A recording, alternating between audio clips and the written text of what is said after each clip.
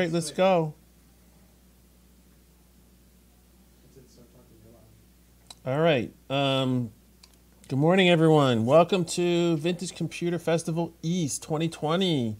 Yay! We finally got this show going. Um, we're doing it virtually, and we were going to do it in April, and then this COVID thing happened, and then we rescheduled to October, and then we said, "Uh, we still got problems, so we're going to do it virtual." Um, we got a great lineup here. Got a lot of people, um, historical, interesting exhibits.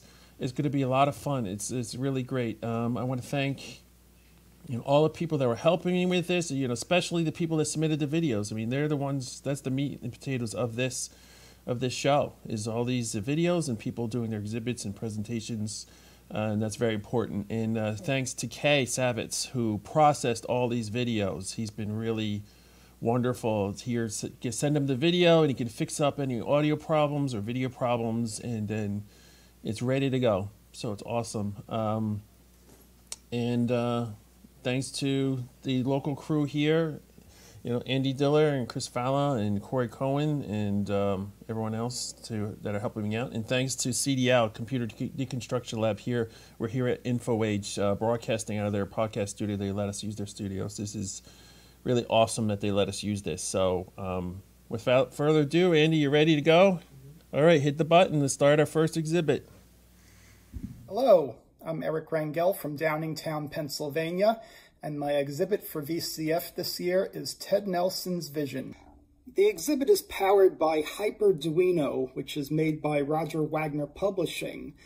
And when a person comes up and touches one of these points, Ted Nelson is a visionary imagined the ideas of hypertext in the 1960s. So the exhibit starts in the early 1960s when Ted was envisioning hypertext and he had ideas for what are now called zippered lists for maintaining data structures of links to text that can be reorganized as needed. So these are some diagrams from his 1965 paper showing his vision. In 1967, Ted, at his own expense, went to Brown University to work on a hypertext editing system. And that's a picture of him working at an IBM terminal. Um, he was unhappy with the results of that system because it did not include all the ideas that he had. He envisioned hypertext as being able to visually connect related works of text. For example, um, an article and the source material, so you could jump between them and see exactly what was quoted in the source. So his vision was documented in Computer Lib and Dream Machines. And um, he lectured about it, and he had ideas that he published um, about how word processing should be done, and then the um, system design of that system with what he called lollipop diagrams. And you could see the kind of flowcharts he drew and user manual and this actually became a product for the Apple II computer, which I will demonstrate. He coined the term intertwingled, and he also collaborated with Douglas Engelbart. Here is an example from Xerox where a hard drive was discovered in a dump and it had a Smalltalk image. So Smalltalk is unique because the entire system is stored in one file. So all your work at whatever point you've stopped is available. So that hard drive was able to start right up and leave off where it was. So here are some demonstrations of Ted's ideas. Xanadu Classic was a method of comparing documents using what he calls tumblers to address different versions of documents, even down to the character level. So what this is showing is comparing two versions of the Declaration of Independence, and they have different tumblers, and that's a way of organizing the text on a disk so that um, any new versions, it just appends another level to the tumbler. Um, an example from the 90s is called Cosmic Book, which had to go beyond the windowing system available. You had to have special code to connect material in different windows. And his greatest demo is called Xanadu Space. So underneath Xanadu Space is a zigzag data structure.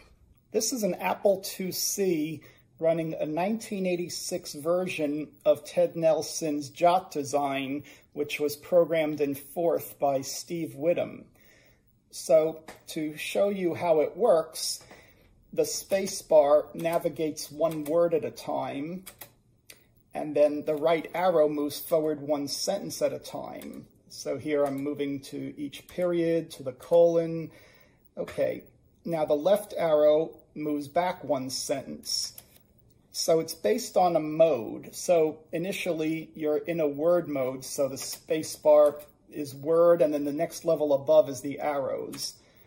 Okay, but then when you press return, you hear two beeps. Now you're in sentence mode, so the space bar advances one sentence at a time.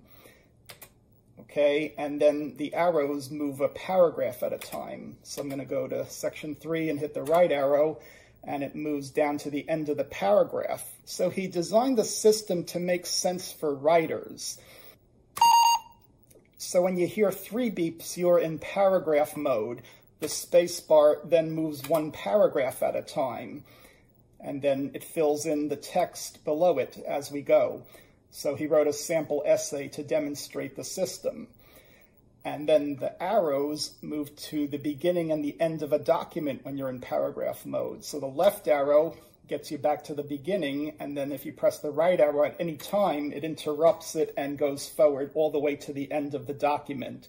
So here's an example. If I am in para, if I go to uh, level two, and the left arrow then goes back a paragraph at a time, and now it says, please move this paragraph between the previous two paragraphs.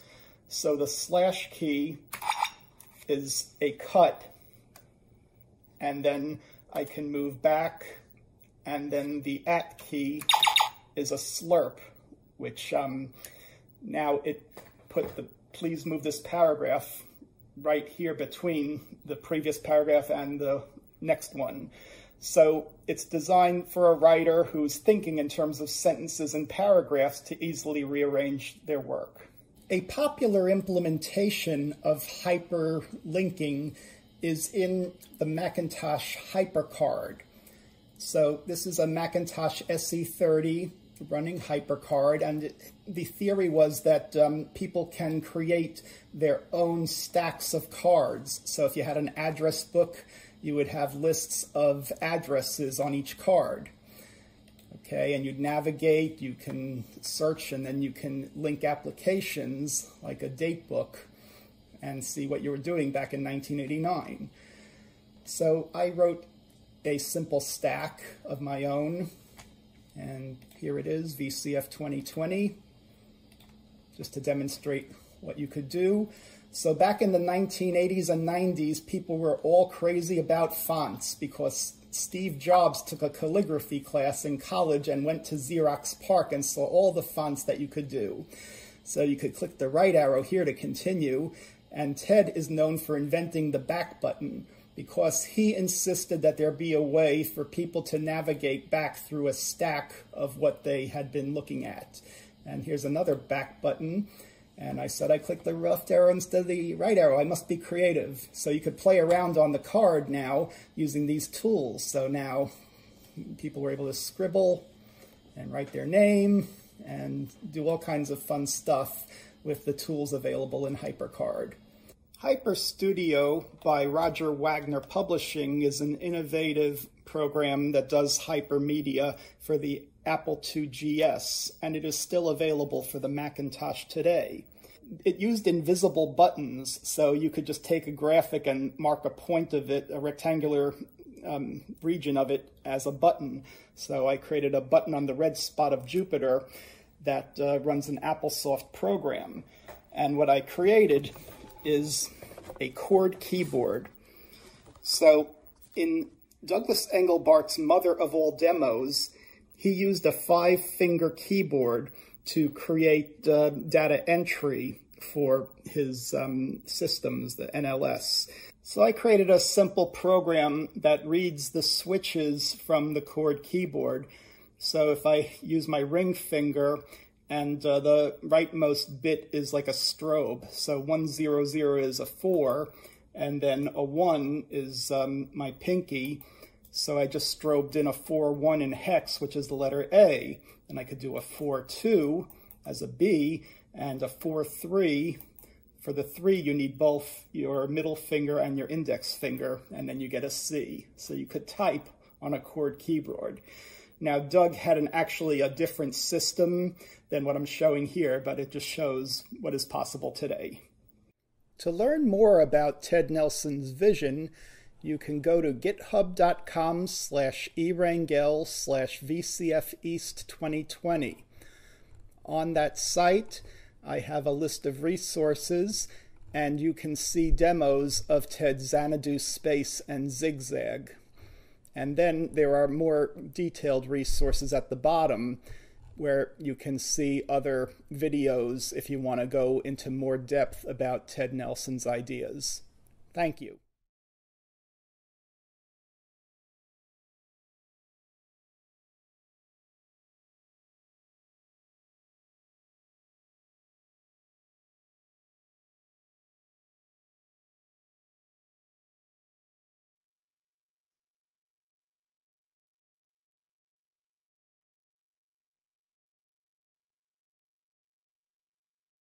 All right, that was great. Um, I love Ted Nelson. Um, I'm glad that Eric did that. Um, he was here at VCF a few years ago, um, and it was wonderful. It's like amazing ideas um, that he did, and um, I know he was working on making some of this a reality, and lots of visionary to, that propelled a lot of like the web way it is now.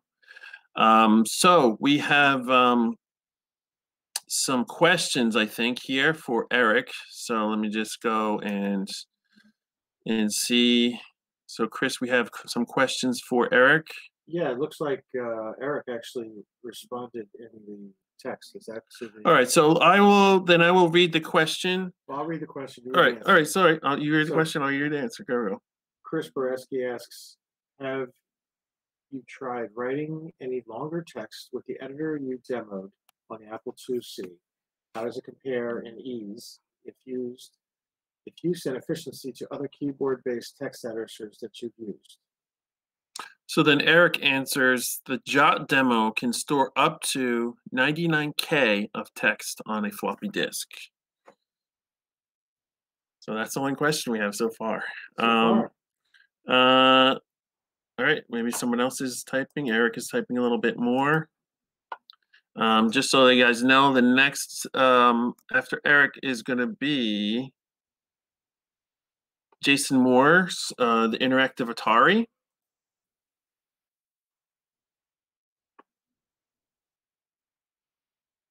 All right. So Eric says it takes time to get used to Ted's system. Yes, I, I what I remember, um, Ted was trying to get that system working, and and the technology wasn't quite up to what he was envisioning. Um, so it was very difficult to actually implement his ideas. Um, and then I don't think it actually ever finished. So, um, but it's very interesting. All right, so last chance for questions. If there's no more questions, then we will go to the next one. The next one is the Interactive Atari by Jason Moore. All right, Andy, ready? Let's hit it. Hi, I'm Jason Moore. I'm a professor at the University of Pennsylvania, and today I'm going to give a demo of the Interactive 6502 for the Atari home computers. You can find more of my Atari projects at atariprojects.org. The goal of this project is to allow the user to interact directly with the 6502 processor via a user-friendly graphical interface. The 6502 was developed by Chuck Peddle in the early 1970s when he worked for Motorola. And this was really one of the first inexpensive computer chips on the market. It sold for about $25 in 1975. And this led to the Cambrian explosion of home computers. In 1977, we saw the Commodore PET, the Apple II, the Radio Shack TRS-80 all released for to the consumer. The Commodore and the Apple both used the 6502, while the Radio Shack used the competing Zilog Z80. I'm going to focus today on the Atari home computers, which were released in 1979 and included a graphics processing unit a GPU, which allowed advanced graphics for the time. So here's a summary overview of the 6502 processor from chapter three of the book Atari Roots. Uh, on the left here are shown all the various registers. We have the program counter, which helps the CPU keep track of the next instruction that needs to be executed. A stack pointer, which keeps track of memory addresses used by the CPU a process status register, which uh, keeps track of the various states of the processor, the X and Y registers, where we can store numbers, and the arithmetic uh, logic unit, the ALU, which allows um, simple addition and subtraction with numbers coming from the accumulator and uh, the data bus with the results going back and being stored in the accumulator. This is the 6502 instruction set. There are 56 instructions that we can use to tell the CPU what to do. I like this figure because they're organized according to the, the various parts of the 6502. And the instructions here are represented as assembly language uh, mnemonics, three letter mnemonics that um, indicate which instruction is to be used. We're going to focus today on just a subset of the 56 instructions, specifically those that allow us to um, create and, and move numbers in and out of the various, the X register, the Y register, the system memory, uh, and the accumulator with uh, arithmetic, uh, including addition and subtraction. This is a screenshot of the Interactive 6502, uh, which I'll give a demo of here in a minute. Uh, at the top are the assembly language commands, the instructions that we're going to be able to use uh, to interact directly with the 6502. Um, and at the bottom, um, shown uh, a memory location that we're going to keep track of uh, on page zero of the Atari memory. And then on the right are the register, three registers of the CPU that we're going to keep track of, the XY and the accumulator. The software for the Interactive 6502 is programmed in BASIC, specifically BASIC XL. Now, unfortunately, you can't interact directly with the 6502 processor from BASIC. You cannot manipulate the registers directly. And so what I've done here in this program is I've included some assembly language commands which actually manipulate the registers and those assembly commands are then called from the basic program when you click on one of the instructions to be executed. The source code for the Interactive 6502 is available on my GitHub page, and I've got more details about the program on the Atari Project's website. Okay, we have the Altirra Atari 8-bit emulator loaded here with BASIC XL, my programming language, and we have the um, Interactive 6502 disk image loaded into drive one. Obviously, you would want to run this on real hardware to get the authentic 6502 experience, but we're going to use emulation for the purposes of the demo. Uh, we can see the contents of this disk, and we're going to load that basic file that has the program.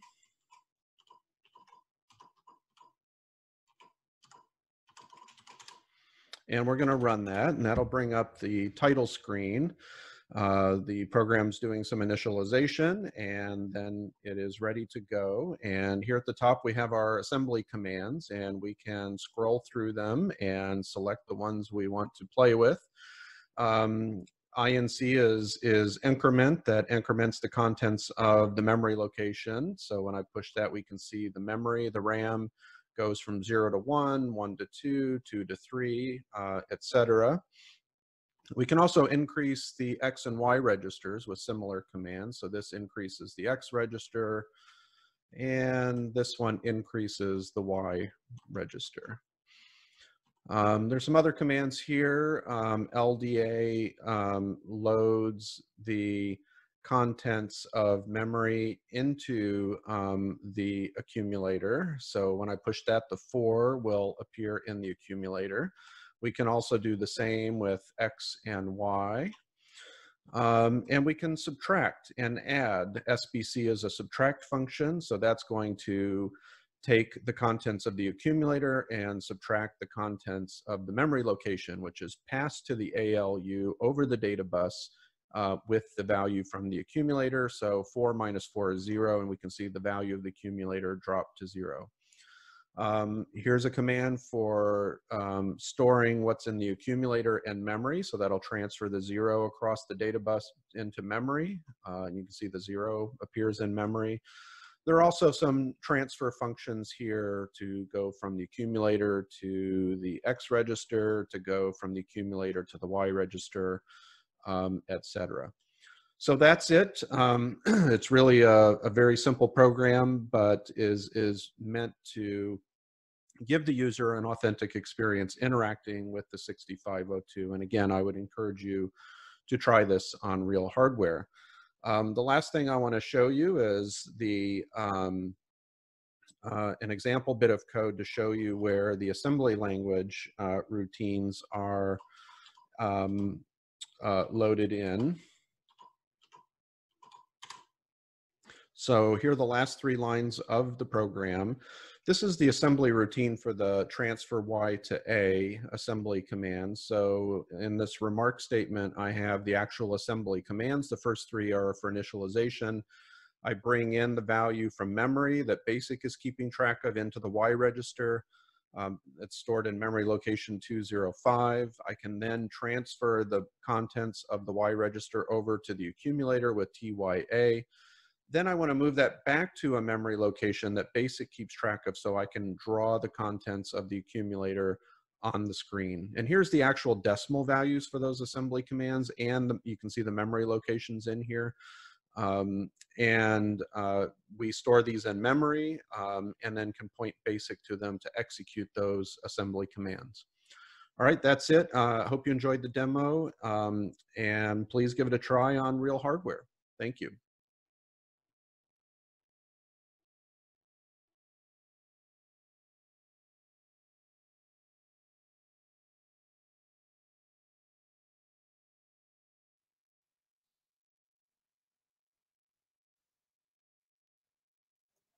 All right. Uh, Jason, can you unmute? Yep. Okay, great. Uh, Chris, do we have any questions for Jason? They had an interactive Atari. I think that was pretty cool. Um, you know, using assembly language and like in, in looking at the processor like that. That's really, really cool looking. Any questions, Chris? Looking at the chat right now, I don't see anything coming in at the moment. Um, do you have any questions, Jeff? Oh, there's a question. There. Oh, did it just come in? Stephen Edwards. Oh. Oh, it wasn't a question. Oh, okay. Uh, so the question is, is the 6502 simulator, is it written in BASIC? So um, yes, it is written in BASIC, and um, and first of all, I, I, I don't think of it as a simulator because you're you're actually executing assembly commands which interact directly with the 6502. So the way I think of it is it's a program for you through a basic interface to manipulate the 6502 directly by executing assembly commands. Oh, okay, great, thank you, Jason. Uh, Chris. Do we have any more questions? I do not see any other questions right now. Okay. Uh, well, thank you, Jason. I, I really like that video. Someone um, is typing. I, oh, someone's typing. Well, let's wait one second. But while we're waiting, uh, I would I would I really like that vi video, and I would hope that someone had made something similar for the Commodore 64 because that's one of my favorites. But um, Atari has always had a soft spot for me since the Atari 2600. I really want to get more into the Atari computers because they have got a lot of great uh, hardware there. Um, so I think it was really awesome what you did. All right, so we do have another question, Chris. Yes. the question is for SBC to work, you'd need carry to be set. So presumably carry is being simplified away. That's what I'm asking. Yeah. Yeah, I've, I've simplified this uh, to make it um, somewhat idiot proof, right? So the the ranges are set, the the carries are set so that um, it's just simple simple integer manipulation. So I have simplified it to make it make it work. All right, great. Okay, we have one more comment here. Maybe it's not a question, but uh, maybe it's something that we can um, look at. Uh, I don't know if that's what was used, but I loved Woz's single step in the Apple II monitor. I wrote a 6809 version once, and that was from Elwin. And I just want to say this would be pretty easy to port to the Commodore 64. The the basic source code is pretty pretty straightforward. Um, I think you know the graphics would have to be changed, but uh, the the guts of it would be pretty similar, I would think. Yeah, I'd love to see that.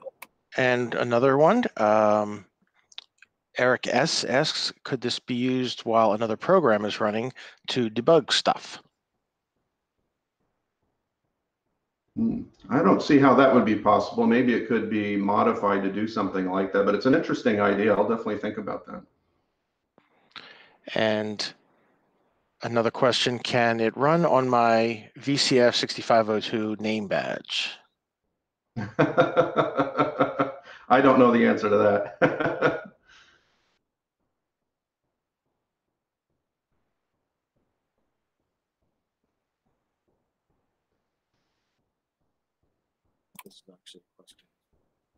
All right. Um, it looks like well, someone's typing. We'll wait to see if there's one more question left. Um, While we're waiting, I want to thank you guys for all your hard work to put this together. I know um, I, I, can only begin to imagine how much time you guys have put into organizing this. So thank you.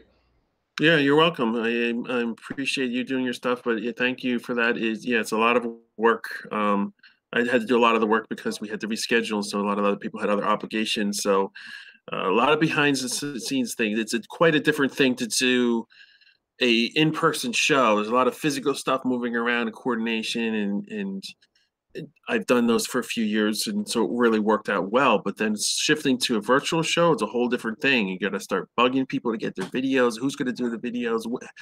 Scheduling. And so it's a lot of different. So yeah, I'm glad it's here and I'm glad we're going. Yeah. All right. Um, one more question, Chris. Yes.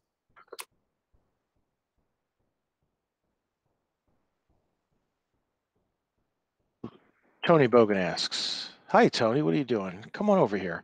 Hey, uh, you mentioned the GPU in the Atari machines. What was the resolution of those graphics? Yeah, let's see. Um, I don't know if I can say them off the top of my head on the spot, but um, there were um, uh, multiple resolution modes. Um, yeah, I, I uh, blanking on the top of my head, but uh, they're easy to look up. And someone responds, higher than the apples. Yes, definitely. All right, that's all the time we have for questions. I thank you, Jason, for doing that. I hope to see you again in person in April, um, hopefully when we do our live show. Um, so we got to move on. The next one up is uh, the linotype. No, oh, sorry, sorry, Stephen Edwards. Stephen Edwards is going to do inside the Apple II. Um, it's a class, so it's about 30 minutes long. Um, so it's really great. It, Stephen had done the talk for VCF West, um, and you guys can look that up on our, our YouTube channel, Vintage Computer Federation. All right, so without further ado, Andy, you can hit it. I'm Stephen Edwards, I'm going to tell you about some of the details of the hardware of the Apple II, one of the early successful home computers. Let me start by saying I'm standing on the shoulders of giants here. The Apple II has been fantastically well documented, in part by Apple Computer itself in the form of the Technical Reference Manual, which was really polished by the 1979 edition. Two other amazing books, which both came out in 1983, each present the details of the Apple II hardware in incredible detail. Winston Gayler's Apple II circuit description, and James Sather's Understanding the Apple II. I've drawn liberally from both books. Most of the technical drawings I show are from them. Another classic is Don Worth and Peter Lechner's Beneath Apple DOS from 1981. While it focuses mostly on software, its low-level description of how bits are encoded on the Apple II floppies is excellent. The Apple II was released in June 1977, which you should be able to guess by looking at this early ad in Byte magazine. Clear the kitchen table, bring in the color TV, plug in your new Apple II, and connect any standard cassette recorder player. From the beginning, its ability to display color images was a major selling point, even though it initially shipped with only 4K of memory. Not surprisingly, the best way to understand the internals of the Apple II is to understand its video capability, since virtually every aspect of its design was motivated by video. First, let's talk about what video was like in 1977. From the ad, it's clear that you were expected to bring your color TV into the kitchen and hook it up to your Apple II, so let's talk about how that color television works.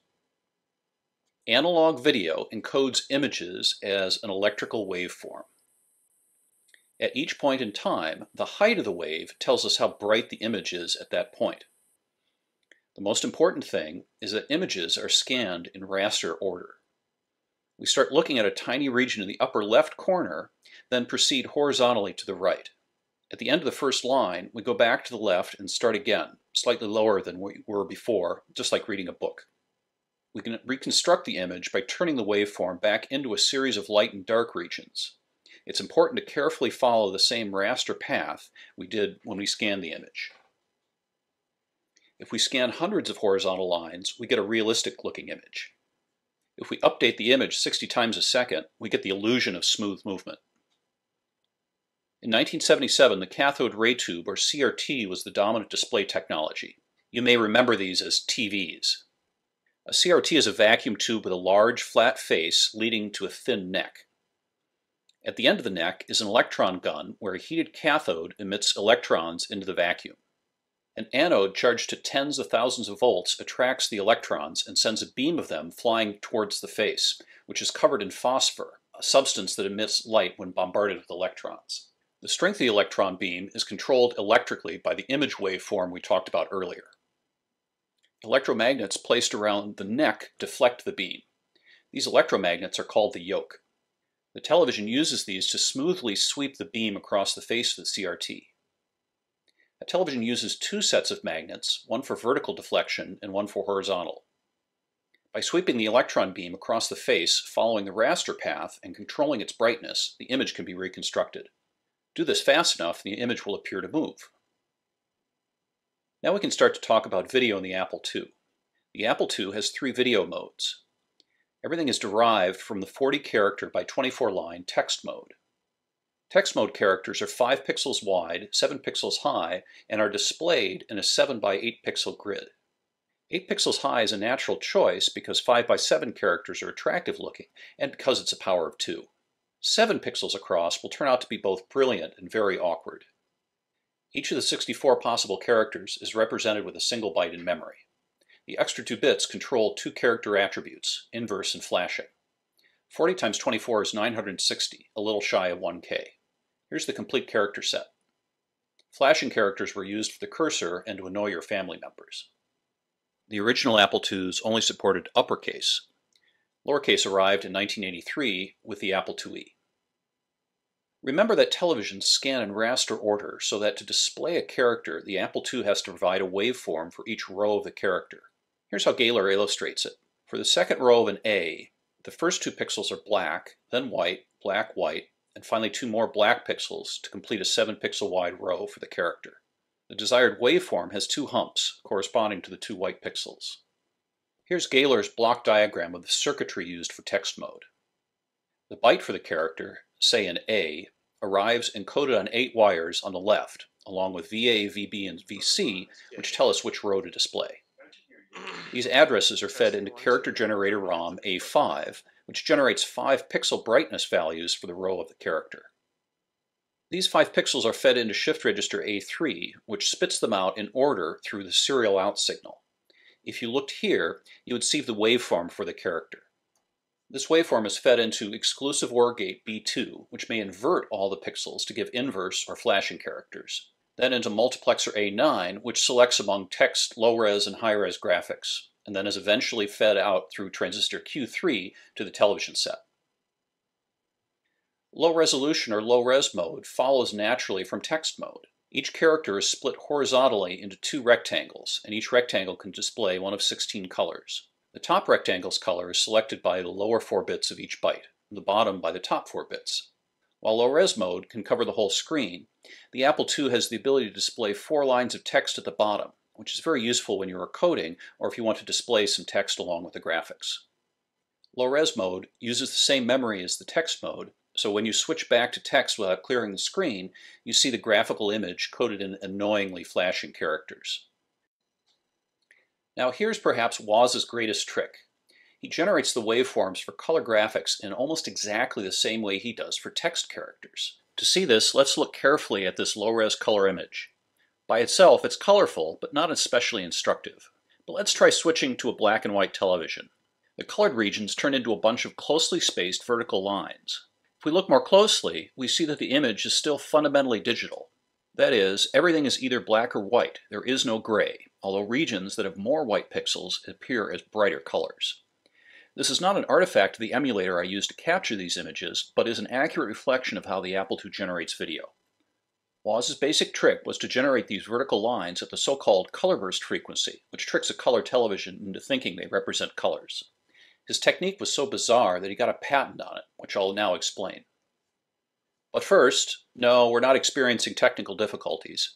It turns out if you can understand this test pattern, it helps you understand video on the Apple II. The waveform for one line of these color bars looks like this.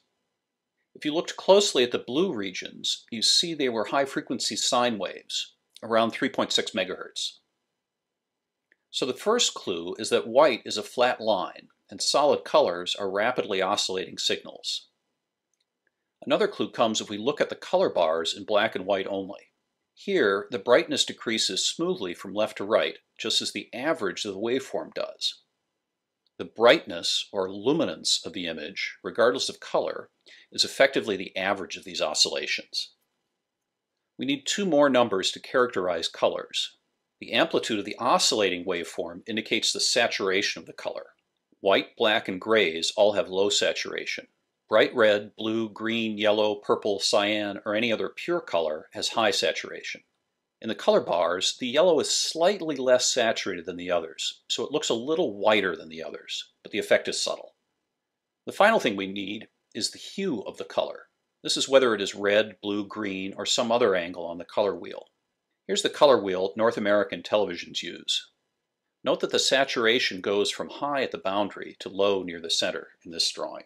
The hue is encoded in the phase of the oscillations, that is, how well they match up with the television's internal oscillator, which runs at the same speed as the color oscillations. As you might imagine, it's important to get the television to agree with the broadcaster about the phase of these oscillations. To do this, a color burst signal is sent at the beginning of each line of video, but off screen so you generally can't see it. Now you can understand Woz's color trick. The Apple II video circuitry runs at about 14.3 megahertz, which was chose to be exactly four times the color burst frequency. So if the Apple II outputs a digital waveform with period 4, the TV will interpret the waveform as color and display it as such. This is exactly what happens in the low-res mode. Here's Gayler's block diagram of it. Again, 8 data bits arrive on the left from memory. These are the same bits that are delivered when the screen is in text mode, but this time they're treated as two 4-bit colors, one for the upper rectangle and one for the lower. These two 4-bit numbers are fed into two 4-bit shift registers that send the 4 bits out serially to the multiplexer A9, which decides whether to display the waveform for the top rectangle or the bottom one.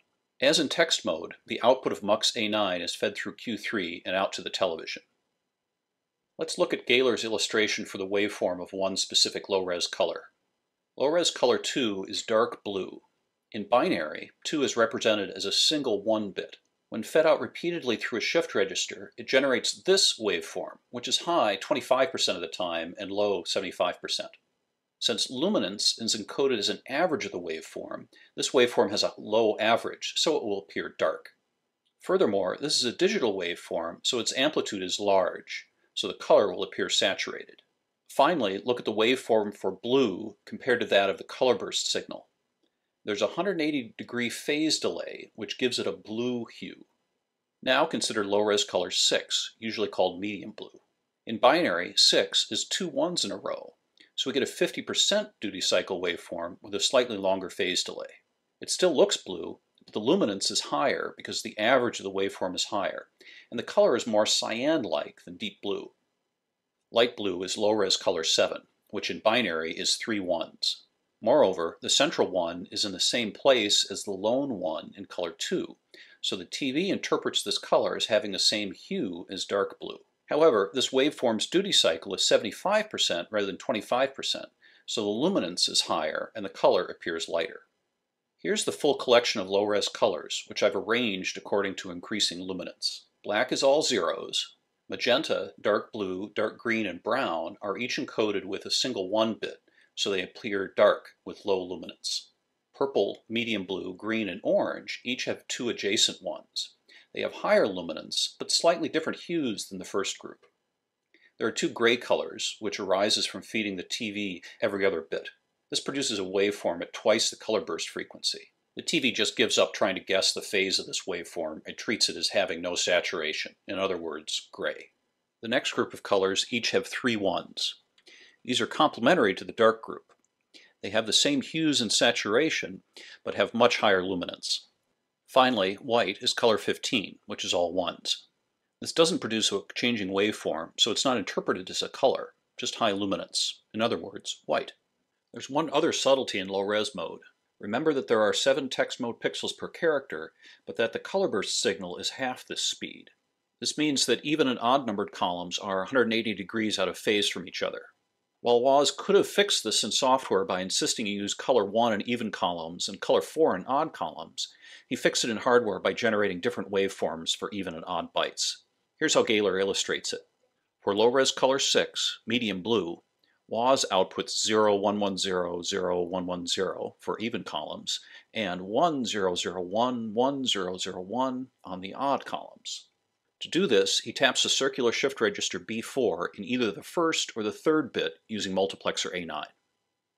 Now let's talk about high resolution mode or high res.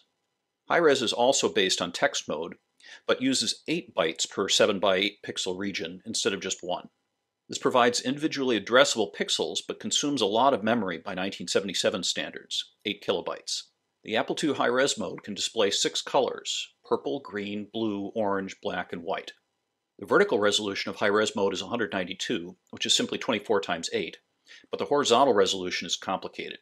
There are 280 black and white pixels horizontally, but color requires 2 bits per pixel, so there are effectively 140 color pixels. Woz added high-res mode through a clever modification of his low-res circuitry. Here's Gayler's block diagram of the high-res circuitry. In high-res, the two 4-bit shift registers used for low-res are configured as a single 7-bit shift register by data selector A8. The result is that for each 7-pixel text mode column, high-res mode again reads a byte from memory, but then shifts out the 7 bits individually rather than how low-res repeatedly emits the color in the top or bottom 4 bits. There's yet another subtle thing happening here. The color burst frequency is exactly half the text and high-res bit clock frequency of about 7 megahertz. So using Woz's color trick, we should only get two colors in addition to black and white in high-res mode. But of course, Woz squeezed out two more. Interestingly, high-res on the very earliest Apple II motherboards only supported four colors. In the June 1979 edition of Byte magazine, Alan Watson III published an article discussing how color worked on the Apple II, to which Woz responded by showing how to extend the high-res color gamut by adding two chips. He did mention that adding this circuit voided the warranty. What Woz suggested adding in that article became a standard part of Apple IIs after then. In Gayler's block diagram, this modification appears as flip-flop A11, which delays the waveform coming from the shift register by half a cycle. The otherwise unused most significant bit of each high-res byte selects whether this delay is inserted. If the flip-flop is bypassed, the byte can display green and violet. If the flip-flop is used, you get orange and blue.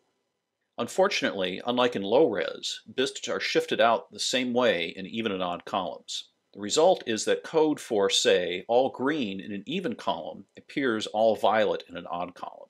This is fixed in software, of course, but adds yet another challenge for the Apple II programmer attempting to do fast high-res graphics.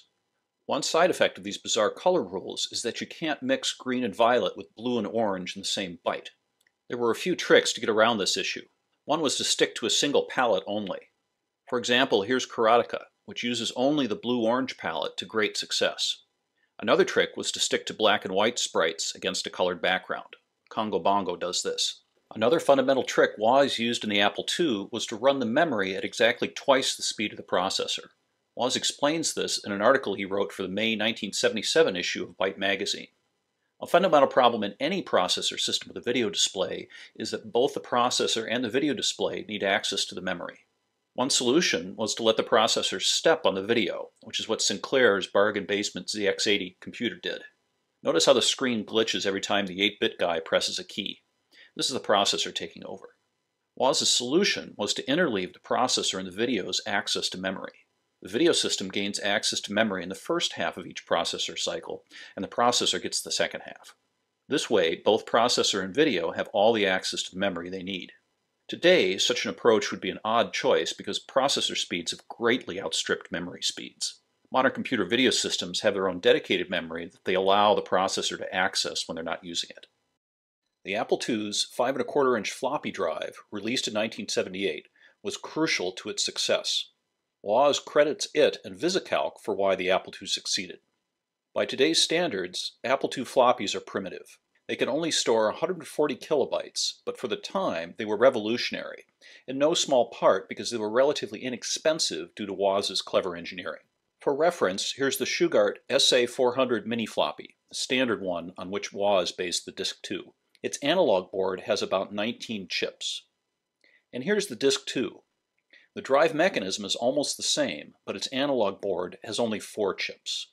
To understand how Woz did this, let's look at the details of how a floppy drive works. Mechanically, it's fairly simple. A spindle motor turns a spindle to which a circular disc is clamped. 300 RPM is typical for 5 and a quarter inch floppies. Disc is covered with brownish magnetic material and tiny regions of it can be selectively magnetized. A read-write head rides in circles around the disc.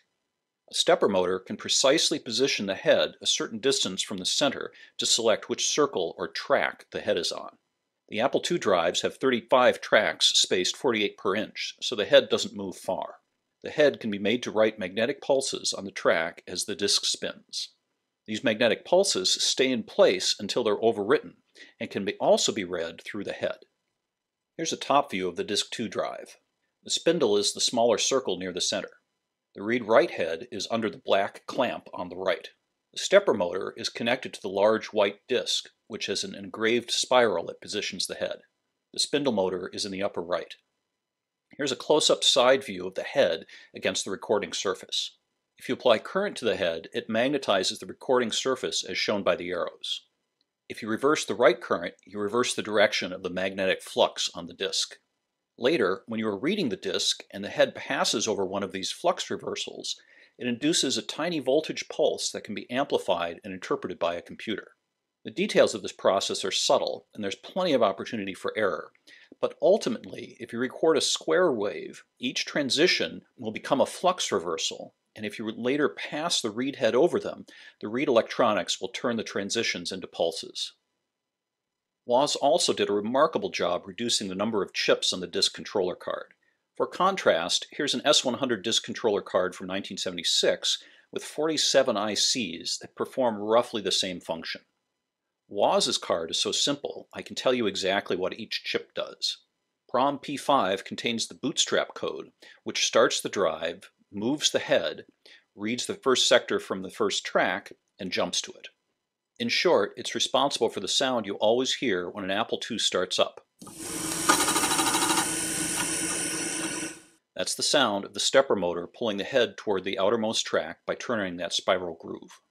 The 9934 handles commands from the computer like turn on the drive and bring the head in one track.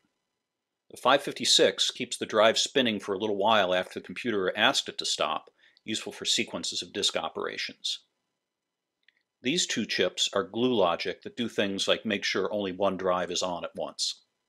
Finally, these three chips are the brains of the outfit. Together, they convert between the drive's serial bit stream and the parallel data used by the computer. I think this, along with the color circuitry, are some of Woz's shrewdest creations. Writing to a floppy is comparatively simple. The main thing you have to do is spit out the bits from a byte, one after the other, and flip the output voltage when you see a 1. The one thing unusual about Woz's design is that it relies on a software timing loop. That is, the software on the processor is responsible for feeding the next byte to the drive exactly 32 processor cycles since the last. Reading is much more difficult. A central challenge is deciding when you've read a zero. Reading a 1 is easy. The read head electronics delivers each 1 as a short pulse. But a zero is the absence of a pulse during the time you might expect a 1.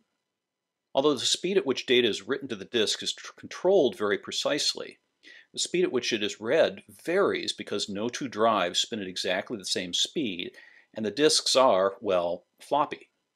So the read logic needs to be liberal about when it can declare it as read as zero.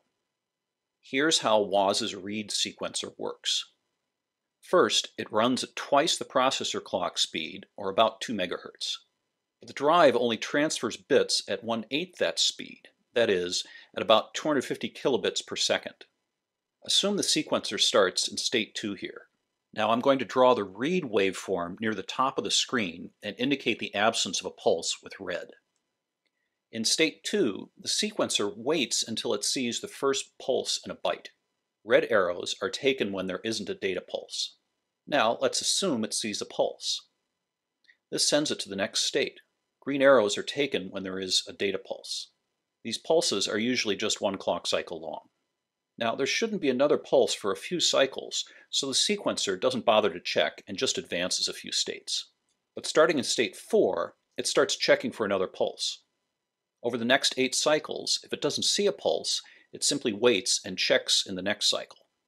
After 9 cycles of not seeing any pulse, the sequencer decides a 0 followed the initial 1 and clears its input register, which I'm drawing here on the right. At this point, the sequencer starts to shift the two bits it knows about into the newly cleared register. First, it shifts the 1 corresponding to the first pulse we saw. The black 1 indicates the shifting operation. And then it shifts to 0, indicating the absence of the pulse after the first 1. Now let's go back and consider what happens if there was a second pulse.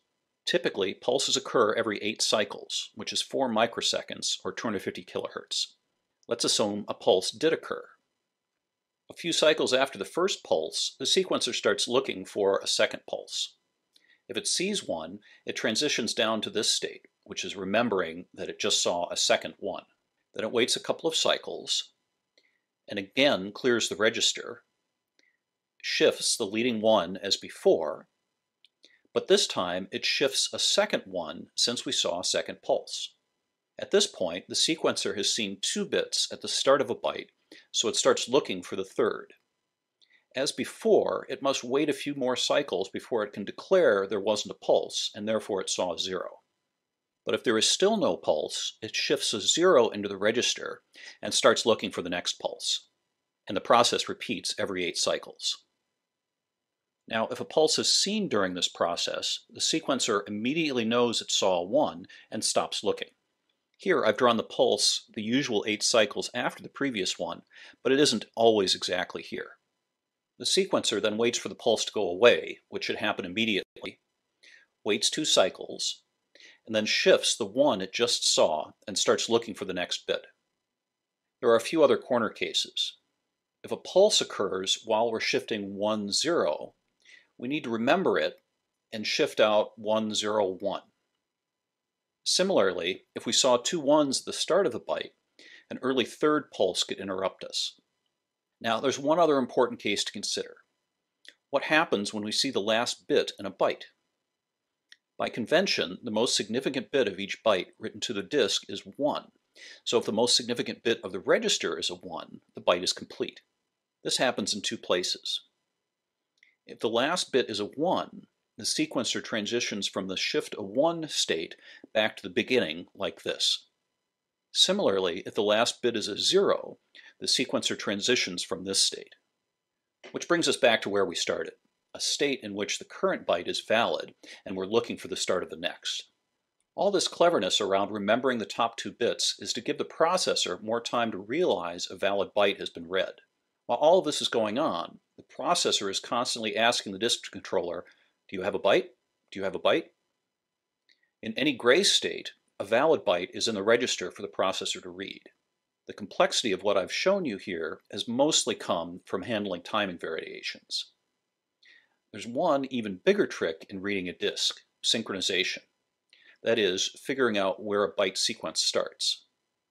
As I've just shown you, if you start off waiting for the first pulse of a byte, this sequencer stays synchronized. But what if the processor starts reading in the middle of random bits? It turns out this sequencer will fairly quickly synchronize itself if you feed it a repeating sequence of eight ones followed by two zeros. Credit where it's due, my animation of the sequencer comes from a drawing in Sather's book, which I adapted for this presentation. Another trick of Woz's was to improve the encoding of data on the disk. The standard at the time was frequency modulation, or FM, in which every other pulse on the disk represented a clock, limiting you to only 16 of the 256 possible 8-bit codes. This made it easier to separate the data bits from the clock bits, but wasted an enormous amount of space. Of course, you always need some clock bits, but Woz used an alternative known as group code encoding, or GCR. Here's Woz's code table. Every byte starts with a 1, and there can't be more than two zeros in a row. This is still limiting, but it allows 64 codes out of 256. This brought the capacity of Apple's single-sided, single-density 35-track floppy disks to 140K. The manufacturer, Shugart, only suggested 80K under FM. For comparison, the comparable Atari format could only store 80K. Commodore drives could store 170K and also use GCR, but required double density diskettes and had a microprocessor in the drive. The Apple II motherboard has three rows of eight dynamic RAM chips, which are inside the white rectangle near the center of the board. Revisions before about 1980 had memory select jumpers that would allow you to use either 4K chips or 16K chips. The first Apple IIs shipped with only a single row of 4K DRAMs, but as memory prices fell, most people upgraded. By 1980, the jumpers were removed and machines shipped with three rows of 16K chips for a total of 48K. In 1979, Apple released the Apple Pascal language system, which needed the Apple language card, which supplied an additional 16K of memory. Eventually, most Apple IIs acquired this card or a copy of it. There were many third-party manufacturers, including Microsoft, in 1983, Apple incorporated the function of the 16K card into the Apple IIe since so much software, including ProDOS, had begun to rely on its presence. A 48K Apple II exhausted the 6502's 64K of addressable memory. Beyond the 48K of memory, another 12K was devoted to read-only memory for the system monitor and Applesoft Basic, and the remaining 4K was I.O. locations. To increase the available RAM, the language card made its memory selectively appear in place of the onboard ROMs. Even more confusingly, rather than occlude the I.O. region, the language card bank switched a 4K range of its memory. Another notable aspect of the Apple II 16K cards was how they were installed. Note the pigtail in the lower left corner of the card. To install a 16K card, you had to remove one of the DRAM chips on the motherboard, plug in the 16-pin jumper in its place, and then install the removed chip on the card. This was a trick to save hardware. While the multiplexed addresses needed by the DRAMs could be generated from the addresses on the slots, it was much cheaper to simply steal these signals directly from the existing DRAMs. Now I want to talk a little about the Apple II power supply. For comparison, here's the Commodore PET, which was also released in 1977 and also featured a 6502 processor. The PET used a much more traditional linear power supply, the primary component of which was the enormous massive transformer, the brown mass of iron on the left in this photo. Also notable was the enormous filter capacitor, the silver-blue cylinder in this photo. The Apple II's power supply was small and light by comparison. Inside the power supply, it is easy to see the difference. This is a so-called switching power supply, and while the technology was nowhere near as revolutionary as Steve Jobs would have you believe, it was unusual for the time. There's still a transformer, but it's vastly smaller than the one in the Commodore PET. There are also a handful of components on heat sinks and plenty of filter capacitors, but again, all are smaller than they are in the PET. Here's Gayler's simplified schematic of the Apple II power supply, illustrating how a switching power supply works. Wall voltage is fed directly to bridge rectifier CR1, which converts the alternating current from the wall to direct current, which is then filtered by C1. Q3 is the heart of the switching power supply. It is the large trapezoidal thing with a silver circle in it near the transformer in this photo. Counterintuitively, Q3 is used to convert that hard-won DC back to AC, but there are good reasons to do this. The first trick is that Q3 generates AC at about 20 kilohertz instead of the 60 hertz that comes out of the wall. And this allows transformer TR1 to be much smaller because transformers are much more efficient at high frequencies. The second trick is that because Q3 is operated as a switch, it is much more efficient than the transistors used in the PET supply, which dissipate unwanted voltage as heat. The control circuitry varies Q3's duty cycle, which allows it to regulate the output voltage, again without wasting much energy. Full-time light dimmers often worked on the same principle. Overall, Q3 generates high voltage, high frequency AC, transformer TR1 reduces it to low voltage AC, diodes like CR12 and CR14 rectify it into DC, and capacitors like C10 and C12 filter it. Like the transformer, filter capacitors like C10 can be smaller than their counterparts in the PET because they are filtering higher frequency AC. Complexity is the only drawback to such switching power supplies, but this was becoming less of an issue in 1977, and virtually every computer power supply works like this today. Thanks again for your attention. In putting together this video, I realized I have only scratched the surface of this marvelous home computer from the 1970s. There is a lot more to talk about. For example, see my other video on 6502 assembly programming, which shares more insights about the Apple II's video system, along with a lengthy discussion of the instruction set of the venerable 6502 processor at the core of the Apple II. I'll remind you again of some of my favorite technical references, the Apple II Reference Manual, Gayler, Sather, and Wirth and Lechner. And now, Bob Bishop's Apple Vision from 1978.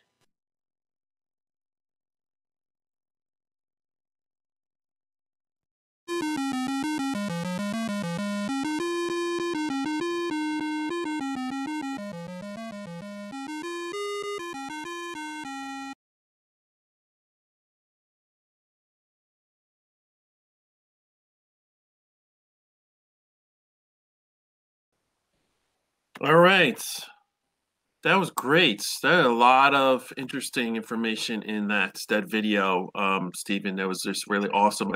people here uh, at the podcast studio were we're, we're just raving about it and um, all the different details and different aspects and the color part. Uh, talking about the CRT, all the little tricks that Wozniak was doing that was really uh, a great video, and a lot of people are going to want to watch that again um, here. I saw, I've seen it, of course. I watched all the videos, but some of these guys didn't have a chance to watch all of them, so they're going to be happy to watch it again later. Um, so, go ahead. Yeah, it's it's uh, definitely pretty dense. Uh, my goal was, yeah, you'll pick up something the first time you watch it, but uh, there's two things. One, it's going to go on YouTube, uh, and secondly, YouTube has this great a speed feature where you can speed things up if they're boring or slow them down if they're overwhelming. I'm assuming the uh, latter will be appropriate for mine. Overwhelming, yes. So lots of lots of good details. It shows that you're a computer science professor who really know and really knows your stuff about vintage computers too. So, um, all right. So we have some questions um, Stephen, do you want to start reading off? Yeah, yeah. So uh, somebody asked during the uh, the talk uh, for some of the old. So most of that video was mine, um, but I did steal a, a, bit of it. So the two things that I stole were a, a very nice video on uh, uh, CRT internals uh, and so forth, and I've put something inside the Apple II, so it's it's on YouTube, and I put a credit on the on the bottom of the uh, the thing. But yeah, I did not do the animations of the uh, the CRT. Uh, I also uh, stole that stuff from the 8-bit guy where he was demonstrating the the glitchiness of the uh, the ZX80 or whatever it was. That was good. let's see. Other people asked here. Let's see. Somebody was asking about the power supply. The pet had to drive the the monitor. The II didn't include that. That I don't believe that had much of an effect on the pet. Uh, the pet used, I believe, a pretty standard uh, 12 volt uh, monitor chassis that then reproduced all the, the high voltages off the rest of it. And I don't think the uh, the the 12 volt load on it was all that substantial. So I don't know that it mattered all that much. Um, let's see. Yeah, I think I actually attached a small uh, uh, monitor like that to an Apple II at one point, and the and the power the switching power supply was able to handle it. So I don't think that was a huge uh, uh, huge example of that. Uh, let's see. Somebody else commented uh, during the uh, talk that you could change the character ROM on the Apple II to give it lowercase. And yes, indeed. In fact, if you're really sharp-eyed, at one point, one of the later uh, Apple II motherboards I was displaying there, uh, if you notice, actually doesn't have the original ROM on it. That's my personal one uh, that I bought from uh, a guy quite literally in a dark alley in in uh, Brooklyn at one point, and uh, they had put in the the character ROM. So if you're if you're really clever there, you can go and take a look and, and see that the character ROM is not original in that. Um, but the the operating system software didn't really know what to do with the lowercase characters for most most of the time. Uh, let's see. Did anybody else see any other questions coming up? Chris, any questions anymore? Oh, I'm, Uh, I'm seeing. Yeah, I'm the one that just came in. here. Yeah. So, um, uh, was he far above engineers of his era? Somebody's asking about Woz. So, Woz's uh, main skill, uh, and that put him way ahead uh, of the game of virtually everybody else, was taking stock parts and making them do stuff that you didn't think they were capable of doing. And his disk controller card with you know a whopping eight ICs on it Right. uh, is just insane. Uh, if you look at that, and it's just nuts. Now, in putting together this video, the thing that occurred to me, the thing that really separates the Apple II from the other uh, uh, personal computers of the era was the absence of custom chips. The only custom chips on the on the board were the ROMs, and those kind of don't count. Uh, and you compare that with the the the Commodore 64, or the uh, Atari, or any of the other uh, things of that era, all of which had custom video chips. The fact that Woz got the video and the the drive working with essentially no custom chips is just breathtaking. Um, so yes, engineers back then were pretty smart at using limited resources. Uh, this, in fact, is the, always been the mark of good engineering. Woz was exceptional even by the standards of the day. Uh, let's see. Somebody else commented also the video design also gave dynamic RAM refresh for free. Uh, plus, it fit into the way the 6502 accessed memory. Yes, all of this is is true. I didn't even mention the 60 the uh, the vi- video refresh uh, uh, for the dynamic RAM chips. Uh, some other people had, had looked at this presentation and said, "Oh, you left out this, you left out that, or whatever." Of course, I left out thousands of details about all of this. Um, and so it, uh, yes, the the one drawback to the the Apple II's uh, construction is it was it was too cleverly integrated, and it didn't really take into account that the fact that processor speeds would increase and memory speeds would increase in the future. And so when it came to uh, doing things like the various accelerators that uh, were built for the, the Apple II that eventually made their way into the Apple II GS and the Apple IIc Plus, um, they were sort of insane hacks as opposed to the, oh, let's just speed things up like you were able to do on the IBM PCs. Uh, how well do Woz's video techniques translate to more modern display devices? Uh, horribly, right? uh, uh, Woz's uh, display trick was all about um, how can we sort of deal how can we fool the circuitry of a late 1970s color television into doing stuff it wasn't really intended to do? And uh, as a result, about 50% of the time you hook up uh, an Apple II to a modern uh, flat panel or whatever, it befuddles the uh, little chip in there that's going in and trying to take the analog video and trying to turn it into uh, turn it into color. So you can you can it can just give up and say I can't figure out what the colors these things are. Uh, the horizontal and vertical sync is just different enough where about half the time it can't be figured out. And I remember trying to record uh, video from the Apple II on an 80s era VCR, and it was not too happy. It, it had a hard time. So, uh, very, very clever, but too clever in, in practice, which is true for a lot of Woz's designs. Stephen got a couple more here. I'm not sure if you got these. Uh, question is, does your columbia.edu site house most of this, or do you have another space online? Uh, so the Columbia EDU site de definitely has um, uh, all of my stuff. For this video, I don't have much up there. I, I should put up some of the slides. I did the, uh, uh, I had a lot of fun and used, I don't know, you know, 37 different tools or whatever to put together that video. And I've, I've documented it a little bit. Uh, let's see, were Woz's color and disc control considers hacks or innovations at the time they were originally released? Um, yes. Uh, they are absolutely hacks, and they were amazing that they were able to figure it out. Now, the one thing that's kind of interesting, and I should go back and check the uh, uh, check the prices at the time. So these hacks, these these tricks that he played to reduce the the cost, uh, dramatically reduced Apple's manufacturing cost. But I don't think the other Steve passed much of that along to the uh, uh, the users, uh, and so that's uh, uh, that was one of the interesting things. And you know, I you have to go back and look at the the cost of what Apple was selling its drives for versus Atari versus Commodore and so forth at the time. Um, Woz did use stock stuff, but one, were they low cost and did they have the same performance with others?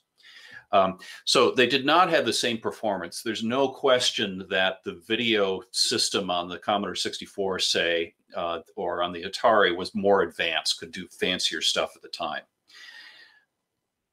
What was clear in putting together this presentation is that Apple really was started out of a uh, a garage, and you can really tell that they did not have a lot of capital. And the big difference is, is that if you look at Atari and Commodore, they had capital that they could sink into designing these custom chips. Apple did not, and it did not, and its its design reflects that. And so, in some sense, it's sort of an oddity. Uh, the the PET was a little bit closer, although still with the the, the big uh, physical design of it, or, or what have you. Um, but this is really the big thing. Now, when the Apple IIe came along, this is after Apple was much more established. They went the the custom chip route uh, because ultimately, if you can do custom chips, the per unit cost is much lower than using stock stuff. Um, however, uh, this was what Woz had to work with. This is what he knew how to work with, and this is what he produced.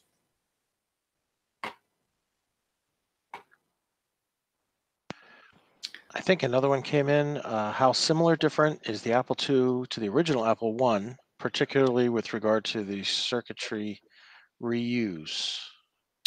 Uh, yeah. So remarkably little. So, from what I can tell, uh, the Apple One and the Apple II, the commonalities were the 6502 processor, although you could uh, substitute in a, a 6800 uh, pretty easily. The video system was very, very different. So, they both had more or less the same text display, but the way it was realized was just night and day different. So, there's really not too much, uh, really not too much there is all yeah, Jobs was never much for passing on cost savings to the customer. Yeah, I think we uh, uh, have to do it. Oh, yeah. Uh, even more fun is to record Atari 2600 v- video on a VCR. Um, some of them don't get the line counts right. Yeah, I can't imagine trying to record uh, 2600 video. All right, Stephen.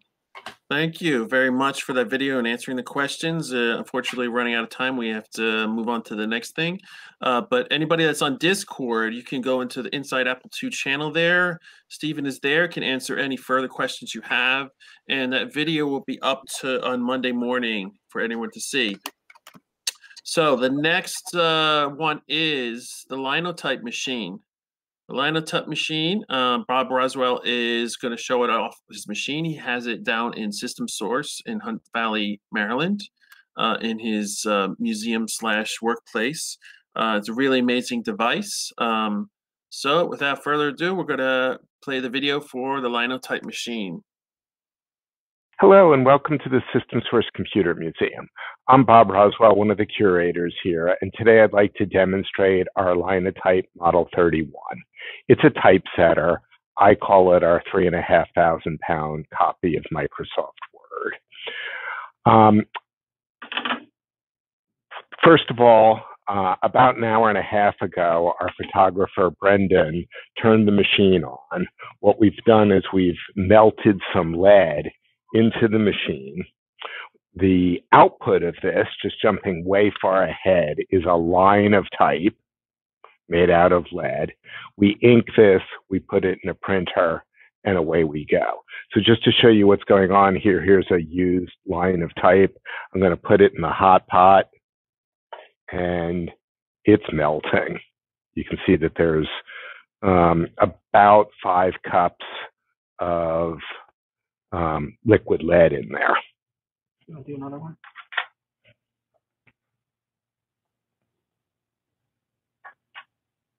Uh, melting. So let's roll the clock way back before 1455. If I wanted a document and I were alive in 1450, I would get out a quill and write it, or if I was rich, I would ask a monk to do it. Uh, in the 1455, we got the greatest technological revolution of all time. Uh, as everyone knows, Gutenberg invented movable type and the printing press. So just to see how that worked, we would have a box full of type. If we wanted the letter M, we would get out the letter M. We would lay out each of the letters. Uh, there we go. Oh, much better. letters lined up. We would ink them. We would put them into a printing press.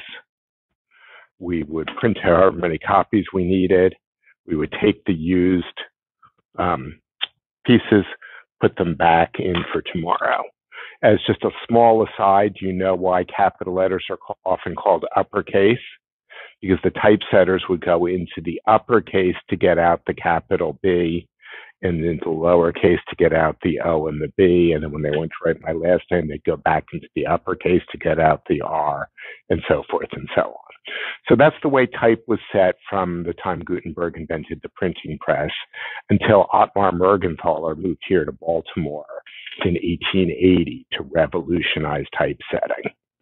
So he sat down, or he formed a company, the um, Mergenthaler Company, to build a linotype. So the way this thing works is we start with these little brass mats. Here's a sample mat. This one has a G on it and human readable. The business end of the mat here has the mold for a G in both italic and standard print. And then I want you to notice for later that there is a set of eight teeth that uh, are on this mat. Anyway, we have mats. We take 1,440 of these and load them into a magazine. So this magazine has 92 channels, timbers. Uh, each channel holds a column of a single letter E's, T's, A's, I's, dollar signs, everything that's on the keyboard.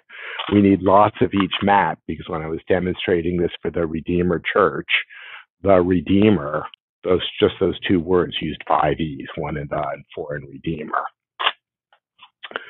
We then load on this particular machine up to four fonts on the machine. So there's a magazine here.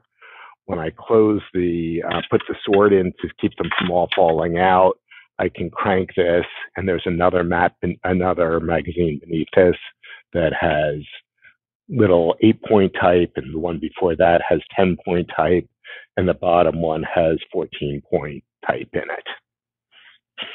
When we set out to typecast, we have a keyboard. The keyboard is in an unusual layout. My lowercase letters are here, my uppercase letters are here, and my symbols are here.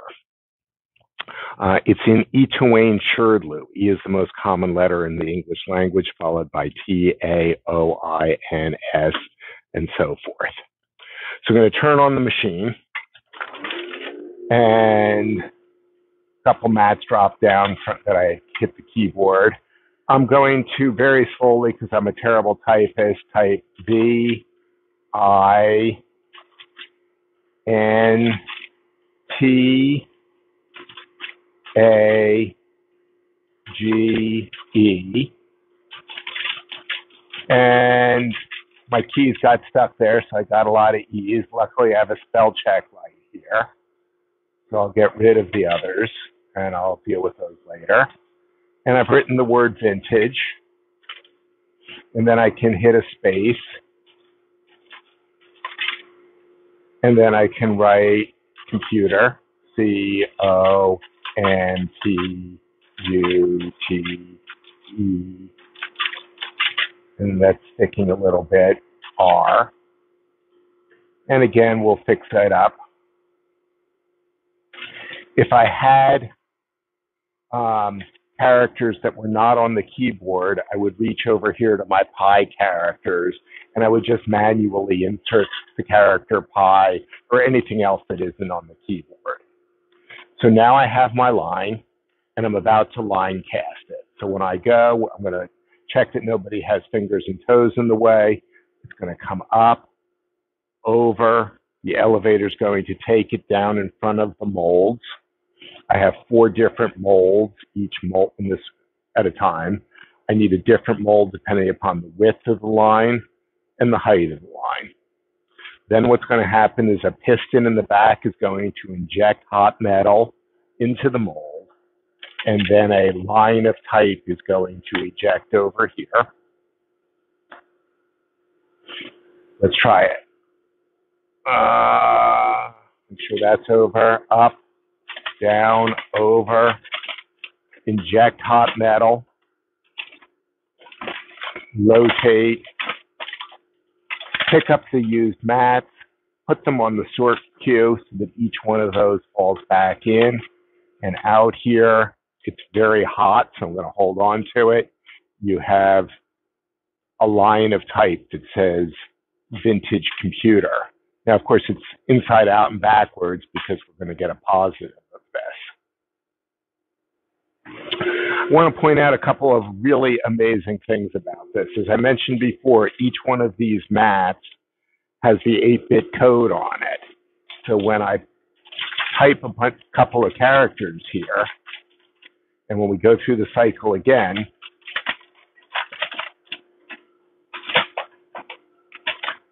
the arm is going to pick up those used mats, slide them on this binary sort queue, and each one of those is going to fall back in the proper slot.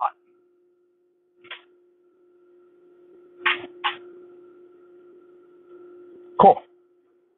Uh, Brendan, why don't you stay over there and we'll watch the back end of this. So I'm going to type a couple characters, start a line cast, all mechanical.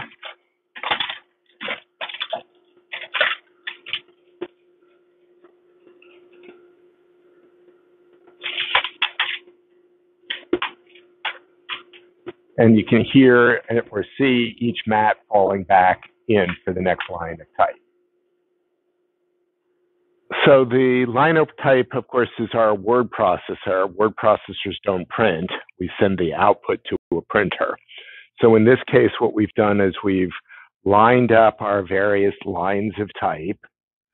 We've used uh, some coins and some um, furniture here to put it in a chase. We put the chase in the printing press. This is a, a Heidelberg windmill press. Put ink on here. This has a pneumatic system that'll pick up a piece of paper, put it up, 40, uh, 40 tons of pressure, and then we get our hard copy. One of the amazing things about this machine is that we got perfect left and right justification.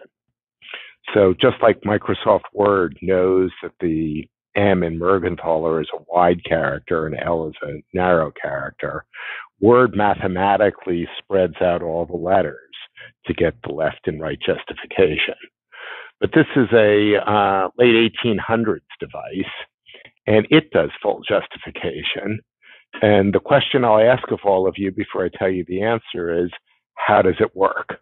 I promise you, I did not count the letters as I was typing this out.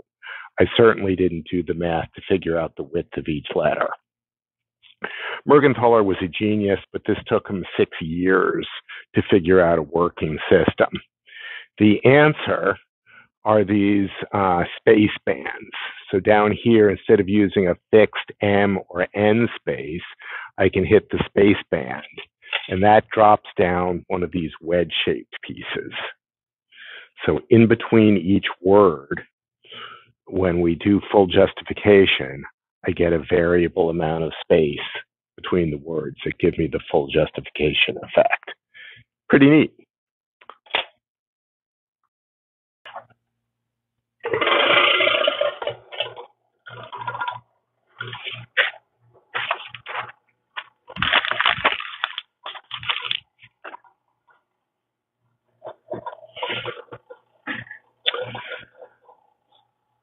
So I'm not going to actually ink this up right now because it's a pretty big job, but we'll um, imagine that our um, chase is in here. Imagine that we have filled this up completely with ink. We're going to turn it on. We pick up a piece of paper, smash it against there, and all of these pneumatic arms are picking up one sheet of paper printing it, depositing the final copy over here.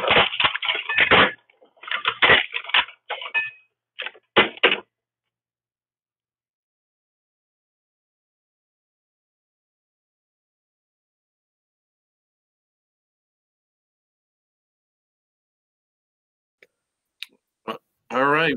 Welcome back, everybody. Um, that was really fascinating. I really liked that linotype. I didn't wasn't able to see it there in person uh, working at the time. Um, about last year, this time is November, and I was glad to see the video to see actually see with the hot lead there working, and I like the the terminology uppercase, lowercase, where we use these these terms and we don't even remember where they originally came from. All right, so we have some questions for Bob. Bob is on. Hi. So one of the questions is, was lead poisoning a work hazard for typesetters? Um, not so much. People did it for a long time. Um, the lead is either in a liquid state when it's up to 550 degrees, or it's in a solid state. It, it cools very quickly. Uh, the only problem that we know of is if we drop a piece of paper or debris in the hot pot, it does start to smoke, and that would bring lead particles into the air, and that that's where it becomes hazardous. So you really want to make sure that you don't get debris into the into the hot pot. But I did run it, uh, kept it on overnight. We had uh, some lead testing going on, and there were there were indetectable amounts. Okay, the other question we have, when was this equipment uh, manufactured, specifically the one in your demo? So the one, uh, so mine um, is from the uh, mid 1950s. I want to give a big shout out to our fellow member, Bill Degnan, who found the original one for me. I had that one in, tried to make it work for a very long time. and then ended up uh, parting that one out and getting a, a different one. Um, Mergenthaler designed this in the uh, 1880s, 1890s. Uh, when we look at the models, really from about 1900 on, they're very similar to this.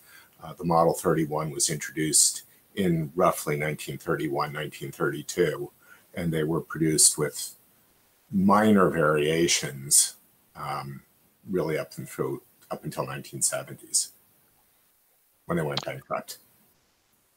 How often did people get injured using linotype? Um, it depends if they're a pro or they're like me. Uh, I have hurt myself with it. Um, the biggest hazard is what we call a squirt, and that's when things aren't lined up right and the uh, lead squirts out literally, and it's hot. Um, if you're not careful, it, it's certainly not OSHA approved uh, sort of technology. Uh, you could you could certainly hurt yourself with it. Although uh, I think the printing press may be more dangerous with all with all the pressure that it has. I've I've cut myself on it. I've burnt myself, but not, nothing serious. Way safer um, than riding my bicycle. uh, do you know was this the same model linotype that was used in the Twilight Zone episode? I do not. Um, the variations, as I one. said, were, were fairly small. The Model 31 had four fonts on it at a time. There were less expensive models that took one font, um, and you had to physically um, move the magazine. There were models that had eight fonts. There were versions that you could put a paper tape on. So you could grab a paper tape, load it, and it would automatically typeset. So uh, a paper tape could be brought by train or, or even telegraphically um, to a newspaper for them to set the news wires. Uh, did you have to remove the stuff that floats to the top of the molten metal from the hot lead? And I actually, from my experience in uh, using electronic uh, wave soldering machines, I believe that's called dross. Is that dross, the same? Yes. yes. It's, it's, it's, the same thing. I just have a ladle. I just have a pan coated with tin foil, and I take that out to get higher quality. And how many times can you melt the metal? Is there a maximum number that would make it incapable of use? Uh, so I guess uh, what happens with lead after you melt it multiple times? Uh, really not much at all. Luckily, everything else floats to the top. Um, they, they were they were reused. We recast it. Uh, when I'm just demo, demonstrating it uh, one at a time, I just put the used mats back in the hot pot as I demonstrated. Um, if you were doing a commercial, you would put and make that pig because there's a mechanism, a float mechanism that keeps the level of the lead proper in the in the pot. Okay, they're rolling in here, Bob. I hope you have a few minutes. Uh, beyond general lubrication, what kind of maintenance work is needed to be done to keep these running on a day-to-day basis? Sure. So we have a book of what to do every hour there is a huge amount of cleaning. You may have noticed when I was typing that many of my keys stuck. That's just plain dirt. So what you have to do is you have to take those mats, you have to clean them, you have to rub them in, in graphite to keep them running smoothly. Um, it has belts, it has grease points.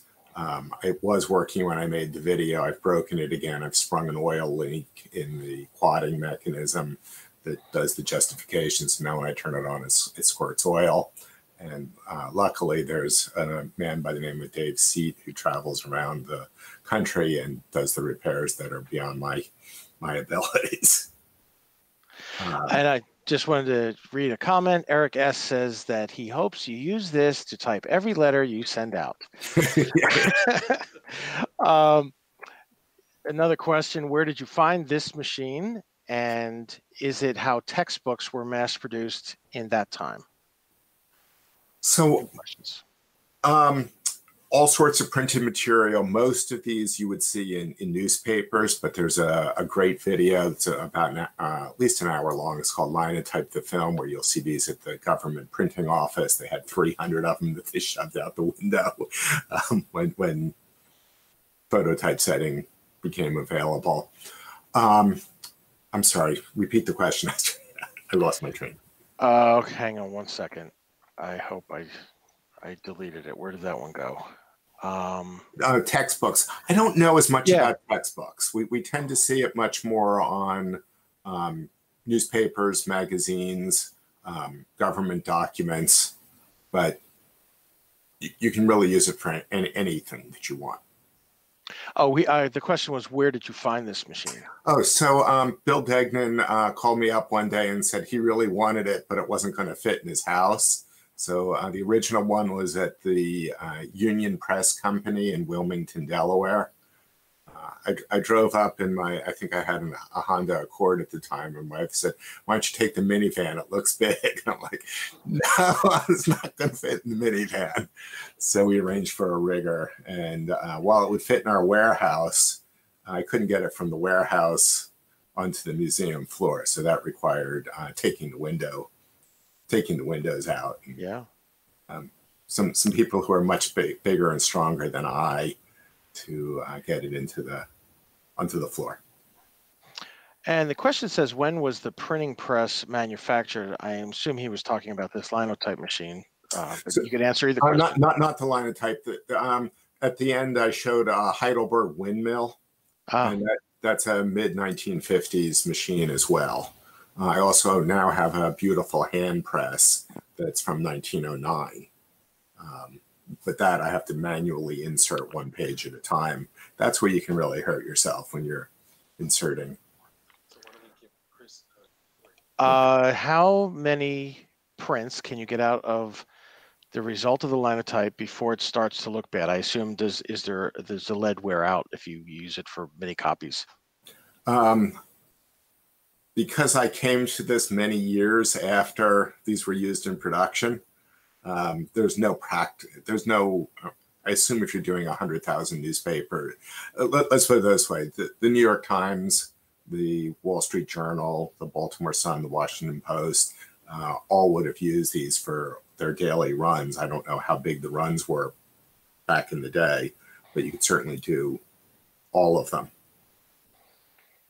Okay, and the last question in quotes is is this the same model line of type dropped on the Coyote by the Roadrunner? No clue. I'll have to look up that reference. I don't know who said that. I think uh oh, someone says how old is the format for bordering? It's a the, the guy typed a a plus Sure, with so- so dashes and put the another plus. decoration around it. Um, I believe that was done again by calligraphers or you know people who were writing long before printing the decorations, and then you can certainly do those if you're doing hand letterpress. And then we have we have mats that do the same thing. All right, thank you, Bob. Uh, a lot of questions. That was great. I really loved it. Um, Great. so if you guys um, are in Discord, there's this channel there, Linotype. Type, if you want to ask him further questions, and um, Bob, do you still have your you have your museum um, open right now, or is it has limited op- uh, opening status right now? So the museum, um, we're we're asking uh, two visitors at a time, wearing masks, of course. Uh, I can be a little bit flexible with that if if there's three or four of you, but we're not not looking to have we're not inviting our usual school groups or other groups in. Yeah. Yeah, it's understandable. So, do you do like so? You people have to let just show up, or they just have like a way to Um, it- it- most of us are working remotely, so what would be great is go, go to the website. My phone number is there. My email address is there. Um, Brendan and I are usually around to give tours. Um, Brendan's usually there on weekends. I'm, I'm usually there during the week. All right. Well, thank you, Bob. Thank you very much. And again, everybody, you can go to Discord channel if you want to ask him further questions.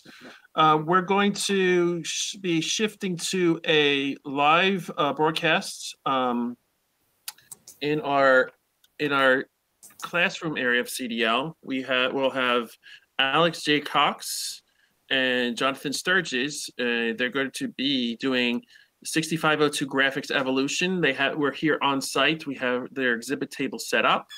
Um, and Corey Cohen is going to be the cameraman there interviewing them.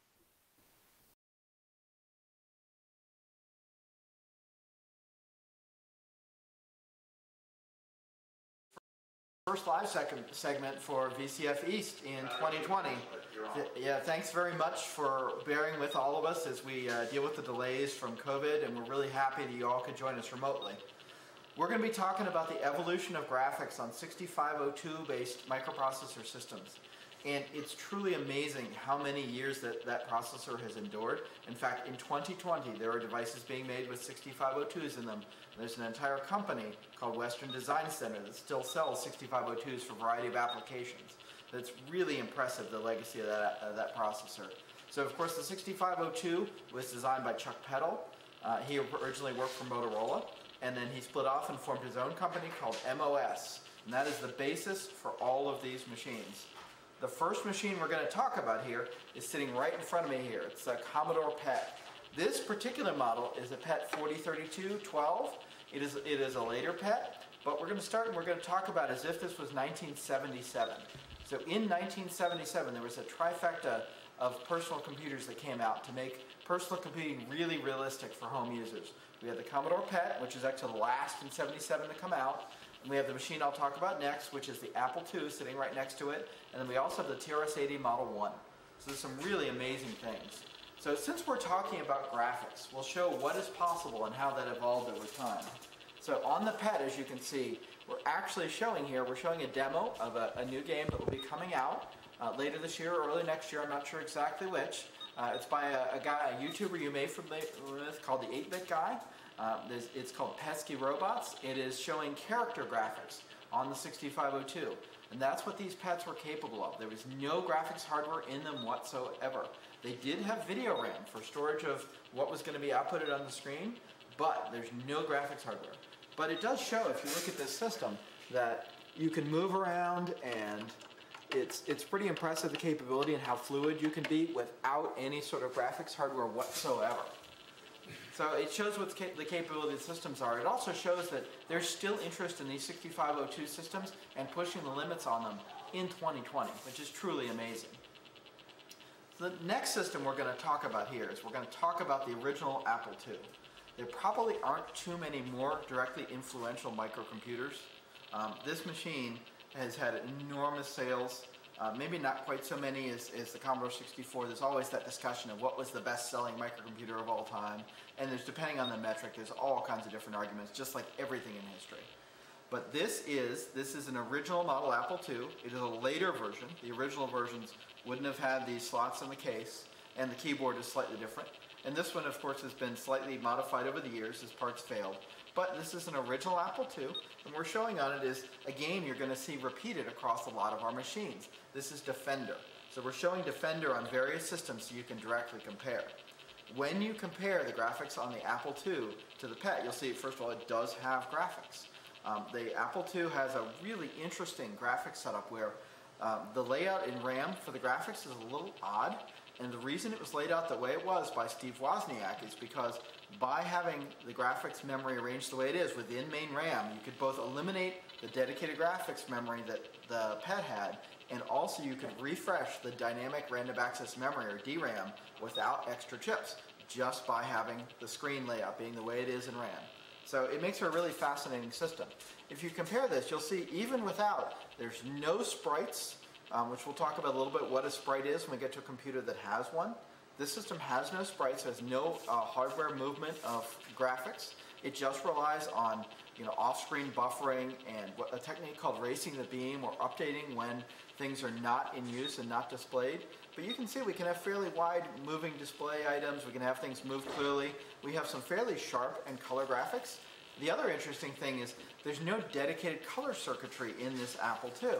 It uses a technique called artifact graphics, which is pretty darn amazing. Uh, again, to keep the part count down because things like RAM and chips, the ICs that run the system were astonishingly expensive in 1977 and 1976 when these were actually designed.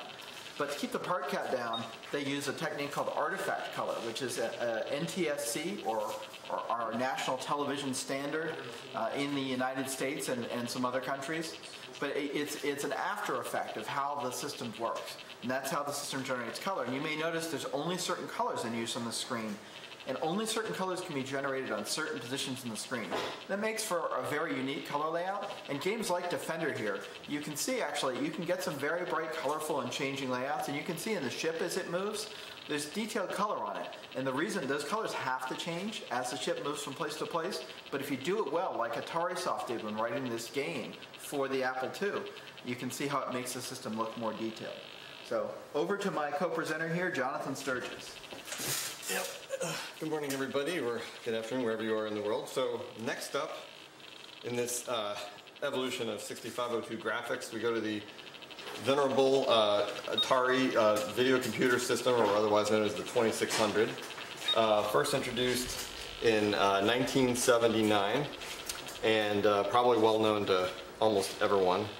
Um, it so in 79 had the innovation compared with the previous two units of actually having five sprites. Um, and uh, this, this, this is kind of a big advancement in, in gameplay because it uh, allows, well, allows you to write better games, allows you to have uh, objects moving around the screen um, without having to do a complete redraw of the screen.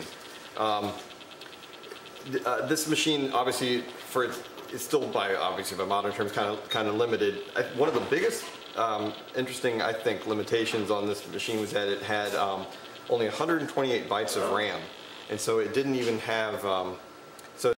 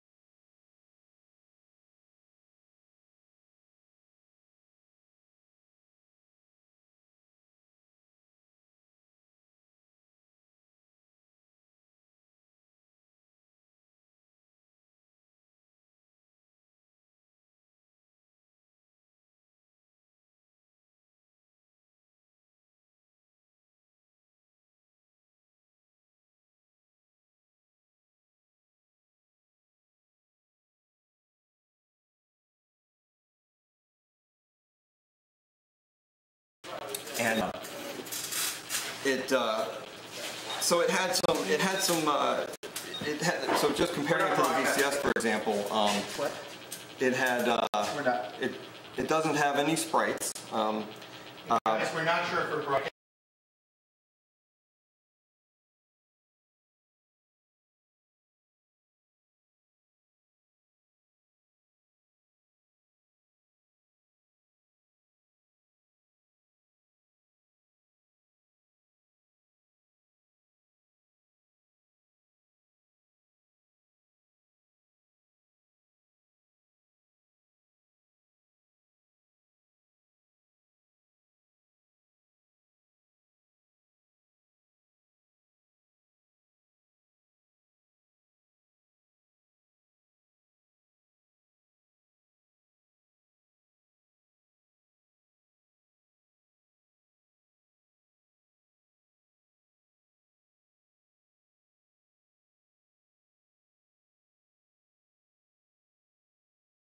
VCF East. It only took 15 minutes too. That's impressive. Yeah, no, I got Wi-Fi.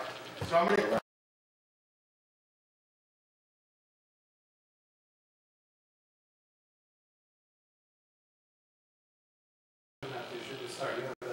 Hey, Corey. We're back. We're back. So it was, uh, we had, we were experiencing technical difficulties. The OBS software, I guess, decided it didn't like what we were doing. So, which I don't understand what we're, why, but, uh, we're gonna start again, uh, uh, I should say, we're gonna start again from, uh, just wanna go back a little bit, just because I think the audio stopped. Uh, I mean, the audio kept going, but the video stopped. So if you don't mind talking a little bit more, let's start again with the Atari 2600 because I'm not sure if it's in the stream, but it's really somewhat something that most people really was, you know, their first touch Yeah. on a computer because of it, the way it was. And I do apologize to everyone. We are still also recording this stuff um, in a high definition video, so we can kind of, you know, give you a clean one. But let's start again, and I do apologize. Once again, we are working out our technical difficulties. So, um, if you don't mind, Yeah. uh, you know, start again. No Uh, problem. We've got our top engineer working on this, to make sure that, you know, we've got EK, our top engineer, uh, is working to make sure that this is all uh, fine. Is that right, EK? So let's get going and let's uh, let's start from, uh, from the Atari 2600. And thank you very much, everyone online, for being so patient.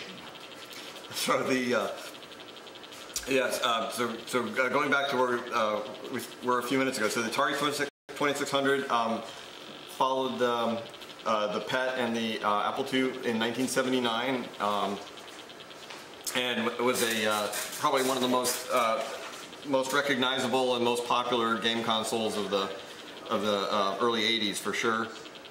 Um, it had some unique unique characteristics compared to um, the previous two machines. Um, it had a lot less RAM, uh, 100, only 128 bytes of RAM, but it, but it was able to display 128 colors on the on the uh, NTSC version. So that was impressive for its time. It also had five sprites, um, which does uh, allow you to write more um, uh, more more advanced games basically. Um, having objects moving on the screen and um, not having to do a full rewrite of the screen um, allows you to uh, have things that interact with each other a little better.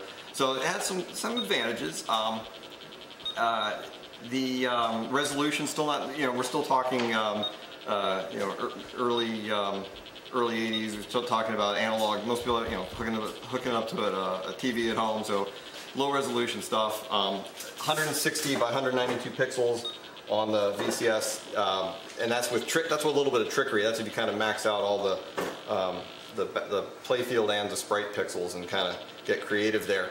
But um, in the end, very good. A lot of very good game ports. Defender was a good one. Um, in some ways, it in some ways um, you, you see it side by side with the Apple II. Um, while the uh, there's aspects of the Apple II that that look um, that look pretty good. The Apple II's port is pretty good. The you can see one of the things you can see on the um, VCS version is the uh, the scrolling is much smoother and, and, and much faster. So that's pretty cool. So it did, did allow for uh, uh, Defender to be a really good really good game on that platform. Um, and then so following following the, the VCS in 1979, we're going to move up in time um, down to the VIC, the Commodore VIC 20.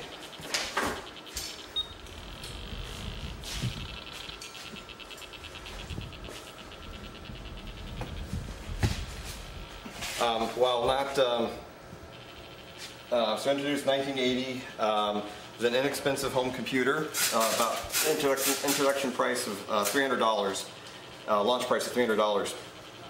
And while not intended to um, complete, compete or be a dedicated game uh, console, it certainly had uh, very good game capabilities. It was kind of a, targeted to be a low cost game, a game and education machine for home use, um, and with some, you know, maybe some home finance or something on the side. But turned out to be a pretty popular game machine. Um, did not have any sprites. Um, did take a step back in colors relative to the VCS. Only had um, 16 possible colors. Um, but uh, had a lot more RAM. It, it came with a, a, kind of an odd number. Came with 5K of RAM by default.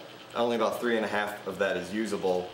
Uh, but then it was extendable through uh, RAM expansion on cartridges up to uh, up to 40K in some cases. And so what that also allowed, um, actually I kind of forgot to touch on that on the on the on the Atari. So um, the Atari cartridges were much smaller and typically maxed out around four kilobytes. Um, there were a couple I think that with some trickery could could maybe go to 64K. Um, and um, so so here uh, it was also quite common on the VIC to uh, for games that needed to add some additional RAM on the cartridge with the with the game. Um, we were again to compare Defender. Um, so um, the uh, Defender port here also uh, does tend to look pretty good. Um, the uh, scrolling is not quite as smooth as the VCS, but um, but the uh, but the colors are pretty good.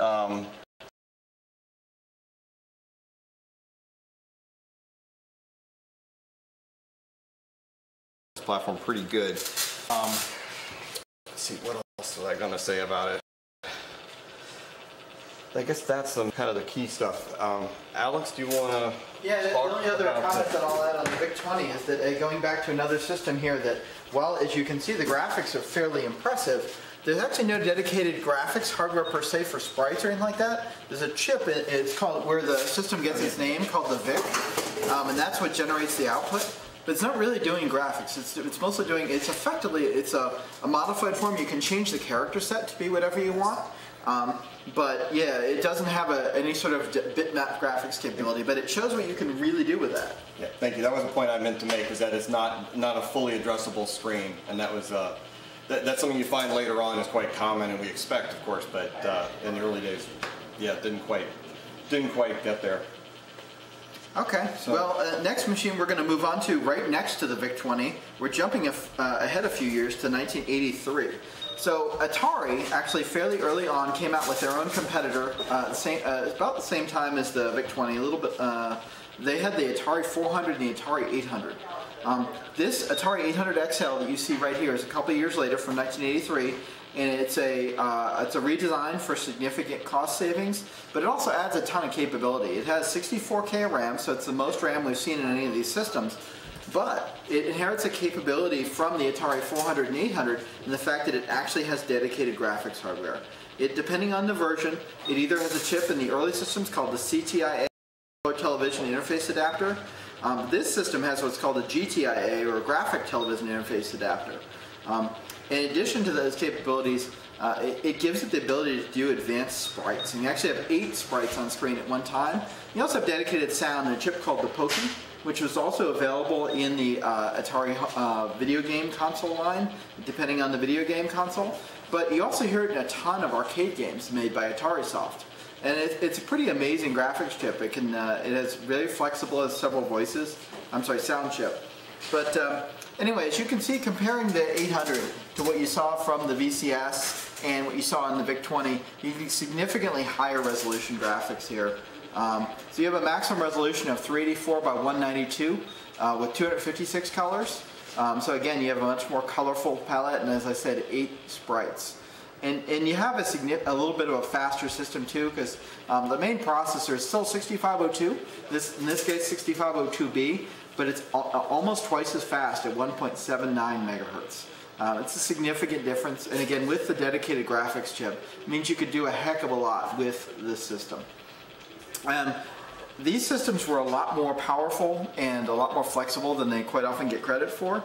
Uh, a lot of people saw them as just, oh, the, you know, the 800 is just a Atari 2600 with a keyboard. There's a ton more capability with that, and there's been modern expansions and modern upgrades. You know, there are a couple of them sitting here. We're not really talking about them in this, but this is uh, effectively an Atari floppy drive on a Raspberry Pi that's sitting here attached to it.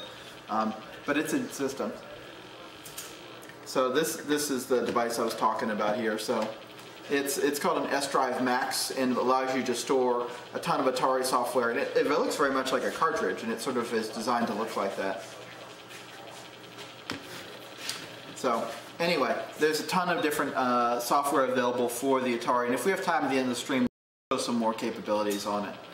But for the moment, we're actually going to move on to our next system, uh, which is uh, back to my compatriot Jonathan Sturgis yep. here for the Nintendo Entertainment System. All right, so another another uh, you probably saw it earlier in the in the video uh, stream next to the Atari, but the Nintendo NES is the later NES with the uh, uh, the vertical cartridge um, slot. Uh, another extremely popular uh, worldwide game system. Um, in the States, was introduced in about 1985. Um, it has the same speed 6502 as the Atari 800, so 1.79 megahertz. Um, only 2K of onboard RAM. Um, 48 colored palette, 25 of which can be used um, without any trickery um, at the same time. A uh, little more resolution than the uh, VCS.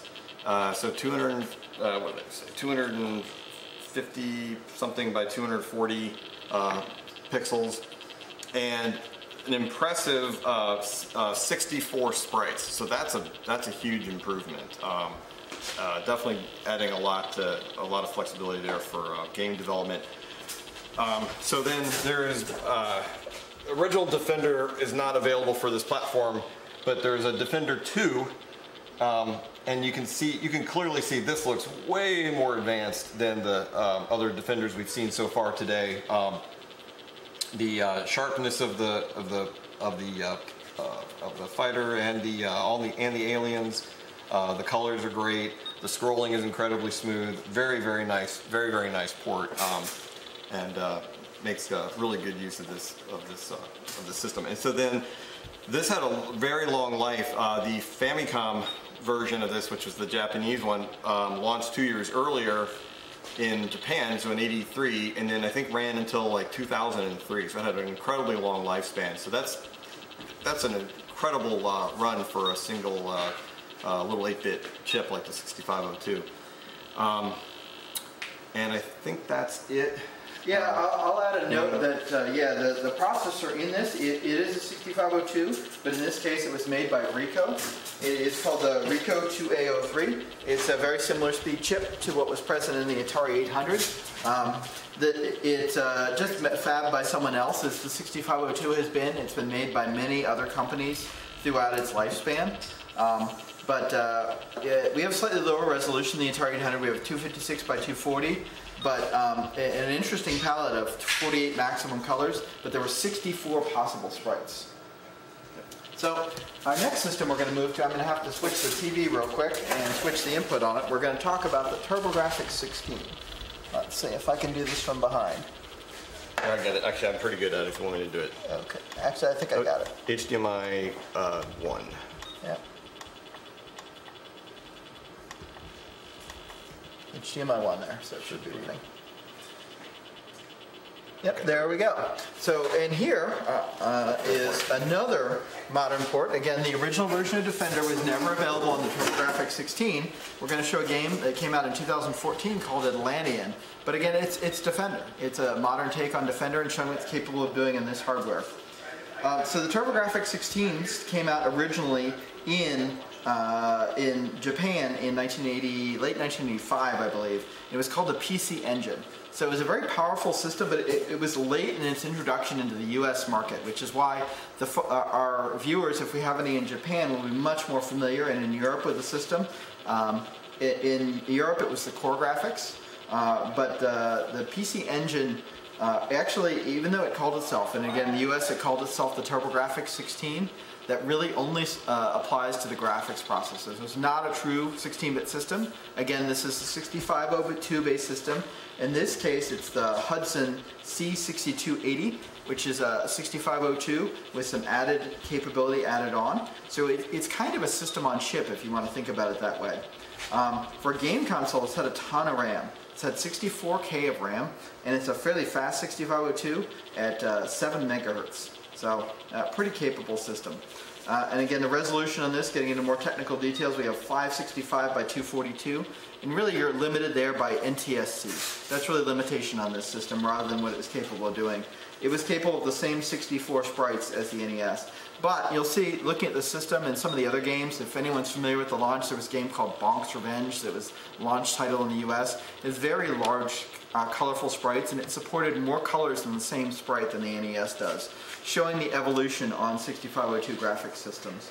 So very large sprites there, and you can have a sprite size of up to 32 by 64 pixels. That's a very big sprite, and they were quite colorful.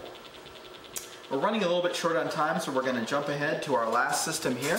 We're going to jump ahead to another system by Atari, the Atari Lynx.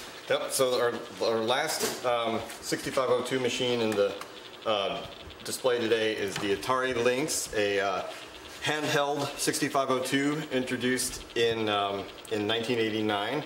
And um, by my personal estimation, a pretty capable machine, although it never seemed to garnish, garnish the market share necessary to really be uh, successful for a long time. Sorry about this, guys. And then, um, thank you. That should have done it. Please pardon Oh, that our, yeah, okay. So, um, so, uh, and, and this really um, shows how by the late 80s how things had advanced. This, uh, this handheld machine now has 64K of RAM. Uh, it has a color palette of 4,096 colors, so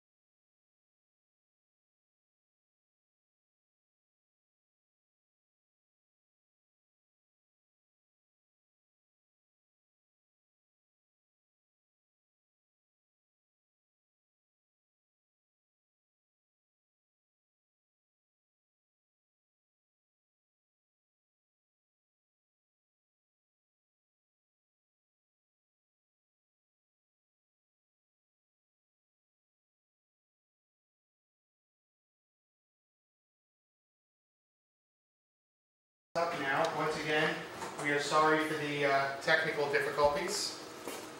So we're going to zoom back out, and wait. unfortunately, you'll have to show the Lynx again. okay. Should I start over the? I assume the you Lynx? should, I'm not sure. Yeah. Let's ask the tech support. Yeah, So, let's you know, tech support, what do we do? I think we start over again, right? All right, so- Thank you, tech support. So, uh, so uh, rewinding a bit here, the uh, so Atari Lynx uh, introduced in 1989 uh, as a uh, uh, the uh, I, I believe the first handheld gaming platform based on the 6502. It had a 4 megahertz 6502, 64k of RAM, and had 4,096 colors, and ran off of uh, six AA batteries or a, or an AC adapter.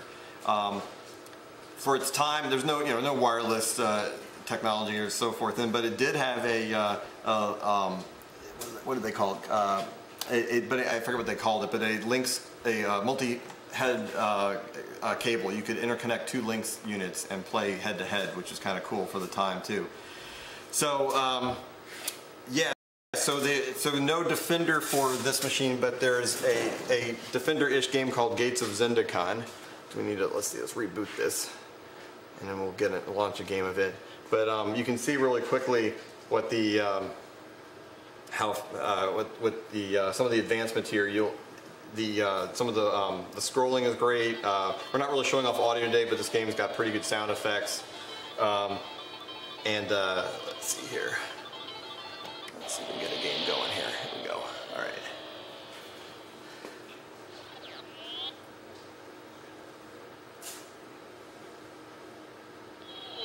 This is our bad guy. He's Somewhat dro- reminiscent of Mother from Metroid. yeah, he drops a, he drops a bunch of eyeballs for some reason. All right. All right. I don't know if I'm gonna be able to play this. Uh, upside Another down. interesting note about the Lynx is the fact that even though it's marketed as an Atari, it was actually designed by a, a famous video game software company called Epyx, is the Handy. And uh, they just didn't have the money to, uh, to develop the system, so they ended up selling it to Atari, so it finally came out. And it took a while to come out because of that sort of development. Um, and you can see an interesting effect here is, as Jonathan's playing, you'll see that the sprite has changed. Because of the, the capability for so many sprites in this system, it's actually modifying that main player's sprite, the, the ship, as it gets hit. You lose some pieces off of it then before finally being destroyed. You see that big colorful explosion. It's a pretty impressive uh, graphical technique. Unfortunately, I'm not going to be able to play far enough into the game to show you some of the additional levels today. but uh, but it is this this game is quite impressive actually. Yeah, and it really does show that 6502 really is a flexible CPU. Yeah. And again, there's modern versions of 6502 available that are uh, up to 33 megahertz. So that's that's a really impressive system. So especially considering that the 6502 is a fully static microprocessor, means it can be fully halted and continue during execution, which is pretty amazing. Yeah. So truly amazing system. Don't we come into the last thing I'll just show, since we're running a little bit over time, I'm going to show a couple things from, since I didn't really get to show you movement in this uh, pet game called PETSCII Robots. Uh, again, showing what's capable, the hardware is capable, even if development wasn't. If you see, we actually have moving water here, which is pretty impressive that this is all going in the background. And again, this is a fairly slow machine with no graphics capability, but we can move very smoothly. Um, we have animated, again, as I run into the trees, but uh, we have animated doors. So it, it's pretty darn impressive. And if I'd seen this on a pet, when I first saw a pet when I was in elementary school, I, I would have been just blown away. Yeah. You can do things. We can interact with objects. I can uh, I can search for something. I can uh, uh, you know I can I can look around. I can I can I have a weapon here. Uh, I can shoot in any direction I'd like to go. So it, it's really amazing. So keep an eye on that. And thanks again to the 8-bit guy David Murray for uh, for allowing us to show this. All right. And thanks so much to everyone for their attention during this presentation. Sorry for the technical difficulties. We're, you know, it's a learning experience for everybody. Uh, COVID makes everything more difficult than it otherwise would be, but we're still glad to be able to talk to you about all these great systems. And uh, keep your eye on 6502. Well, thanks guys very much for showing us uh, everything today. Uh, it's amazing. Uh, we're sorry if we had some uh, technical difficulties. I guarantee you it worked on the developer's desk. Uh, but you know, we were, did want to have some time for questions, but unfortunately we're running a little bit too far behind. If you send your questions into Discord, we'll try and answer them back on email, or if you email um, microphone at vcfed.org, we'll answer them electronically later. Um, right now, we're going to uh, run over and we'll take a look at uh, FujiNet, um, and I think that's uh, Thomas Cherryhomes. So, thank you very much. Hey everybody, it's Tom Cherryhomes here with the FujiNet project, and I'm going to try to explain FujiNet in approximately 15 minutes. This is FujiNet, a revolutionary new piece of hardware for your Atari 8-bit systems that provides a whole host of virtual devices. Some of them you already have, and hopefully a couple of new ones. Firstly, it provides a virtual disk emulation that allows you to read and write disk images, both from the local SD card slot and over the network to either local or remote resources. It also provides a virtual printer, emulating a variety of Atari, Epson, and Okidata printers, as well as a few specialty ones, rendering the results in PDF format for easy retrieval by a modern PC to print onto a modern printer. It also provides a Wi Fi modem attached to a virtual Atari 850 RS232 interface, complete with driver handler polling support. So existing Atari communications programs just work. So you can use it to call BBSs, and if you want to, you can set up a BBS with it. It also finally provides a network device, which allows an Atari to natively communicate with TCP and UDP sockets directly using standard Atari I.O. idioms, but also providing varying degrees of pro- protocol offloading for protocols like HTTP and encrypted protocols like HTTPS And when combined with uh, JSON and XML parsers that are also on the FujiNet, allows the Atari to, for the first time in history, become a first class internet citizen. But first and foremost, I think most of you would be most interested in the disk emulation. It has the most out of box potential, and we have spent an awful lot of time trying to make sure that it works as smoothly as possible. When you first plug in a FujiNet and turn on your Atari, it will load a configuration program into memory, which, after specifying your network and any keys required to access your network, it will present you a screen where the top portion shows you a list of hosts that you can potentially connect to, and the bottom provides the list of drive slots that you want to take any disk images that you get from these hosts to put into various drive slots to use with your Atari. We're going to go to slot number 5 here. We're going to pick a copy of Jumpman from the games folder on this server, and we're going to boot it in drive 1. We hold down the Option key, and what is literally going to happen is the game is going to be streamed directly from the Google Cloud, roughly 2,000 miles away, onto the Atari. And the Atari is none the wiser. As you can see, it just works.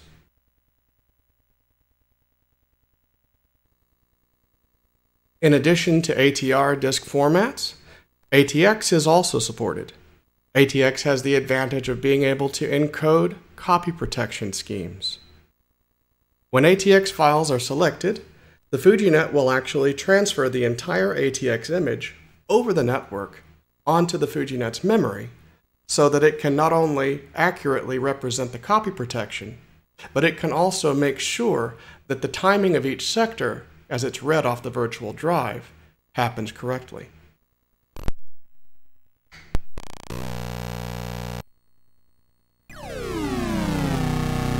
As you can see, the copy protection just works.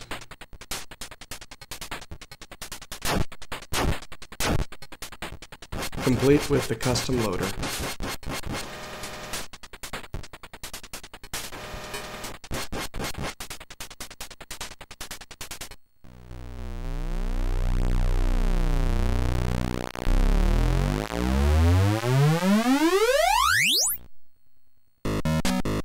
There you go.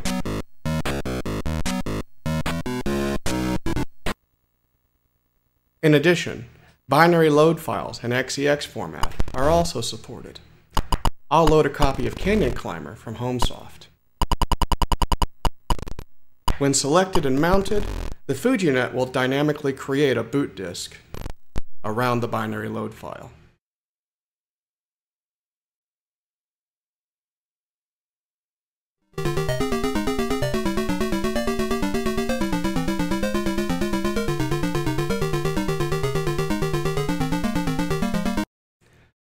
Virtual printer emulation provides an emulation of almost a dozen different printer types, rendering out to PDF to print on a modern PC with modern printer. For this test, we'll actually take and load a copy of MyDOS to set a couple of things before we actually go into, say, Atari Writer, for example. We will take and load a document from a web server directly into Atari Writer. First, we set the network prefix to point to our web server.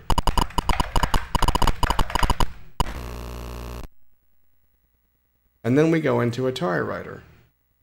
We go into Atari Writer. And we load the document from the web server. As you can see, completely transparent. This is a rather large document, but we're only really interested in the first page, so we'll just print the first page. Since I have my WebAdmin set up for an Atari 1027 printer on the FujiNet, we'll select number 4. We won't print the whole document, just the first page. And one copy. And we see right here that Atari Writer is sending the data to the FujiNet. And the FujiNet is creating a PDF on the fly, which we can then pick up in the WebAdmin window. We'll go ahead and do that now. Apologies, I'm doing like five things at once. and we'll go ahead, click on the printer icon, and what winds, what hap, what comes out, something very much like this. Since this is the 1027 output, we get nice letter quality output with fonts matching the original printer.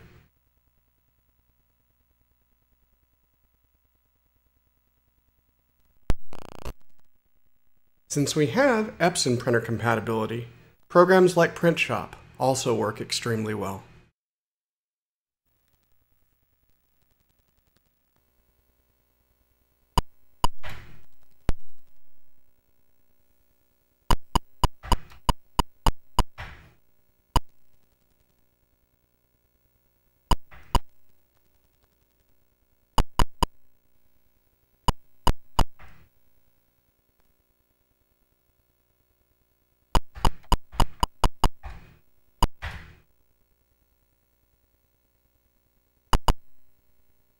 And once we print, we get this output. And I think the results pretty much speak for themselves. What do you think? The modem emulation provides a complete Wi-Fi modem and Atari 850 interface to allow existing communications programs to be used to dial BBSs and even for you to be able to load a BBS and answer calls from the internet. Here we've loaded a copy of BobTerm and set it at 9600 baud. We'll use it to dial into a BBS.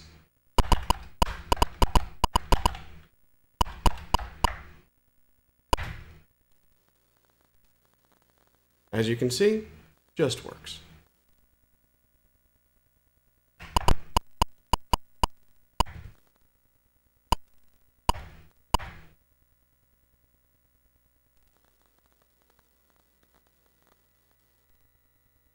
We'll go ahead and hang up here.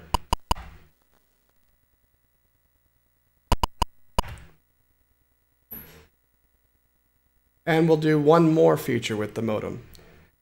You can not only originate connections, you can also specify to answer for them, to listen for them, using the AAT port command. In this case, we're going to listen for connections on port 6502 and I'm going to use Netcat over here on my PC to connect to it. Once we do, we see that a ring happens, and we can answer.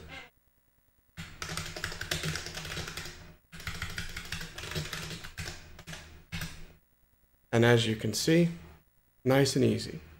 This will allow you to run a copy of BBS Express, FoReM XE, whatever you want to run, in its existing form on your Atari.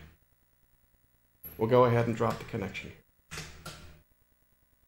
As stated before, the N device opens up a whole new world of possibilities by giving the Atari access to many different network adapter functions, such as the ability to open TCP and UDP sockets and to communicate in a very offloaded and abstract manner with various network protocols. This allows a great deal of transparency, especially when paired with the Atari operating system. We've loaded a handler, which gives us access to an N device. And I'm going to use it here to load a file, a basic program, off of a web server.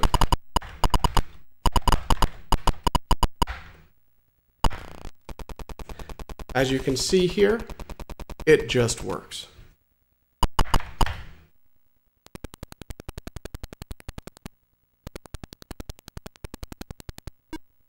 Not only can I take and load those files, but since I also have WebDAV support built into the FujiNet, and I happen to have write access on my web server.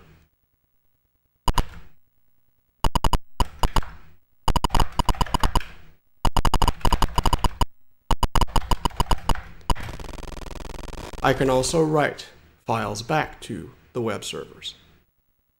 All of this happens transparently. But the transparency can actually go even further. We can, for example, set a network prefix for an FTP server.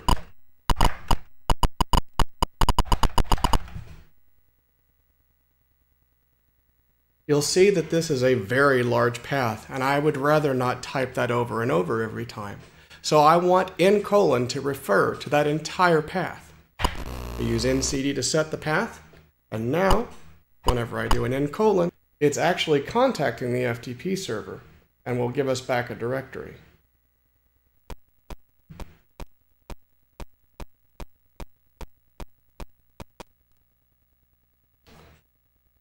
And we'll take and copy something off of that FTP server onto a disk here.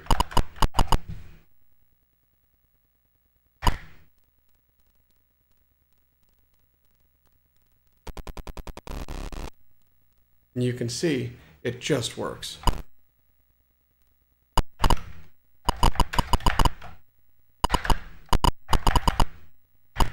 I happen to know that there is frog execute in that folder as well. And it takes care of all of the process of negotiating with the FTP server, logging in, changing to the correct directory, appro appropriating the correct file type, and doing all of the data transfer. This happens automatically without any intervention from the Atari whatsoever.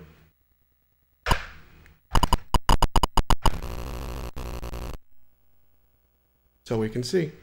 Boom, there we go. Oh, with that, we can go even further. And this time we're going to take and go into DOS for just a moment.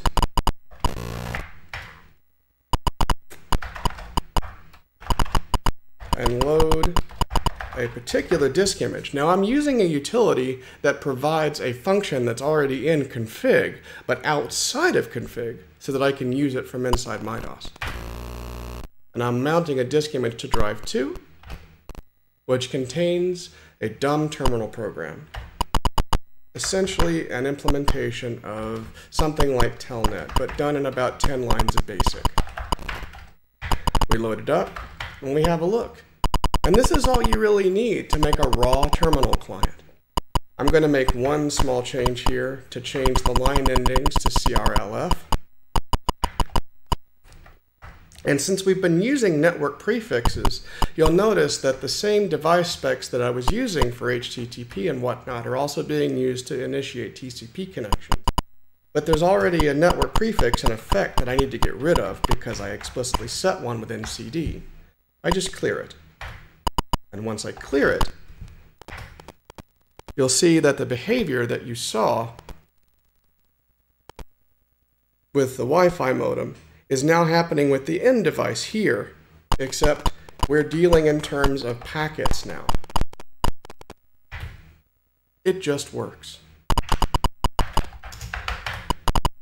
Not only that, but I can take and change one thing, just the file that I'm opening, to a totally different protocol, and none of the rest of the program will have to change.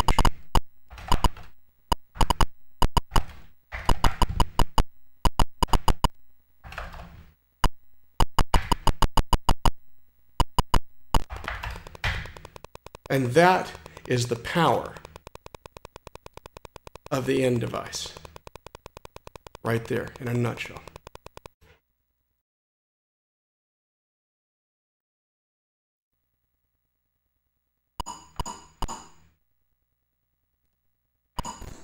I would like to thank you all for being patient for the last year, watching the development of FujiNet. It has been a fun ride. Hello to everyone VCF East 2020. That is all for this video. As always, have fun.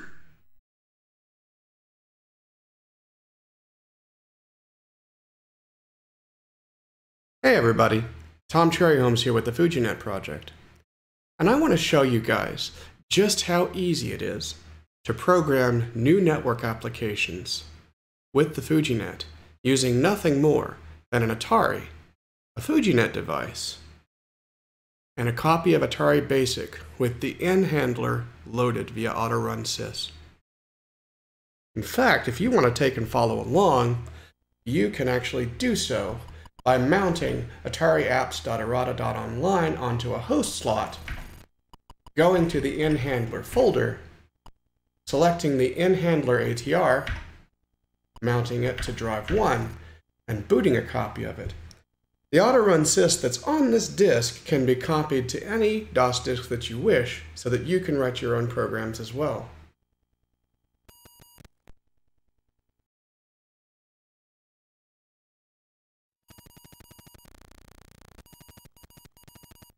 We'll go ahead and boot in, and you'll see that the Autorun sys adds a banner to the top indicating that FujiNet is now ready and we can now use the N device. What can we do with this N device? For that, we are actually going to need to set up a little terminal window over here on my PC and view it. Pardon me there. And we're going to open up a copy of Netcat to listen for a network connection on port 6502.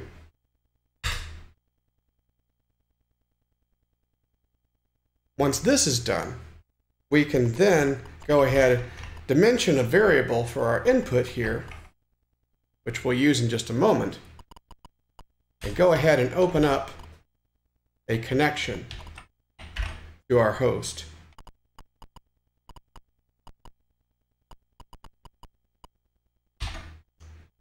Now the open command may look familiar to most of you. In fact, the only things that are maybe different are the aux2 value and the string of characters after a device spec here. The aux2 value here specifies a translation value, which specifies whether or not carriage returns, line feeds, or both are translated to ATASCII EOL characters and back again. And in fact, there are four different values. If you use 0, then no translation is performed at all. If you use 1, then carriage returns are translated to EOLs. If you use 2, then line feeds are translated to EOLs. And if you use 3, then carriage returns and line feeds are translated to EOLs and spaces. We'll go ahead and use 2 since I'm on a Unix machine here and open up the socket. We'll see here, you'll tell by the sounds that it wrote the command to the FujiNet. The FujiNet completed the command and acknowledged that everything was okay, so we wound up with a nice little ready prompt here. At this point, we can do any input and output to the socket that we wish using standard I.O. commands. Writing to the socket is very easy. We can simply take and use the print number one command here. Write out strings with impunity. Conversely, we can also take and send information back from the PC.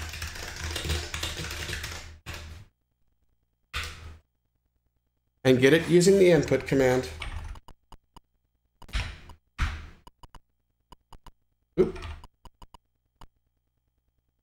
You can see right there, that is how easy it is to, transmit, to, to literally transmit data from one host to the Atari and back again using nothing more than standard I.O. commands, walking out to the internet. Let's put this to good use. We'll do this by writing a simple little terminal program here in BASIC.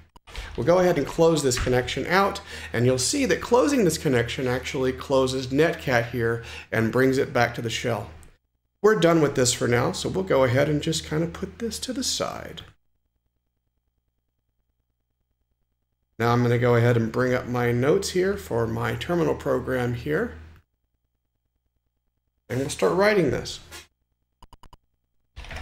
We start making a new program, and the first thing we do is we go ahead and open up a socket to bbs.fozztexx.net.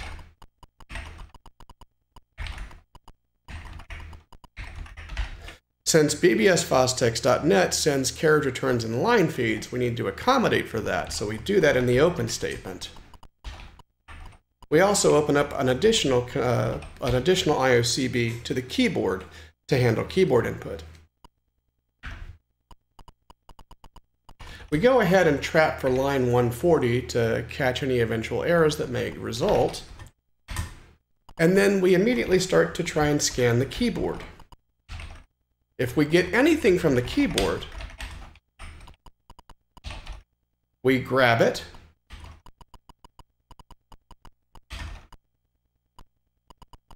and then put it out to the socket and flush the output buffer.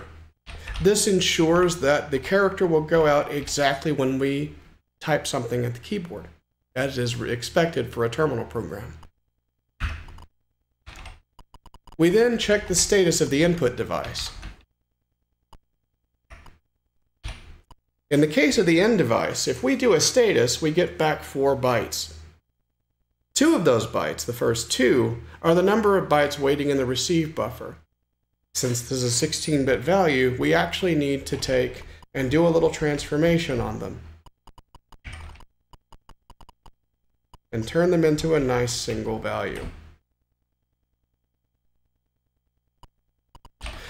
If the number of bytes waiting is zero, then we don't need to do anything. And we can go all the way back to 110. Otherwise, we go ahead and loop through the number of bytes waiting, and for each one of them, we grab it, put it in C, then immediately output it to the screen. Put number 16 is the same as basically uh, putting to IOCB number 0. But since you can't reference IOCB number 0 from BASIC, number 16 will actually get you the same result.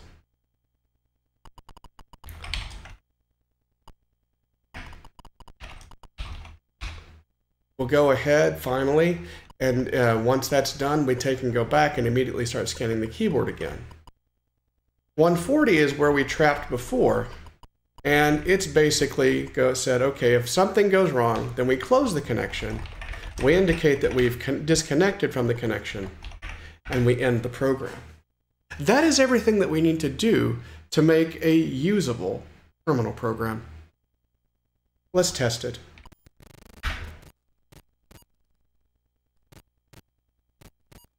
We can see right here that it just works out of the box. Nothing special.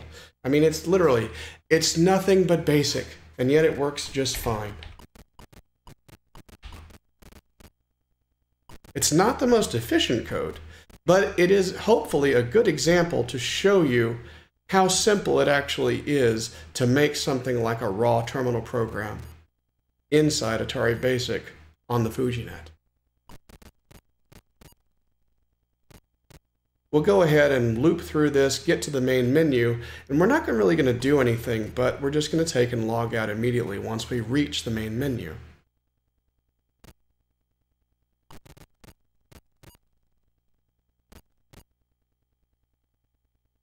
Okay, so we're done. Log off. Yes, go ahead and log off. And now that we're done, we can go ahead and hit the break key here and close the connection. That's it. Bam. There you go. Fully functional, uh, raw uh, terminal program. No telnet or anything, that adds to the complexity. And of course, one can argue that we can take and make a protocol adapter for the FujiNet to handle the telnet IAC escape sequences, etc. But I wanted to do it this way to basically just prove the point. But that's really not all. You see, this N device exposes a wide variety of protocols in exactly the same manner, using exactly the same conventions. This is very important and very powerful. We can, for example, go to icanhazip.com. which has a nice little HTTP uh, little serving connection that sends back a public IP that I'm from. All I did was change the URL. That's it. Boom. And suddenly, this program is transformed from Telnet, or Netcat in this case, to wget. Voila. And to show you that it actually is HTTP, we'll do one final, one, one final HTTP test here and go to fujinet.pl.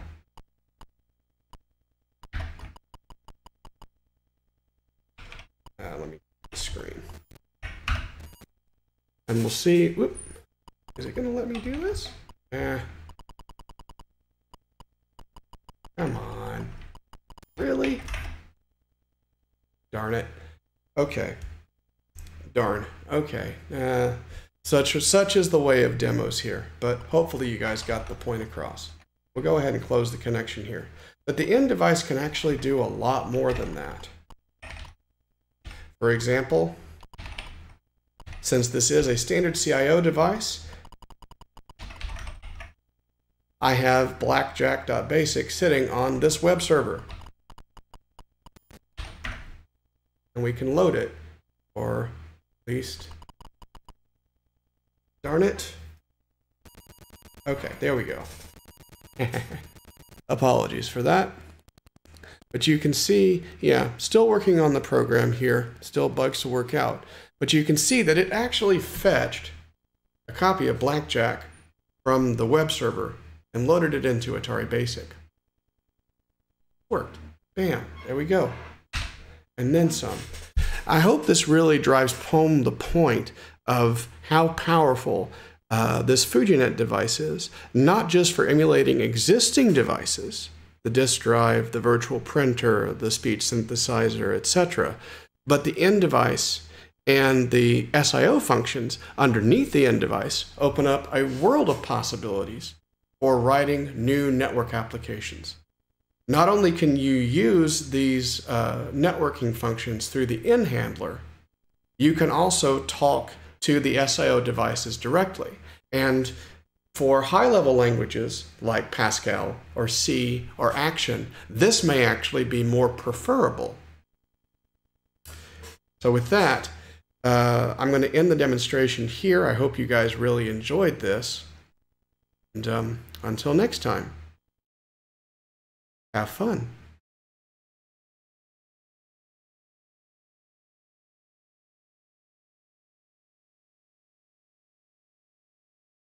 And welcome back.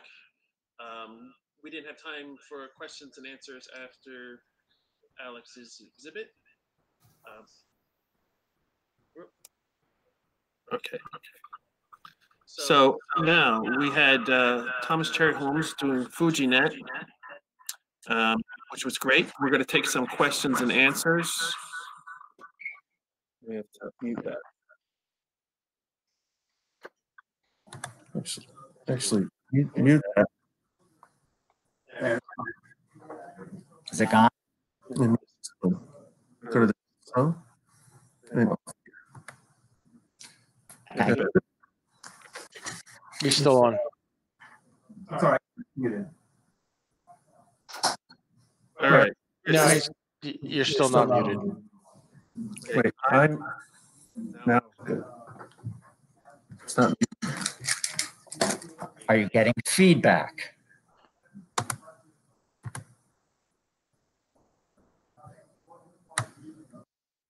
Okay. Okay, so questions. First question I have What is the hardware inside? The hardware inside is based entirely off of the ESP. Oh, You're muted, Tom. Oh, did I? Uh, There I- you go. There we go. So the hardware inside is based entirely on E ESP32. It's got 16 megabytes of, uh, uh, of flash memory, and it's got 8 megabytes worth of serial RAM that's also attached. Uh, there are some uh, there are there's some glue for the Atari bus itself, a handful of other passive components, LEDs and buttons, but overall it's very simple. 99% of the magic is in the firmware itself. Okay, thank you. So I'm gonna Stephen Edwards asked a few questions. I'm just gonna bunch those all together. Maybe you can just hit them uh, together. So he first said level converters, I assume, question mark. Uh, then he said, what's the baud rate in quotes? Like on the Atari serial bus, are you bit banging the protocol with the ESP32? And you want to keep going or you want to answer this first? Uh, I, I can answer pretty much all of his questions because he and I actually were going back and forth on, on Discord. But for the benefit yeah, of I just want to get him live. Yeah, exactly. For the benefit of the listeners, yes, to understand, the Atari serial bus works at 19200 baud nominally. However, with high speed modifications to the operating system, it can go all the way up to 125 kilobits per second, and the FujiNet actually supports going up all the way that high. Uh, the FujiNet itself uh, doesn't need to bit bang the serial because it has built-in UARTs that can transmit up to 4 megabits per second. So we're able to take and utilize those. We also don't need level converters because thanks to a discussion with the actual designer of the ESP32, uh, he actually told us very point blank that the uh, ESP32 can accept plus 5 volt TTL levels directly without damage to the silicon. Very good. Uh, the other question from Stephen was about byte framing RS-232 like or something else, or is it just 8 and 1? It's straight up, um, like I said, it's you can think of it literally as TTL level RS-232, uh, eight data bits, uh, no parity, one stop bit. So yeah, essentially just standard 10-bit serial. Okay, and uh, the question says, it looks like there are several places to purchase. Any advice on uh, Brewings versus VCC uh, versus Fujinet.online? Okay, so because we uh, there's a little bit of a backstory behind this. Um, basically, we built this with the intention that we were going to do a run to make back the development costs on the hardware. We did that. We did an initial run of 50 units. Those were sold out in a record time of about 20 minutes. I didn't even have time to finish making the announcements. It was so fast. And um, because we made back the money on that, we decided to open source. We were we, we had the intention of open sourcing uh, both the firmware and the hardware, so that any vendor could actually so that could actually manufacture them. And to date, there are three known vendors that are producing them. Uh, the uh, uh, uh Gavin Hobbolt is actually producing them at uh, Fujinet.shop. And Marlon Bates over at the Brewing Academy are, is also producing uh, units as well. Uh, in Europe, we also have uh, a guy by the name of Zaxxon who's producing them. And hopefully, there will be others that also jump on board. And for each of these vendors, we are actually working with them hand in hand to not only get them up to speed to produce these units, but we're also, as we make improvements uh, based on bug testing reports to the hardware itself, uh, we're also working with these vendors to fold these fixes into the products that they ship out. Now, I want to take and end that by saying that basically, uh, because this is 99% hardware and 1% software, we've hit a point where all the changes and evolution that we're going to do to the hardware we've done. The hardware, for all intents and purposes, is stable, especially after this next revision, which fixes a few small uh, bus coupling issues for some rare system types. Uh, so anything that is going to be included for new features and whatnot is basically going to be handled as a firmware update from now and forever more or less. Okay, uh, one more. What's the connection, if any, between this FujiNet project and the Irata.online project, which seems to be a reboot of Plato? Well, essentially, FujiNet was me making a was was me fulfilling a promise in Irata Online's charter, and that was to uh, provide a place for uh, retro computing users to come together to collaborate together across the brand name lines. And the issue that we had really with Atari users was that Atari users did not have a very good solution for handling things like having a Wi-Fi modem, network connectivity, and the like. So originally, FujiNet was just started as a Wi-Fi modem to take and fulfill that promise. And it grew into something much more once we realized that we could have far better control over the serial bus because the hardware designer had the forethought to say, well, let's just hook everything up that we have access to. Very Uh, good. mm. I think that's all the questions I have for now. Uh, if I could take a second, I'd like to highlight the shirt that you're wearing. Mhm. And uh, Jeff, why don't you tell us a little bit about that? Because this is from a couple years ago, but it holds a uh, a place in our heart for a lot of guys here.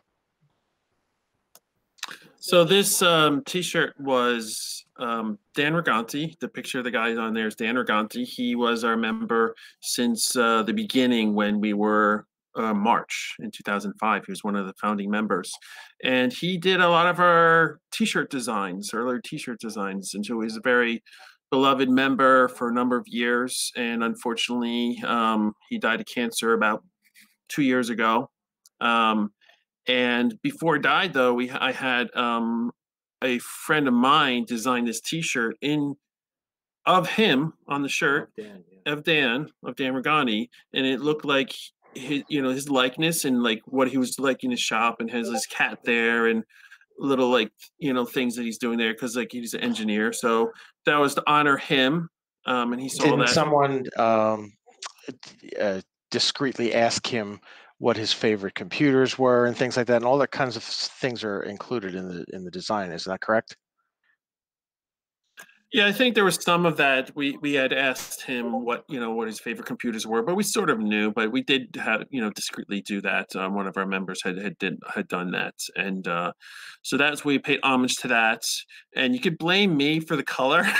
some people like it, some people don't like it. The, the orange with the purple, I thought it would be different, but uh, we get mixed reactions on the color T-shirt. But anyway, the, the design was in honor of Dan Riganti. Um, it's about two years now. He passed away. He was a great guy. Um, and we paid homage to him and all the T-shirt designs and everything that he did. He, for me and him, we were we actually did a Commodore exhibit. Um, we were going to make a eight-player game um, using a network game. We never finished it, so I'm thinking about releasing what was left of the code so that someone else can finish it. But that's the T-shirt. Um, and then Chris, Chris has the this year's T-shirt. Yeah, first, Thomas, I just want to say thanks for letting us interject. And uh, since you're wearing the shirt, I already did a uh, costume change today. Oh, dude. this- Uh, that- I- I- of course, this is im- this is important to me too, and I understand the significance. It's all good.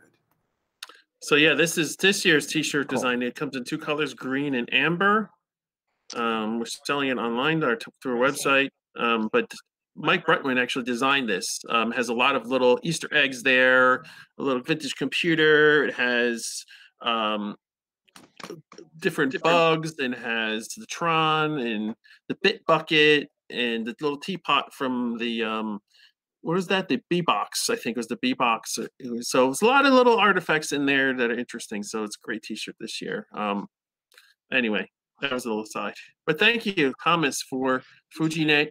It's a really great product. Now I can see why everybody's like so excited about it because I saw it in action. We have it in our museum now. Uh, Andy set it up on one of our Atars in the museum. It was great. I was like, wow, that's really useful and, and it puts together a lot of t- different technologies. And I hear from Chris that they're making one for the Commodore Well, 64 because I was just reading something. not you, but someone in general. That's- Yeah, I want to actually clarify that. We're Jeff and I were jealous that Commodore doesn't have this. Is that in the works? That's correct. I mean, here's the deal. Uh, first and foremost, as I as I've alluded to in the QA, we want people to steal this thing. We want people to take and pull pieces from it to adapt it to other systems and whatnot. And that's already starting to happen on the Commodore 64 side of things. They have a, uh, there are at least uh, three or four people that are looking at the code that we have and merging it with things that they're working on uh, to take and produce an equivalent for the Commodore 64. And I don't know if it's implied with all the questions that Stephen has been asking in the QA channel, but uh, he he seems to be genuinely interested to see if some of this could possibly be adapted to the bus structure of the Apple II. And all of this is uniquely possible. I would love to see this literally go to every single platform imaginable. So everybody that's out there that's hearing this, come to our GitHub, steal the code, use it, please. Yeah, that's the that's the great part of like VCF's mission is to share uh, different things with people and to promote the hobby. And that's I'm glad that you're doing that to help promote it across all the different machines and platforms, and it just makes it nice for everybody. Yep. Yeah, no, no one I've come across has been stingy with information. It's it's wonderful community. Yep. All right. Thanks again, Tom. And um, we, if you want to ask some more questions, there's a FujiNet channel on the Discord. Yep. I'll be. Um, so Thomas will be there monitoring that. Uh, so we have to move on to our next topic. Our next topic is the history of Camp Evans. So a lot of people come here to VCF and they're like, what is this place? They're like looking around, like, does used to be a base or something? And so I'm like, I give him a short answer. but like, I don't really have time. There's another guy here who can answer all these questions. He's like done a lot of research and he knows all the history. I'm like, because there's a lot of history here, um, different technologies and things like that. Um, so, um, Fred, there and there. So, So, this, this is Fred, Fred Carr. Hello, everyone. Um, he was the director of InfoAge for about 25 years. And now he's currently at Princeton's physics department in the Simons Observatory. And he's going to tell a little history about Camp Evans, where InfoAge has now has a museums, and this is where VCF has its museum, and this is where broadcasting from. So the first question is, what is Camp Evans? All right, let's go. I'm Who's gonna- share s- s- some slide? All right. Camp Evans is an amazing place with an incredible history that we can only touch on.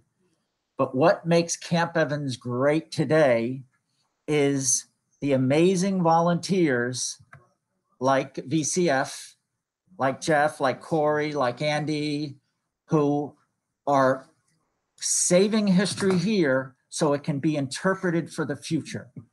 And it's sort of fun because in the early days of computing work, Camp Evans had some involvement. So we're working to get the message through through volunteers. And we had a lot of challenge to repair for education. So uh, let's, I'll tell them what InfoAge is. All right, Okay. let's start with that. All right. So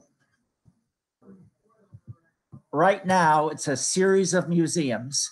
Here's one of our guides, and every year we um, we uh, add to that. Okay. That's okay. I'm I'm Oh, you're jumping around. Oh, sorry about that. that's all right because uh, I, I want to do as much in the 30 minutes I have as possible. Okay. Thank you. So uh, notice the um, or orangish kind of roof building. Uh, that's the Marconi Hotel built in 1912. Okay. And so, but the place is, our third question. Why is it a National Historic Landmark? All right. Camp Evans is a national landmark for one reason out of all this history. And here are just some of the textbooks that have some Camp Evans history in it. And you see uh, the invention that changed the world. You see um, satellites, communication in space. You see electronics. You see, um, oh, geez, McCarthy. You see birth of information age.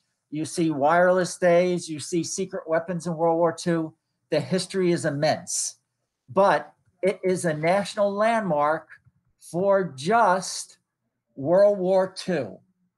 Because you have to fit a theme to be a national landmark. And for many hmm. years, we never fit a theme. And then Congress commissioned a six year study of World War II and the American home front. Not only did we fit, but they said that this site should be considered for national landmark status. And we just took it from there. The National Landmark was kind enough to give us a professional writer on their staff whose nickname was Dr. No.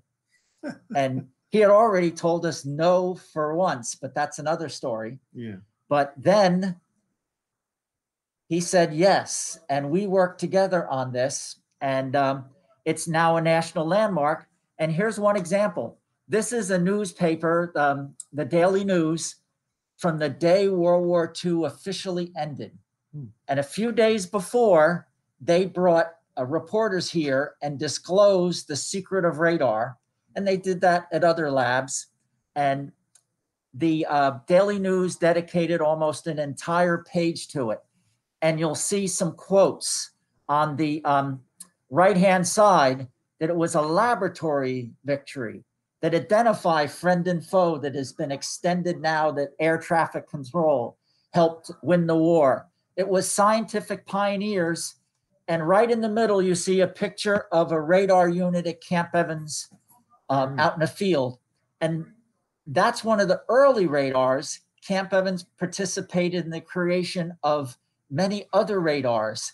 And they commissioned and funded many amazing laboratories like MIT's RAD Lab, like Harvard's uh, laboratory, like Bell Labs radar laboratory, Western Electric, and their products were brought here to Camp Evans and saw that they met Army hardness and battle si- survivability requirements.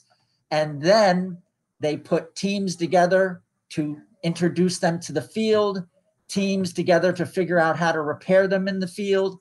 Built, um, wrote the manuals here because you couldn't go to, um, um, uh, you know, uh, Kinkos or someplace and have them written because there might there might be a Nazi spy there. Oh, all right. yeah, yeah. So it was a soup the nuts ability to make secret devices from raw material to something to go to battle. Wow. And on the the right hand bottom, you see a quote from the president The battle laboratories held fateful risks for us, as well as the battles of the air, land, and sea. And now we've won those battles. And which president was that, Fred? Uh, Tr- Truman. Thank, Ah. Yeah. I'm, uh, thanks for the quiz. All right. So it's a landmark for World War II, a major reason of victory radar. Okay. And here's an example D Day. Hmm. We fooled, or the Allies fooled German radar. Okay. There were stories where they dropped um, miniature parachutists in another area. Um, they had put spies to feed German officers bad information. They let um, dead bodies with uh, fake plans off of submarines so they'd float into German held beaches and that would feed them misinformation. But the Germans weren't worried because they had an excellent overlapping radar network. And the unblinking eye of radar would say where the invasion was going to be. So, two things were done to support the misinformation campaign. Is one, they sent planes, you see a picture of one in the middle, to fly up and down the French coast and identify where all the German radars were, what their frequency were, and they determined which ones they would bomb, which ones they would pretend to bomb, and because they wanted them to see things, right? Mm-hmm. And which ones, if they couldn't take them out of existence, jam them on a D Day. And then they did one more step. They made radar generators. Hmm. So the full story was the attack on Normandy was going to be a fake to get Rommel's tanks to go to Normandy, and the real evasion was going to occur in the area of Calais, that's closest to the coast, that made best logistical sense to get you know tens, hundreds of thousands of troops across in a in a day. right? Wasn't that a narrower part of the canal, uh, channel rather. Yep, you are exactly correct. So it made sense, and you know we can make I'm part German, so I can make a that's the most economical, right? Uh, so here's the devices they made: radar multipliers. They actually had devices that would pick up German radar and send back a fake image that would make a few fishing boats look like a flotilla of battleships and support crafts. So the German radar was seeing a larger invasion fleet heading towards Calais than they saw off of Normandy. And that got them to hold back Rommel's tanks because his goal was to kill the landing on the beach. Hmm.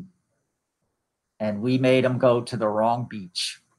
So, and Camp Evans played a role in that. Okay. So now to protect the nation, and this is actually part of Camp Evans in World War II, that's the Project Diana site.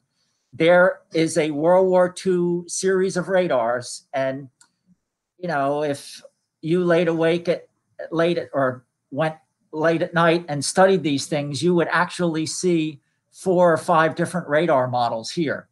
Um, it was really a fun hunt to find the history because when we got the site here, all the information was removed and documents were destroyed. The secret documents were destroyed as per military require, or excuse me, the top secret documents. But the secret ones, luckily, a lot of them ended up in the National Archives. And we mined those and found a rich story that um, undergirded making it a national landmark. Okay. And they did things like the proximity fuse. This photo you're looking at is right out in Camp Evans. The happy story is where these devices are a microwave radar, it's now a baseball field. So, where the fate of nations were decided, kids are now doing the fate of baseball teams. Yeah, they're So- enjoying the life that there was given to them to, to, to defend the, the country and the world. Th- that is so true and and that's why you know hundreds of thousands of soldiers gave their lives to have a, a better future and in our case behind every soldier on the front there were 10 people on the home front and camp evans represents the finest technical people on the home front including persons of color camp evans hired persons of color with technical backgrounds like physicists and mathematicians and chemists from the um, historical black colleges and universities. And this site became informally known as the Black Brain Trust. And um, that that's an excellent, excellent story um, that um, one of our friends actually did a DVD from oral histories that he that he he did. Okay. They did things like mortar counterfire. More of our American soldiers were killed on the um, islands of Iwo Jima and Guadalcanal by Japanese mortars than by bullets. And an emergency, uh, General MacArthur put out emergency requests to the laboratories to get a radar that would tell them where to shoot back to take out the mortar things. And a, and one of the teams here said, "Whoa, uh, a Japanese radar, a common one, is this length. That happens to be perfect for the wavelength of our radar." They took one of these radar sets that you see on the screen with that amazingly complex tube that you see on the cover of Electronics magazine, cover girl, cover tube. Um, they modified it, took it down to uh, Island Beach State Park, had captured Japanese mortars, were firing in the direction of the radar team, and they were having a level of success. And I got to do the lead of this team's oral history interview, uh, Dr. John Marchetti. And um, he said that, you know, they were having having some success, but the radar pips should have jumped off the screen. And he goes, I'm in the history books. And he really is in the history books, the Army's official history of World War II. And this story is. but he goes, Ed Savini, he is not in the history books. And when we were out there, he goes, John, we are searching for the wings of aircraft. We're searching horizontally. These mortars are going vertically, vertically. And he took the radar screen and turned it 90 degrees. That's so simple. Yep. And the indications, like he said, jumped right off the screen. When General MacArthur found that they actually not only had solved this problem, but they had a working prototype, he said, I need 25 of them immediately. And he was going to send General Stilwell from the Pacific Theater here to manage it because, you know, this is not a good thing. He goes, I can't depend on a bunch of engineers and scientists to get the job done. This needs military men, right? When they heard that, they said, We're not leaving. You get us food, you get us the parts, and you get us the, the teams that are going to go into the Pacific with them, and we will get the job done. And they stayed here for, I, I think it was eight days with only taking cat naps on cots. And then 25 sets were put on trucks with the trained teams up to Newark Airport and flown to the um, where they were needed. And we believe they were used in uh, Market Garden, the uh, failed attempt to um, uh, infiltrate the Ruhr, like a second Normandy landing. And they were definitely used in the Pacific. And one of the fun stories that uh, Dr. Marchetti um, related was after the war, he was here, and a Marine um, uh, colonel came here because he had searched him out because he wanted to shake the hands of the guy who's made that radar that saved his men from being killed by Japanese mortars. That's how much of a difference it made. So, thus, oh, captured German uh, German radars, figuring out a way to jam them and nullify them. Okay, uh, saved many, many, many guys in the uh, Eighth Air Force. Okay, um, finding ways to shoot down. Um, I don't have a picture here. Oh, there's John Marchetti. Um, finding out ways to shoot down the V1s. Unfortunately, I don't have a picture of the V1 here. But the amazing thing about this is the day United States got into World War II on December 7th, Signal Corps radar spotted the Japanese planes 50 minutes before they dropped their first bomb. Hmm. Unfortunately, the Navy did not have the radar control room staffed, so the call went to a uh, guard.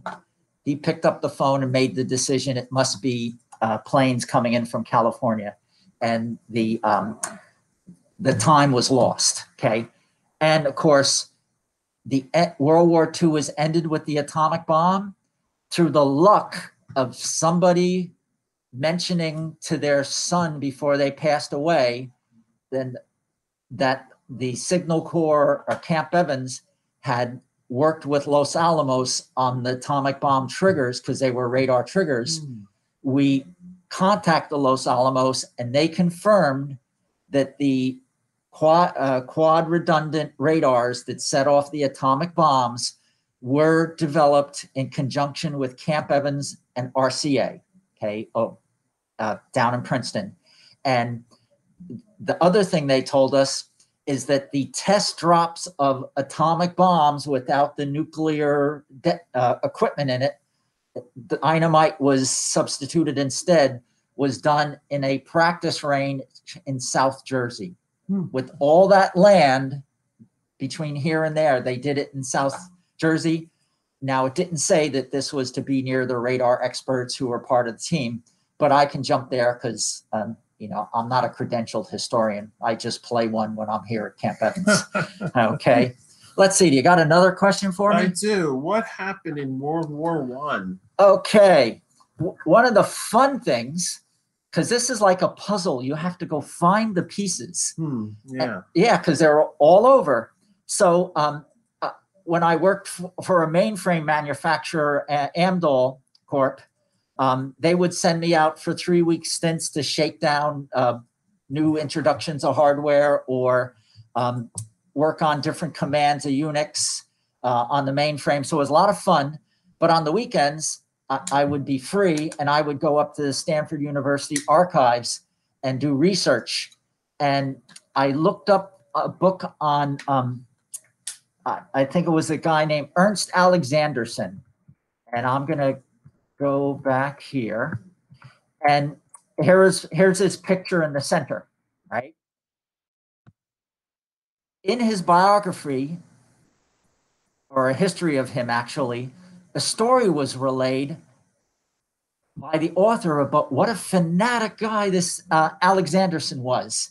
He was here at Camp Evans when it was a Marconi transatlantic wireless station being run by the Navy as the central communication point between Washington and our American expeditionary forces in Europe that he was working in the basement of the hotel, the building a few hundred feet from us, uh, and there happened to be a thunderstorm, and he had headphones on, and even though they were grounded, one of the 400 foot antennas outside got hit by a bolt of lightning, and the the author said he saw a spark jump from the headphones right into Alexanderson's head, right? Mm.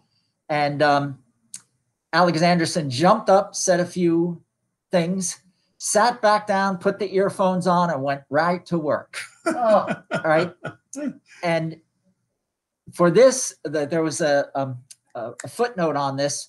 For more details on this story and others, look up Radio Reminiscences by A. Hoyt Taylor.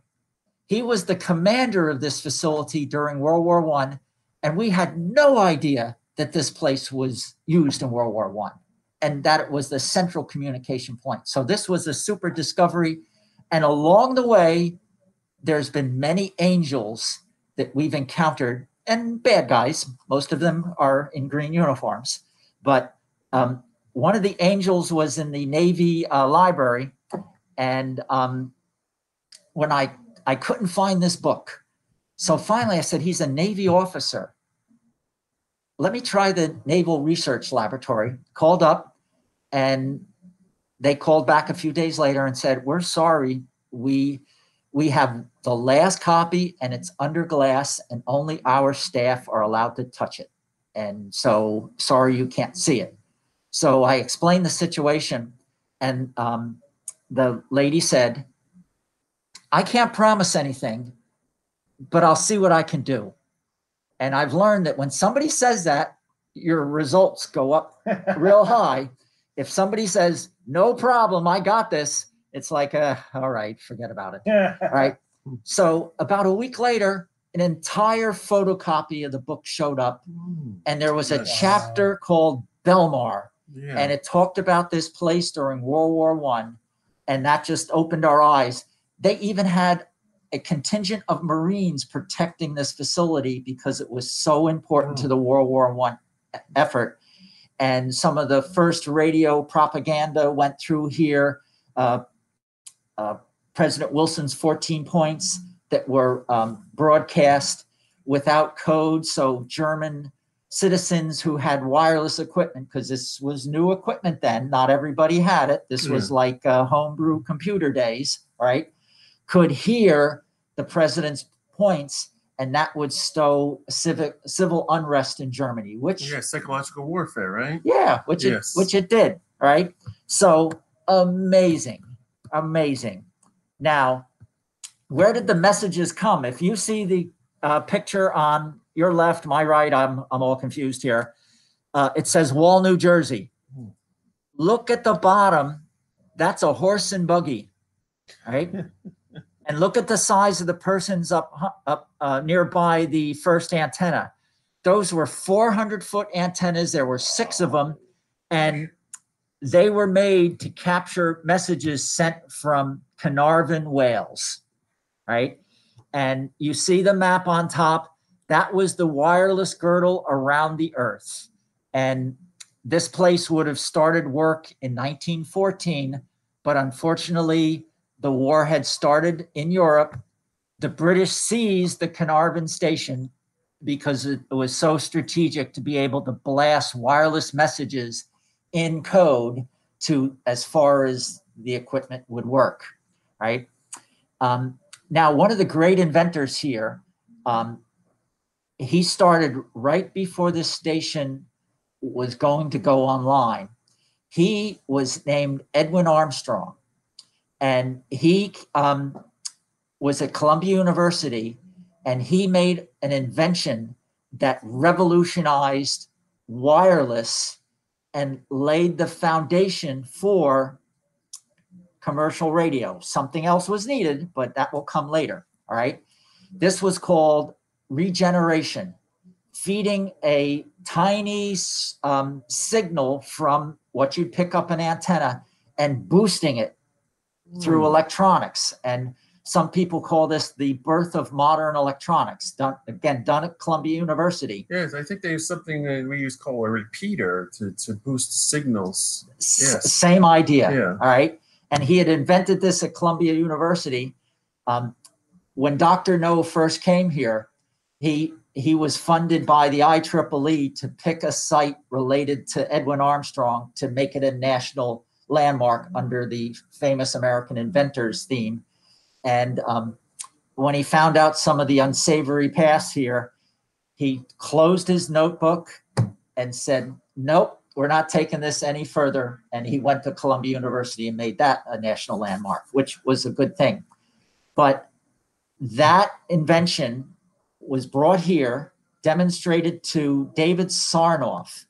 He was the Bill Gates of that day, right? He was the one who, even though he didn't invent the wireless music box, he got it into the public mind. But there was another problem here, and hopefully, I, Sarnoff found he was the uh, founder of RCA, right? Or or no? Who who? Where did we go after TCF? That was uh, right next door there. that was Sarnoff. That was Sarnoff. But what, was that RCA or was that? It was RCA. previously RCA. Okay. And um, here's how RCA came about. And this may not be accurate, but you know how uh, somebody's trying to take over TikTok by by you know forcing it to be sold its Yes. American Yes. subsidiary? Yes. Well, at the end of World War One, the Navy wanted complete control of wireless and all its patents. So they went to Congress and said, "We want this," and Congress said, "No, no, no. Wireless and this thing called radio is a commercial thing, and it'll stay commercial. You butt out." Well, not to be told what to do by Congress, the Navy went and made a deal with companies like Westinghouse and General Electric and said, "You like our fat Navy contracts? You buy out all of American Marconi's stock, and we'll tell you what to do." and when they bought out all the stock, they renamed that company Radio Corporation of America. And David Sarnoff, who was a manager and a very important person in Marconi American branch of wireless, he he became a, um, a vice president. And um, an- another gentleman, I'm sorry, his name escapes me. His papers not Sarnoff's, but the other gentleman's papers are at Princeton University Library at the Firestone Library. And um, he, another person was the first president RCA, but then Sarnoff, who was a great at self promotion, he became the second president of RCA and was the figurehead of the company. Um, people recognized the only thing that recognized him more was the um, the, the the dog. Now, So we want to talk about the Marconi days? yeah, perfect. Now, here's what happened that made wireless able to go to radio. During the war, or in original, the reason you couldn't use wireless, and you'll if you Google on the internet, you'll see people who said, "Oh, in 1900 so we pub we broadcast radio on the wireless," and they feel that they did that first and they invented that. But the reality was that old-fashioned circuitry, just like static and old uh, computer circuits, anytime there was lightning or a sunspot, the old circuitry picked up that static And there were times, and there's uh, station logs from this facility on file at the Smithsonian that they drowned out the the Morse code for as long as eight hours. Okay. And the best time is when you were at night when the sun energy, those particles coming from the sun, weren't hitting the atmosphere and creating fake radio waves picked up as static. This gentleman, Roy Weagant, on your uh, screen, invented static elimination hmm. between here and another site in North Jersey. And when he had it perfected, he invited Mr. Marconi to come and see it. Mr. Marconi was at uh, Hoboken at the time. And in a book at, at Princeton that never got published, he goes, You know, so many people have told me that they've solved this problem. I'll go down to the Belmar station just to humor Mr. Weagant because, you know, he's that important. Well, he came here, they put headphones on him, and he heard he heard he flipped it on and the static like blasted his earphones and in the account mr marconi threw the headphones down and gave weagant a dirty look right? And weagant goes no no put them back on put them back on right? So marconi puts them back on and he switches on his new device and out of the static you hear perfectly clear wireless. Mm. so now you could talk on the wireless mm. and you could sing on the wireless. So, you know how history repeats itself? Remember in the early days of the internet? Yeah. You could Google and you could find real information and you didn't see ads. Yeah. Well, now that you can talk and sing on the wireless, you could now have commercials and the money poured in and an industry was born all That's right. funny. So, you know, I, I kid my grandkids that I'm old enough to been part of the enjoyed the internet and they have to suffer with the Adonet. All right. So one more question. Uh, how did Camp Evans open the space age communications? All right. At this site, see that large antenna there? The the war is over. And a um, a team is put together to pierce the ionosphere because the whole Marconi network was based on, let's get back, bouncing radio waves off the ionosphere. So the basic feeling was we were in a, a an atmospheric bubble that pre- prevented us from communicating out of space, right? Well, with the right energy level, right frequency, you could pierce the ionosphere, but nobody believed it. And they took a special microwave FM radar that Edwin Armstrong did, Mr. Radio Regeneration, Mr. FM Radio, super inventor, brought it down from his um, facility at Alpine, New Jersey, reinstalled it in one of these buildings, and they were able to bounce a signal off the moon in January of 1946 that proved you could do communications in space, right? And the history didn't end, okay? They had Cold War stuff here. They brought V2 scientists, they brought the Nazi radar and communication scientists over here. They did uh, Cold War listening for atomic tests underground and made devices detect um, nuclear isotopes in the atmosphere that would blow away. Oh, here's Project Diana. And one of the fun things along here is this is Dr. McAfee with an Army general at one of the anniversaries. And to be a scientist uh, and a person of color was unheard of in World War II in 1946. So um, he was an early member of the National Association of Black Physicists. And um, working with Congressman Smith, the post office that delivered his mail is now named in his honor. Okay. And uh, through that work, and it entertains me, uh, I was invited the um, to join the National Society of Black Physicists. So it's that entertains me to no end. Um, so uh, Joe McCarthy came here, Mm. and what he did here was so outrageous it ended his career. And Jeff, my timer went to sleep. Where am I? All right. So, Chris, do we have any questions? Uh, we don't have any questions. There's one comment uh, that, you know, it's basically, I'm going to paraphrase, bless any guy who is so excited to try to pack all this history into 30 minutes. You're trying to get more out of the slides than you possibly can. Your your enthusiasm is appreciated. So no questions. So if you want, you can finish the remaining time.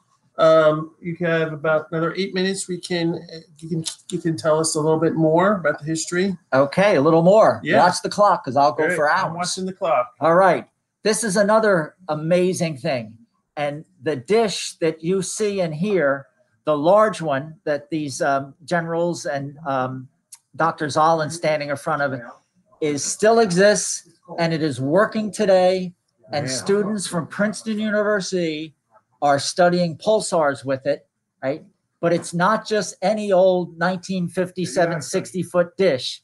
It actually, if you watch the Weather Channel or bring up um, a, we- uh, a radar, weather radar app on your phone, it can trace its lineage to this dish because this is the dish that um, the satellite in the center, the experimental uh, Tyro satellite, sent the first images from space to this dish. It was developed in the building that you see in the center interior pictures, the lower pictures. It worked perfect, even though they did it on April 1st. right? April Fool's Day. And, and those of you who've watched late night documentaries, you've seen that in the early uh, space launches, they had launch after launch blow up. Okay. Yeah. And even one of those vanguards that you see bouncing in the in the flames before it disappears, parts of that were done in secret at Camp Evans. But putting that aside, you have to be, you know, waiting for the press to eat you alive because the press always did that, not just today, to do a launch on April 1st. And the reason they did it is because the first weather map was published in London in, I want to say 1885. I have the year wrong. But if this worked and these photographs were able to be developed and everything worked and it was all experimental, you would have auto magic weather maps. Hmm. And what a boon to weather prediction and mankind. And the extra bonus was a few days after it was launched, they spotted a hurricane. Yeah, and it was like, about who what happened there. There was the president. Which was who was the president? um, it was Eisenhower. And then how did it happen that he they, they gave him this this, this they looked at it and what did they see? They, they, what did they think it was? Um, well, they saw the eye and they were sort of, you know, people knew about the eye of the hurricane because if you've ever had the eye go over you, which we have here, one year it happened at Camp Evans, um, the wind's going one way, it's nasty, it's things are getting knocked over, it gets quiet for depending on how large they are, and then the wind goes the other direction. So they knew there was an eye, but they couldn't imagine you could see it from space. So when they saw that first hurricane, it was a revelation, and hurricane tracking was born down the street here at Camp Evans. And before that, the first photograph taken was given to a helicopter pilot just uh, in the large parking lot. He flew it to a nearby airport where a jet, a fighter jet, was waiting. They handed him the photograph. It was uh, flown down to Edwards Air Force Base, zipped over to the White House, and they handed it to President Eisenhower three hours after it was developed that same day because it was such a leap in science. Okay. Wow. And again, it's thrilling that thanks to the Princeton Physics Department, who pushed about $50,000 into getting this baby working again, it is not only a, a giant artifact that you can't put in a display case, it is now, again, a tool of science. All right. They did nuclear research here. Okay. They had a 25 foot deep um, uh, containment vessel, not a reactor. And the team from Camp Evans learned about electromagnetic um, pulse of an atomic bomb. And this is one of the areas where they learned how to harden communication circuits from that pulse. Okay. What does hardening mean? It means if a burst of energy comes from an atomic blast, and in you know at the 1950s and 60s, we were worried that the Soviets were going to do an airburst over um, cities, Oh, yeah. and that would knock out all the communications networks to Like counterattack. Blast, like something like that. Yep. Okay. And so here at this old Marconi station, this World War One site, this World War Two site, they were effectively preparing for the Cold War.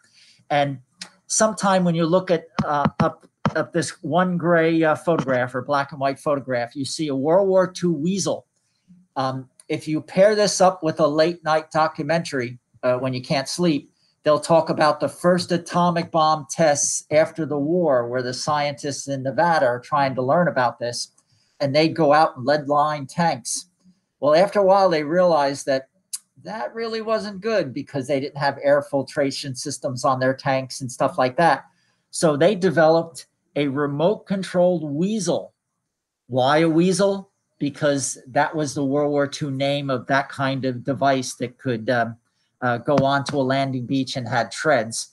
And in the World War II electronics, look at the size of the antenna, 12 foot antenna.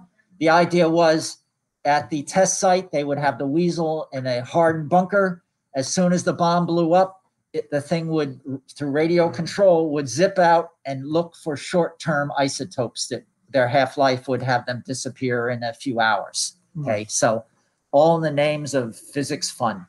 And look at the bottom center photo.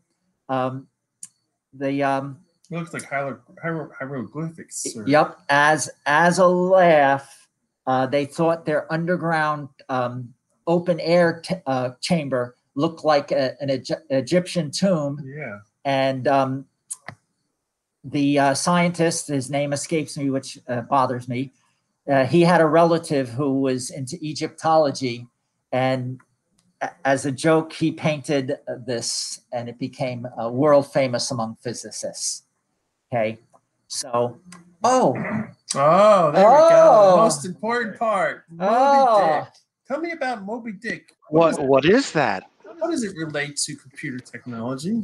Well, it's it's one of the great granddaddies of mobile computing, and uh, the the inside story was that one of the units here wanted to buy a computer for their purposes, and the budget office said, "Sorry, no no money for computers. Too bad." Okay, and you know, bureauc- bureaucrats they don't care, and for some reason they couldn't do the politics to order them to find money but there was a lump of money for mobile army field equipment.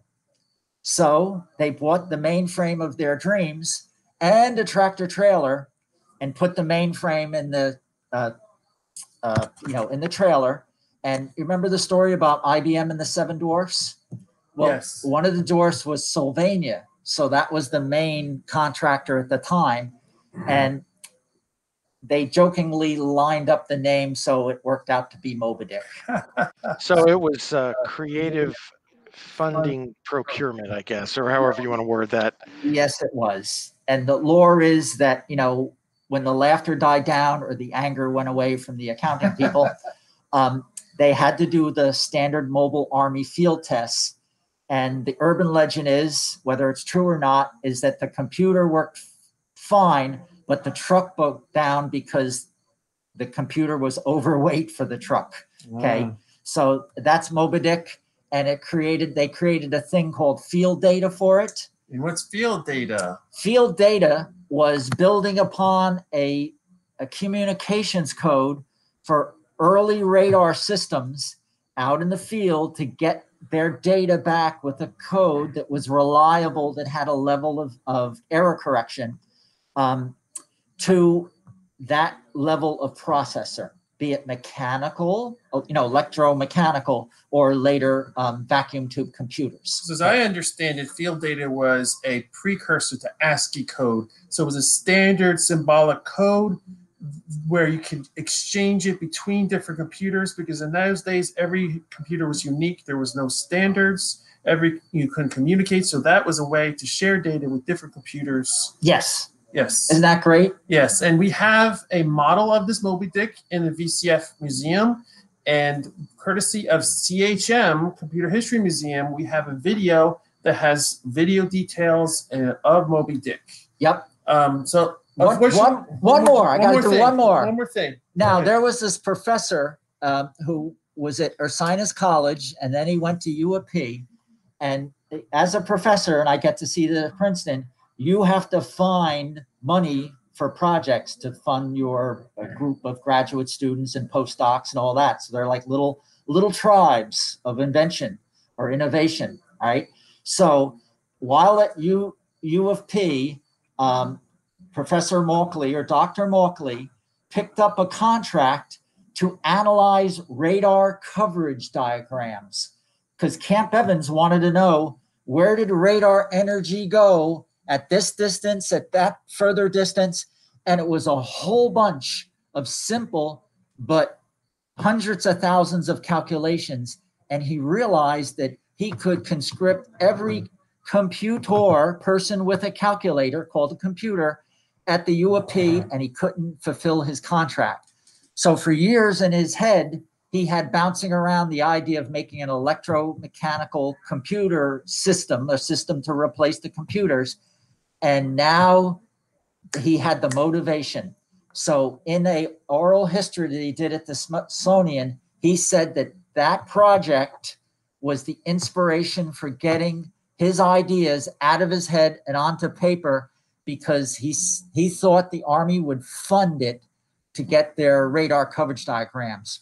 And his fellow professors um, looked at him and said, no, no, no, the Army's not going to fund that. When you go to the Army funding board and you say radar coverage diagram, you're going to get the hook.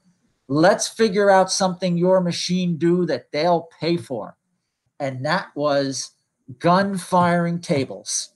When you get a brand new gun and you can cast the barrel with the same um, molten metal on the same day with the same mold, one after another, and you take it out to a test range, when you fire that shell, it will not go to the same spot as the gun made five minutes before.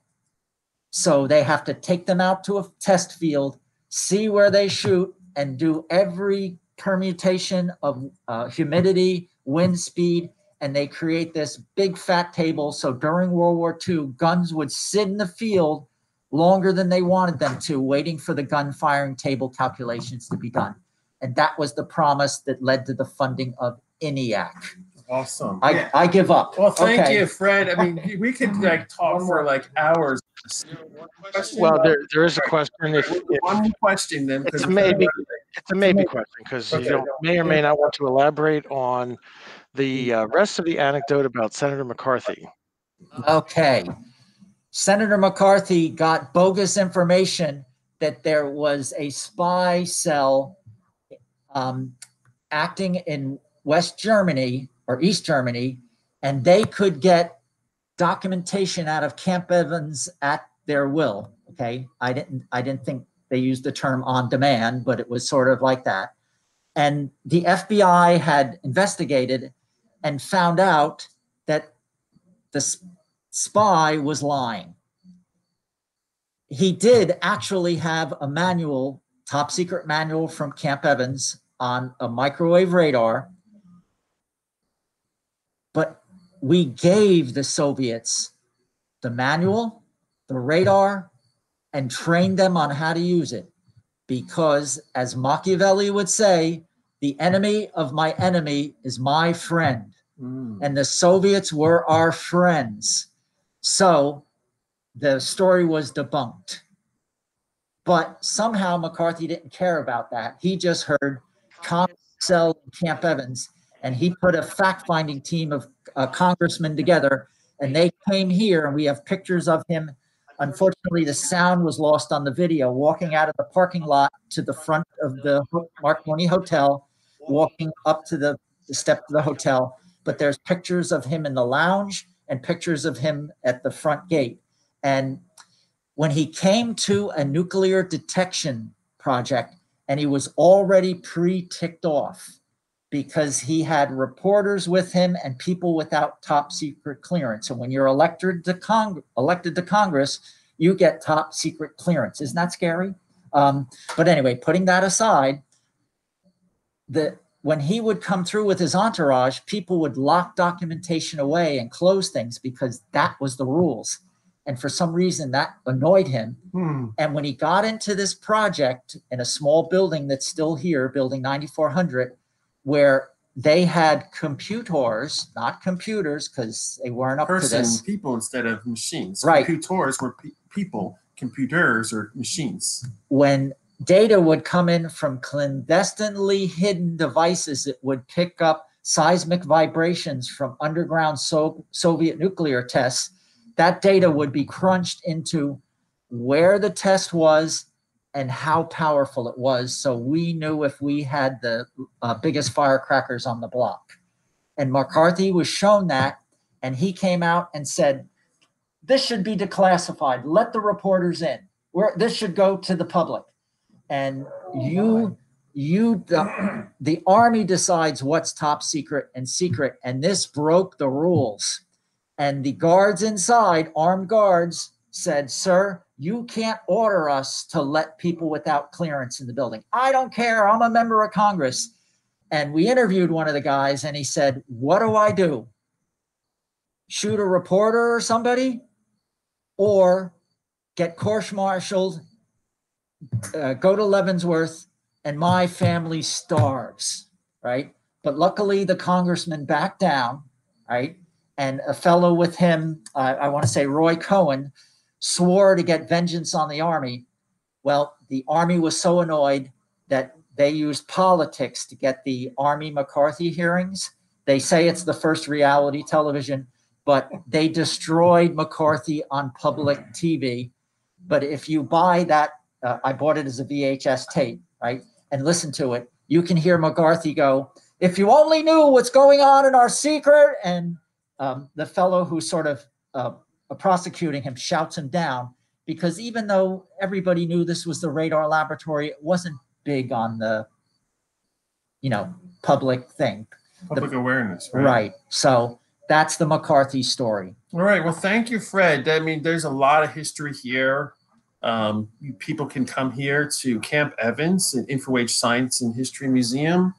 Um, there's a lot of different exhibits and museums here World War II history, uh, antique radio, shipwreck museum, electronic warfare is a very interesting one. So um, I encourage people to come and visit. We're open Wednesday, Saturday, and Sunday, 1 to 5 p.m pay admission and come in, support our museum. It's great. And I really appreciate you coming in. And finally, you can tell our vintage computer audience some history of Camp Evans. Thanks, Jeff. It was my pleasure. You're welcome.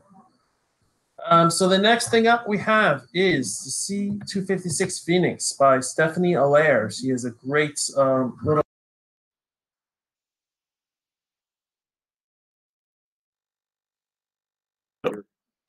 All right. Did you get the whole thing? All right. Ready to go with Stefany Allaire and 256 Foenix. Oh, Hi, big and everybody. so. Uh, my name is Stefany. I am the creator and designer of the C256 Foenix. Uh, welcome to this uh, presentation. Um, before we begin, uh, I would like to uh, give some thanks to uh, Jeffrey from VCF East for inviting me. I mean, I'm talking to Jeffrey on regular basis, but I would, you know, um, you know, give those thanks to everybody that was involved uh, for inviting me. Uh, it's an honor to be here today um, to present you this this uh, retro computer and its inner working. And um, I hope you'll find it interesting. Uh, thank you for being there and spending the time to watch this. I hope you'll you'll like I said you'll enjoy it and you'll find it interesting and hopefully you'll join in uh, for the future of this uh, of this endeavor uh, because I certainly need more people to get involved to make this more uh, success and to to keep this going. Um, and um, yeah, so uh, I would say that early on the the in at the beginning of the year in April, I was supposed to give like a full class on the C65, uh, 65 816. I'm going to chuck it down a little bit and, and put a little bit more stuff around. Um, uh, but I still want to talk about my experiences do, dealing with the 65C816. I think that was uh, quite interesting. And considering that the, the, the day's theme was supposed to be about the sixty five, 6502, um, I think that is very suitable. Um, so at this point, I guess I should present my agenda. So today, well, sorry, it's slides, but I'll try to make it a little bit more interesting. So I want to talk about what is the Foenix. We'll spend about 15 minutes on this. Uh, what is it? Where is it now? What happened? Uh, I'll do a couple of demonstration to show you on the machine uh, a couple of demos that uh, Daniel uh, created. Talk about Daniel later. Then we'll go in the heart of the presentation, which is really about the processor. What is what are those challenges? What I had to face. Um, my hubris. I think I we we're going to talk a, lo- a lot about my hubris and you know, because I'm a hardware design engineer by trade, I've designed like a countless amount of products. Uh, you know, did some you know schematic PCB debugging, you know, the whole nine yards, FPGA design, mechanical design, the whole thing. So when I got it started in this, I was pretty well equipped. Um, but you know, sometimes oh, a processor 14 megahertz, you know, what could possibly go wrong, right? So at this point, I want I want to end the whole presentation with good news and new stuff and exciting stuff. And again, I hope that you'll be joining in um, in the future for the future of this project because I think it's it's um, it's really exciting. Despite the fact that at some point I kind of decided to stop, but we'll talk about this later. We'll keep the drama for for for later. All right, so I don't want to spend too much time on this. So ultimately, how this computer started, the development of this computer started. I've been telling this story so many times. It's about David Murray, the 8-bit guy on YouTube. Uh, the Gigatron episode in April 2018. He talks about his dream computers at the end. He laid down a list of stuff he wanted and figured that, hey, maybe some people out there will do it. And I guess a couple of people did, and I was amongst those people.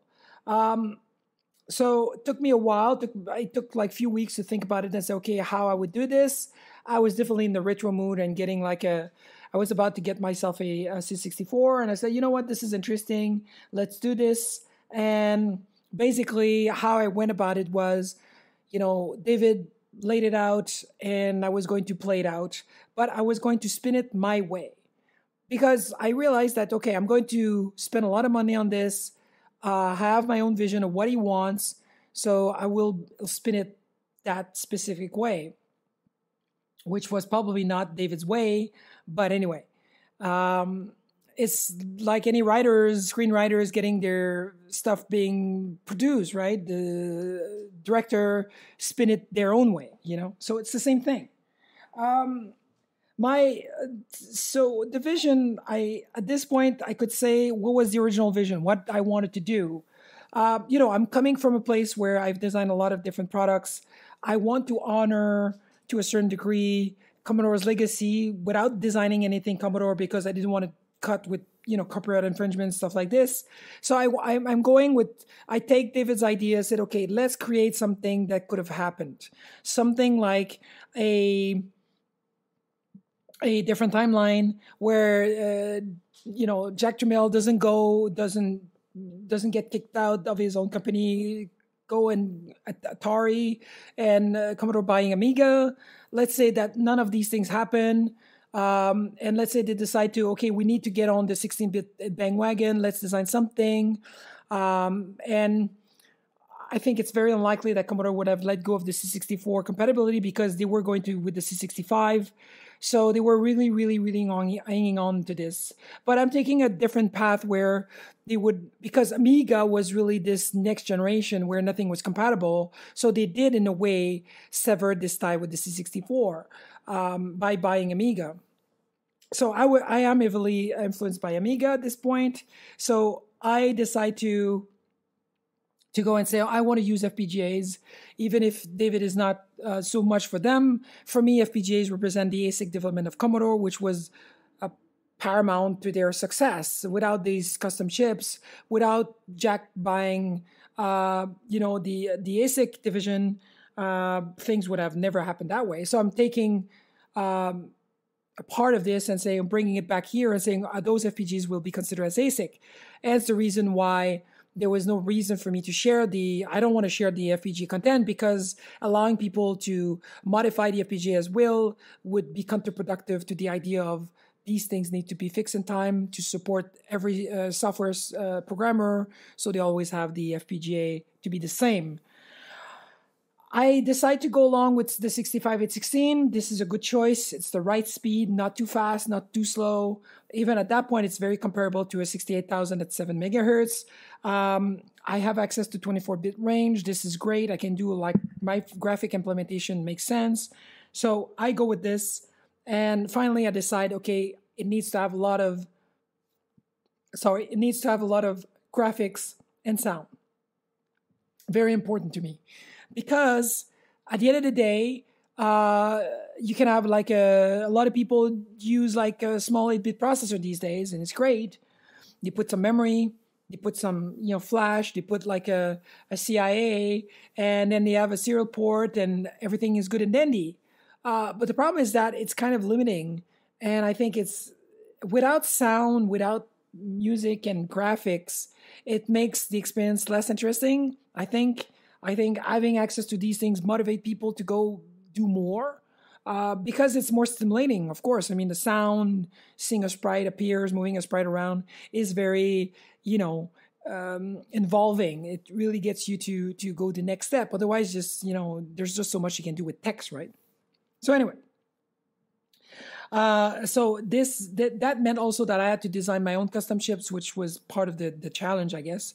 So I go on and I start so this is the rundown of what happened. By the way, I have a Cintiq tablet here, so that's why I'm kind of shaving. I'm touching my tablet. Maybe you don't see me, but anyway. So that's why I'm looking down.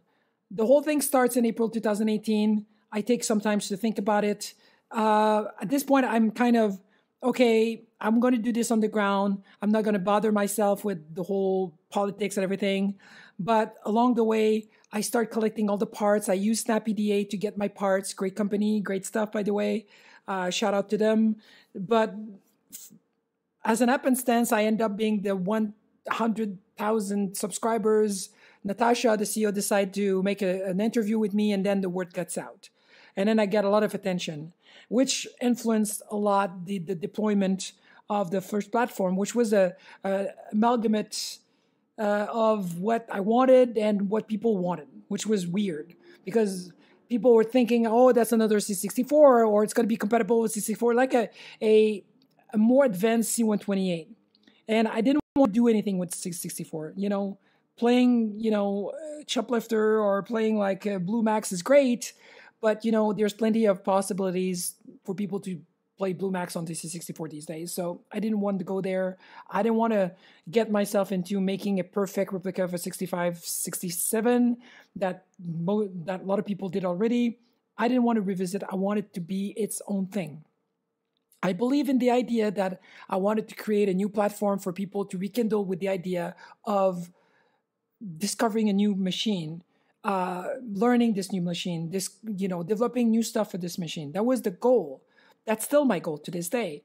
Create a new library of games for a new machine. But obviously, that machine needs to be successful in terms of, but they're interlinked between each other software, support, machine, uh, availability, and you know, price and everything. I'll come to that later. Anyway, so in October, I finally I, I go to the Fall Retro Expo. I meet with David. It's great. We sit down, we talk about it. Uh, we have similarities in our ideas. We have, you know, divergence in our ideas. I talked to a friend Yuri that I met at CRX a few months before. He gets me straight and said, you know what, this is great, but it's not really what you want to do. And I come back later, a few months later, with the B2 version, which means I spend this spend this thing a couple of things, a couple of times to arrive to this this version. And it starts to look like I want like what I want. Out of this, I meet great people, Peter, Daniel, and Mike, and, and Adrien, which are great, help me achieve a lot. And they're still here to this day, and they're doing awesome. Um, this is in spring 2019, and then I go down the rabbit hole. This is really my hero's journey, and I'm going into the underworld where I start creating these different versions, and they all have issues. I bring in these new chipset, like these new sound chips, and it's really a nightmare for me because I feel the pressure because I already start selling it. The the promising to have like a C version, and I'm promising Steve putting more pressure on me, which just leads to almost like a depression. And then finally, I emerge out of my underworld uh, in fall 2019. It's kind of surprising considering the fall is supposed to be going in the underworld. And anyway, I'm getting out of it. And then finally, the C4A in January gets starts to be shipped. By April 2020, I think everything is shipped. And then I start selling the C4B. But at that point, I didn't implement the whole Viki new version of Viki I wanted to have. It's not finished. And I say, hey, I want to ship those boards only when I'm finished, which is the case, should be the case by the time we, we, we you see that. So um, this is where we stand. So quickly, this is the overall block diagram. So the whole process got me to, to today to this configuration, which is uh, you have an FPGA, uh, which is Cyclone 3 to drive like a, a, four banks, well, four chips to get 32-bit wide memory bus because I'm limited to 100 megahertz speed with the RAM. So I need to get more bandwidth to do a lot more, to do bitmap tile layers and, and sprites and all these things together. I needed to have more bandwidth, so I expand my, my bandwidth by having more chips, but more bits per chips. That's what video cards do these days anyway. I put a little bit more extra memory, so 4 megs. I integrate two chips that I used to have, which was Beatrix and Gavin together. I create Gabe, which end up being the system chip, plus mathematic like math blocks to do float and fix to help the 65816. And I include all these beautiful unused Yamaha chips because they're complex to be dealt with and most people don't use them, which is kind of ironic. OPL3 was my choice and I kept I stuck with it, but and then I had up the other guys. And then I from the very get-go I wanted to have the Super IO, I wanted to have the floppy, the MIDI ports and so on and so forth because I saw the Foenix early on as a very uh, like a like a music box, like somebody wants to do chip tune, that would be the box to to use it for. It's a high-end machine. It's meant to be used for development also. Um, at this point, I want to talk a little bit about. Um, I want to talk about the the VK2 chips just to give a glance. Uh, so it's now it supports multiple uh, video uh, video resolution. It's with it, the, the pixel. It has uh, lookup tables that you have 24 bits per byte, so you can have all the colors you want, but you're limited number of colors you can see at the same time um, 500, uh, 1024, 202K colors at the same time if you use all the lookup tables. Uh, you have two layers of bitmap, four layers of tiles that you can scroll, uh, 64 sprites. Sorry. You have an SDMA block that does DMA uh, for the internal memory, and then you have the VDMA which does the um, the uh, DMA for the uh, video memory. And when you want to transfer stuff, they talk to each other. You can really, you could literally run both at the same time. Um, so at this point, finally, this is in a nutshell what how the graphic chips deals with. So layers, you can have sprites in, in between all those different layers. You have the layer for the uh, tiles. You have the layers for the bitmaps. So yeah, it's pretty. Uh, comprehensive. There's it's it's yeah, a lot of work in there. Um, and like I said, support different resolution. It's it's pretty complete. At this point, Gabe has interface to all these magnificent chips. Like I said, these guys are a pain in the butt to get because there's a lot of them that you know China has been going on this rampage about stripping off all these chips out of all those boards, wasted boards. Um, but some of them don't work and they still sell them. They re- they re-laser them. Um, it's very difficult to find working chips. You know, you get chips; they're not real sound chips. They've been re-lasered like they were chips. They're not sound chips. There's something else. It's crazy. Um, so funny enough, the PSG is amongst the chips that are real, and they probably somebody has stock still somewhere. Um, there's also inside the unit the SID. It's the Gideon version. Thank you very much, Gideon, for letting me use this core. Um, it needs to be fine tuned, but it's there. Um, so, you know, like I said, a lot of graphics, a lot of sound. That was the point. And this is what it is today. So if you're getting an FMX, that's this is literally what you get. Then this is on top of having the SD card, expansion bus, like I said, the MIDI. Um, so much potential here. And the price is still pretty reasonable. $320 is, I think, is fairly cheap. So at this point, I'm going to break the, the rhythm a little bit. I want to show you um, what it's like to download something. So I'm going to bring something on the screen here to show you. So this is the Foenix IDE, which is a, um, uh, a software that allows you to, to do some developing uh, as an emulator. You can run your code in there. It supports the graphic chips and all these things. The sound is not there, but um, most of everything else is there. So you certainly can do a lot of development there. And uh, an interesting part of it is that you have uh, the ability to download your code straight in the machine through the debug back, the background debug mode that I call, and um, and I would like to show you. So I would like to show you first the tracker. So I'm going to um, put the screen. So I'm going to cut the uh, output of the unit. I'm going to unmute the sound. So I'm going to cut that in. So hold on, I'm going to put this next door here. So usually you're going to, we use a 64tass to, as a compiler. Um, and then we create an X file with certain things, of course. And then we can load it in the machine. So I have a machine running next to me. I can, I can probably show you here. So there's this, the keyboard, there's the machine working here. So try to not, so I'm back in the screen. So at this point, what I would do is simply uh, run the send the data in. So this is the tracker that Daniel Tremblay designed. It start gets the uh, OPL3. Um, so what I would do is literally uh, control load, control L, and I'm going to choose a file. I don't see clearly on the screen right now, but I'll take one. This is a RAD player. And then I would start the, the tune.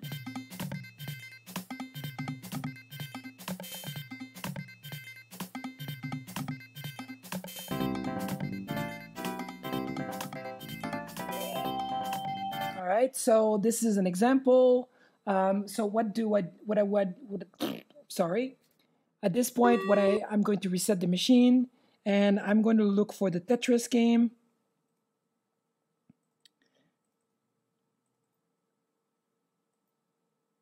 Hopefully it's going to work.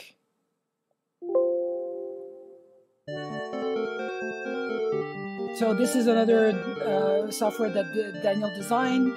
Um, he's been migrating the software from uh, the Viki 1 to Viki 2. Um, so I think there's some still some issues. So because if I'm trying to move the part, I can't. So probably a bug got introduced. But yeah, otherwise it's supposed to work. So it's a Tetris. And with sound, it's really cool. Daniel did a wonderful job. He's been a hard believer since day one. I'm really grateful to have him on the team. So, this is what it is. All right. So, I will uh, cut that out. So, let's get this out of the screen. Um, I will remove the sound. I will cut it out and I will remove these little guys and we can move on. Okay, so we're 20 minutes in. I took a little bit more time. Let's. All right, so the CPU. Let's talk about the 65816. Okay, so at this point, the reason I used it is because it was part of David's requirement. Like I said pr- pr- uh, previously, one of the reason I I stuck with it was sorry was because it was perfect. It was fitting in the vision. 6502 based, fast. Sorry again. Fast, uh 24 bit range and you know it's it's it's perfect. 68,000 would have been like a stretch uh and 6502 would have not been enough. Um, so it makes perfect sense. Little did I know that I was going to struggle, and and here's I here I talk about my hubris. You know, been doing design for many years, been dealing with PCI Express, SD RAMs, and no DDR RAMs, like two, three hundred megahertz speed design, and I'm I'm going to design something at 14 megahertz. You know, yeah, it's slow, right? Yeah, yeah. Okay, so I'm going to do a disclaimer here. What I'm about to talk about is my struggle with the part. Doesn't mean that it's difficult to interface with. I think there's a bit of me. Uh, it's there's a little bit of me uh, pushing the edge, uh, the design and the part, and creating a lot of problem for myself. So it's in no ways Bill's fault at this point. Uh, I think it's really about me but uh, uh, doing what I do, which is really pushing the boundaries of things, and I get myself a lot in trouble. So, the first challenge, so I'm going to talk about three challenges. The first challenge was the multiplexing.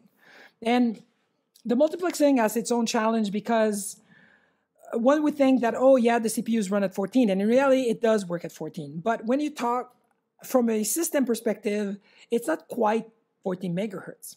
In reality, it's actually 28 megahertz because the way the 65816 works is that in order to be compatible, pin compatible with the 6502, it had to have this capability to use the normal bus as a 6502 64K, but then being able to expand with the 6816 was to use part of the clock cycle to introduce this extra byte of uh, bank number, if you will.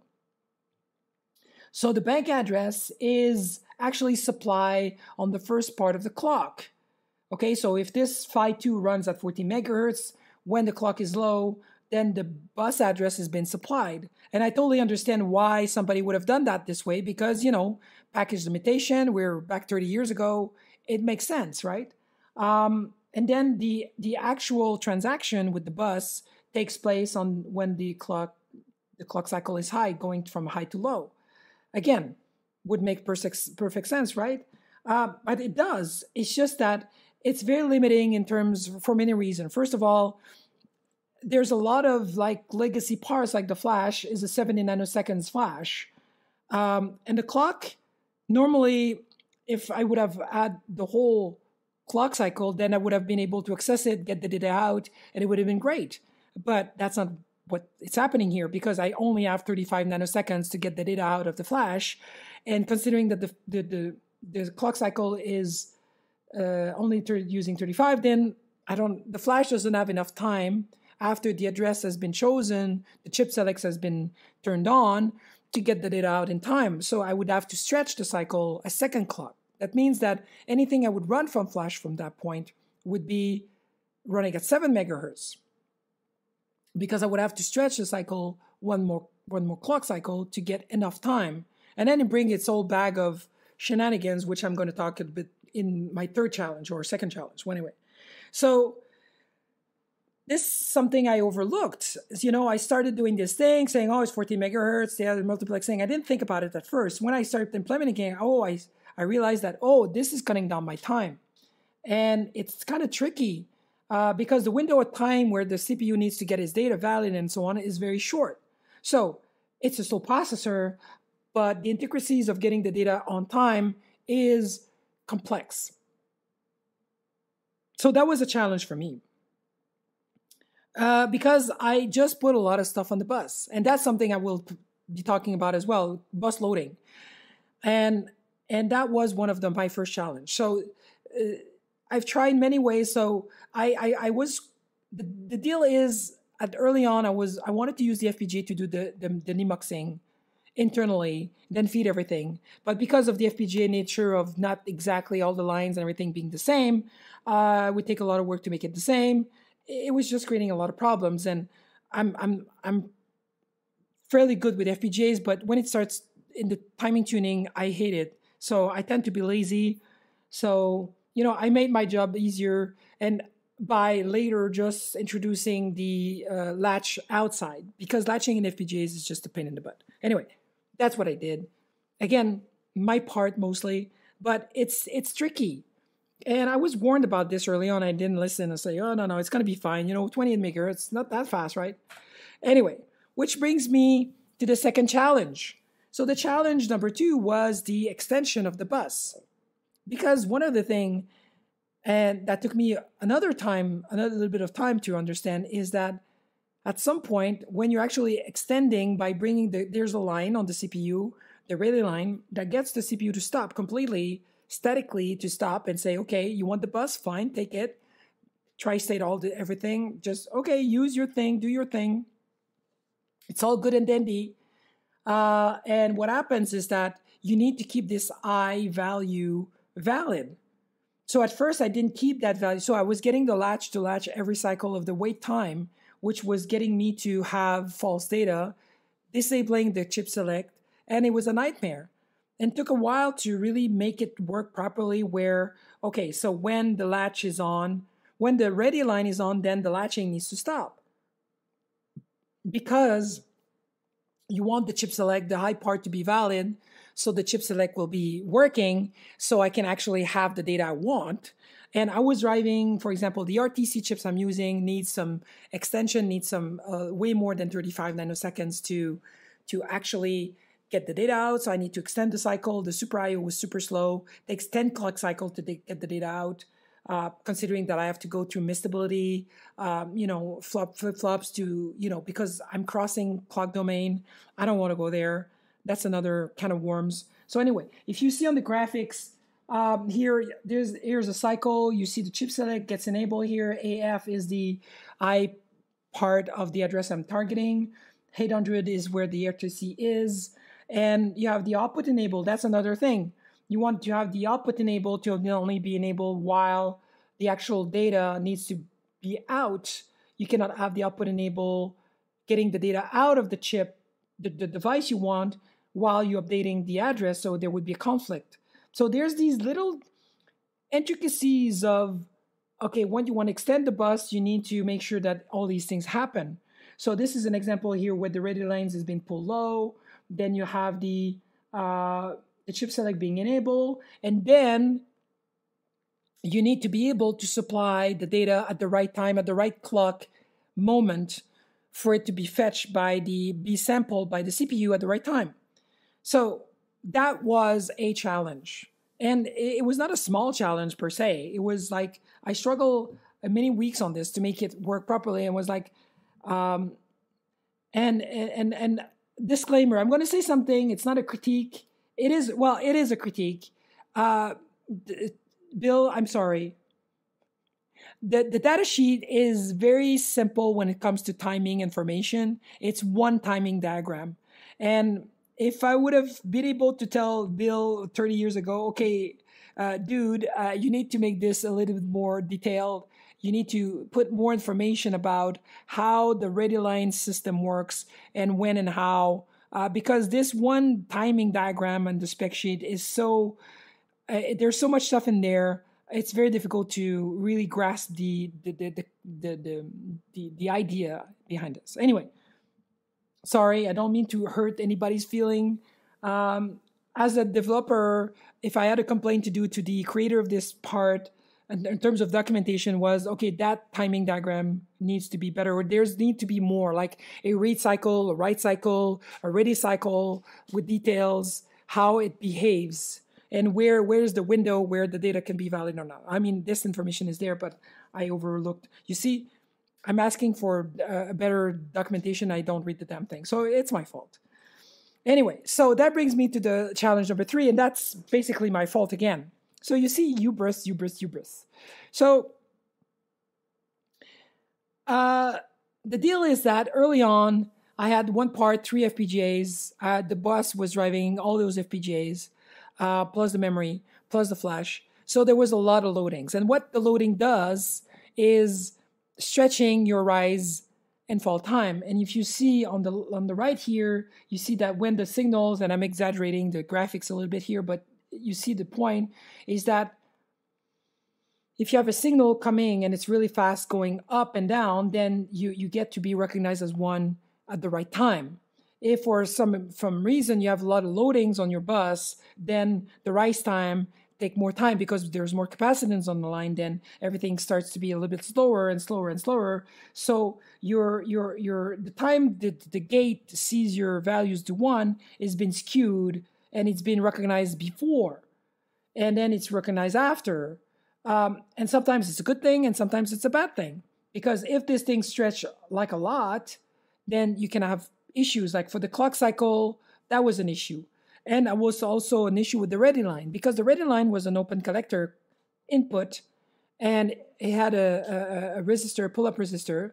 And that pull up resistor with the line loading was really like a long uh, rise time and fall time. That's the nature of those, unless you really put like a really small value for the resistor um, to make it like draw like a drive a lot. Those rise time and fall time are, are long. So by loading the ready line, I was really stretching it to the point where I could literally offset the whole thing by one half clock cycle. It was terrible. And that was a big deal. And that actually made me change one revision of board to another during my nightmarish time in 2019. It was really a doozy. Um, and so the solution to that was ultimately to get all those ready lines coming from different devices to be uh, sent to one device and the, all that device would OR them together in a normal fashion, and then only one device would drive the ready line. So then not loading the whole thing. Because if I was going to put an expansion, that things would have gone out the window and that would have not worked. The system would have not worked. Uh, it happens because I designed this Piggy, this starter card for audio sound, and, and that didn't, didn't work. I did the mistake of using one clock cycle, one clock signal for everything, and I had the same problem with the clock which made me realize that the 65816 is very sensible to where and when the data needs to be uh, uh, valid. Because if the clock was going to be skewed because there was more or less load, then the moment the data would appear or disappear would be very critical. So that's one finicky, part about the 65816 is the fact that it's um, it's very specific about when and how. So if the clock is skewed uh, and the ready line is too long, then everything goes down the drain. And that's what I've experienced. Um, I was going to say something about something, but I guess I'll I'll, I'll move on. Uh, so we're 30 minutes in, and and this is what the experience of the CPU was about. That these were mainly my biggest issues. And like I said, half of those problems were created by me by uh, well, probably you know, 90% of the problem were created by me by not loading, by loading the bus, which means that I should have had more uh, buffers to allow to, to the CPU to not drive so much, um, to have uh, like one clock driver for every device, uh, have one ready line drivers. But these are the parts of what the whole design is about, you know, the debugging part.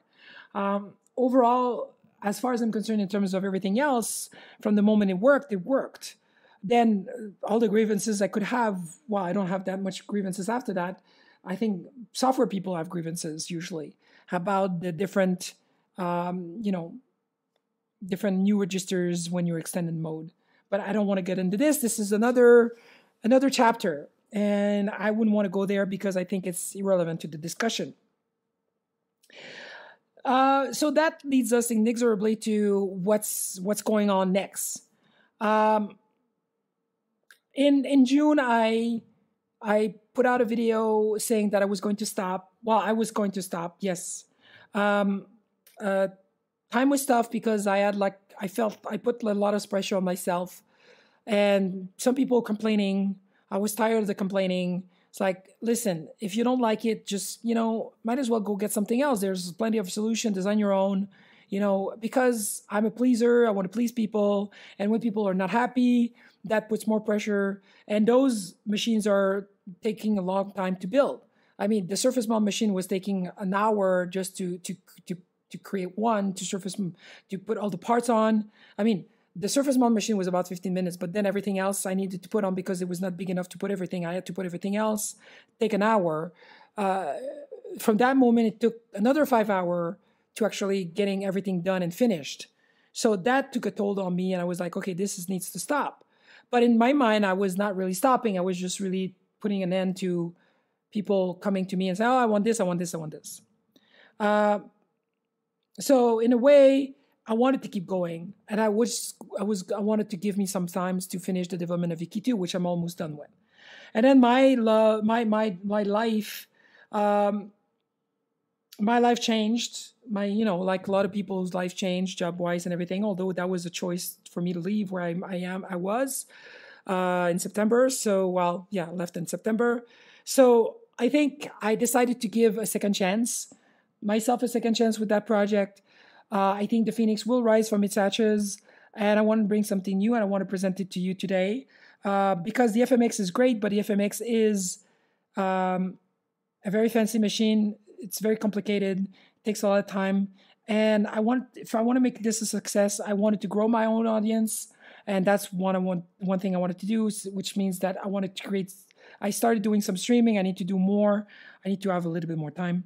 Um, and I want to find a way to get this in more uh, to get this in people's hand because that's part of the deal. Having software, the idea at the beginning was let's get a unit out, let's get people to develop, but you know, life happens. So maybe half of the people got a unit are actually doing stuff on it, and sometimes they're just you know tinkering with it. They don't know doing anything really like meaningful for people to use, and it's perfectly fine because you know it's their you know uh, prerogative to decide to what to do. Um, uh, because I see the need of having software in order to put it together uh, for for platform to be successful. Unfortunately, I don't have David's audience, so I just figure, okay, let's inspire people to do more. And so I started to do streaming, creating games that we know, and to use them as use cases to implement a new game and to get the, the code to be free and for people to download to use as an example to get people kickstarted and and that's the idea. That's what I want to do. But for that, I need a machine that is more accessible um, and cheaper. Uh, because apparently price is a good is a big deal. Although you would think that in this world of hobbyism, uh, price is no problem. But you know, some people manage to get in people's mind that pricing is important. Uh, people are paying three hundred dollars for a keyboard, but they're not willing paying two hundred dollars for a computer which doesn't make any sense to me. But hey, that's the nature of the beast. But anyway, so I'm ready to announce today that I'm going to release in the probably in December the Foenix U, which is something I've been talking about for a long time, which is the user version. The user version is a cheaper version, uh, a smaller version, uh, which at this point will include pretty much what the other one had, albeit a couple of things that would not be there.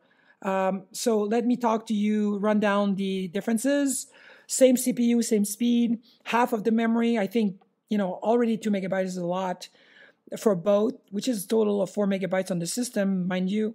Viki, Fat Viki, I'm calling her, you know, making a link with, with obviously with the Amiga, but it's basically Viki heating Gabe and having one single FPGA on the board. Something I didn't want to do, but this, the U version is a version of the FMX without the bells and whistles, uh, all the restriction that I gave myself from the beginning. It's really like, okay, let's get this thing manufactured by third party. I don't have to do it myself. It's really, I take it from one hand, I'm going to give it to the other, just test it, make sure it works, and get the price down. The OPL3 will remain. These are still very much available. Uh, I get parts reels, so I know reels exist. Uh, till they're not available anymore, I'll keep the real part. I think it's important to have a genuine sound. Uh, I will be transferring, if possible, the OPN2 OPM and PSG into the FPGA. Uh, somebody did the design. I need to tag the person to get the permission to do this. Gideon SID is still there. Uh, the SD card is there. The ID is still there, as you can see on the picture. And I put a star there, like an asterisk, to to say that there's a connection. This connection here is to put a dollar card with the LPC to put back the the Super IO to get access to the MIDI again, the serial ports, and the floppy if one would care about having these things. Um, obviously, the joystick's going down from four to two. I think two is enough. Uh, the, the, the, connector, the expansion connector is compatible with both. So if you design something for the FMX, it will work with the other. The background debug mode is still there. Something I wanted to remove, but I figured that it's the best way to open up the, the, the, the ability to develop with it would be to keep it. Um, the product will be sold without enclosure. I might offer a model with an enclosure. The size of the board is literally half of the the the, what the other one almost in terms of surface. So now anybody can draw 3D uh, print their own enclosure. It's small enough for any 3D uh, printer out there. I mean, the decent one, of course.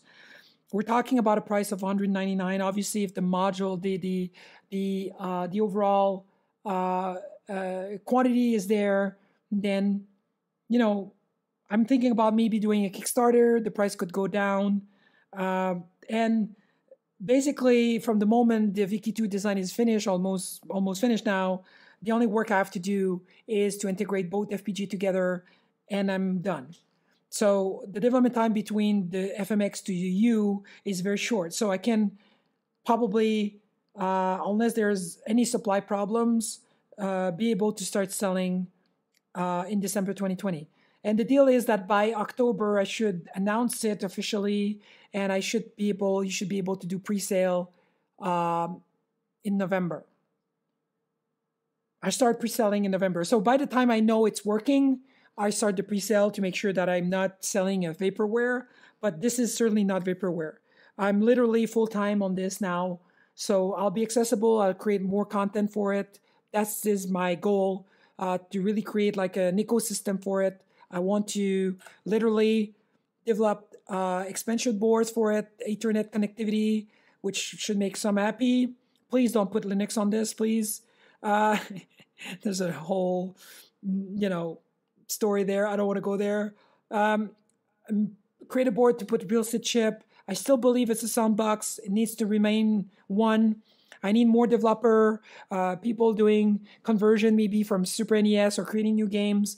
That's what I'm targeting. I want more content for it. It's a great machine. We need to create a community. I want to create a bigger community for, for that platform, and I will work very hard to get there. Uh, Super IO data cards. I'm also thinking about to help those CPU people that want just to design their own CPU, to use their own CPU, to create a Viki II modules to get people access to this Viki module uh, this graphic engine for people to use in their own projects. This is something I want to do. Um, the the trick with this is really to ultimately uh, find a way to having one platform and be able to deal with multiple different processor, which means that I would have to test those processor, and so that will take a little bit of time. But it would be like a single modules with a connector and everything, like piggyback that you could put on your breadboard, that you could interface. Uh, obviously, if you're dealing with a 6502, then I would have to put like some kind of uh, uh, mapped register, bank register that you could change to address all the register you want. Make it like a low, low overhead to address all the memory. Um, I want to do a full game development on the platform. I started doing my own version of Jumpman. My first use case of my streaming is Jumpman, the original Jump, Jumpman, but I don't want to do the whole game, just want to do a couple of levels just to inspire. Again, I really want to inspire people I would like to do also a 68,000 version because it's dear to me, which is would be called the A to the 2560. And that version would be with the keyboard, but it's for longer towards the end of the year. It's going to be on the back. I don't want the pressure. I don't want to make the same mistake again. Um, so at this point, um, I'm drawing to an end. This presentation is drawing to an end. I'm almost at 45 minutes. Um, I, this is my goal for the upcoming months uh, really spend most of my time on this, uh, get the word out, get more people in. I think $200 is a fair price. I think it's a great platform, a lot of potential. Don't underestimate the value of challenging yourself to, you know, target a new system. That's what I'm selling. I'm, I'm selling the idea of going back to the time where you're getting into a new machine, you need to discover it, you need to poke at it, discover its uh, texture and essence and try to get the best out of it. And I know some people are waiting for their units right now to actually do that. Um, demos, if people would get into doing demos, I think it's a great machine to do demos. So a lot of potential. And I'm not denigrating anybody but else. I think the market right now in terms of new retro is awesome. I mean, the Mega 65 is great. Uh, it has its own niche. Uh, the Commander has its own niche. I mean, it has a lot of like a lot of uh, people going in there. It's great. Um, uh, there's the Neon uh, 816. It's a different angle. It's great. all these projects are great for the community, and I think it's a great time to do retro. But for me, I'm coming from a place of I want to discover, rediscover this passion, and I'm so looking forward to go back and to actually do my own games and to rediscover this this this pleasure. And I want to bring people with me on that on that journey. And I hope you can join me. And um, I'm really trying my best to get this out there. And I need your help. Hopefully, you can be there. Thank you very much for your time. Again, Jeffrey, thank you very much to be there, to invite me into this event. Hopefully, next year I can be there locally um, and meet you all. And uh, if you have any questions, please uh, ask the Q&A and or you can go on the website. My email address is Steph, S-T-E-F, like Frank, at c256foenix.com. Uh, there's a Discord channel. Uh, you can find me on Twitter. Very easy to find me on Twitter. I have a page on Facebook as well. So Facebook and Twitter, pretty much where you're gonna find me. Um, and uh, yeah, that's it. So thank you very much. Have a wonderful day. Have a wonderful show. Uh, Jeffrey, thank you again. VCF people, thank you again. Everybody, thank you again. And I will talk to you soon. All right. Cheers.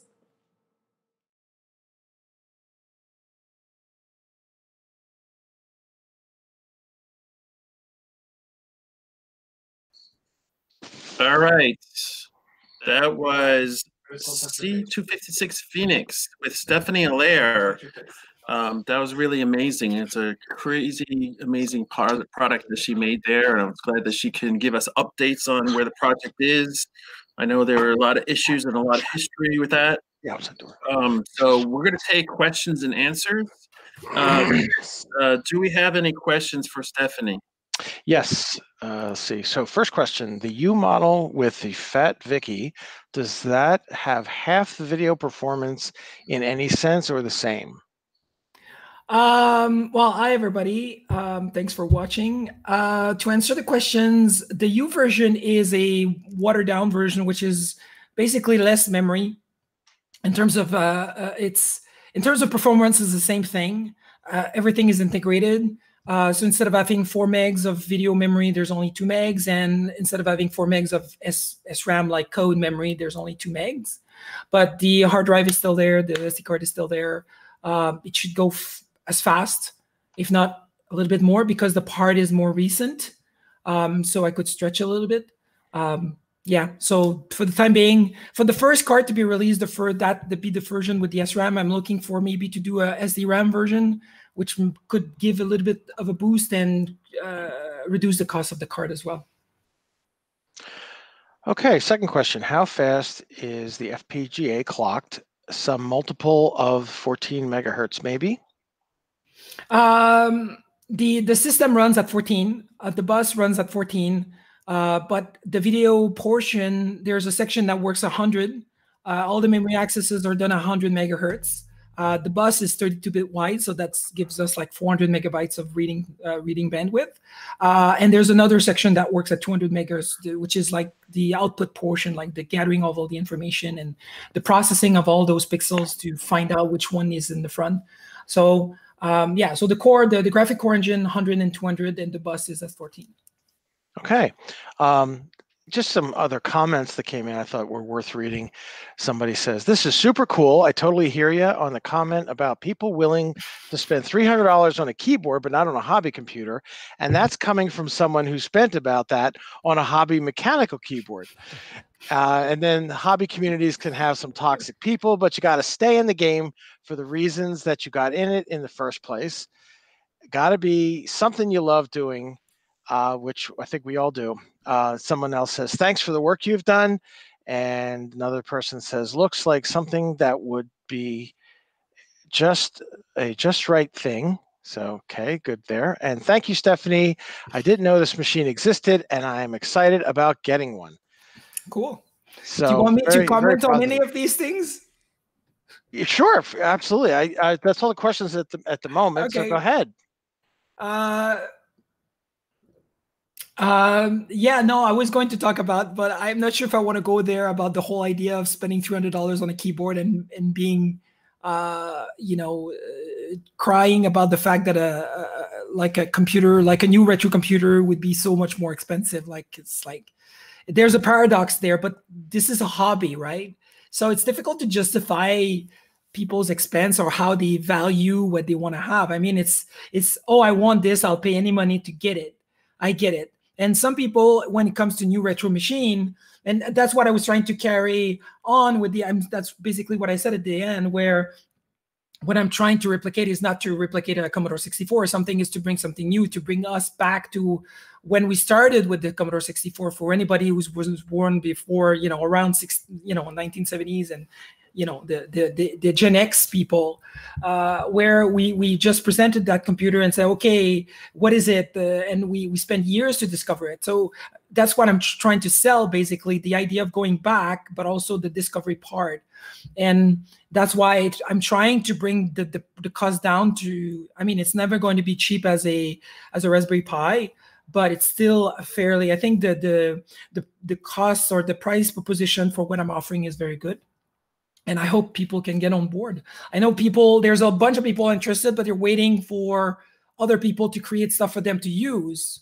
And that, that's what the FMX was about, was really to bring a bunch of people. But uh, there's about 50, 60 units out there. And, you know, life happens as well, you know. So you think that, oh, 50 people, there will be 50 people doing stuff on it and at the end of the day maybe there's like only 15 because you know like i said life happens people get busy and if something is missing for somebody then they might stop and never come back to it so anyway so in, it's it's it's it's a bit infuriating sometimes to see people spending so much money on stuff like this and not and crying about the fact that the cost is so high which in reality is not if you compare the dollar of 2020 and the dollar of uh, 1987 um, but you know, I guess this is what it is. And and to the other thing about it's difficult to deal with people because the people that are unsatisfied are the one to talk, and the people that are happy are not going to say anything. So sometimes it's difficult to grab on uh, positive uh, ideas or uh, people because the positive people are busy doing stuff on your machine. They're not complaining about it. So for the creator, it's it's it's difficult sometimes because you have to deal with the people that are want more and more and more. Um, so it can be taxing, and it was at the time. So hopefully things can get better.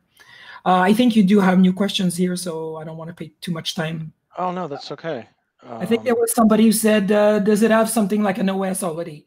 Well, there's the kernel. Uh, that was in the different different thread. Sorry about that. Oh, that's okay. Uh, uh, in terms of OS, I mean, there's a kernel that we're improving every day. Uh, there's the basic interpreter, uh, and there was Mike was doing an OS. He was got busy, and then he's he's about to go back to it. So yeah, the workbench is something we're still working on, and ultimately we'll we'll have to uh, something to offer in the upcoming months. It's something I don't control, obviously.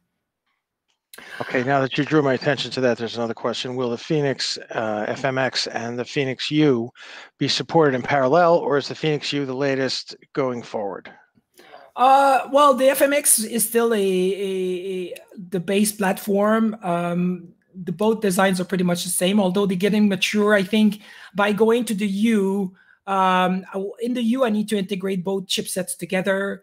Um, I will probably improve on some things. So I really want to bring them both together. Although at some point I won't make any FMXs anymore because they're very uh, tedious. It, it, requires a lot of time to fabricate them, and I would need a machine which I don't have anymore because I don't work where I used to work anymore, where they would, would have machine. So they they will become this very rare uh, units.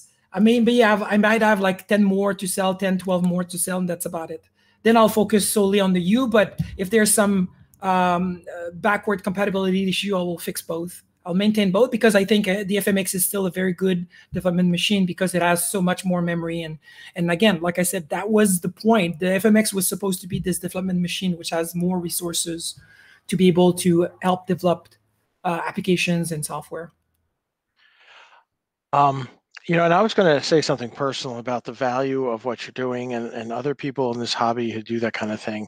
That if if you're just looking at it superficially, you don't understand. Like I it was funny. I, I was uh, working part time doing IT support in a school, and I stepped into a classroom, and the teacher let me talk a little bit about.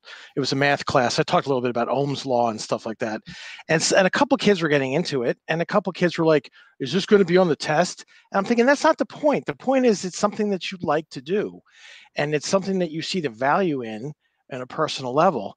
Um, and then along those lines, a comment just came in to the chat. It says, "Thank you for this presentation." It may sound odd, but I found this to be so reassuring today, despite bureaucracies that refuse to fund technologies that have not yet proven profitable and self serving politicians interested in nothing but increasing their own personal power. Hardworking scientists persist, often in the basement or back rooms, working to develop the new technologies that will win, win wars, create new industries that later employ millions of people, and otherwise make the world a better and more interesting place. The contributions of so many unnamed heroes, including the work hidden figures like the Black Brain Trust, are why we have the freedoms we have today. Thank you for working so hard to document and share their stories.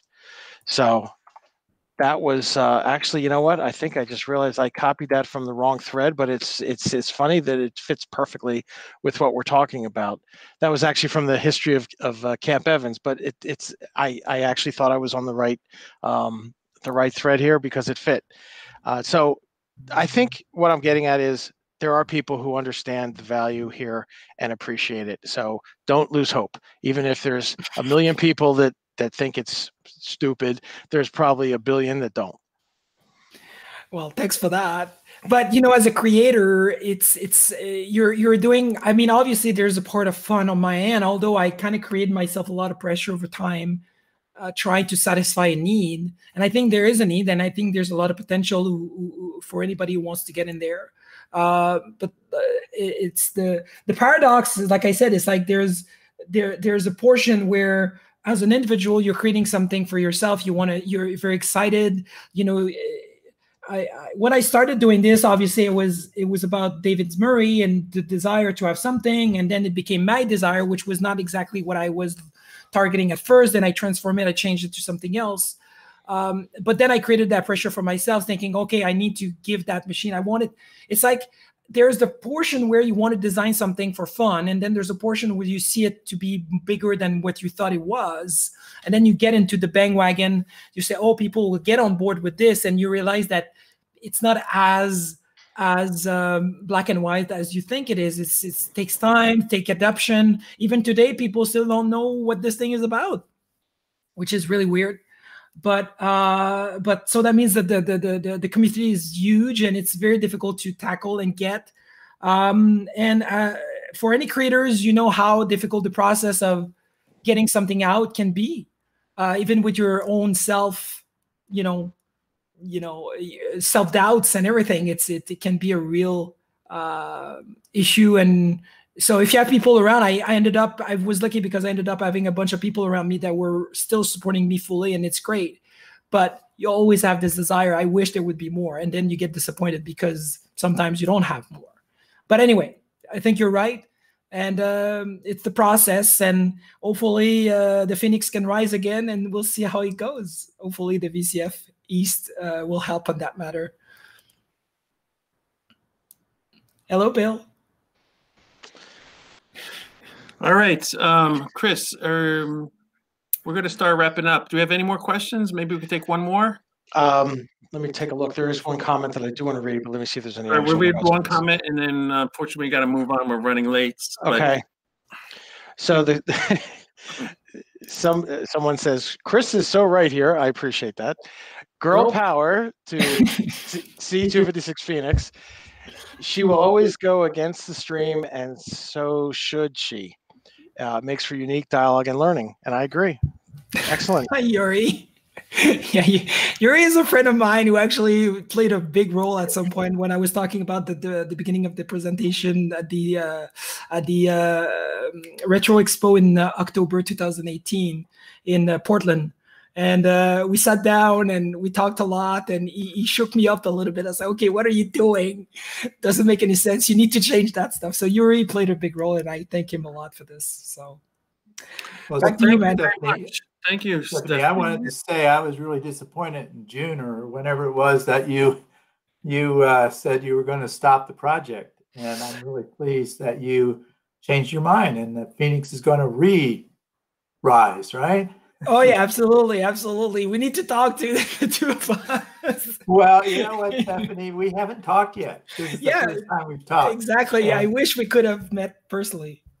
Well, yeah, and so you know, if you have any questions, you know, about any of this stuff, like you Mhm. mentioned earlier, that you you want more information in the data sheet, and I agree with you. And actually, we're looking at ways of improving that, but you've worked yourself through figuring it out. Right. And uh, anyhow, but Stefany, Yeah, I yeah. really I really enjoy what you you're doing, and you know, the price point is an interesting thing because I don't think there's any price. It's priceless what you're doing.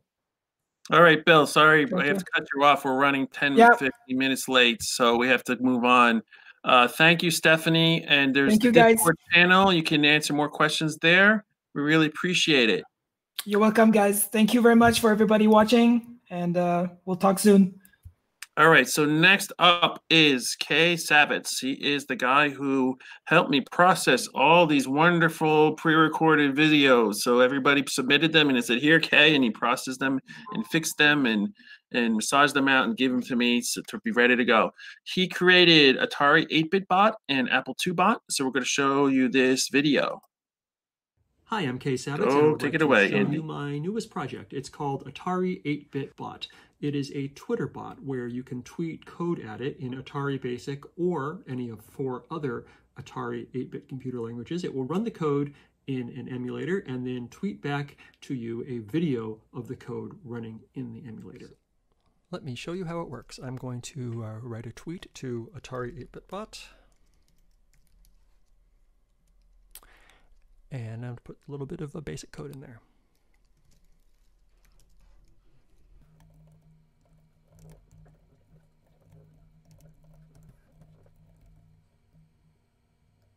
Over here in my basement, I have a Raspberry Pi uh, running a uh, script that I wrote that checks Twitter every couple of minutes for new mentions. And when it finds one, it downloads the tweet, imports the code into the Atari 800 emulator, which is running in an X virtual frame buffer, uh, which is basically a uh, monitor that doesn't exist in the brain of the computer. Uh, it runs the code for a few seconds in the emulator. It records it using a program called FFmpeg. Then it uploads it back to Twitter. And back on Twitter, you can see here's my little program running, bug and all, uh, in a five second looping clip. It's a fun challenge to figure out exactly what you can do in 280 characters of code.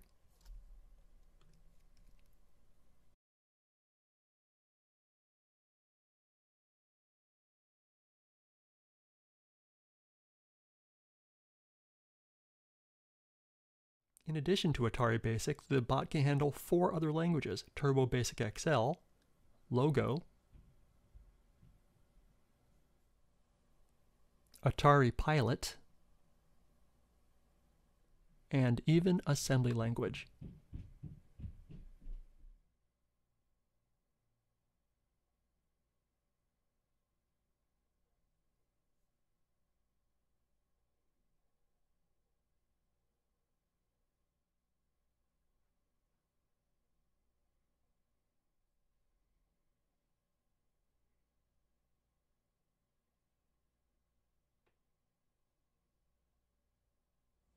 One more thing.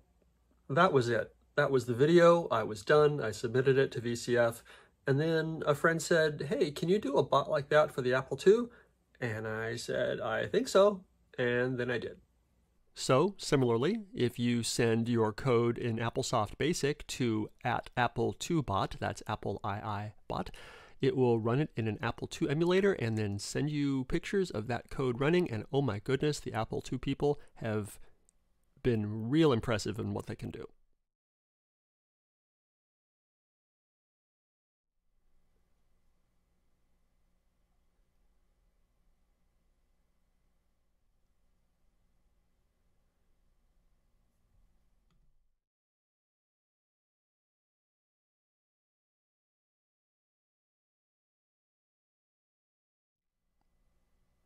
I should say that both of these bots were inspired by BBC Microbot, which is a bot that has been around for a while that runs uh, BBC Basic uh, in the in Twitter in about the same way that these do.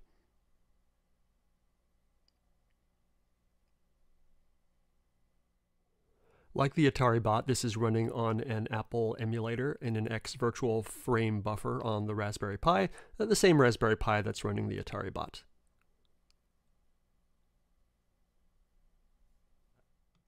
For people who know assembly language, it's pretty easy to stuff an assembly language program into the computer via AppleSoft Basic. I mean, easy for them, not for me. So that's it. I hope you enjoy the bots. Check them out on Twitter. You can find documentation and more information at atari8bitbot.com, uh, same URL for both bots, and I uh, hope you have fun with them.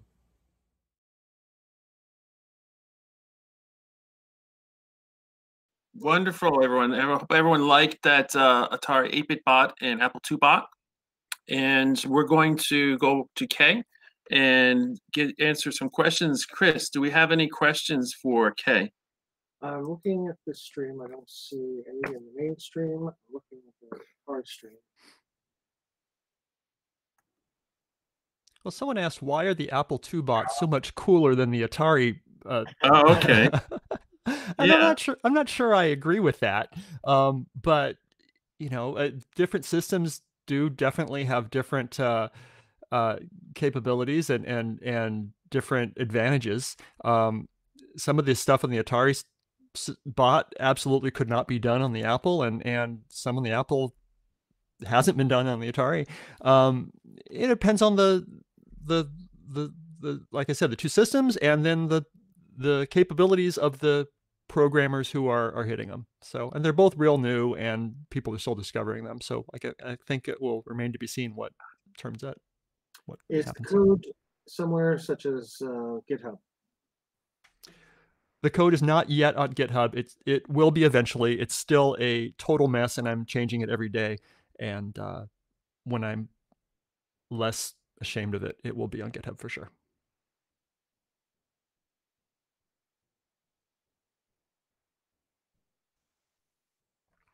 I do also want to say that uh, when the Apple II bot uh, um, was announced, uh, it currently has more than uh, a thousand Twitter followers, and the, in the in the day that it it launched, everyone was hitting it, and my little Raspberry Pi was was heating up uh, because it was doing so much uh, video processing, and the the temperature hit like 85 degrees Celsius, and I didn't have a a real way to, to cool it down. I've I've since bought, but not yet installed these little little fan hats that that uh, you know will will go on top of the Raspberry Pi to, to cool it down. But basically, I I took the it was in a little plastic case. I took the top off the case. That helped a lot by letting the heat escape. Uh, and that, but it wasn't enough. So I took the only way to cool it is I had a a, a room a, a small box fan for the room, and I just like pointed it straight down at the at the Raspberry Pi, and that did the job. So, but since then, uh, it's still getting used, but it's not getting hammered like it was that first day. So, cooling has not been an issue. Okay. Uh, don't see anything new coming in. Um, Pretty straightforward. Yeah. No, a lot of exciting comments though. People seem really, really uh, good to see. Glad to see this. And there's Jeff. All right. Well, thank you, Kay. Thank yep. you for all your help with the videos and Atari 8-bit bot is is really cool. I love it. Um, so um, there's a Discord channel if you want to stay there and watch for a little bit. Okay. Um, and we're gonna have to move on to a live stream. To we're gonna go to Amiga Bill, and he's gonna do internet streaming with vintage computers. I'm ready. Yeah. You know, so or as I say, it's got a good. I like the cough button. Yeah. the cough button. Yeah. I have a wireless, but I like for this thing because I'm, I'm, basically tailored to the camera anyway. What?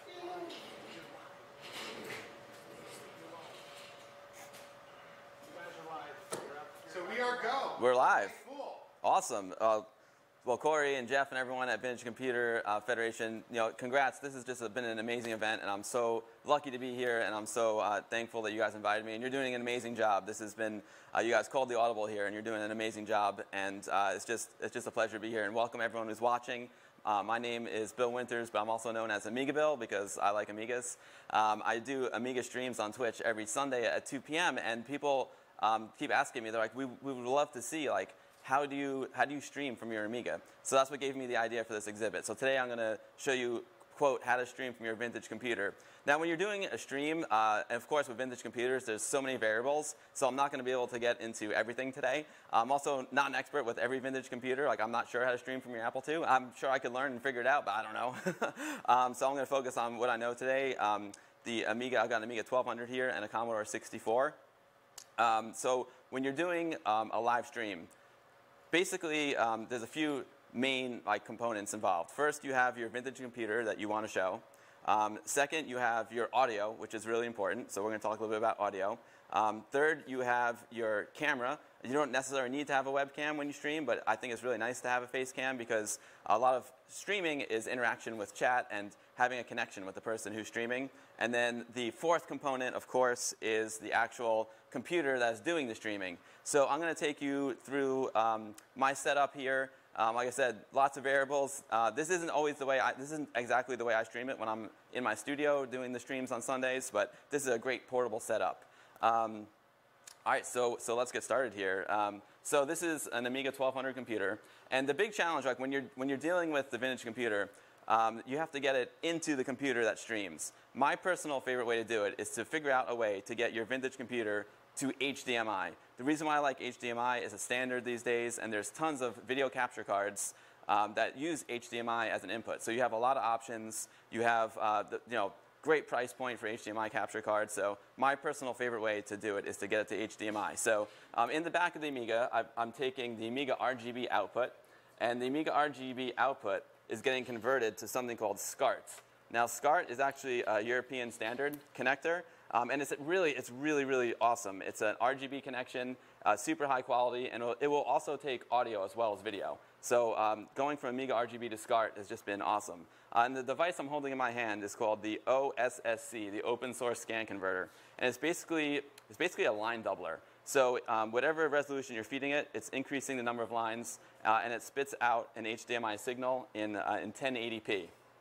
And one of the cool things about this open source scan converter that's really important, especially if you are playing games, is there's, uh, there's no lag. It's a zero latency scaler. And that's super important when you're playing games because a little bit of lag and it makes the game uh, unplayable. And it also does a great, great job uh, with the upscale. Um, it looks beautiful. Uh, there's, of course, there's, like I said, there's many variables when it comes to streaming. So this is just one of many ways to do it. But, so, but not only does it have the SCART, but like I said, maybe your vintage computer, you can't get the SCART. It's also got a component video input. Um, it's also got VGA in, so if you want to do some streaming from like a, a, vintage PC, plugging in the VGA, that gives you a lot of options as well. Um, so I highly recommend the open source scan converter. It's, it's, uh, it's pretty awesome. Um, so then, like I said, it's scaling it, it's uh, sending it to um, the HDMI, and then from the HDMI, I'm going to my capture card. This is called uh, a Magewell HDMI Plus. Uh, Magewell is the brand. Um, it's got an input, so it's got the open source scan converter going into it, and then it's got a pass-through. The pass-through goes to my monitor, so I can see what I'm doing on the Amiga or any vintage computer. And then um, the input is a USB 3 connection that's going to my streaming computer. And that is the essence of how I get the computer in. Um, then uh, as far as audio goes, you, there's a few options. Uh, you can get a USB microphone, or you can get an XLR microphone. USB microphones are getting better, and there's getting to be more options. But if you go with the XLR route, XLR is a professional standard, and um, it gives you so many options, so many great microphones. All the best microphones are XLR microphones. Um, so I've got an XLR microphone here. And then the next question is, OK, how do you get an XLR microphone into your streaming computer? Well, at home, I have a big mixer. And it's an XLR mixer. It's got eight inputs. And it converts it to USB. For this, for this portable um, exhibit, I have something here called the, the Shure um, X2u. And it's just very simple. It's got one XLR input, and it converts it to, to uh, USB. Uh, I think this is USB 2. And then I take the USB 2 and put it into the streaming computer. So this is a, it's a really nice way to do it when for you know, run and gun on the road. But there's nothing like using a mixer. Like I highly recommend using a mixer because when, you, when your profiles get more complicated and you have your, your audio, you have your Amiga's audio, your computer's audio, maybe you have a guest on the show, you get so many inputs, it's just, a mixer makes it so much better. But for today's purposes, I just have uh, this little guy, which is, which is uh, one input. So we got the computer, we got the sound. Um, the next thing is the, the webcam. Now, normally for this exhibit, I was going to put a webcam here on my computer, forgot the webcam at home. Fortunately, I've got, I've got quite a large webcam here, um, but it's pretty cool. You've got, when it comes to you know, getting video into your computer, you got a lot of options. Um, like a, a $40 like Logitech C930 is a great camera. Um, this is a Canon um, C300 Mark II, which is a professional video camera. Um, the, the, the, silver lining in the cloud here is I can show you another cool little device. Uh, but when it comes to like camera choice, uh, it's lighting is always the most important thing, right? If you have a $40 camera with great lighting, it's going to beat a $1,000 camera with terrible lighting. So lighting is the most important. You know, don't let camera price get in the way of you wanting to stream. If you get um, like a $40 webcam with some good lighting, it's going to it's to look fantastic for you. Um, so this C300 uh, camera is running at 1080p, 60 frames per second. I'm taking an HDMI output, and I've got another video capture card here. This is the, uh, the another Magewell. It's a USB capture HDMI. Then the only difference between that Magewell and this Magewell capture card is that this one doesn't have the pass-through. So you wouldn't want to use this to, to capture the output of your vintage computer because you really want the pass-through so you can also see what you're doing on the monitor because in your streaming software, there's always going to be a delay. And like I said, for games, you can't, you can't have any delay. Even sometimes there's such a big delay, even like using the mouse to click on an icon is, uh, is challenging. So I got the C300 going into this, this Magewell capture device, and it's a USB 3 input. I got it going into this hub along with my audio. Um, and then that brings me to the next big part. That is the actual computer that's doing the streaming. Uh, in this case, this is just a MacBook Pro. You know, you can use um, any computer that runs this piece of software called OBS. It's called the Open Broadcasting Software. And it's, it's really, really wonderful software. It's a free piece of software. Um, there's a lot of options. There's many different um, programs that allow you to do live streaming. But OBS is free. It's a great place to start. It's a very lightweight program, and it's very simple to use. Um, so once we're over here in, uh, in the OBS, um, I love to set up profiles. I guess one of my favorite things to do. I love like, the template of my stream. I'm a, I'm a visual guy. I like things to look good. Um, so I made a little template here. Um, you can load in different different assets to the Open Broadcast um, software. So the first thing I did is I made a background. This is a Workbench 1.3 background that I made. Uh, I did some photography and brought it into Photoshop, and I, that's just kind of like my background. Um, over here, this is the open source scan converter going into the Magewell HDMI Plus. So this is the actual Amiga over here. Um, and then here is the webcam. that I, I, feel like that many times when I stream. I feel like that chicken, let me tell you. um, but I got the camera aimed at this chicken, and uh, and he, that's my, my webcam. Uh, and then I put a frame around it. This is a Photoshop image. This is my actual uh, 1084 monitor. And um, I just brought it into Photoshop and I made it into a PNG. I put a transparent layer in the center. So I got this nice little frame around me. It, it's, uh, it makes it a little bit nicer visually. Um, if I was actually live right now, I would have the chat here. Um, talking to the chat is a big part of my streams. I'm really lucky. I got some like so many amazing people that show up in my streams, and the interaction with the chat it's like um, it's like coming to a Vintage Computer Federation meeting where all your friends are here and you can you can have a great time and talk about stuff. So um, I would have the chat here, um, and that is just that's a very very basic profile. Um, at home in my studio, I have many more inputs. I've got I, am a camera guy. I got cameras all over the room, different angles. I get a little carried away with it, but it's, it's a lot of fun. But this is a very, very basic setup. Again, uh, you got your, your webcam slash face cam, and then whatever you're streaming uh, with, whichever computer you're streaming with, and then uh, you know, your background and your chat. Uh, again, there's an infinite number of ways you can do it, and uh, I, I, love, I love designing uh, profiles. It's really, really cool. Now let's say um, you're, you're a Commodore guy. You also love the Commodore 64.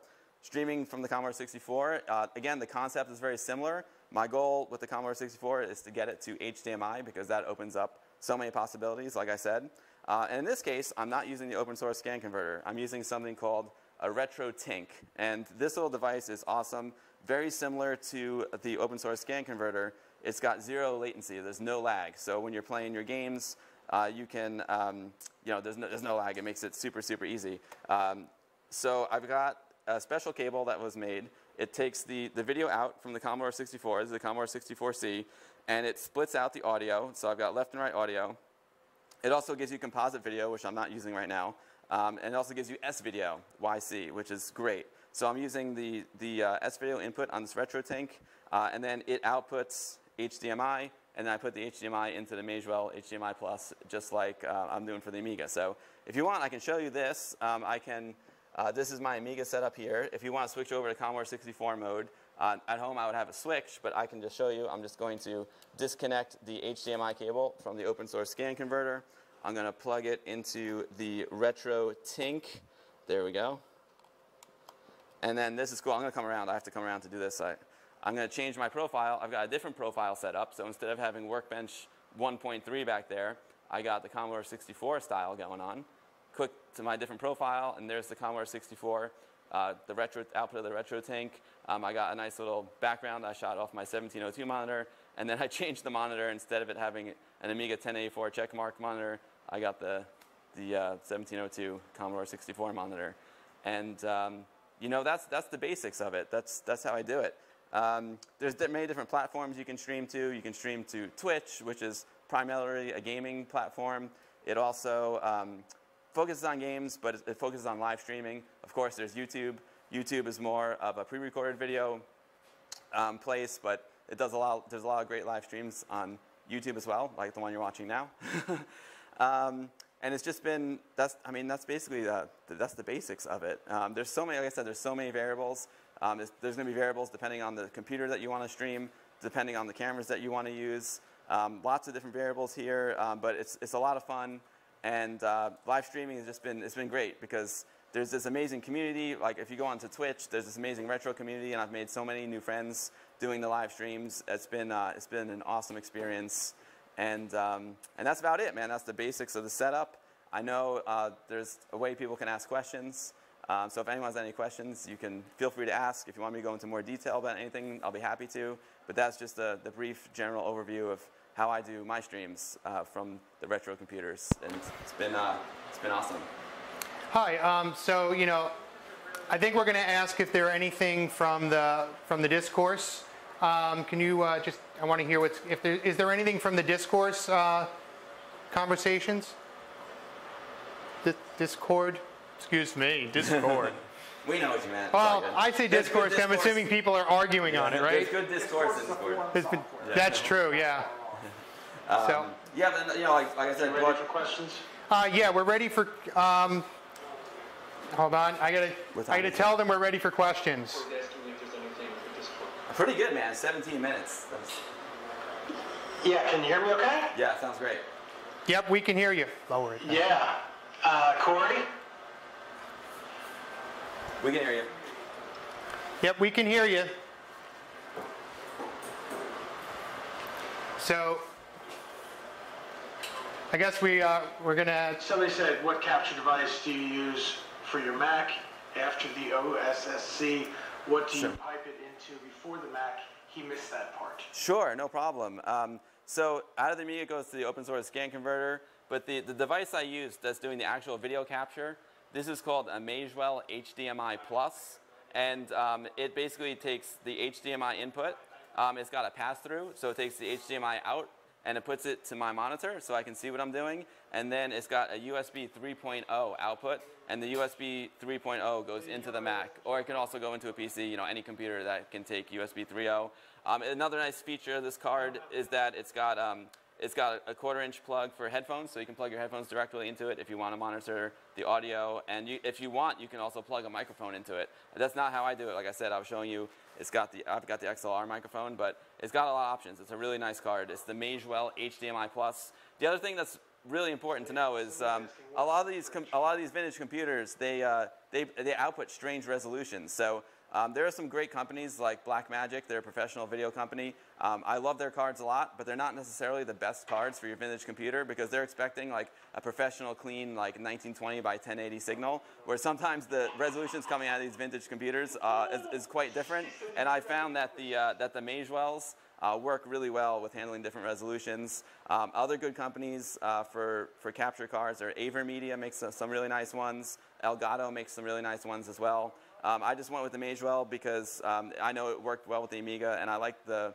I like the flexibility of the USB 3.0. Um, at my studio at home, I've got a four-channel Magewell. Um, it's a PCI card that I plug into my streaming PC, and that's uh, it's great. It's great to have it at home. I use a PC to stream, but when I'm on the road, this uh, this MacBook Pro works great. But yeah, it's a Magewell HDMI Plus. That's the name of the one that I'm using here. So actually, we're, before we see if there's any other questions online, I actually have a question myself. Mm-hmm. Okay. So you mentioned that lighting is really the Yes. most important thing, and I think that gets overlooked a lot. People want to go out and buy like, oh, I've got to have a DSLR so I can go do my streaming or whatever, and they don't realize, as you mentioned, you can do a forty dollar, um, you know, camera. Can you explain a little more of kind of how they might want to arrange the light, or what should they do about lighting, you know, to to make it look better for streaming? That's And, great. You know, Absolutely. Um, you know, I probably, in, in retrospect, I should have brought some lights with me to show you that part, but I was kind of just showing you the, the setup. Um, well, basically, if you're the stream you're looking at now is probably the worst case scenario for lighting because I'm standing in front of a bright window. um, if you, if you, um, at, if you, let's say you're at home, you can start with the idea is to have like nice soft light on yourself. Um, I generally don't like to aim like a hard light directly at a person because you get hard shadows. Um, so what I like to do is I like to use a lot of bounce light. You can get something very simple, like you can get little LED lights and like bounce them into the wall in front of you, and that'll just give you like a nice soft glow. You want all the light to come from like the front. So as you're looking at your monitor, as you're looking at your chat, you have nice soft light hitting you from the front, and you want to minimize the light behind you because otherwise, if there's a lot of light behind you, you'll have like a silhouette look. And yeah, like Corey, like you said, it, the lighting is the most important part when it comes to the camera. Um, like I said, like a $40 webcam with great lighting can beat a $1,000 camera with terrible lighting. Um, if you're completely backlit with a $1,000 camera and shadowed, it's not going to look good. If you're well lit and front lit and have some nice soft light on you with the webcam, uh, it's going to look fantastic. For, for me personally, I use, um, I have these, they're one by one light panels, one foot by one foot and I take one and I literally like bounce it into the wall in front of me. My wall happens to be like a beige color, so it gives it some nice warm light on my face. It's a very rude, it's a very crude way to do it, but it works and it looks really good. And then I have another one uh, aimed at me that kind of gives me a little bit of an edge light. Um, but I get a little bit fancy with the lighting on my streams. But as long as you have nice soft light on your face, um, you'll be good to go with your webcam. Thanks very much. I think that was it. That to me, honestly, because I'm always curious about that, how you can, you know, watch someone with a camera and, you know, you see them writing on something in a sharpie. You can see the sharpie, but you can't read the print on the page because Exactly. the lights are just all wrong, and you think they're like writing on a blank page. Um, so I'm going to ask again: uh, Is there any other questions coming from uh, the internet?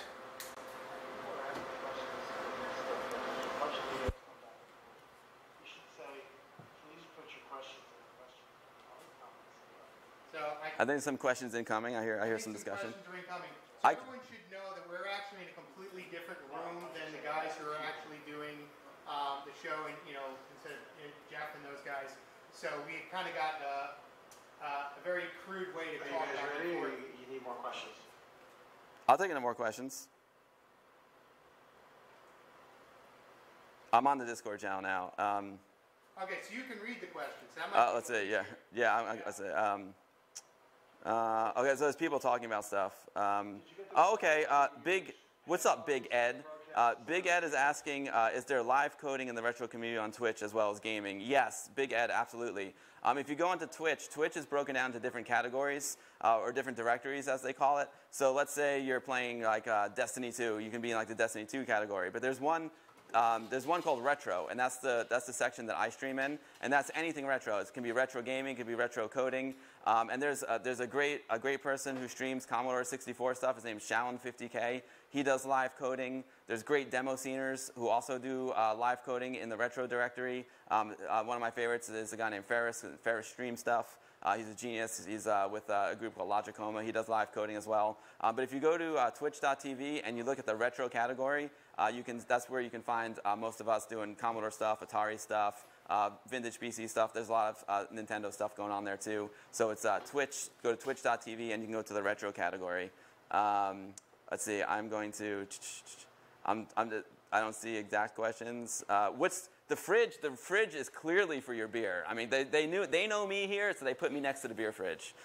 Actually, I'll take responsibility for that one. Um, we actually, I don't, we actually had something covering the fridge, so you guys wouldn't see that we, we are human beings and need to eat, uh, and we borrowed it and forgot to put it back.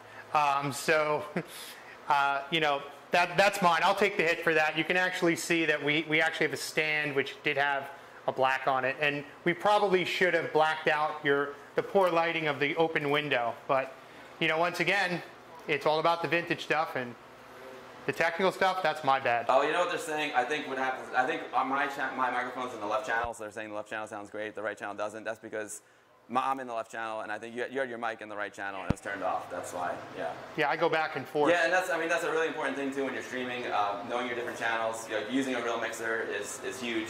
It allows you to control all of that. Um, the guys here at the Federation are doing an amazing job today. It's, but it's their first time ever doing like a live stream from VCF East. So uh, that's the other thing with streaming, right? Streaming is uh, it's very there's a little bit of black magic that happens with streaming. You can be completely buttoned up and ready to go, and uh, you, everything can be technically perfect on your end, and then something will go wrong that's out of your control. So like knowing how to deal with issues on stream is a big part of streaming as well. Do you recommend a headset? Oh, that's a great question. Uh, so the, Hold um, on, we should repeat that one. I'll, I'll so, repeat it, yeah. Uh, the question is, do you recommend a headset, uh, headphones? And I absolutely 100% recommend headphones. That's a great point. Uh, the reason being is because when you ha have a live microphone, if you have uh, speakers in the room that are on, you're going to get feedback. So having um, headphones on your head will eliminate the feedback. So the room is quiet, um, but you can hear the game and you can hear um, anything else that you'll be playing. I also, um, when I do my streams, uh, at home, I have, uh, I have my microphone going into my headphones to make sure that I'm not overmodulating or anything. So I'm monitoring myself, which is tricky and takes some practice, as well as uh, what I'm doing on the Amiga. And I usually, when I'm like reading something, or if I'm reading some Amiga news or something, I usually have music coming out of the Amiga. And then of course, when I play the games, I have the game sounds coming out of the Amiga. So yeah, headphones, that's a great point. Headphones are really, really important. You don't want to get the feedback or echo. And with any vintage computing, um, I think you also keep the fire extinguisher handy. Oh yeah. Yeah. um, I've seen I've seen one or two streams where the guys don't realize and there's a little bit of smoke coming up in the background because you want to you want to catch that early so you don't you know keep it family friendly with the language. Um, are there any more questions on the, the Discord Oh, that's, channel? yeah, so Jerry, Jerry said, why do you use headphones on the broadcast instead of PC speakers? That's exactly what that's exactly. So, so actually, uh, we should. That's actually why we're completely disconnected with the other room. Uh, we want, in order to avoid the feedback of our microphones and other things, there's kind of a disconnection with the other room on purpose, and um, and we're not wearing headphones in here, um, so that's the exact same thing. You always have to be careful. Yep. Yep. I'm looking at the at the questions here in the Discord. Um, the, see, the fridge, the fridge would make a great bounce guard because it's white. Lots of people typing. Cool. Um, uh, just you know, another another here's another piece of equipment that I didn't show you. That's pretty cool. Um, I also do live streaming from my video toaster. The NewTek video toaster is a live video switcher for the Amiga, and um, when I when I take some of the some of the cameras that I connect to it, um, I need to convert to some of the vintage computers I use with the vintage cameras I use with the toaster. You know, they have uh, composite video output. Uh, but if I want to go directly, if I want to, you know, from the toaster to, to my Amiga, I mean to the streaming computer, uh, this is a little box here. This will convert uh, composite video to HDMI. Uh, so that's, uh, this is a cool little device. This is a very inexpensive device. It's a, it's a GANA. It's something I picked up on Amazon. Uh, the downside to this device is that it makes everything 16 by 9 aspect ratio. So when you, you know, when you bring in like a 4 to 3 vintage computer signal, it's going to stretch it to 16 by 9, but you can just correct for that in your streaming software and just get it back to the 4 to 3 aspect ratio. But this has been a really handy little one, especially uh, when I take the output of my video toaster and I want to stream the output of the toaster, or if I want to take one of the, the vintage cameras that I connect to the toaster and put it directly into my streaming computer. Um, I have something, I've got a VHS camera that I use as my webcam. I call it VHS Cam, and this is how I get VHS Cam into, into my uh, streaming computer. It's got a composite video out, and then it converts it to HDMI, and I correct the aspect ratio in the, in the OBS. Uh, Okay, is there any other questions? If not, um, Bill Lang, Bill Lang, I'm expecting, we got to do a stream together, Bill Lang. I got, a lot of people are asking about Atari 8-bit streams on my channel too, so we all know that Atari 8-bit, um, Jay Miner, Joe Decuir, fathers of the, father of the Amiga, also father of Atari VCS, so uh, we got to do that, Bill. yeah, we should set up something like that for, uh, for you know, we'll have a vir- another virtual something in the middle. That'd Maybe get everyone together. That would be great, especially if we can do it from the studios. Yeah. So that, uh, you know, uh, us semi-amateurs like me who keeps uh, walking in front of the camera and you know, bouncing chickens in front of the lenses. The, um, so they're talking about the channel swap with my. So what's happening, guys? Here is um, the output of Corey's camera. Corey's shooting this. It's got a stereo output, right? So it's got left channel, right channel. So I'm in, I guess, the left channel. He's in the right channel. Now what you can do in OBS in the other room is you can set that input to mono, and if, when you set it to mono, you wouldn't have that left and right, um, that stark separation between the left and right channel. Um, so yeah, so there, we learned. but I don't separate. It's so funny because Amiga is also the Paula chip. It's got hard left and hard right channel. Some people are like, oh, I love it when it's like everything's, you know, I love it that way, or we should play it in mono because I prefer the song to be in mono. So it's, it's an interesting one. Yeah, we were doing some of the mixing on the camera, and I guess it messed them up a little bit. And Oh, gotcha. I was trying to play around with it. Gotcha. So it's once again, this is the live streaming kind of stuff, right? yeah. Where you know you, you you never know till you get there, and it seemed fine before, and now it's not, and so we have to adjust some stuff. And you know, it's great to get like feedback from from people too, like on the stream, because it's when you're doing it all by yourself, it's really hard to like do all this stuff and monitor yourself at the same time. Like, are my levels okay? Does the stream look okay? It's when you're when you're doing it like all by yourself, like a one person band, it's really hard. So it's always nice when someone if someone chimes in, it's like, oh man, it's um, you know the, the your stereo separation uh, isn't right, then I'll I'll be able to fix it. So Yeah, know, like instead of finding out later. Right? yeah, exactly, exactly. Um, It's like Yeah. it's like shooting a wedding and then finding out later that uh, you know you had your you know the audio down or too high up. Yeah. Not much you can do about it then, but in a stream, you, as long as you're on your feet, you can you can adjust. yeah. Um, Yeah, I think we have time for one more question, uh, and then we really have to turn it over to these guys. Sure. So, um, pick a question. Okay, yeah, ten mark. I think uh, I think the RetroTink. Uh, what's up, dude? Is, is great. I love the RetroTink for the. It works for the uh, the Commodore. It works great for the Atari. You just need a different cable because the pinout on the actual uh, like Atari like 800XL. Uh, there's fewer pins than like this Commodore 64C, uh, but there's a company. Uh, they're in the United Kingdom. I don't have the name handy, but they make these great cables um, that convert it to S video, and uh, it works great. I haven't had a, a ton of experience with the RetroTink yet, um, but it's so far it's been it's been really good, and the quality is great. Um, obviously, when you can see the difference between the S video quality and like the RGB output, you get spoiled with the RGB output because the RGB is beautiful. But the uh, the RetroTink does a great job, a really really great job. Um, yes, and I'm rocking the Vicky Pixel Vixen Amiga 500 T-shirt, which is gorgeous. Well, th- thank you very much for, for everything. Um, we're, we're just about out of time. Um, I do want to, you know, introduce the fact. Oh, thank you. Really, I, I learned a lot, and I really want to, you know, do these kind of streamings and just have to learn so much. There's so many Uh, variables. Like- yeah, exactly. Um, so right now, uh, I think we're going to talk about the uh, the PDP-8 uh, I and peripherals and the CalComp plotter. Uh, Dave Gesswein will be uh, presenting that, and um, you know, thank you very much for for really showing us some cool stuff. And really, th- that Amiga is amazing. I just got to tell you that that is just the coolest. Hi, I'm David Gesswein. I showed operation of the original PDP-8 model for VCF West, uh, running the uh, basic paper tape system. Uh, I'm going to show you a nicely configured 8i with uh, several peripherals for this uh, video. Uh, this configuration is much nicer to use. Uh, it can assemble the previous demo in 9 seconds and this demo in 30 seconds. Uh, the 8i is the first PDP-8 using integrated circuits. This 8i has 8K of memory, the extended arithmetic element multiply divide option, high-speed uh, paper tape punch and reader, and a plotter uh, interface. Uh, the plotter you can't currently see. The PDP-8i was introduced in 1968. Uh, attached to the PDP-8 is a DF32 32K word uh, disk drive, which I'm actually going to use this time, and AX08 laboratory peripheral. And I'm using a VT52 uh, terminal instead of the teletype. Uh, the VT52 is uh, from 1975. The DF32 is a fixed head disk with five four-pole heads, giving it 20 tracks, with 16 used for data. Since the heads land on the disk surface, DEC recommended not powering off the drive. I have had it working, but it was not terribly reliable. I'm using a board that emulates uh, four DS32 expander disks and stores the data in battery-backed SRAM on a board I made. Uh, that gives me 128K words of storage. Uh, this drive is not divided into sectors and can read and write down to a single word. The AX08 is a multi-channel uh, ADD converter. There are four inputs on the front, and I'm using one of them.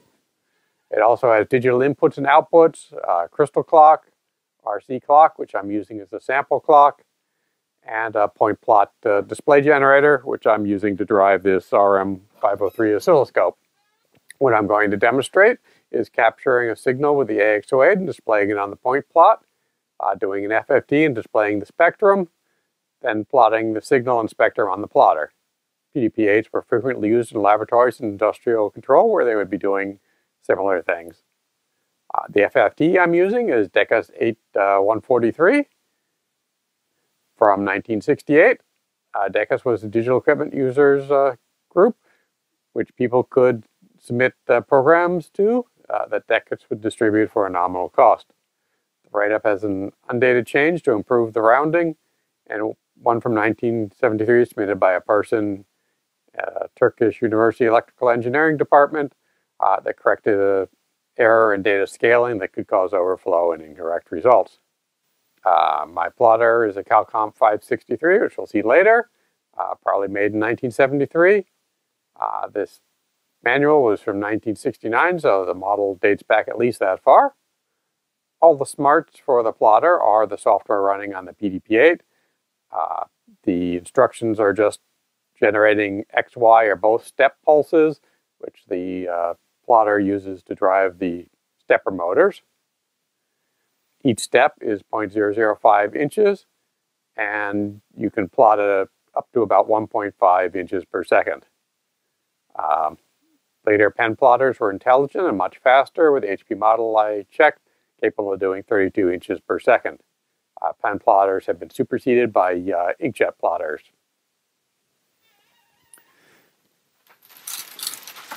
When you're plotting data, uh, grid paper like this was available that uh, allowed you to then uh, accurately measure the uh, points on your plots. And here's some of the accessories where you have these optical sights that you'd use to align to the grid. And there's also an adjustment wheel on the plotter uh, you would use to match its motions to the exact uh, grid on the paper since paper uh, size changes slightly. There were a number of options. Uh, this is a pressurized ink uh, ballpoint. Uh, it's basically a smaller version of the Fisher Space Pen that, that was available in a number of colors. They had normal ballpoints.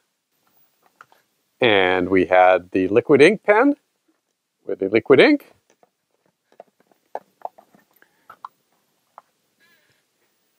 And felt tip pen. And the various uh, pen bodies that they would go into. I'm now going to start the uh, PDP-8i. Uh, I'm running disk monitor system. I'm just going to uh, restart the operating system that's still in the non-volatile core memory.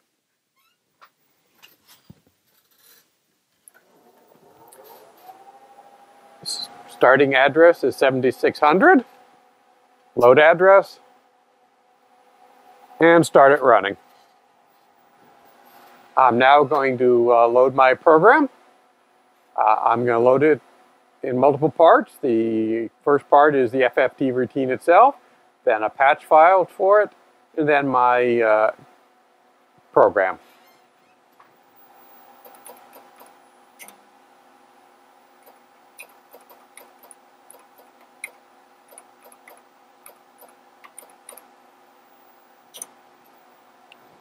Now tell it the starting address of my program, which is 200. And tell it to start executing.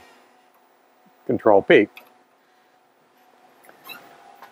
Now you can see on the oscilloscope uh, the sine wave that I'm putting in from this function generator. Each data sample is one of the dots drawn by the point plot. Now if we crank the frequency up, it's a little harder to tell it's a sine wave. We'll freeze that. And then take the FFT.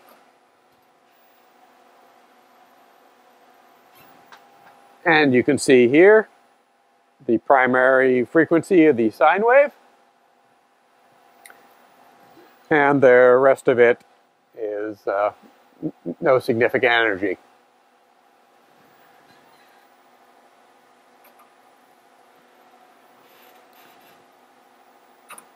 Started capturing again.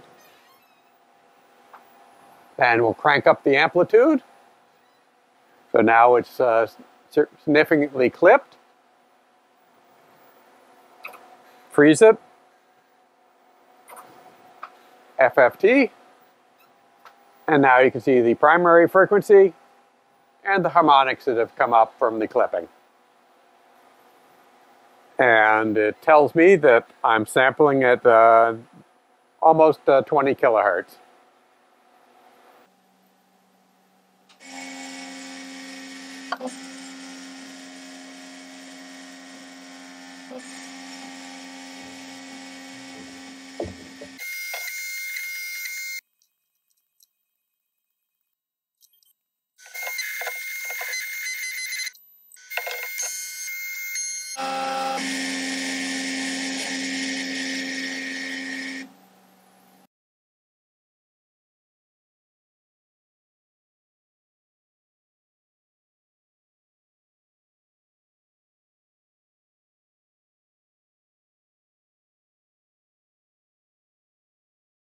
Do a follow-up presentation. He had done the the PDP-8 demo, and now we did the PDP-8 slash I.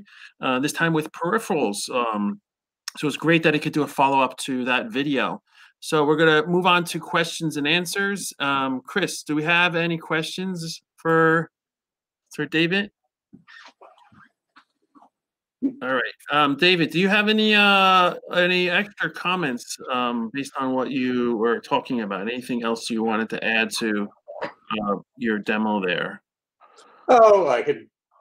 Yeah, while I was filming the video, of course, the computer decided to act up, which was you know, this uh, A604 board in the uh, AX08 peripheral. Yeah. It looks very similar to some of the cards that are in the UNIVAC 1219B in the Burroughs.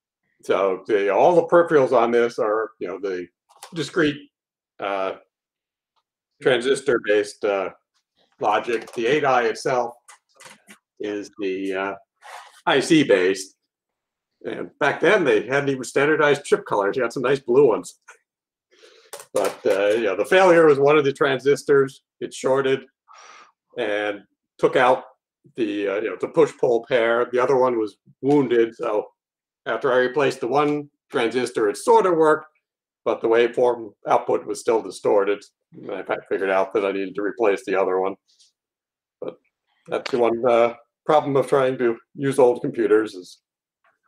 Yep. Hey, David, somebody uh, commented it's basically a giant microcontroller, and then they ask how fast can go with the sign S Y N E, or maybe they meant to say sync. Uh, yeah, the How fast can it go with the sync? Yeah, if I'm sampling at uh, 20 kilohertz, you know, Nyquist would limit you to sampling a 10 color sine wave is the, the highest you could uh, sample accurately without it aliasing. Okay. Does the 8i have lamps or LEDs? Those were uh, lamps. Because that was from what year roughly? Uh, I think, uh, what was it, uh, 68? Oh yeah, Uh, LEDs would have barely been lighting up like like that. 70, uh, but it was introduced, I think, in 68. Yeah, sorry. The the question earlier was uh, he corrected it was sine wave sine. He meant to say how fast can it go with the sine? So I had the, you know, it's sampled with code, you know, it doesn't, you know, directly do any sort of DMA type things into memories. So with the code I wrote, um, it's about 20 kilohertz is as fast as it will run before it, it will start dropping samples. Uh, with little, you probably could restructure the code a little bit. Uh, I have it actually doing uh, one of those knobs on the front I read to use as the threshold for a trigger. But that extra logic to do that then slows down how fast I can sample. If I just just did sampling, it can uh, get somewhat faster. What operating system is the PDP-8 running? Well, I was running was disk monitor system, which is a very simple operating system uh, that would run off those uh, DF32 or RF08, which was a bigger version of the DF32 or DECtape. Uh, the most popular operating system for the PDP-8 was OS8. Uh, that requires 8K uh, of memory. I wanted this demo to also be able to work on the straight 8, which only had 4K, and disk monitor system will run in on a 4K machine.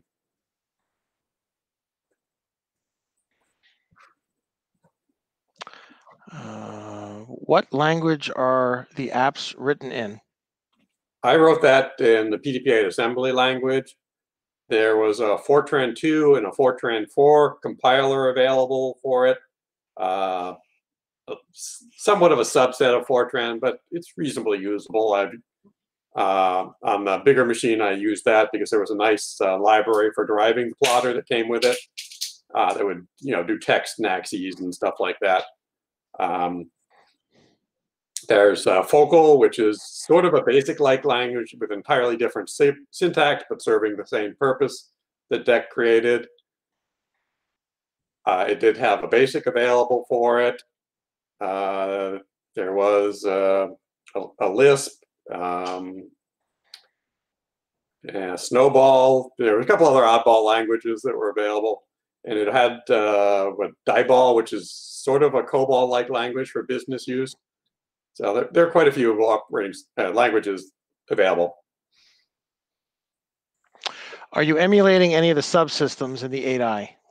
The only thing I was emulating is uh, the D DS32 expanders due to the uh, issue with uh, the actual using the actual platter on that drive. So yes, I did have the board with solid state uh, memory instead of using the real platter on the drive, and it actually the, one DF32, which was a master, could have three slave DS32s to expand the capacity. My board is really pretending there are four slave DS32s. So I'm not actually using the uh, disk in the master, but it's using most of the electronics except the low level uh, stuff that directly interface to the platters. The rest of it is real. We have a big thank you. It's lovely to see a real PDP-8i running. I can uh, echo that. And I guess the other cheat I did is, you know, the the clock board for the serial port, they only supported 110 baud for a teletype, but it's just a simple RC oscillator. So I changed the capacitor on it. So I'm actually running at 4800 baud. And how much power does it require? Um, the whole setup runs fine off of a 15 amp outlet. Uh, it does not share with too many other things at VCF when I've had this there. We've had the uh, good old, uh, we need to rearrange who's plugged into what outlet. Oh, yeah. Too many things on the same circuit. Yes, yes, very interesting and fun times. Okay, uh, double checking. I think it's all we have right now.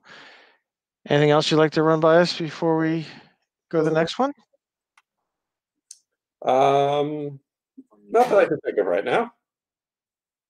All right. Well, thank you, David. That was uh, wonderful to see you do that. And uh, as you can see, the you know because of the virtual show, we could do a lot more with people that have their stuff at their home already set up and working and looking pretty too because you know you fix up those things over the years and and you often find it difficult or impossible to move a lot of stuff so it's great that we you could show off the stuff that's in your house there.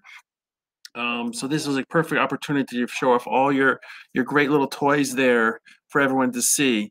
Um, and maybe uh, we can see the next VCF East, um, or maybe a small subset of it. But uh, I was, I was, thank you for uh, showing that off. Um, we like to have like the older computers, uh, the 60s. You know, we have a lot of micros, but you know, we like to see some of that stuff. And um, I, I enjoy running the, the museum's PDP-8s, learning how to key in stuff. And because the first when I first saw it, I was I grew up in the micro era in you know early '80s. Seeing something like that is like I don't know how to do it. So I was glad to learn how to program that and to run programs on that. So thank you for your video. David, just I should comment that in the last 30 seconds there have been a flurry of thank you, very nice, good demo, and and and things like that. So I just uh, I want you to know, and we definitely agree with them with that sentiment. All right, David, I don't know if you're on the Discord channel, but if you are, then there's a channel there for you to answer any further questions for people. Um, but otherwise, um, how would people get in touch with you if they've had any questions about your your equipment and and your and what your your video was about? Yeah, my website's uh, www.pdp8online.com, and you know my email is djg at pdponline.com. All right, thank you, David. That was And wonderful. the uh, cat's name is Pi. Hi. yeah, I love the cat. I love the cat. That was one of the things I noticed. All right. Well, thank you, David. Um, hope to see you again soon. I know you're going to be helping us out with um, uh, various things here. Um, maybe in January you'll have be able to come back. Uh, so I will see you around, and thank you for the video. You're welcome.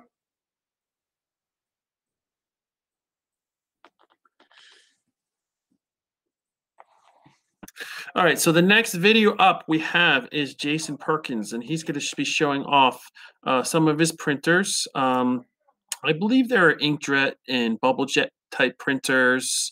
Um, it's really interesting. He's going to, you know, you'll see what what what it's all about. So I don't want to spoil anything. So uh, without further ado, we're going to show Jason Perkins and his vintage vintage printers. Hi, I'm Jason Perkins from Springfield, Virginia. I'd like to welcome you to my VCF East 2020 virtual exhibit on printing. I'm going to show some various types of printers.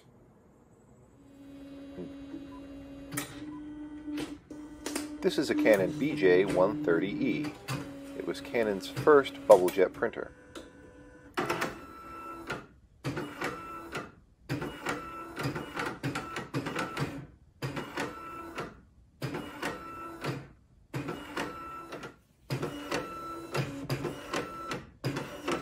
This machine was introduced in 1988 and was Canon's second generation inkjet technology.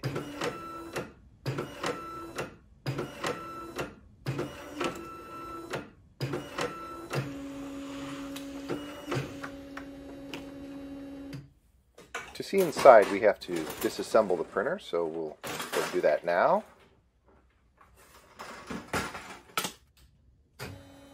The print head is automatically capped and cleaned by the machine.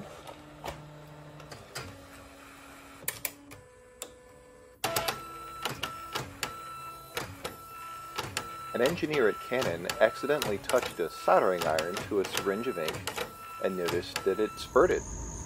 Inside the print head are small tubes and small heating elements which boil the ink and push drops onto the paper.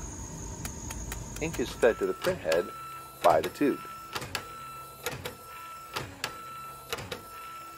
And drawn by capillary action up from the print cartridge. Waste ink returns through the tube at the top of the assembly.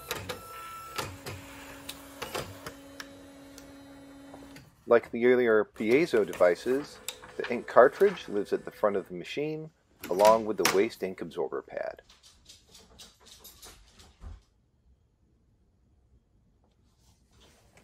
This is a Panasonic side writer LED printer.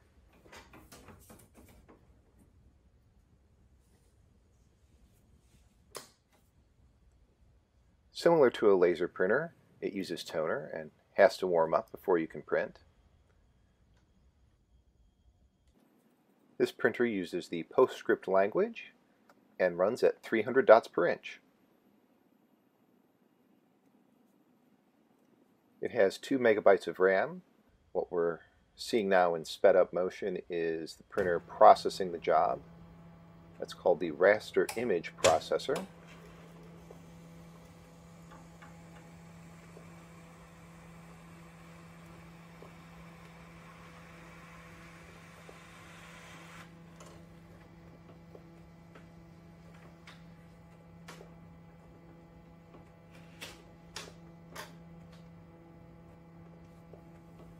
It's quiet, and the output looks quite nice.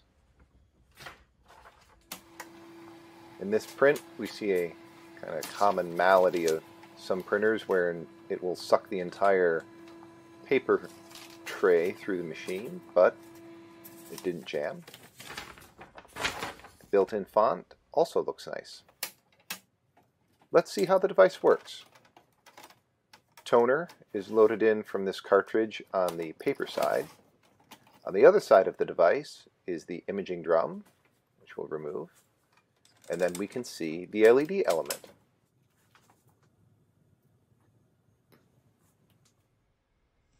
Each dot on this strip is an individual LED that will expose one pixel on the imaging drum.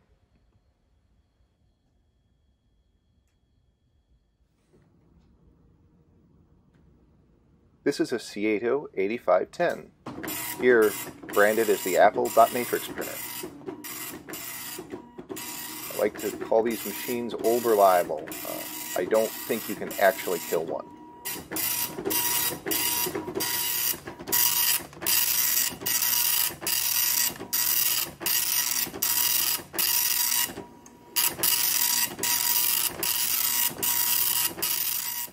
This is a 9-pin dot matrix printer. Like all dot matrix printers, it uses a nylon ribbon which is impregnated with ink. It gets pulled through the cartridge as uh, the head moves. You can see the little spring-loaded drive there. Let's take the print head off.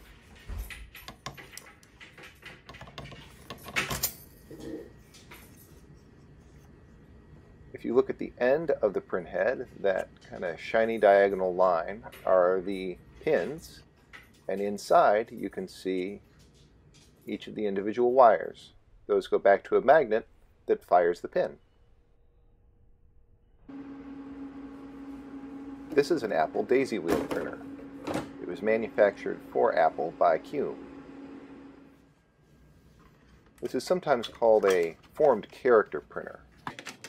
Inside the machine is the typing element, and on the element are all of the individual letters. These get struck by a hammer to be imprinted on the paper.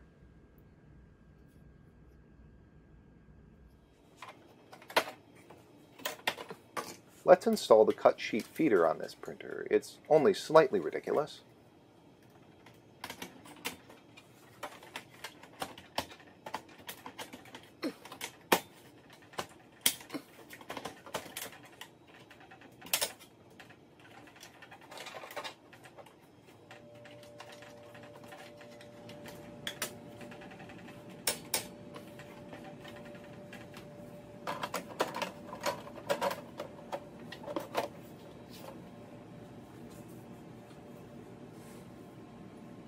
Can't forget the paper out tray.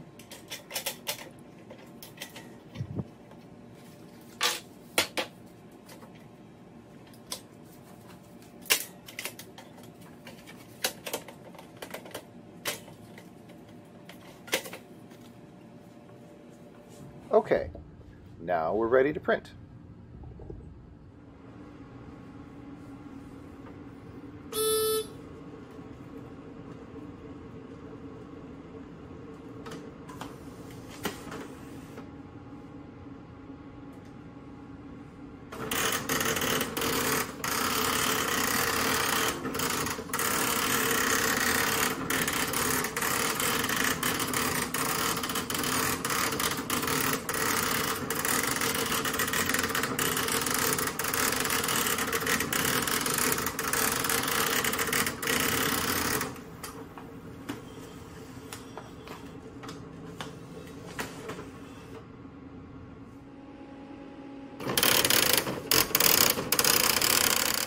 Daisy wheel printers offered vastly superior print quality to a dot matrix printer using the same type of element as many typewriters.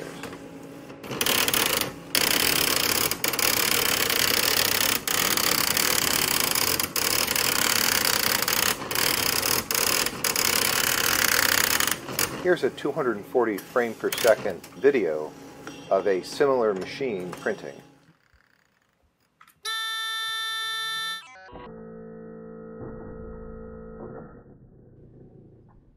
Notice how the movements are not stepped. This machine uses servo control to run as fast as possible, 30 characters per second.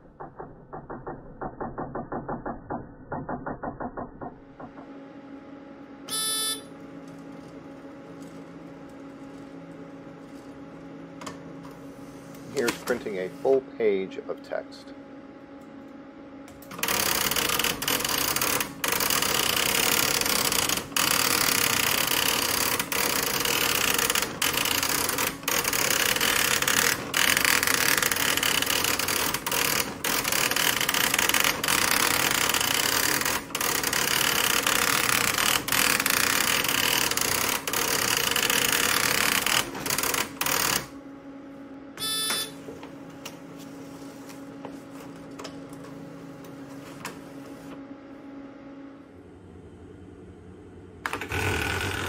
NEC put a slightly different spin on this technology with their SpinWriter series.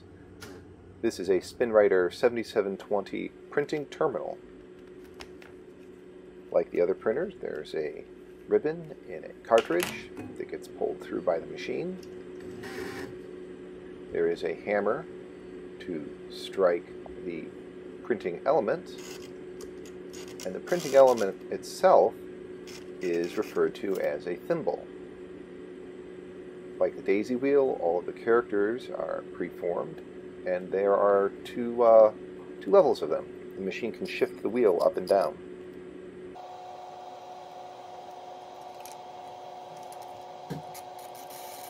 The buzzing sound is the servo control on the machine fighting me as I shove the pieces in.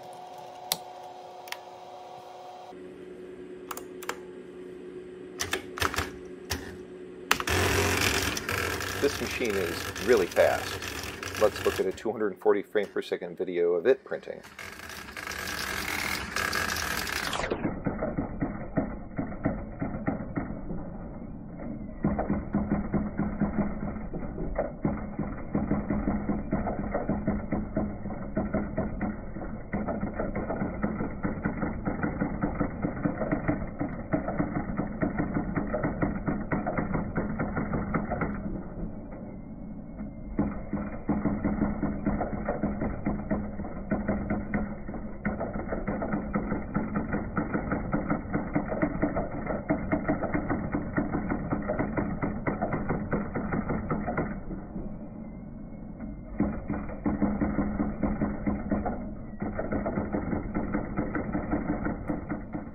This is a terminal, let's connect to IRC.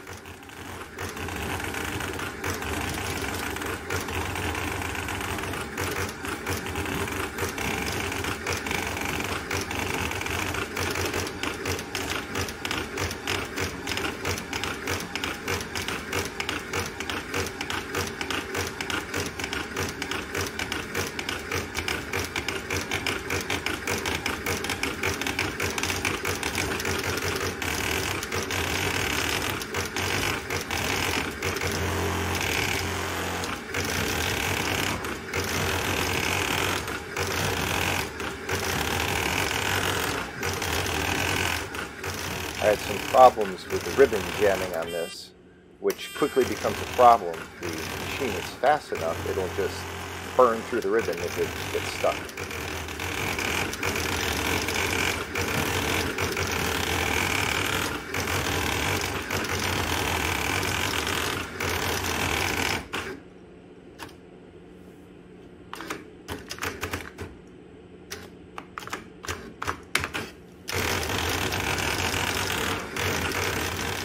Notice that the machine moves the print thimble and ribbon out of the way when it's done printing so you can see the paper more easily.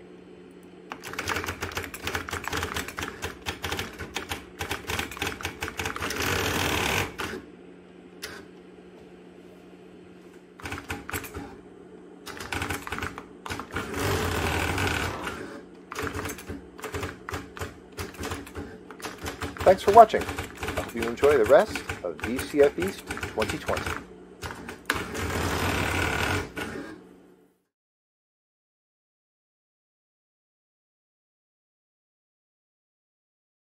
All right, welcome back, everyone. That was Jason Perkins and Printers. That was pretty awesome. Um, I loved how he did the super slow mo with the different um, uh, impact printers. So we're going to have some questions and answers for Jason. Um, we're gonna we're gonna see on the Discord channel and the microphone. Uh, send us your questions. Uh, but Jason, you want to add anything to what you did, did there, like how, you did it and, and how you collected it? Um, well, I guess I say about collecting it that uh, I was actually talking with Ian Primus the other day. Uh, we were bemoaning someone on eBay wanting a lot of money for an old broken printer, and he's like, I think 75% of the people who would actually be interested in that machine are in this conversation. so, um, do you find that there's a lot of people interested in printers, like as a as a sub um, subgroup of vintage computer collectors? I I don't. Um, it seems like a lot of printers, you know, for the longest time, think about it, uh, VCF Midwest.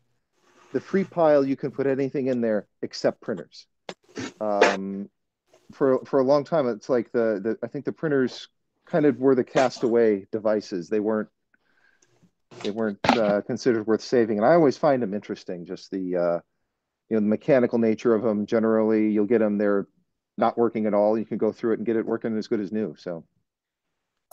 So how does the, these, these type of printers relate to your interest in typewriters? Because I know you have some, what is it, Sylvania printers? What is the kind of printer? Uh, the the Selectric. Yeah, Selectric. Yeah. Yeah. So, so how does that relate to the, these printers, the, the typewriter, you're interested in uh, vintage typewriters? I don't know.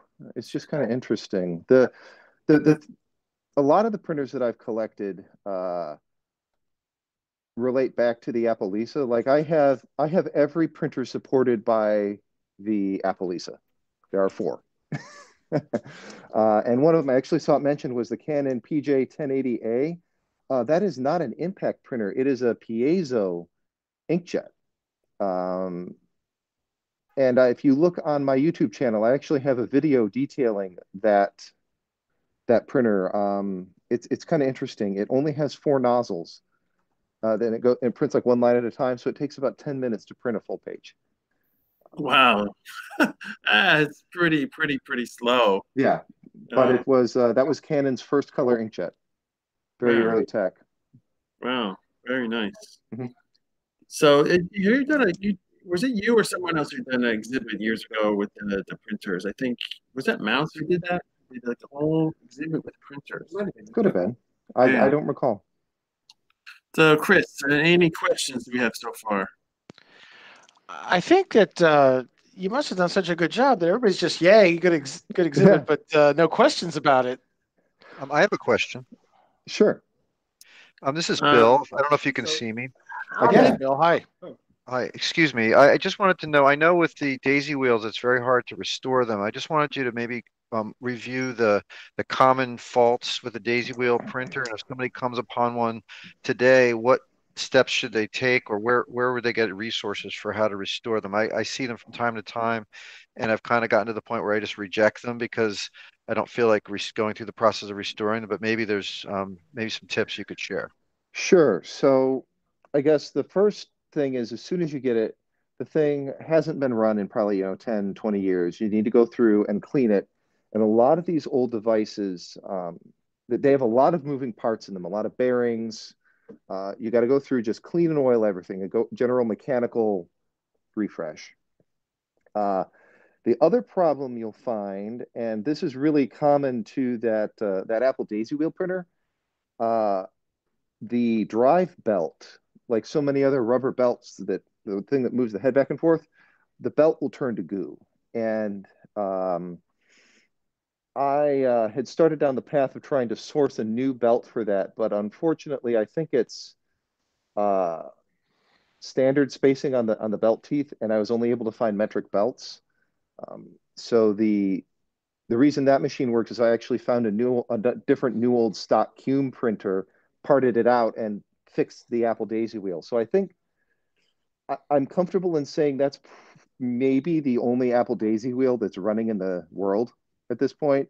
is certainly not a very small minority because they all broke. Yeah, that, that, was my thought as well. They're not. They're not. What you've yeah. done is uh, to get them running like that. Um, I certainly am interested in printers yeah. too, but those uh, mm. daisy wheels are tough. The the other problem that daisy wheels have is the typing element is plastic, and as we all know, plastic gets brittle over time. So, like one of the print wheels I have for that Apple Daisy wheel I was printing away with it. And then suddenly I noticed that squares were printing instead of letters. And then it was more squares. And I looked in the printer and the and the pins were breaking off as it was printing. And the wheel was self-destructing. Um, so that's certainly a concern with uh, with any of the regular Qume or Diablo printers. The wheels are very readily available, so you can find th- those continue to be made for a long time. But for some of the less common printers, that's a real issue. Um, I was going to try and work with Alex, Alex Jaycox actually and try and 3D print some new print wheels, make a make a um, a Comic Sans print wheel for the uh, Apple Daisy wheel. See if we could do that. Couple questions. Hmm. How did the Lisa work with a Daisy wheel? Uh, so if you go on my YouTube channel, you can look up uh, a video I made of the Apple Daisy wheel, and that Qume printer was a very it was a very high end printer. It was like three thousand dollars when it was new, and it can position the head very accurately back and forth, roll the paper back and forth. It will act on the print wheel. There is a metal pin, and it'll use it like a one pin dot matrix printer, and just move the head back and forth, move the paper around, and it can print graphics from the Lisa with the Daisy Wheel printer. Wow that's actually really amazing. Yeah, it actually I could drop a link to that in the Discord. Um, while you're doing that, someone said they are most impressed by the LED printer and wanted to know what year those were in production. So that particular LED printer is from the the early 90s. I believe that technology started being used maybe very late 80s, early 90s. And I think it, it's still in use today. Some color laser printers are actually LED printers. Okay, Tony Bogan, who we know, our de facto point person here, we joke about. He asks, have you had problems still finding ribbons for some of your printers? And do you have any tips on where to look? That is a so, question I have as well. So ribbons can be a real nuisance. Uh, Tell me because you can go online and find, oh, here I've got this these new old stock ribbons. They're still in the bag, and they're dried out. So, what I have found is that on and on a dot matrix printer, the ink that is in the ribbon is oil based and lubricates the pins as the printer is going. So you have to use a, an oil based ink. And a lot of times, stamp pad ink will be oil based. So on the machines you saw in my video, I've re-inked those ribbons using stamp, uh, liquid stamp pad ink. Uh, that is a tedious process. Uh, what I end up doing is I stretch the whole ribbon out, uh, like across the yard on a on a warm day. Gosh and then wearing gloves, you dot the ink all along the ribbon and then run it through on your hands to get oh, it wow. evenly spread. Put it all back in the cartridge, let it sit for several days, and then it'll even out. On the uh, on the spin writer, I did that, and it like made the ribbon swell a little bit, so it wouldn't actually move through the cartridge anymore. So I had to cut about I don't know, 10 feet out of the ribbon. And then um, I heated up a piece of metal and, jo- and, and joined the, the ribbon back together because it's nylon. So you can just melt it back together. And then dilute, and then I sprayed it with a little bit of WD 40 to thin the ink out. Um, I've read online where you can reactivate. Some, somebody says that's dedication. Go ahead. Yeah. Well, I guess it's it's a it's a thing of having or using more free time than sense. um, now, I I just want to talk about a personal experience I had. A friend of mine had an original Macintosh, and he had a little device that he would put the ribbon into with with a little ink reservoir, and it would wind. You didn't have to pull the ribbon out.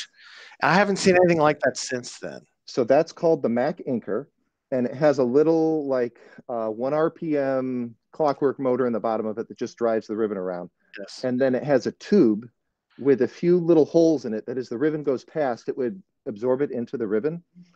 Um, when I'm working on ribbons, a lot of time I'll just use a cordless drill and with a with a screwdriver end to to spin the ribbon around. But you have to be careful with that because the drill can go really, really fast. And the ribbon is not designed to go really, really fast. And you can actually like burn out the the little rollers Oh in there going too fast. So, Jason, if you have any interest in another PJ 1080A, uh, it could use a new home and some love. I think somebody has one that they're offering. Oh, Just cool. wanted to mention that. Somebody asked, "What's the name of your YouTube channel?" Uh, so I pasted it in there. It is uh, Compu85 is my YouTube channel name. Here, I'll, I'll post a link to that. Just my channel in there. I'll just say it one more time for the people watching the video. It's very original. Compu85. Okay. And if yeah, if you look in there, there's a lot of various different things in there. You mentioned 3D printing uh, a daisy wheel. I think. I think somebody Mm-hmm. asked a little bit more about that. So this is I'm like very much in the beginning stages of that. Uh, the so a usual daisy wheel is 96 characters, and Apple wanted the Lisa to be kind of an international machine. And so they didn't want people to have to be changing the wheels out if they were printing in German or printing in French or whatever. So they they went from a 96 character print wheel and they had Q modify their printer to accept 130 character print wheel. So those Apple Daisy wheels are unique. You can't you can't get them. Uh, but uh, there's a uh, there's a really good video on YouTube that I will paste in where Xerox Diablo goes over how they um, how they made their print wheels. Uh, so my thought is we've co- you know now that we have home 3D printing, we can see how they did it with the way they lay out the the characters and everything. I was able to measure a uh, an existing good wheel and make a make notes of where all the characters are as, eh, on the wheel. And so I'm hoping, knock on rock, that we can just uh, just try and pre- 3D print one. I don't know if it's going to work. I don't know how well it's going to hold up, but I am very interested to see what comes of it.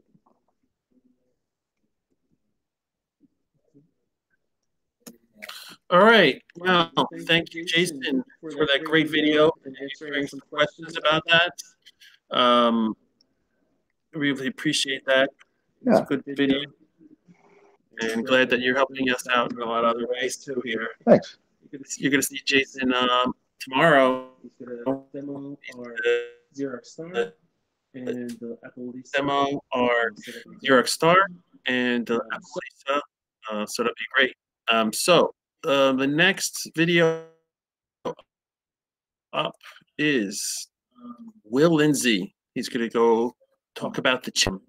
And afterwards, we'll have questions and answers. So as you're watching it, you have your questions and answers ready to go. All right. You ready, so Andy? This talk is about All right. how let's a virtual machine from 1978 wound up in a university game design program in 2020.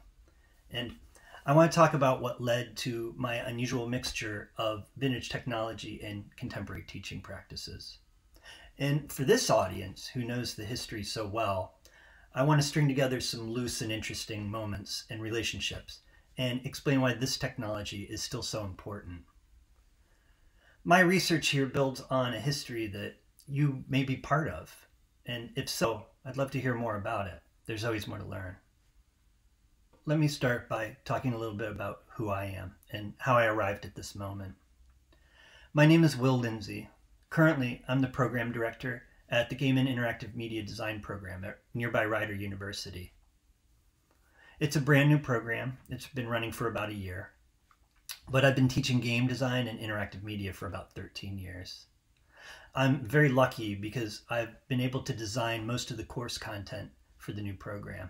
And as you've imagined, I value history quite a bit. Beyond being an educator, I engage with an unusual area of performance and historical research. So I work with historical technologies to create new creative spaces for artists and musicians. I do this because I want to engage people to think about how we interact and change with technology and how sometimes technology changes us.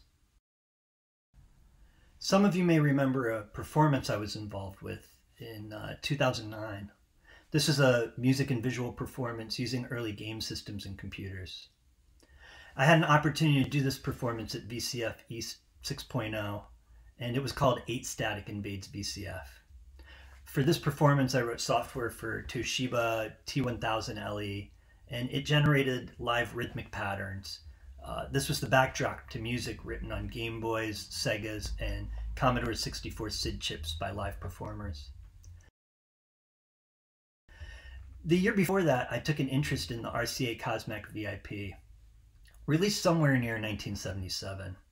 Most of you are familiar with this one. It was designed by Joe Weisbecker in our own backyards. Uh, it interested me because it was a regional history about New Jersey and Pennsylvania. Now, teaching contemporary game design is frankly a new world. I spent a lot of time learning and teaching about 3D modeling, motion capture, high end libraries, and game engines that do all the heavy lifting for us. In my philosophical approach to teaching, I think history is central to what we learn and do. In technology, social and cultural history informs our current cultural landscape. It's especially important to teach the history of the technology itself because it informs us about roots of our current practices and workflows in the digital design world. Why do we use W, A, S, and D instead of north, south, east, and west buttons?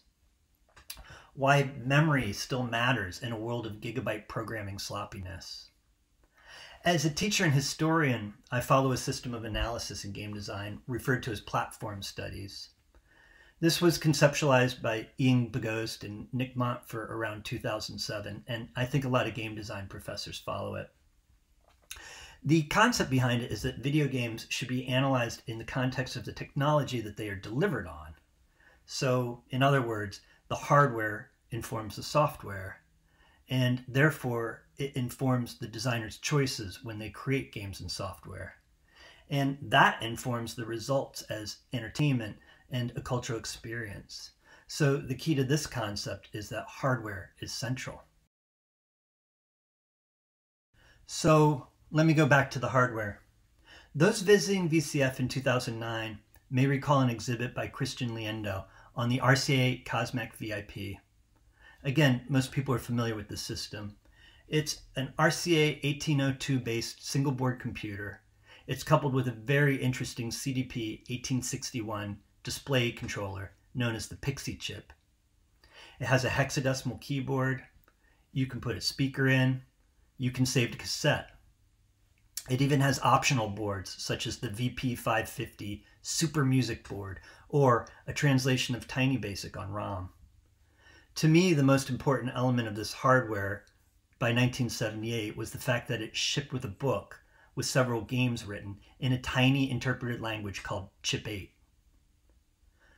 So, what's 8? Well, it's a tiny interpreted game language. It's coded on top of the 1802 hardware framework, and this is highly contestable, but I refer to Chip 8 conceptually as a virtual machine, though the original hardware never really existed. It's sandboxed. The users can create custom code. It has facilities for display, audio, key input. It has a stack. It has timers and program memory. The language to chip 8 has 31 hexadecimal instructions. It's small and simple. Compare that to 91 opcodes for the 1802.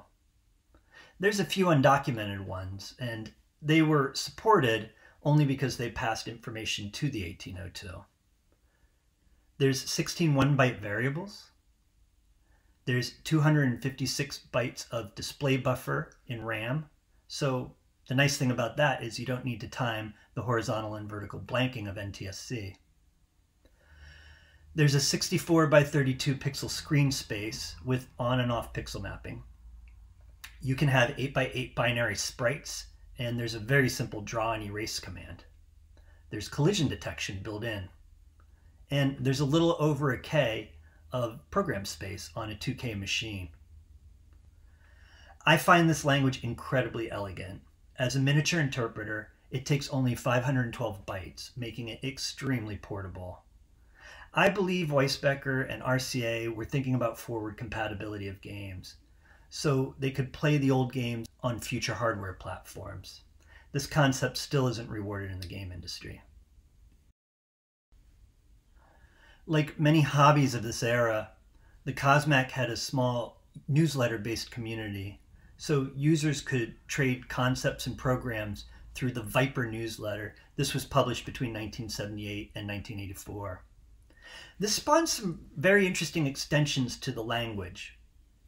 For instance, uh, there's one called Chip 10. It was created by Ben Hutchinson and it was published in Viper. It effectively doubled the display size of Chip 8, but it needed a major hardware mod, and it was at the cost of programming space due to the increased video buffer size.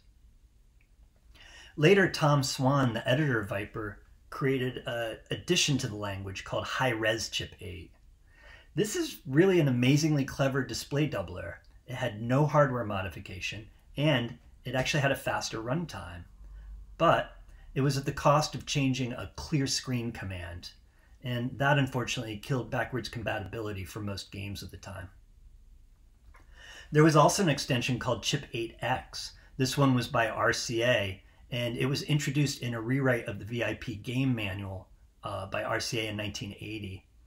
Uh, the unfortunate part of this one is that you needed the VP 590 color add-on board, and you also needed an additional sound module. This was a great idea, but it was a little too little and a little too late. You have to remember by 1980, this was up against the TRS-80 Coco and the Commodore VIC-20 and even other computers. I love the community involved here, but there's a big problem with this sort of hacking. So, speed, which in this game engine was based on the time that it takes to process code, became different for different versions of Chip 8. This is a huge problem in game design. Everybody experiences the same game differently. And it might be one of the main reasons that Chip 8 never really moved forward. There were other projects like this. In 1979, there was a project published in Electronics Australia by Michael Bauer. He outlined a DIY project called Dream 6800. It's based on the Motorola 6800 and it heavily leaned on Chip 8 in its design and the future articles related to it. It even had an EEPROM OS that he called Chip OS. And there was a large series of articles in Electronics Today International. So between 1981 and 1985, uh, these articles outlined a DIY project called the ETI 660. It was also built around the RCA Chip 8. It improved the audio a lot, and there was also a color video implementation. But again, this caused more variations in the interpreter, and ultimately, I think it made it difficult to share code. So, the concept of Chip 8 faded from popular consciousness for a few years. That is, until the heyday of graphing calculators in the early to mid 90s. Specifically, the arrival of the HP 48 changed everything. It had a 131 by 64 pixel resolution screen. That's double chip 8's resolution. It had a very interesting Saturn processor that could handle 20 bit width addresses. And depending on the HP 48 model that you had, it had more than 16 times the memory space of the original Cosmac VIP. In 1990, Andreas Gustafsson ported the Chip 8 interpreter to the HP 48 calculator. He called it Chip 48. I think this mesmerized high schoolers. They could now sneak video games into school where the well known Game Boy of the era often wasn't allowed. This interest in Chip 8 also coincided with the rise in the popularity of the internet through AOL, Prodigy, CompuServe. So people had access to libraries of old games, and new tools were available to anybody with a computer. Most of this information was shared on Usenet, making distribution of ideas incredibly quick. In early 1991, Christian Egeberg released a DOS assembler called Chipper to Usenet. To me, this is one of the most important pieces to this history. Egeberg describes it as a toy assembler for a toy language. It was a 31 instruction assembly language. It was incredibly readable, and it allowed labels and binary format data. That's making sprite drawing incredibly trivial. This brought on another slew of interesting expansions to Chip 8. By this time, there was one that cl- was clearly adopted by the community. Chip 48 had removed the VIP hardware and the 1802 machine language references. It also changed the memory limitation to a seemingly unlimited memory of the HP 48, 32K. Later in 91, S Chip 48 was published on Usenet by a programmer named Erik Bryntse. It increased the resolution of Chip 8 for the HP 48 screen. It added taller sprite sizes. It added a scrolling screen. But it reintroduced that speed problem. The HP 48 processor is faster and the code base is very different. There was an effort to normalize speed by reviewing versions of the game, but not on the COSMAC. They were reviewed by comparing emulators on HP 48 and DOS. So the Chip 8 virtual machine was now based entirely on a virtual implementation. Another piece of this history worth noting is that sometime before 1996, a gentleman named Dave Winters archived his work on WorldNet.net. Finally, a web page. He had links to his own Chip 8 emulator written in DOS. There was a slew of new games for Chip 8, and he released Unchip. This is a disassembler that reverts Chip 8 back to Egeberg's assembly language.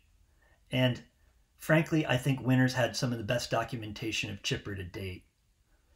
This spawned many emulations, including Paul Robson's VChip 8. This is a Chip 8 implementation in VGA. Um, by 1997, there was a Coleco and Amiga port by Marcel de Kogel. Jonas Lindstedt released Palm Chip for Palm OS in 2002. There was Dr. Chip 8 on Game Boy Advance that was also released in 2002. There was even a Rockbox port by Frederick Devernay in 2006, and this allowed you to play Chip 8 on the iRiver MP3 player. There's also contemporary phones and devices. Frankly, there were too many ports to mention here. Jumping forward in history, in 2011, I decided to start using Chip 8 as a hands on teaching tool in my game history course. Game students are often visual artists, and they're rarely engineers or mathematicians at heart. But hands on learning works really well for this group. Doing it is more important than reading about it. There's other advantages to teaching Chip 8.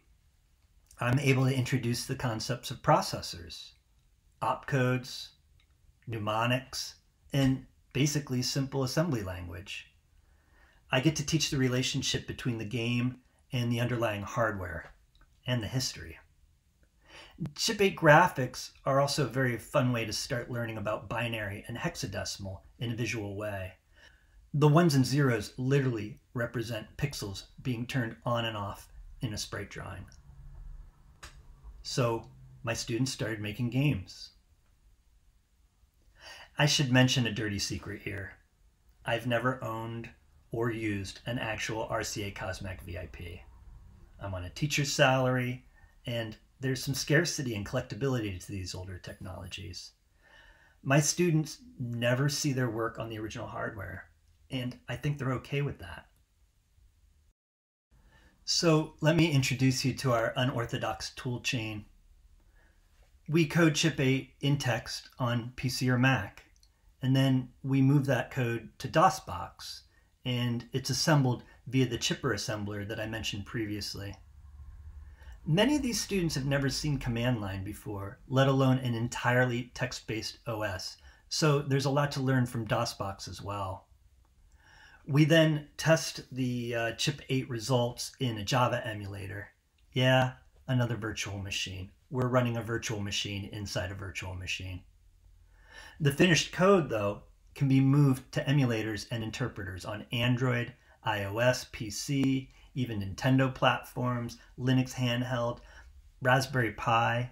In fact, in 2017, it was even ported to the entry badge for the DEF CON 25 hacking conference.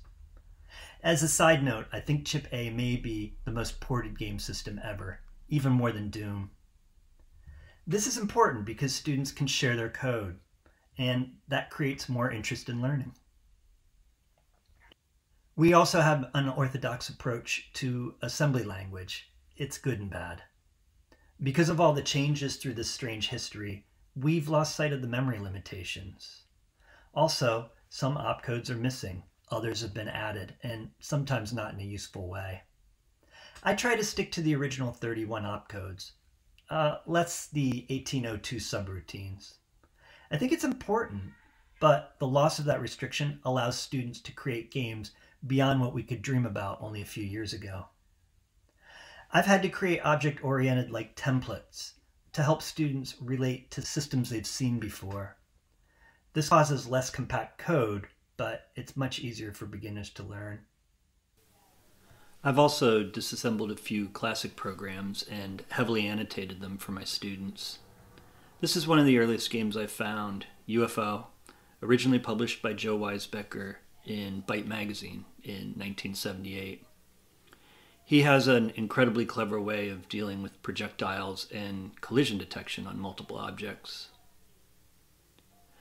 There's also been tutorials built for many common tasks basic input, cyclical motion, timing, collision detection, four and eight way motion, sprite flipping, and more advanced examples like animation, sharing variables, and jump routines for characters. So let me take the last couple of minutes and show you what my students have done with it over the years. This is Salem Witch by Jenna Dittus. One of the more difficult things to deal with is meeting the challenge of creating recognizable objects with so few pixels. This is Lumberjack by Cody Lynch. It's unfinished, but it shows a very clever way of using collision detection based on input. This is Duck Run by Verily Creekmer. And you feed the ducks bread so they don't attack you. It has an unusual narrative and very good control over the difficulties associated with player projectiles. This is 8 Bit Operatives by Vincent Nelson. This is one of the only Chip 8 games I've seen that has a virtual space larger than the screen. He created his own font to make a story like narrative. It's not quite finished either, but at the end, you get to pick who you think the murderer is. This is Pirates of the Caribbean by Ray Osterman. This is one of the largest games created in my classes, and it's got incredibly detailed graphics, uh, tiled to make larger images. Uh, he did all this without using the S-chip expansion. This game's over 3K, and sadly, it would never run on an unmodified VIP. This has been quite an adventure. Thanks for listening.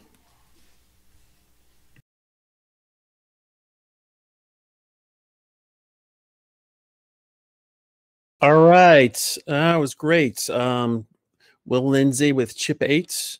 It's a great uh, little video that we had. Um, so, Will, do you have anything else you you wanted to add to what was on the, the video? You want? I know you had cut it short. The video. Um, you didn't include everything you might want to included. Um, do you want to elaborate more on like on like the game design or, or how your students thought about this old, you know, technology and, programming? You know. Yeah, yeah. I've I've been doing this for about ten years, and it's been interesting. Uh, I kind of poll them when they come in. You know what what uh, game console they grew up with, and uh, I'm feeling old now. I got to tell you, um, this, this this is so far back that they don't even have a, a, a consciousness of the history. So you know, to me, it's even more important that we're we're teaching this kind of thing, and um, I focus on it a lot. I don't think they realize the connections.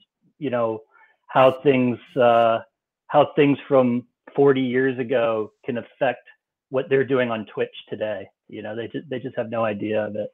But it's been interesting. Uh, I just uh, a lot of the the work that you saw is from past semesters, but this semester has been the first uh, full COVID semester. So I'm teaching entirely online, and um, the students are doing great with it. You know, we're on Discord every day, we're on Zoom every day, um, and it's been I think for a lot of them, it actually gives them focus.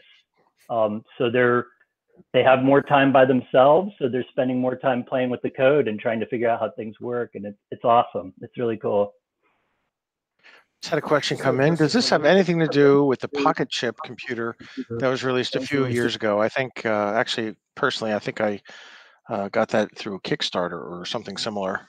Yeah, yeah. Though I, the, the names, uh, the names related. They actually had a tiny retro virtual console on there, um, but it was a complete departure from Chip 8. It's color, it's higher resolution. Um, no, it it doesn't. Yeah, it's uh, it's the word chip, I guess.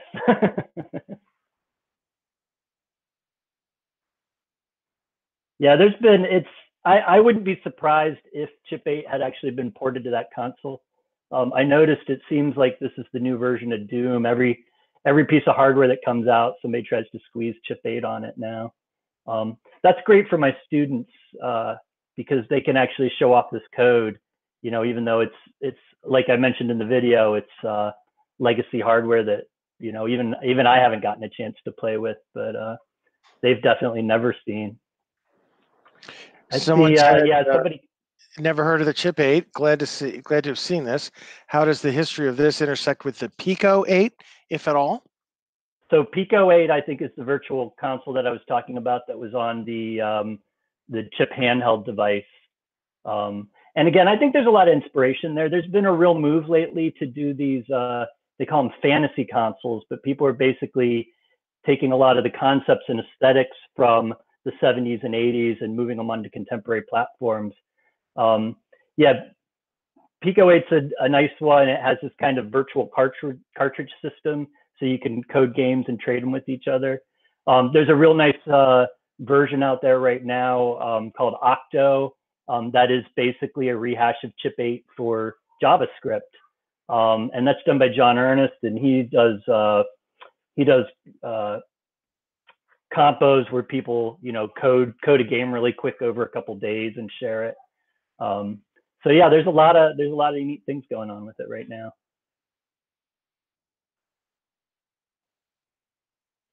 Yeah, somebody else commented about uh, P- the chip computer shipping with Pico 8, so it's kind of a different beast. Um, yeah, all this it's been great. I think something about these students I teach now, growing up with the internet at their fingers, um, they can get to history really quickly. Um, so they do appreciate it. I think they they don't see a lot of it, but when they do, I think they really try to understand the context of it. Um, so a lot of these Now, do they, you know, so uh, I wanted to say is that, sorry to interrupt you. Um, for me, it seems like the young people, those are like teenagers and college age, and that are interested in vintage computers, you wonder why are they so interested in these old computers? And I think uh, some of it is the simplicity of it and the ability to actually get some more hands-on to actually get to manipulate the different parts and and intricacies and the, the you know the base parts of it whereas nowadays it's like you, you know it's just too external it's too embedded so that they can't really touch it. Do you Yeah. feel that's the same thing with your students?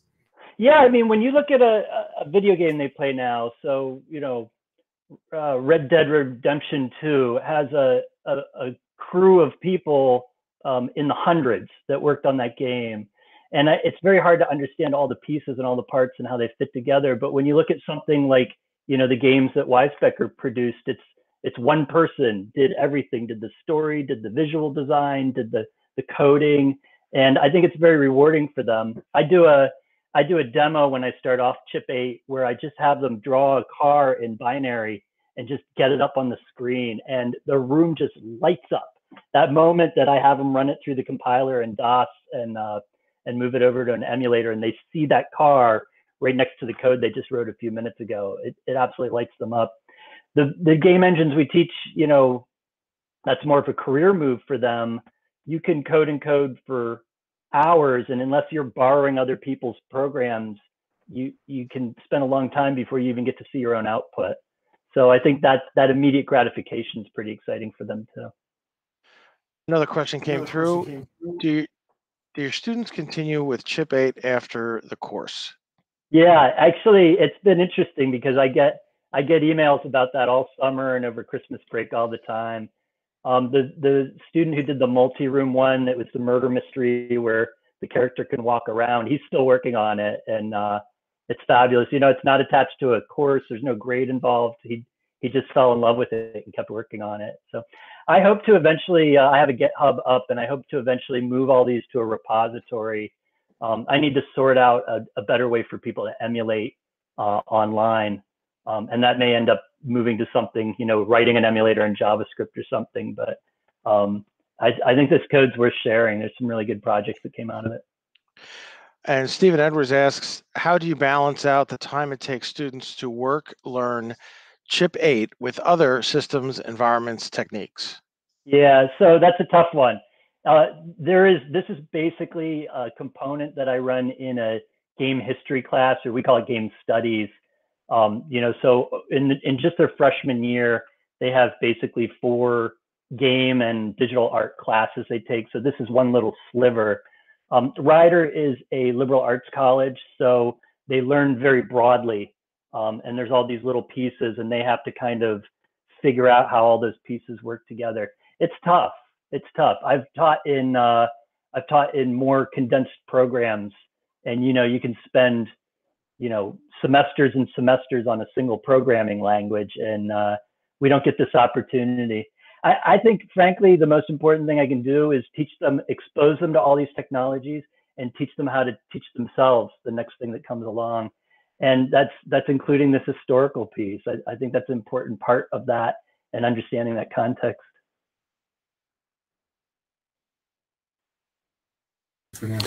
So do you find that they um they also appreciate the power the space that of modern computers and programming languages have? Because yours have to be very, very economical with what you're doing with processing time and space do you find that that it's helpful and, and, and important with nowadays with these bloated programs and, and, and such yeah i i wish i you know eight, ten years ago, that was absolutely the case. And I see that going away in my students' perception right now. Um, they're not concerned with frugality. Um, you know, we look at some Atari code um, where people do things like they'll they'll use some of the uh, opcodes as part of the graphic. Um, you know, when you convert it to binary, they go back and bounce against that code and and double dip it. And it, it's amazing code. And Weisbecker did little tricks like that and I think they're I think my current batch of students just uh, they don't see the need for that. You know, in their brain, they're like, yeah, I've got you know 16 gigabytes in front of me. I'll just keep keep throwing the code at it. It's okay. I think it releases creativity um, to work with a, a, blank canvas like that. But um, you're right about that. I, I, think they lose that appreciation, and I think it's it's really valuable, and it might come back to bite us again. You know, new technologies sometimes requires some frugality in the way you think about it. There was a comment that I uh, was just reading, and it, it, covers a lot of what we've been talking about and some personal feelings I was having. It said, uh, with older hardware, you're able to get closer to it when coding for it. You feel more connected to it. Modern PCs, for example, you're abstracted by so many layers, you're not at all as close to the hardware. I mean, that's why I love you know, and I'm I'm just getting started myself. I love machine language programming on 6502. It's just eh, I you you're there with the hardware. You're working close to the hardware. Um, so there's another question too came in. Are there any solutions to the timing differences between implementations. Yeah, that's been a tough one. And, uh, you know, I mentioned that in the video in the 90s when everybody moved this language onto the calculators. They lost sight of the original hardware. For a while, the, the COSMAC was the, the gold standard for timing. Um, so, no, I wish there was. Uh, you know, all we can do is is try to create a standard at this point. But again, there's so many people working in different directions on chip eight. Um, I'm I'm not quite seeing any agreement yet. Um, I'd like to. I think you know if another important piece of hardware comes around, that might do it. But I think that's one of the problems with chip eight. It really is. I think it might have had more longevity if the timing was more standardized. Trying to read the uh, Discord at the same time. That one comment about the guy saying you could turn it on and print. Go ahead and comment on that. Yeah. On screen immediately. I'm sorry, 8-bit computers, you could do print and draw on screen immediately after switching. Yeah, so it's that, it's that, there's no layer between the hardware and yourself, or, you know, you're very, very close to the processor. Um, for a while, I was teaching on Arduino for that exact reason. Um, and uh, I think I think people realize that blinking an LED is the first thing you do on an Arduino. Um, and again, the students had that glow of, of really understanding it, really understanding the hardware. Um, but then, you know, as, as the computers they're plugging the Arduino into got more complex, now there's more layers and just the connections and how the IDE runs in a different language. And then you have to move it out over USB and things like that. So even being that close to the hardware starts to go away after a while somebody commented uh, what it really should have done ha, had was a uh, wait for vertical vertical blanking instruction. Yeah, you're absolutely right about that. I don't think my students could handle that. These are not computer science students. These are not engineering students. Um, these are visual arts students. Um, so teaching code has been exciting and interesting, but I think counting opcodes to make sure that they could cycle time the uh, you know the beam of NTSC as it's flying across the screen would drive them completely insane. That would probably take a half a semester by itself. I don't know how we are for time. There's a lot of comments floating in, but I'll also be on the Discord, so I'll hang out afterward. We do have uh, about seven minutes left, Oh, so perfect. if you want to keep going, we, we got time. Good, good, good. Uh, yeah, what do there, we see in there were some comments mostly. If if you like to talk, uh, you know, speak to those, that's great. I didn't see any specific questions, so it's up to you. Sure. Um, the calculators don't have vertical blanking. Yeah, and I think that's part of why Chip 8 was a successful port over. Yeah, it's it's that that's an interesting piece to me. Um, my path through life didn't put a uh, uh, didn't put one of these calculators in my hand at the time, you know. So I arrived to them later, um, mostly as tiny little emulation machines and game machines. Um, but uh, yeah, they they it definitely changed the language. I think that's what what unbuckled it from hardware um, was not being sure how this was going to progress.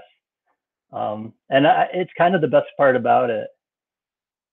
Timer defined. Yep. There's uh, there are a couple timers in chip eight. There's uh, there's some horrible horrible audio timers in there. Um, you had a choice of beep or long beep basically.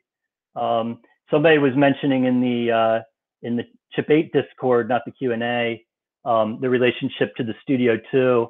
and um, that had a little beeper on there. And I always have my students program it just to see what that was like. Um, but it was run by a charged capacitor, so as the capacitor dropped, it the tone would kind of whine off like it was crying or something, um, but no pitch control. Um, yeah, I think I think these guys were right to call it a, a toy language, um, but it's it's pretty interesting what you can do with it. Um, and again, I think the portability is really central to it. There's some comments here on the yeah the uh, relationship to logo. So a lot of us probably had logo as a first language when we were uh, when we were kids. Um,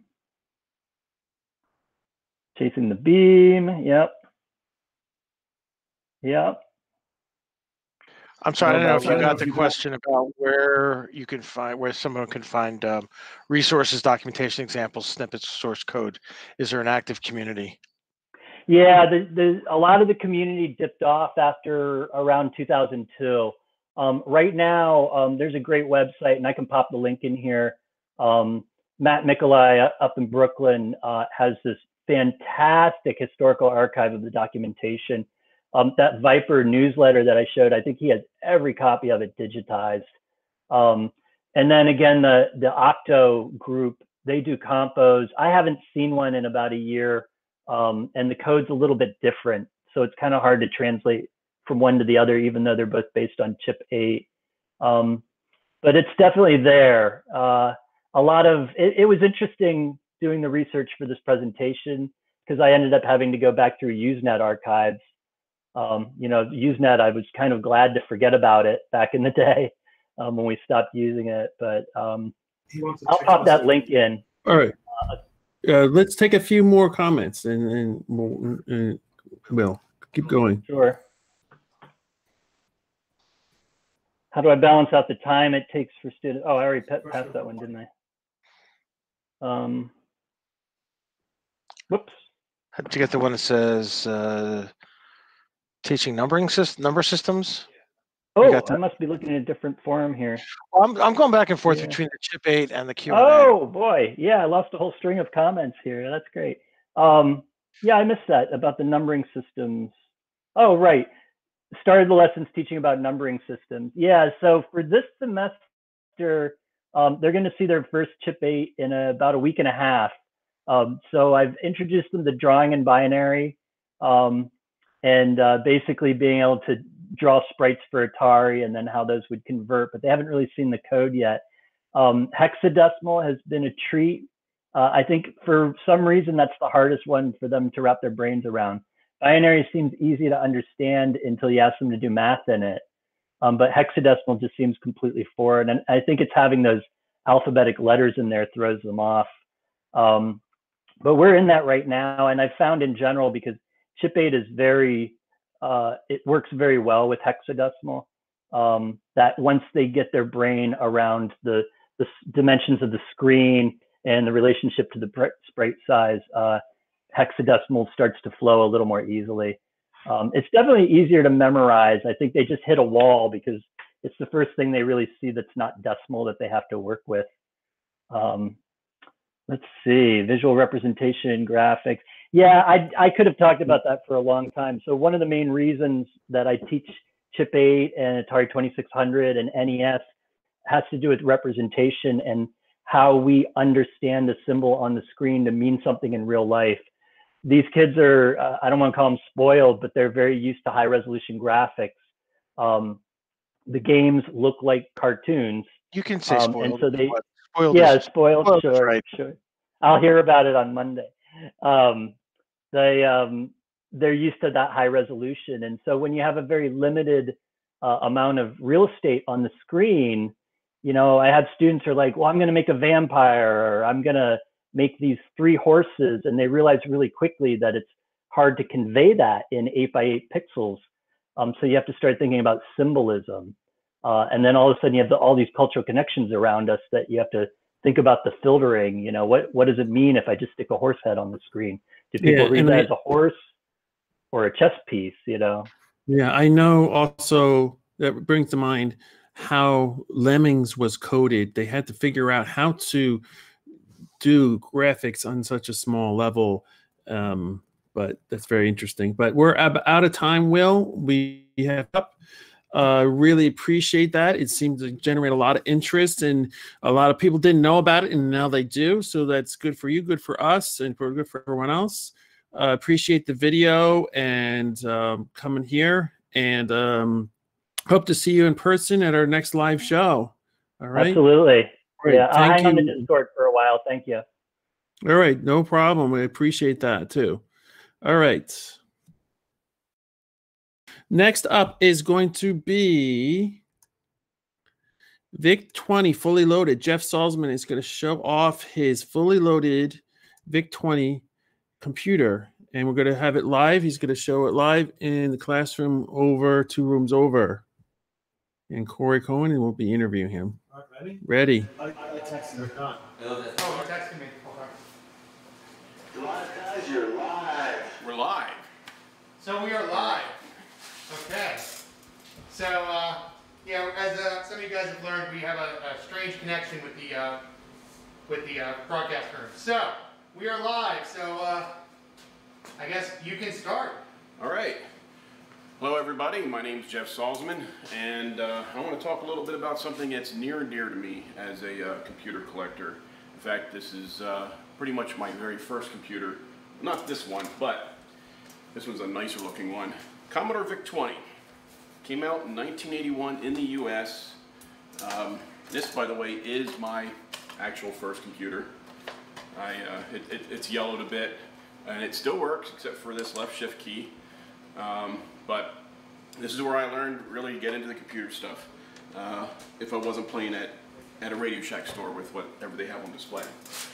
So, as a um, introductory computer for most people, uh, they, they came out about 299, $300. They came out at $300, and for most people it's considered a toy, and I guess to some degree it is, uh, but it is capable of doing an awful lot more. Uh,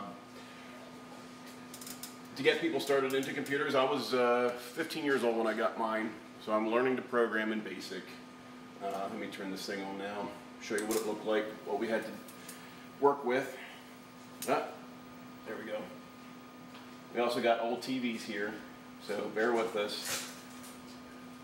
That was our screen, all 22 by 23 character display. Real easy to read. You get on one of these things, you type uh, in basic 10, print, print, hello,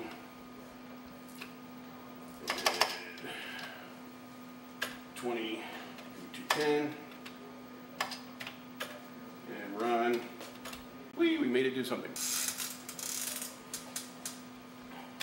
However, some people found these to be a low-cost computer to do some real work.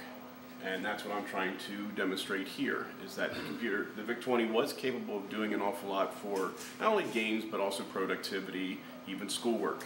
Uh, and of course, to get into the career of computer programming, which is what I do for a living, and thanks to a VIC-20, that's what I got started with. So you bought the VIC-20 for $300, and you wanted to start writing your own programs in BASIC. But to do that, you had to find something to store it on. So you basically bought a cassette storage unit, which is a very popular option at the time for most home computers. That's about another $100. I think they actually dropped in price. This is my original tape cassette too. I think they dropped in price shortly, shortly after the computer came out. So I can write my program, I can save it on standard cassette tape. And then mom and dad says, hey, that's a neat little thing. Can you do our, can you keep track of our uh, checkbook for us? Well, they did make software for home financing. So already this little $300 computer, well 400 with the tape player, now becomes useful to keep for mom and dad to keep track of their financing or their finances. And then you get older and then you're in school and you have to write reports and papers and stuff like that. Well, before we get into the, that stuff, let's get into the fun stuff. You're in school. It was not uncommon to get all sorts of cartridges for the VIC-20. It was a very popular thing at the time. This one is the visible solar system. You just pop that into the back, into the expansion slot of the computer. And if it doesn't flake on you. Problem with these machines when they get old is all the contacts start oxidizing. And we, as collectors, we learn to deal with this, and it, and it happens. I even tested this cartridge earlier and it did work, but sometimes you just have to wiggle it in there. And there we go. Now we can learn a bit about the planet Earth. Um, let's see. It's been a long time since I used this one. There we go. Look at planet orbits. So I can learn a little bit about space, about the solar system with this cartridge.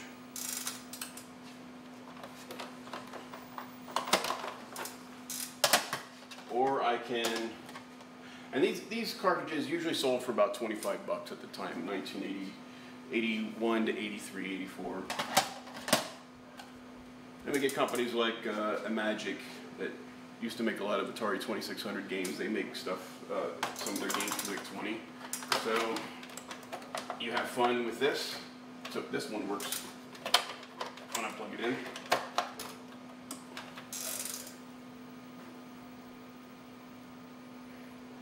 Not bad for games. You saw some games earlier. I think you saw Defender earlier uh, today uh, with uh, Alexander and, and um, uh, Jonathan had their 6502 thing. Same kind of VIC-20.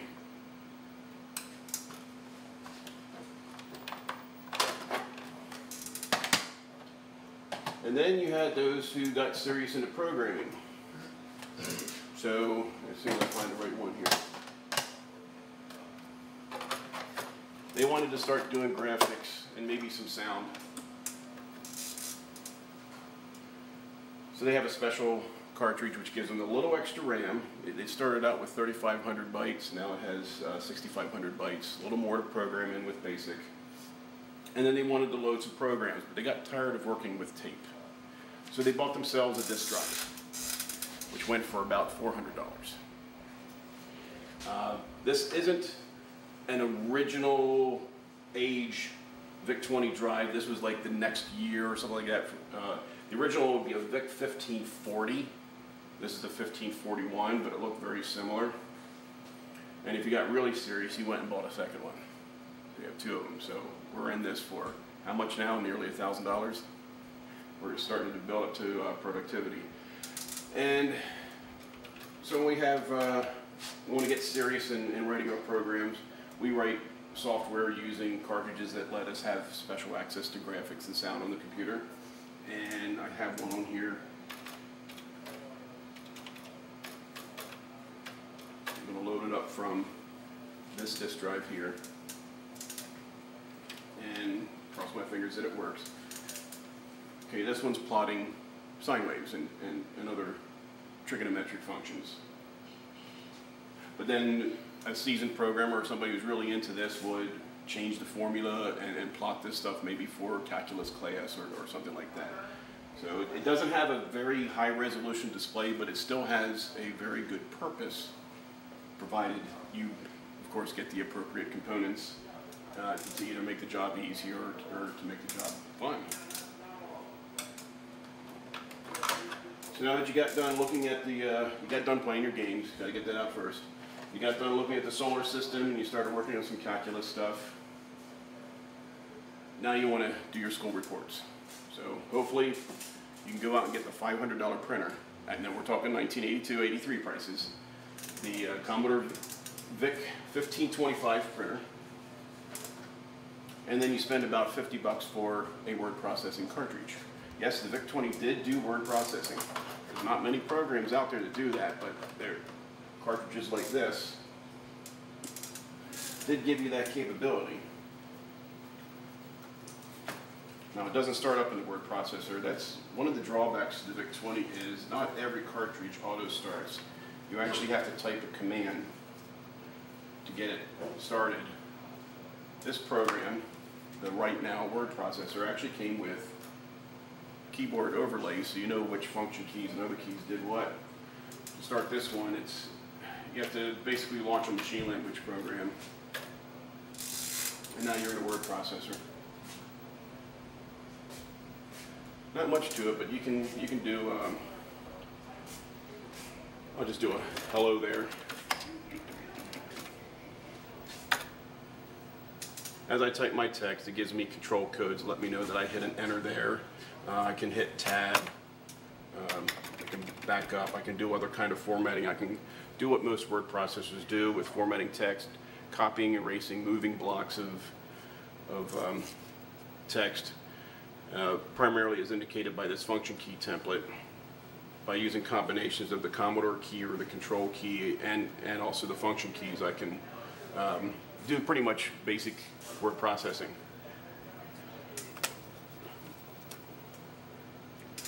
So I go to print this, I hit the print function, it asks me how I want my print margins, I just leave everything standard. And actually, let me turn on the printer first.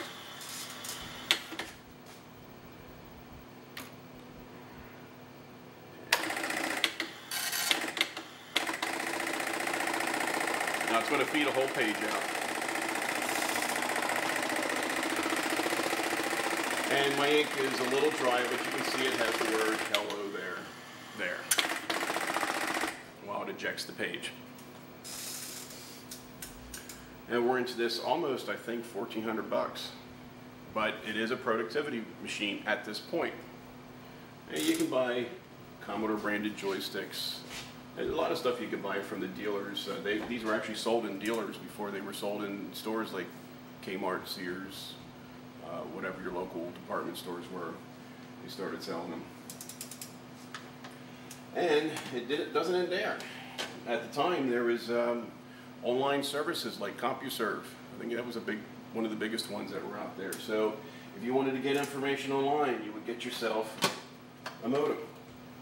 And it will plug into the back of the computer, and then with the right software, you can dial. CompuServe usually provided that kind of stuff, and you can access your stocks or whatever. You can download things as text files. You can load the text files in the word processor to print. It became very versatile.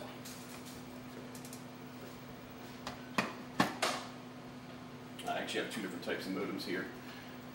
Um, this is what this is kind of what they look like at first. This is what they turned out to be, nice and slick and streamlined. They plug into the back of the computer here. You have all these things hanging off of the back. And if you wanted to learn maybe, maybe at first you didn't uh, know how to program, so you can get software to teach you that stuff. Uh, this is a part one, a two-part series of books and tapes to let you learn to program. So it wasn't just a game machine, even though like kind of like the Commodore 64, which came after it, was primarily used as a game machine. It could be put to more serious work. Um, some of the other things I wanted, wanted to show is some of the accessories that, that were available for it, like uh, they actually made a set of paddles for some games, like, like breakout type games that were VIC-20 branded. But the nice thing is, if uh, you had an Atari 2600 before this, you could plug in the Atari 2600 paddles or the Atari 2600 joystick and still be able to use it in here for all your games or if you have a, a program that paints on the screen, you can use the joystick for that. There wasn't much in the way of mice, unfortunately. That kind of came a little after with the Commodore 64. And one other thing I wanted to do is file here, something I typed up earlier. I just always keep forgetting the file name.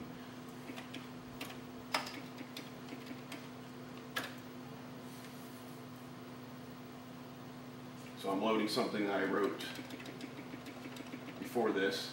Basically a list of retail prices for all the different uh, components. So VIC-20, $300. Tape drive, $80. The disk drive is 400 The printer, 500 The Write Now software, actually I think I found it priced at $40. If you if you were writing basic programs, you didn't have enough memory, you can buy memory cartridges to expand the memory up to 32K, I believe, 40K uh, if you're doing machine language programming. There's a certain amount of memory that you could not access from the basic environment.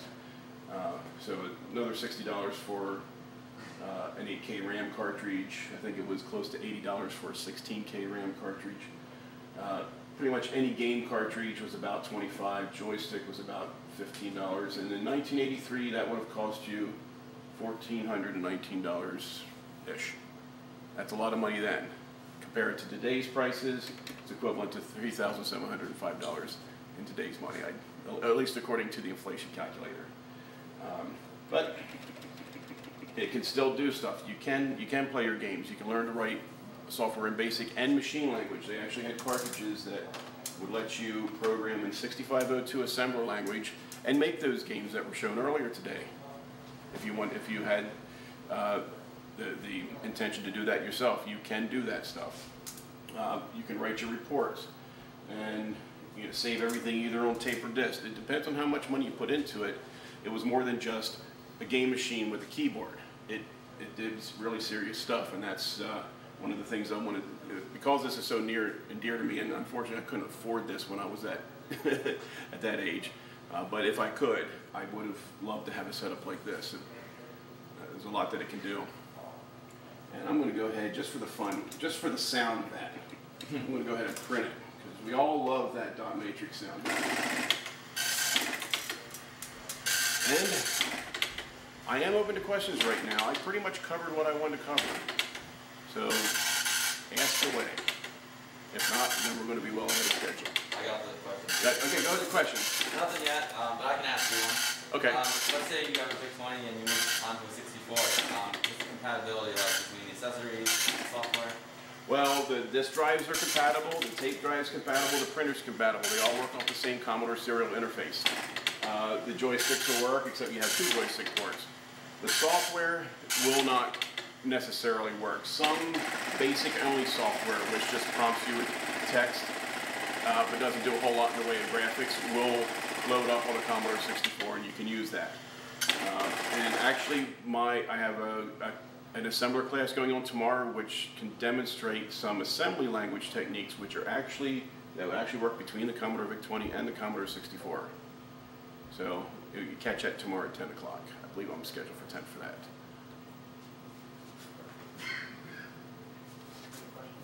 Um, no, not yet. Um, so what, what are the main differences between this and the Commodore 64? Well, uh, starting price. the Commodore 64 started out at twice the price, 599 if I recall. Um, the Commodore 64 does give you a lot more starting memory, I think 38,000 bytes uh, all, right off the bat. Uh, much higher resolution graphics and, and actually graphics capabilities that were almost built into it. This can do graphics, but it's kind of a hack. Uh, what it does, it takes whatever generates the dots for the characters and you, you would actually lay out a field of characters and then you would clear, you would copy that to RAM, and then you would erase that RAM, and then plot dots by changing the character ROM uh, definitions, and that's that's how you did graphics. It was, it was really a hack. Whereas the Commodore 64 actually had bitmap screens. Did the VIC-20 coexist for long with the 64, or did, did Commodore really just, once the 64 came out, drop the VIC-20? Well, the only thing they dropped with the VIC-20 was price. It was still popular for a while. I think the, the VIC-20 was about $200 when the Commodore 64 came out at 600 and uh, well, the 64 came out in 1982. So I was still using my VIC-20 in 1982. I had it till I, you know, got out of high school in the mid 80s, and um, then was after that I bought myself a Commodore 64. But you could still buy them at Kmart or Toys R Us. They were selling for $100 eventually. Then they got down to $80, and people were still buying because, well, it, it's a, it was a toy, I guess, then because the Commodore 64 was more powerful. Uh, a lot of this stuff I acquired from people who used to actually use these on their VIC-20 um, and, and do some serious work with it, which gave me the idea for my exhibit. But yeah, the Commodore 64, natural progression from the VIC-20. A lot of the concepts of programming a Commodore 64 uh, came from the VIC-20. Usually when you did graphics, you would use basic poke and peek commands to, to manipulate the numbers, and that went right onto the Commodore 64. It's what memory locations you poked and peeked that were really different and how you used that. Wonderful. Um, the disks were not compatible. You couldn't transfer data. So if you had a VIC-20 and moved to a C64, you can only really use your accessories. Or could you actually still transfer if you made if you wrote programs? If, if you wrote basic text-only software that would use some of the more rudimentary basic commands like print or to get keyboard input, that kind of stuff, would be compatible. So you wouldn't have to retype them in. no, you wouldn't have to. They would still load up directly. Uh, as long as they didn't have a machine language component to it, an assembly language component to it, or didn't make use of graphics and sound.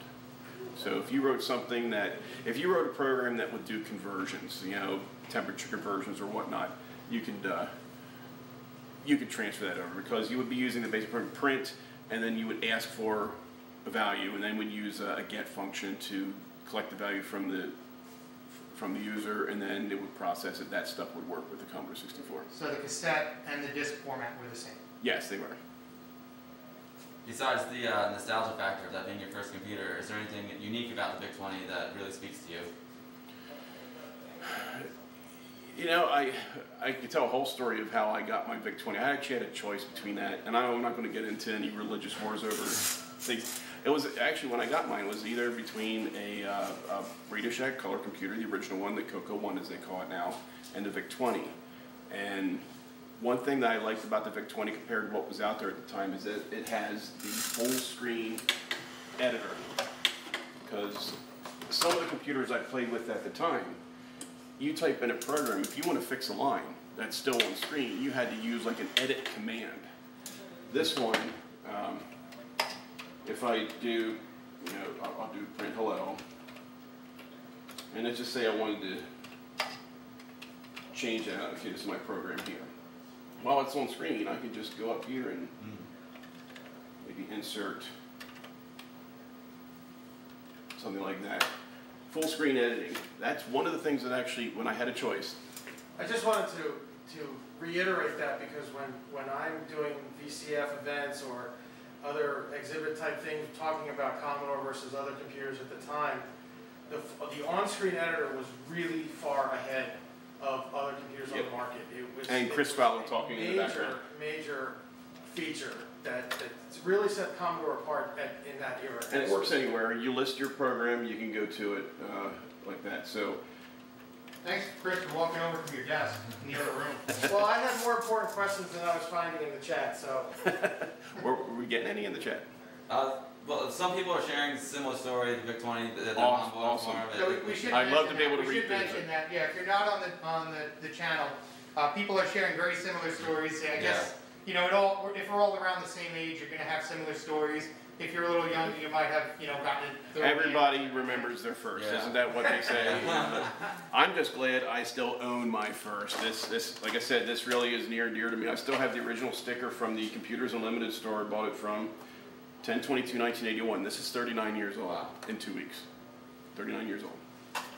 And You're yeah, very, it has that sticker on the side. Exactly. It's a little tan, but that's that's just the plastic they used. Everybody knows about the yellowing of the old plastics. You had the original uh, pen style keys too, right? This is yeah. This is this. I, what I don't it. have is the original box. The original box was the car the, the foam pieces with the slide-on cardboard cover. I lost that a long time ago. So that's with your Thurman Munson card that somehow got lost. in the- Exactly. Yeah.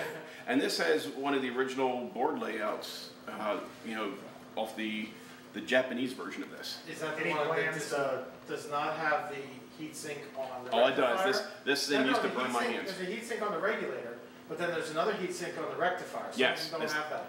This has that. Okay, that's not as old. No, Just- not just as old, saying. but it's. Uh, it, I think it came out in the U.S. market about four months prior to me getting this one, so Makes it was sense. still. And I bought it from an official Commodore slash Apple dealership. They had pets and they had Apple IIs there, and this was actually brand new to them when we got it. Uh, they didn't even know what it did, but it called to me, so that, that's why I said it's near and dear to me. Uh, we went to Radio Shack first. Nothing wrong with the Radio Shack one, just this called to me. At least it wasn't called a trash eighty. well, well, I have an appreciation appreciation for it now, but uh, I, I just love my Vic. That's maybe I'll get a bumper sticker. Are you going to keep it original, or are you going to eventually retrobright it? I am not going to retrobright this. People Okay. are offered to do it. It's because honestly because of those stickers. They that's ephemera. I, I just love that. I'd have to pull the There- sticker. There's nothing, no, there's nothing wrong with that. I just was curious.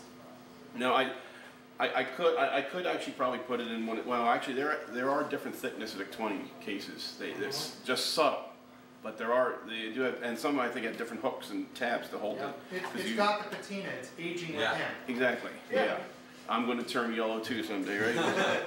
No, seriously, the sentimental value of those labels is way more important than retro. Yep. writing. No, I no, no, I agree. I just was Yeah. curious. It is, it is your first, right? It is, your yes. first, your first computer. So And- like our first cars, our first computers, we all have a. This is one of the first tapes I stored. That's my handwriting on there. Some of the first stuff I've typed either. Yeah, I tried to up. I wanna- I wanna- tried to program it it. myself, or I typed it from a magazine like which, like this. Sometimes you subscribe to a magazine like uh, Compute Magazine was very popular for many uh, personal computers, and then later on, Commodore computers were so popular that they made this special Gazette version, which was for Commodore computers only. So that says something about the brand. Where's the cotton gloves, man? Yeah. oh yeah, one other thing too. When you got become a real power user and you don't want to keep switching out cartridges, you got something like this. This goes back in the expansion port. You can put up to three cartridges in it, and using these dip switches, you can switch between them and just hit this reset button, and you're in that new cartridge. I got another question. It's like a PC Junior, you have to turn it off. Exactly. There's uh, you know, so many people making cool new pieces of hardware for the vintage computers, like SD2IEC for Commodore 64, Yes. Goteks on the Amiga. Is there anyone making stuff for the VIC-20? Well, I use my SD2 IEC for that. Oh, you can use SD2. And- SDIC is universal for all the computers that have it. Because, and it's compatible with uh, the Commodore 128, uh, and I think the 16 can use it too, yeah, and the, and the plus four. And uh, there is something called the penultimate cartridge for the VIC-20. It's one thing people tell me I need to get. Yeah, actually, somebody did ask about multi-card, so the Yeah. penultimate The is. penultimate cartridge, and, and they were using that to play Defender earlier today. Yeah, Uh, it's just a nice menu list of pre-installed VIC-20 software, plugs right in the back, has additional features, I think extra memory came with it. it has all the memory options. And, and I love to buy those things for, I, I collect more than Commodore uh, equipment, but I love to be able to buy that kind of stuff from my other ones, but you know, it's like, uh, it's like fifty to hundred dollars, you know, should I spend it now, or should I, you know, eat, maybe, you know? A lot of different things that, uh, got a plan, but yeah, they, they, they, there's still support for these things with new, um, well, some people are creating new games, if it's not just new hardware to reuse it. And I, I actually programmed some stuff using, um, like, uh, Windows PC using a programming environment called, uh, was it, um, I always forget the name, CBM PRG, CBM Prog. Um, and it's a really good environment to write programs in BASIC or machine language. It has some very modern features to it for writing software, and then when you compile the program, you can copy it to an SD card and stick it on the little SD devices that you can get for this and load it straight up. Or if you're really into it, you can put it onto a cartridge, which is something I plan on doing in the future. Or maybe I'll just continue typing them in from the magazine. How many, ti- how, how many times did it take you to debug that? Because every time I typed in a program for a magazine, I never, I never got the Well, it only took me a month because the next month they had the errata page, which had all the fixes. well, if they caught it right away, but you know, considering their subscription base, people caught the bugs right away, and it was always in that errors. They, they always had an errors page for the next month. Well, I think uh, we really have to thank you for showing off your VIC-20. Oh, thank you. Um, And all these, the really great accessories and the loud printer. Yeah, Uh, I have quieter ones, but it's just something about this, Something right? about it, right. and it's such a good condition. And, and really amazing that you have your, your childhood, your first computer, you know, that in, with the original everything, really. I didn't sell it to buy a 64, yeah. Uh, or, or you didn't kind of throw it away or got chucked. You know, it's pretty, pretty amazing, because usually, you know, back then, you know, we didn't, we didn't think these things would be anything, right? That's true. Afterwards. And that was just by happenstance because I bought a 64 in 1985. And this, the VIC-20 just sat for almost 15 years untouched until I realized, oh wait, does this still work? And it did. I thought, okay, I remember this, and I got my old tapes out and stuff. So yeah, I lucked out with that. It's, that's why it's pretty nice to have. And you're- you're right. It's, it's great when you can, you know, if Yep. you're really into it. Yeah, so, so thank you very much, and uh, I guess we're gonna turn it over to, uh, to the guys back in the room. Um, So we'll say thank you. We're live again. Um, we had Jeff Salzman and his Vic 20. There was a lot of interesting stuff that he had there. It was really great to see that. A lot of fun. Uh, next up, we have Bill Degnan. Um, he's out in the Kent Classic. He has a little museum there that I had visited for the first time a week or two ago. It was really great. He has some very rare and unique computer items there. Um, but his video is on the Casio Microsoft connection. So I'm very interested in seeing this. I haven't been able to chance to see it, um, but I'm very, very happy and excited to see what what's what is this because like it's history, it's historical. So I'm always interested in looking and understanding a little history uh, about vintage computers. So you ready, Andy? Yeah. Make it so.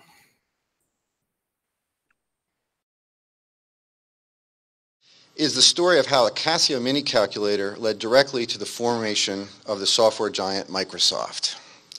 So you can see um, this is a, um, a calculator uh, from 1972, and I'm sure uh, this is going to be hopefully news to most of you as to exactly how this happened. So since the turn of the 20th century, people use mechanical calculators like this one to do their science and accounting problems. And you would have this on your desk, and you would add your, uh, your, add your accounting up. You can see it obviously doesn't have a lot of uh, advanced technology and science functions, but this is what you would have seen in the World War II era. And over time, things got a little bit more advanced. Still mechanical, still mechanical and electrical, But uh, here's a Monroe 8F213 from around 1964, 1965. And you can see there's a lot more um, places that you can do your math, a lot more precision, but still mechanical.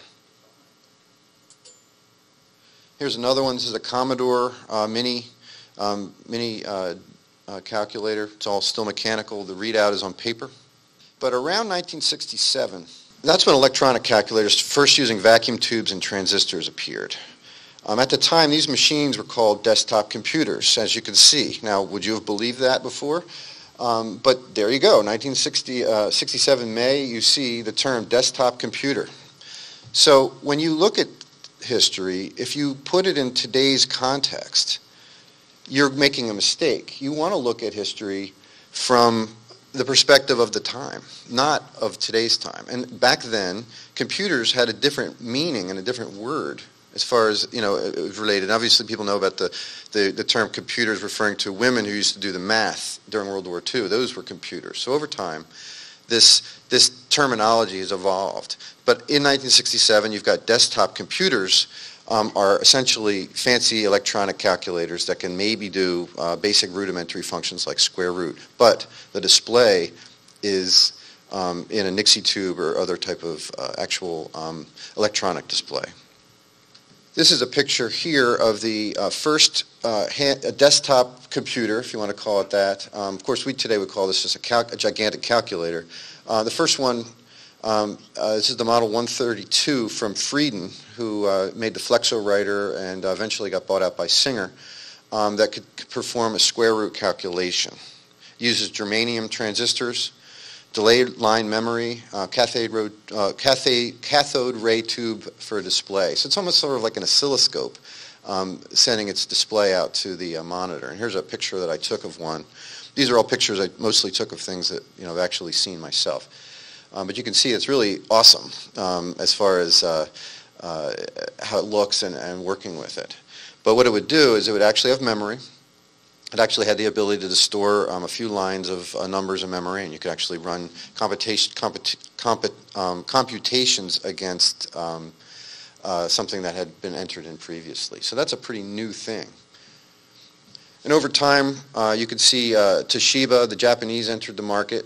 Um, you've got the 16-digit uh, displays, uh, Nixie tubes, uh, so you're, you're, getting more, more display. You're, you're starting to become compatible with the most advanced mechanical calculators, which are still being sold at this time.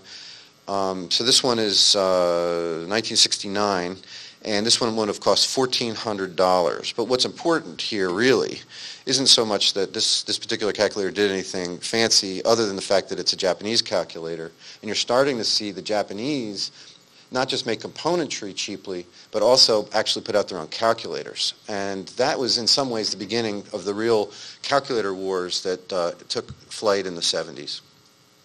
Here's another one. It's a little bit smaller. This is a, a Singer uh, calculator from um, uh, 1971, and it's uh, it's one of the final uh, uh, desktop calculator uh, footprints. This would have been about the size of a, a the weight of a phone book. So you know when you're selling this to somebody, you would say, "Oh, this is only as heavy as a phone book." Um, and you know, obviously uh, today that sounds funny, but back then this was uh, cutting edge. Then, um, then all of a sudden, Casio came out with this little itty bitty calculator. This is 1972 August, and the Casio Mini was the first handheld calculator. Over two million of these things were sold, and guess how much they cost? Ninety-nine dollars. So you could see this was a huge, huge uh, uh impact in the market, and of course it's going to have ripples. And okay I'm setting you up. What's the connection between Microsoft? Fit in your pocket. It was smaller than a pocket uh, camera. You can see back here you've got four AA batteries um, that you could use to power the thing. Significant improvement. So the Japanese had really come up with something remarkable. And there's the, there's the manual. Just like a manual would get for a watch today, you just don't read it. Why? You turn it on, you use it. You don't need to you don't need to know how to use it. You don't have you don't have to learn how to program it. You turn on the calculator and you just use it. Other manufacturers, of course, had to follow suit. On the left, for me anyway, you see the um, uh, the Cassie, I mean the uh, Commodore, which earlier you saw that uh, that desktop unit. They they got smart, they got the money, they made a small version. Uh, Texas Instruments, of course, many of you are probably familiar with that calculator. When I was a kid, I remember um, we got a calculator. Somebody down the street got one of these calculators, and everyone went to the house and looked at it. And I remember wanting to touch the divide button, and the guy's like, "No, I don't know what that does yet." It was, you know, you have to understand the times were different, and I remember actually getting in trouble for wanting to divide something. But not everybody was on board, um, and there was still there were still manufacturers. Uh, two months before the Casio Mini came out, in June of 1972, a little company called Micro Instrumentation and Telemetry Systems announced their new calculator, KIT, uh, right into the highly competitive desktop calculator market. Uh, this is an image from the July 1973 Radio Electronics article, and Ed Roberts is the name of the guy that ran this company. And here's a, here's a couple of uh, uh um, pictures from the Radio Electronics magazine geared towards hobbyists, geared towards people who want to build the calculator themselves. It was less expensive than $1,400. You could get this thing for $250, but you had to build it yourself. You, you had to enter in the, the, the, the ROMs, you had to solder it, you had to put the wires together, you had to do all the work yourself. This thing had bridge rectifiers, you can see um, caps and resistors and so on. So you have a whole schematic that you'd be working from. And this is actually a selling point that you would actually get to do all this. And you can see the input um, consists of an array of switches uh, housed in a keyboard, and closing one of the switches causes a start signal to be generated in the unit response. And uh, here's a picture of, of the one that I have, and you can see um, the complicated wiring, and uh, this is actually a friend of mine um, was working on this, Bob was working on this to um, fix it and uh, replace one of the ROMs by building his own PIC chip to uh, replace one of the ROMs. But you can just see that this is definitely not a pocket calculator. And there's the final product. Very good. Okay, so the kit sold for $200, $200 or you could buy it assembled for 250 um, Compare that to the Casio, $99, and within no time at all, Ed Roberts found his company MITS was $300,000 in debt. Um, so Ed decided to take the lesson of Casio and apply it to a new idea that he'd been playing with. Um, he knew that his 1440 um, calculator could be upgraded to accept up to 256 instructions. Why not make a computer? So he didn't go the make a little kind of calculator route. He, he went make a computer route. Um, he knew that in the early 70s was, uh, he knew that in his time, the early 70s, um, uh, useful mini computers were simply too expensive for the average person, but he knew that everybody wanted one. Um, he knew that there was a potential demand, and so he said, what the heck, let's do it. So he called up his friend in um, Popular Electronics, and the MITS Altair 880 was born. So he, he told them at the time he had a computer for them. They were thrilled to feature this. They gave him free press. They gave him a free cover. Um, and uh, there was a two-part feature, one in January of 1975 and the next was in uh, February of 1975.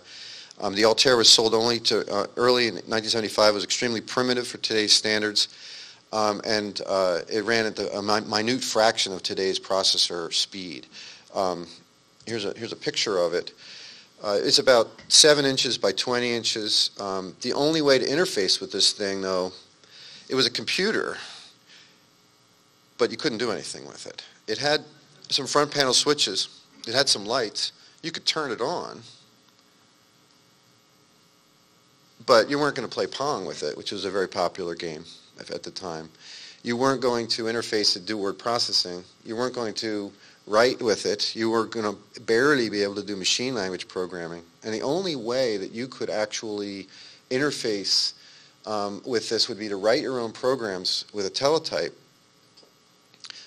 punch them to tape, and write your own assembler and write your own compiler and all of that. And if you were into that kind of thing, and I, I assume that Ed Roberts of MITS figured his calculator making guys would use their new handheld calculators to do the calculations they needed to then create this computer, I suppose.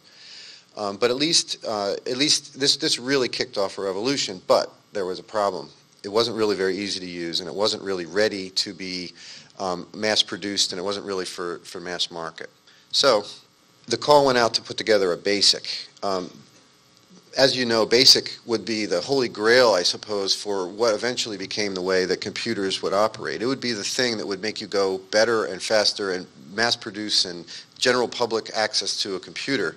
Because with BASIC, you could do both calculator functions and so much more. You could write programs, and you could do those kinds of things that people were doing uh, with time-sharing computers and mini computers uh, in the early 70s. So Paul Allen and Bill Gates um, were both from Seattle, but they were going to Harvard at the time in 1975. And when they learned about the Altair um, from Popular Electronics article, uh, they decided to make a BASIC for it in 4K, leaving space for, you know, for programs. Here's a picture of what they looked like back then. Um, Bill Gates and Paul Allen um, called Ed Roberts about hiring them to make Altair BASIC. Uh, Paul flew to Albuquerque with a paper tape containing BASIC on it. Uh, Paul Allen and Bill Gates um, got a contract to make uh, BASIC for the MITS, and Microsoft was born. And you can see a quote there. Ed Roberts, we'll give the first guy that throws, um, that shows up with one. We'll buy the first guy that shows up with one. So uh, basically, they took them up on it, uh, and that's how Microsoft was created. Um, here's an ASR 33 teletype. Bill Gates and Paul Allen's uh, first commercial software was Microsoft BASIC, which was originally distributed on paper tape for use on this kind of a teletype. The teletype was the I.O. device employed by the MITS, tel, uh, the MITS Altair, and uh, that's, that's how it would have been delivered. So you would have bought your Altair, you would have built it, and then you would have sent away for MITS, and you got a little paper tape that you would be able to load. 20 minutes later, you'd have a ready prompt on your computer. And just so you know, I do have my uh, original software license for the paper tape software. So nobody can say that I've been uh, ripping them off. And there's the logo.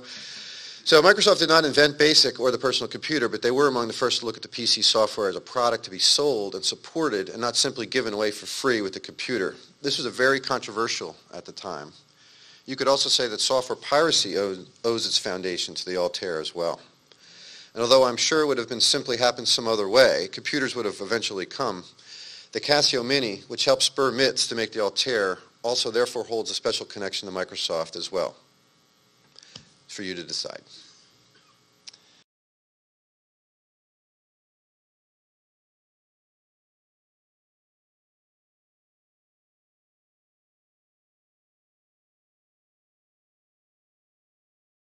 Welcome back, everyone. That was Bill Degnan and the Casio Microsoft connection.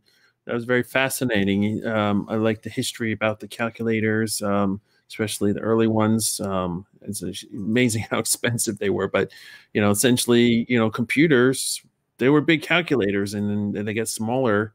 Uh, they got it easier to to move around at the handle.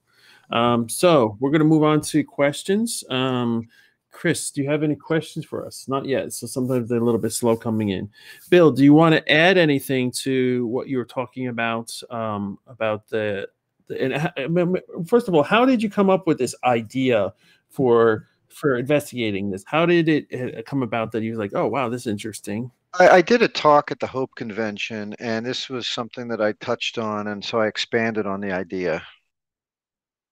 Um, so it was uh, a while back. I, I, gave a talk at Hope, um, and uh, I brought this up. And uh, um, the only other thing I'd say is that um, I said that the uh, the Freedom 132 is the first uh, desktop calculator to do square root. That's not really true. It's the first one that had a square root key. Um, other than that, I stand behind the text of the video. Pretty much so, so if it was the first one with the key, so then other ones did square root, but they just did it a different way. Yeah, you would just like you're doing a regular math problem. You know, you would just uh, you would do the math and uh, calculate that way. You, you know what I mean? Just like you were doing on pen and paper, you, you could use a calculator to do a square root equation. Yeah. You know, do the division or the multiplication.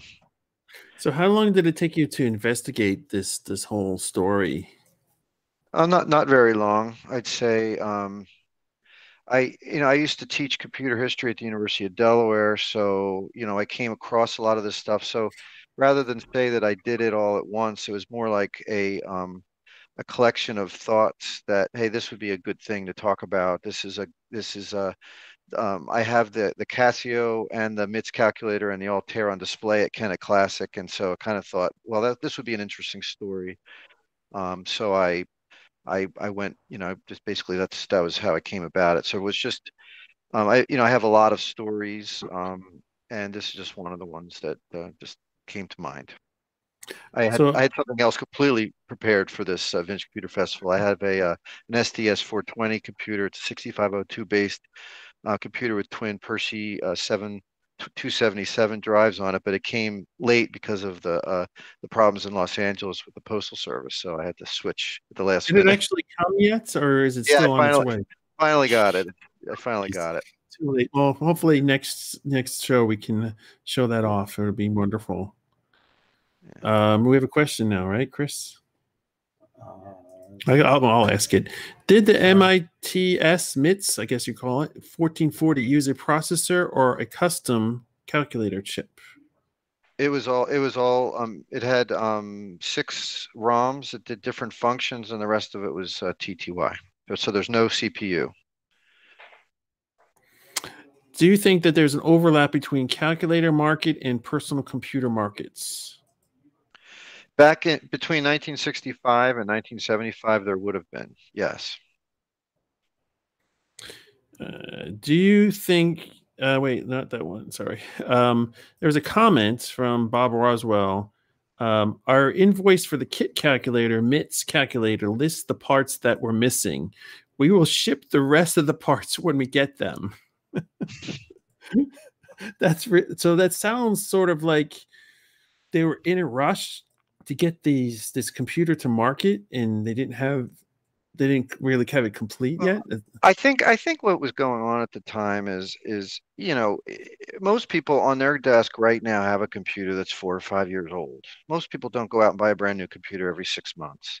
So the mentality of somebody in 1972 um, was well I have a an only two year old uh, desktop uh, calculator that's the size of a phone book. Why don't we make a desktop calculator that's the size of a phone book? But we'll have people assemble it and we want to rush it and get it out. And I, I don't I don't really necessarily think that um, uh, that they plan to not have the components available, but I don't think they were expecting the Japanese to put out uh, a, a small handheld calculator like that. I, I that completely was uh, would have been a surprise to to everybody. Um, the two million units of the Casio, those mostly were in Japan. So if you want to think of it like uh, Japan was a couple years ahead of the United States at the time as far as calculators go. All right. Um, I'm not sure how well relevant it is. It says, "How was BASIC written for the 8800?"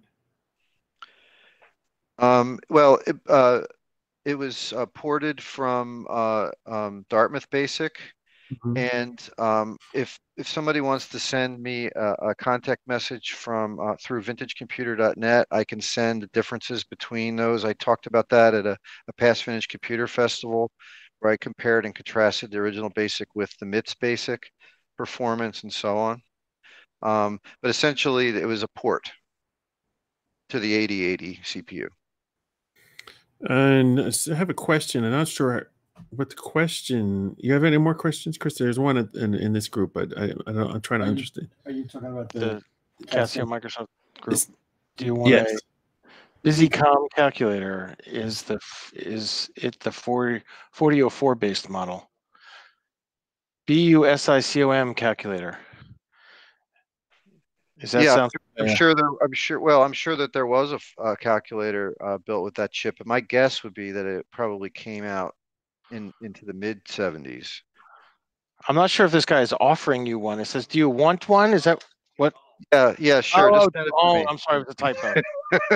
no, no, no. It's a typo. Do you own one? Oh, do I own one? The only 40, only only thing I've got like that is like a, a an EEPROM burner, that kind of stuff. I don't have a calculator, just a EEPROM burner with that from that from that type of uh, CPU chip. Okay, so there's another one here. Uh, it was similar to another question you have. So, uh, what was the brain of the MITS 1440? A processor, a custom chip? Well, you can go you can go to vintagecomputer.net and you can um, you can get a lot more detail about the uh, um, about the uh, calculator there, um, and you can see pictures of it and so on. Um, so I would suggest that you start there. Um, Bob Gribe is the person who really mastered it, and he's the one that um, uh, came up with the uh, the add-on board to replace one of the ROMs. So he's really the the wizard of it. And I do have his notes and his information. And if it's not on vintagecomputer.net, somebody wants to contact me through vintagecomputer.net, I'd be more than happy to send them what I've got. Okay. Um, I, I have a question. Maybe you might know the answer, may not. It's uh, it's related to the calculator. There's a you know I had heard the story about the calculator wars between Texas Instruments and I guess maybe HP and Commodore, and you know Texas Instruments won the calculator war, so Commodore got out of the markets. Um, do you know? Are you aware of any like good resources, books um, that sort of told that story about that um, time period? Um, I'm not as familiar with the pre, um, uh, like KIM days of Commodore, um, you know, as much, but there was a lot going on with Commodore it, with previous management. So it, it was really before um, some of the players that we're familiar with came on board in Commodore. It's almost like they had a, the changing of the guard and to get into the computers. Um, but I don't know all the details uh, about that. So I'm just going to simply say um, I'd look it up just as much as you. Okay, great. It makes sense. Uh, well, any more questions, Chris? Uh, it looks like that's all for now. All right. Well, I thank you, Bill, for doing that the video. I really liked it, enjoyed it, and, and something I learned uh, from that. Um, and glad that you can participate in our show. And you have anything else you want to say? Anything? Any other? Nope, that's it. Just hanging out at Kennett Classic today, and uh, looking for you know anytime anyone wants to come visit, please just let me know. Where's Kennett Classic? It is in Kennett Square, Pennsylvania. KennettClassic.com. All right, awesome. Well, like, And by the way, it's gorgeous, and he jams. I don't know how he jams so many computers into a space like that. It's really great. All right, Bill. Thank you very much. Um, we're going to move on to the next um, video. The next video is Bil Herd and Dave Haynie. Um, so I'm calling this Commodore Show and Tell. They're going to uh, talk to each other about the good old days of Commodore and show off some of their rare and unique items um, that they have in their house, which they normally wouldn't uh, bring anywhere because they don't want them to get broken or stolen or something like that. So, like here, um, so um, Andy, you ready for the video? Yeah. All right, let's make it so. Welcome, VCF East. Oh my gosh, it's VCF East 2020, the year that wouldn't end. We are here with you. I have Dave Haynie of C128 Animals fame, all kinds of Amigoid stuff, and lots of other junk. And we're going to talk about that. Uh, say hi, Dave. Party on, man. Party on, Dave. Party on, Bill. Can you believe it's 35 years later? No. Jesus Christ, what happened? Can you believe I don't have hair? What's up with that? I lost it like as soon as I left Commodore, my hair left. It's like, well, if you're leaving, we're leaving. yeah, I had a couple kids kind of born and grown up in the pro in the in between time. Uh, yeah. Yeah, the non-silicon children. You, you're gonna have to. Well, I have one of those too. So it's a. Hey, animals. We were part of the C128 Animals, right? That was our nickname. Oh, And what's and Dave came up with that name. I'll, I'll give full credit there. Um, the the one thing that was weird though, and I just looked for it. I can't find my old army helmet from the 70s. My handle was uh, I had two handles. One was hippie, and the other was animal, and it's written on your little sweatbands. And so I was looking around for my old animal sweatband. The, Yeah, and I had a The word that- T-shirt that's I had a T-shirt that said the animal on it from Okay, uh, I remember from that. college. From college, my uh, so our yeah we had a we had a chef in our in fraternity who uh, who gave everyone a nickname, and he called me Animal because uh, of course I had the long hair and I you know Oh, I bit people. Yeah, it, it was like easy Saturday morning, so I I looked like some kind of creature. right, right. Hey, so did you hear who I had a talk, chance to talk to for No. Bill Mensch. Remember him? Well, we didn't know him. Yeah, yeah. You know the yeah. name. Mm-hmm. So Bill's really cool, as as you'd expect. He's a chip guy, right? He's consummate chip guy, and and he's from an era too, right? He, he, got out of chippiness when it when when chippiness was still so handcrafted, right? Yeah, Um, yeah, where they were doing, where they were laying rubylith or, uh, yeah, you know, drawing Well- the lines themselves or whatever. I, I even made the comment that the engineers would spend weeks, if not months, measuring, you know, with the scale, all the different, you know, because we're doing what 140 up to 250 trans thousand transistors by the time we got past the VIC chip. Um, and and he, he was like, well, you should know intuitively if they're the right size. And that told me, I said, oh, you haven't seen the big stuff. but but he's right. He's right. You know, it, it was art back then. And you know, this man had to not only invent the logic, highs, lows, pass throughs, they had to do the work on the depletion device to pull up, right? Um, and, and, and we never liked NMOS pull ups to begin with, but we learned to deal with them. But he actually invented the NMOS, you know, I'm, I'm paraphrasing, but in my mind, he invented the NMOS pull up. So that, Yeah. that was very cool. Yeah, it was always it was always such a weak pull up because it was it was asymmetric and After you know, four yeah, volts, yeah. right? It got Yeah. to four volts, and then it went to. So, do you remember the Z80 clock circuit? I, you know, I maybe I'll stick the schematic in here. Do you remember we tried to ask Dave Diorio, hey, get me to 4.95 volts in 10 nanoseconds because the Z80 needed a true clock. Slam to the up, slam to the down. Yep. And he tried. I know what he did. He tried to create a voltage doubler on the output cell to lift that gate threshold up off five volts. The way he said it didn't work. You'll have to do something else. I gotta believe something like the JFET went into forward conduction or something like that, because he said it's not going to work. And I said, okay, Dave, thanks. I mean, I was glad he told me right then, right? But do you remember we used 12 volts in a transistor to make it work? Yeah, yeah. I remember it was you and Frank Palaia working on that, right? The, on that particular.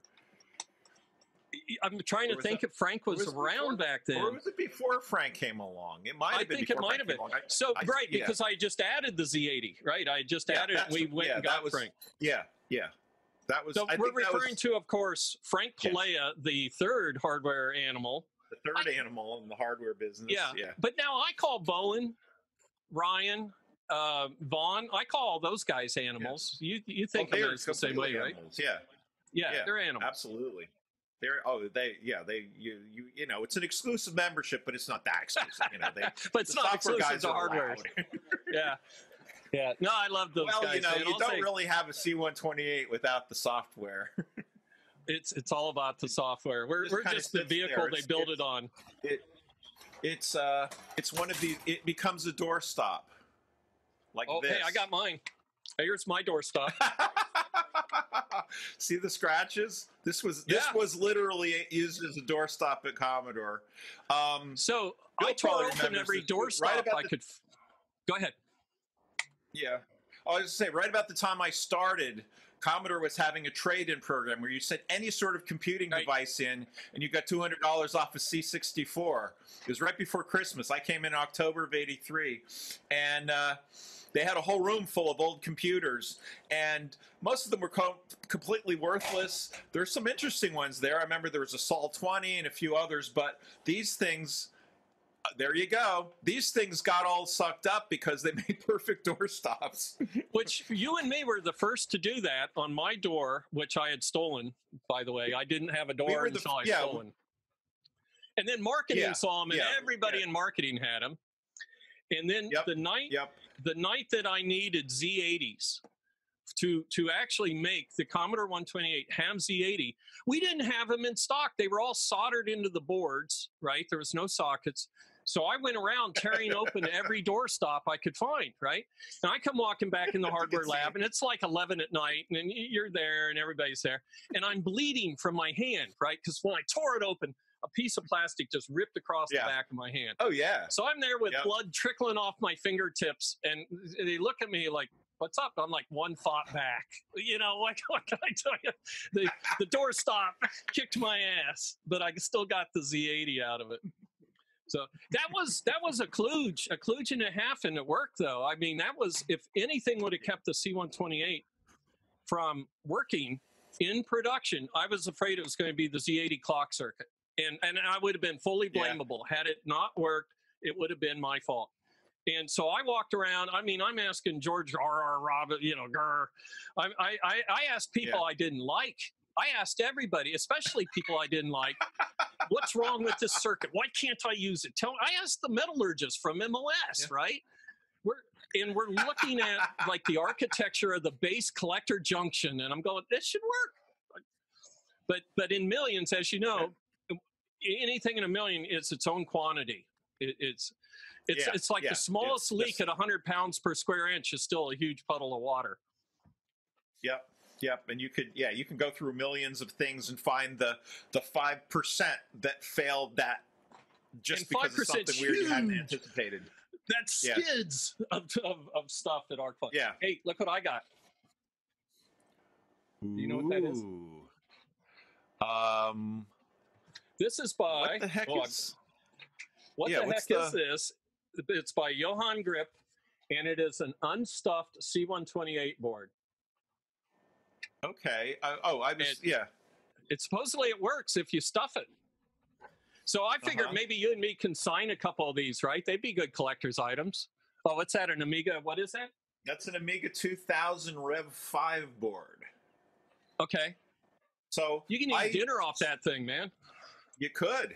Um, I spent Put a lot of time on? working on working the Rev Four, the Rev Five. We had um, new memory chips. We had to go to higher density memory chips. Um, we made the board, and then all of a sudden they're like, "Oh, we're not going to even stuff them because." We just got a batch of new 68000s that were CMOS, and they were noisier than fuck. and it was like we they none of them worked in the existing 2000 because everything was you know everything was being run to the rails The now thresholds and- are wrong. Yeah, the thresholds Yeah. are wrong. yeah The, the well, noise they had they had to go to TTL, they had TTL input thresholds so it was it was a you know it was a T, it was designed to be a, T, a CMOS TT it was designed to be chip compatible but it was too fa- the outputs were too fast they were call, Ah. causing all kinds of noise so the production guys basically The took over frequency. and decided that they were going to uh, the, the, that they were going to work it out how to make this thing work on it on a 2000 and I think I'd been I'd been off working on something else anyway. I just did the Rev 5 because they needed it quickly.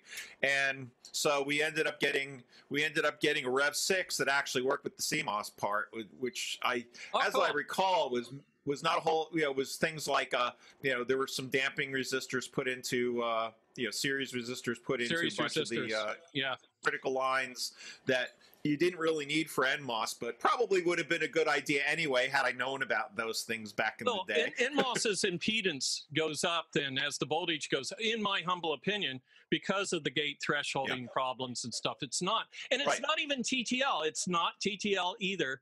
It's NMOS. Yeah. you know? and and that's Right. So, do you know what I'm going to do with this? Remember that wire that was on every C128? yeah. This wire. There's a wire. Yep. On every seat. That do you wire. remember the story? Yeah, that wire. Vaguely, That's- yeah. That's my proudest kludge. Yeah. So the story behind the wire, and everybody's heard this, is we're ready for FCC, final FCC. I think we just had CES.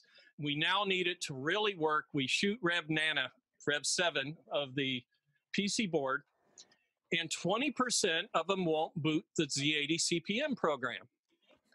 And, and there's no auto routing back then. There was no, this is a two layer board. We wouldn't dream of doing this in two layers these days, right? And the Right, impedance on this, I use series resistors. This is what reminded me. I use series resistors everywhere because the impedance is mismatched and the series resistor absorbs it, right? Well, what happened here is when the Z when the 6502 is on, it's at the end. It, think of it as a flute, right? You're blowing in the end of the flute and it comes out the right note. But the Z80 would get on somewhere in the middle, and the the, the electricity would bounce off Goes- both yeah. ends. And I fixed it by making it so there was no end. I made it when it got to the end. There was a wire that took it back to the beginning, and that's on Wrapped here. it around. okay. So behind me, let's see if I can. Right here is a machine that have went down to like 10 picoseconds. And what I was going to do is do a TDR, time domain reflectometer, and then put the wire on here. Yeah, hold that back up in a second. And I was going to actually see Yeah. why 35 years ago it fixed it. So I think that'd be a good Hackaday video. By the way, Hackaday. Woo! Hackaday. hey, show, pull up your C128 again. So why does it turn colors? Do you know? No, I don't. I, I think I've heard somebody describe the process before, but I know they have bleaching kits and all sorts of stuff out there Right, for retro right. computers. But So I did a talk for VCF last year um, on aging and stuff, and my conclusion about the coloration is nobody knows. Everybody thinks they know, but I haven't heard. A, I've heard nobody oh, actually the, knows. Right. Oh, yeah. It's the boron in the in in the or not boron, but uh, uh, in, in the flame retardant, all that. Well, until I hear one of somebody that's as good as our old mechanical engineers tell me, I'm going to say we don't know. So that's yeah, yeah. Does I yours think that's work? I- I probably haven't- the answer. yeah. Right. right I have It's- I haven't it's tried it because. I've I powered up I powered up a few old Amigas that didn't run, and they probably need to be recapped. Yeah, yeah. Hey, so a did you ever see the video where somebody was talking about the caps in backwards on the Amiga 4000 and he didn't know I had Greg Berlin right outside the door? Oh no. I'll, I'll show you that video. Maybe we'll insert it here in the in in the editing, post editing. We call it post. But so Mm-hmm. so the Amiga guys were talking about fixing Amigas, and um, I think it was Anthony was t- saying a lot of times these caps were in backwards, which is true because people that think that the band always means negative or positive on an electrolytic cap is going to be wrong some of the time because it, it would change. So a bunch of them, it depend on the vendor. So uh, he's saying, I asked, I said, why are they in backwards? He says, well, nobody knows or anything. And so a minute later, I go, can, can I interrupt you? And he goes, yeah. And he go, I have with me here Greg Berlin, designer of the 4000. I'm like, Greg, is this true? And he's like, who said that? You know, he's like doing his best bouncer. you know? I think he said, I think his answer is, well, he's lying. so, uh, what else you got with you? License plate. Wow. When it, all right, I so, so never- so for everybody d- d- knows, Dave and I worked starting at the same time, but I left after only a couple years. So Dave's going to have a lot of stuff I've never seen before. So did that get you in the lot we used to park in, or no? Actually, I could never use this because I lived in Jersey New and I had to have Jersey. a front Yeah, license front plate. license In Jersey. yeah.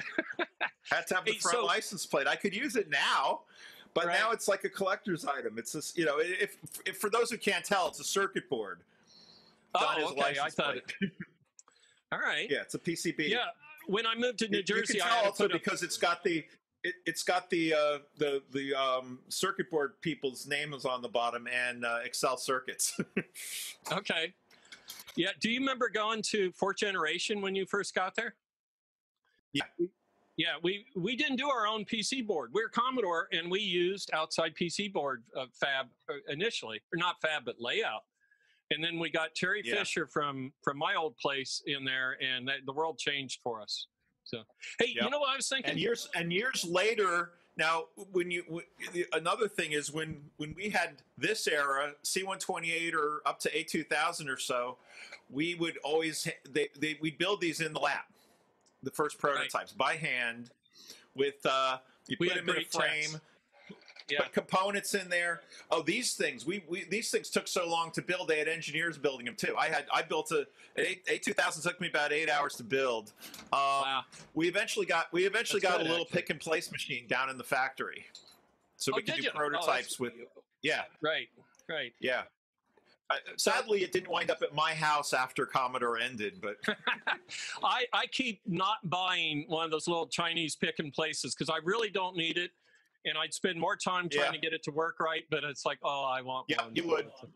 I know. So, so speaking of like fish and you, you know, there's there's a metric that I kind of have called I call it market cap. It doesn't really mean that in the traditional sense.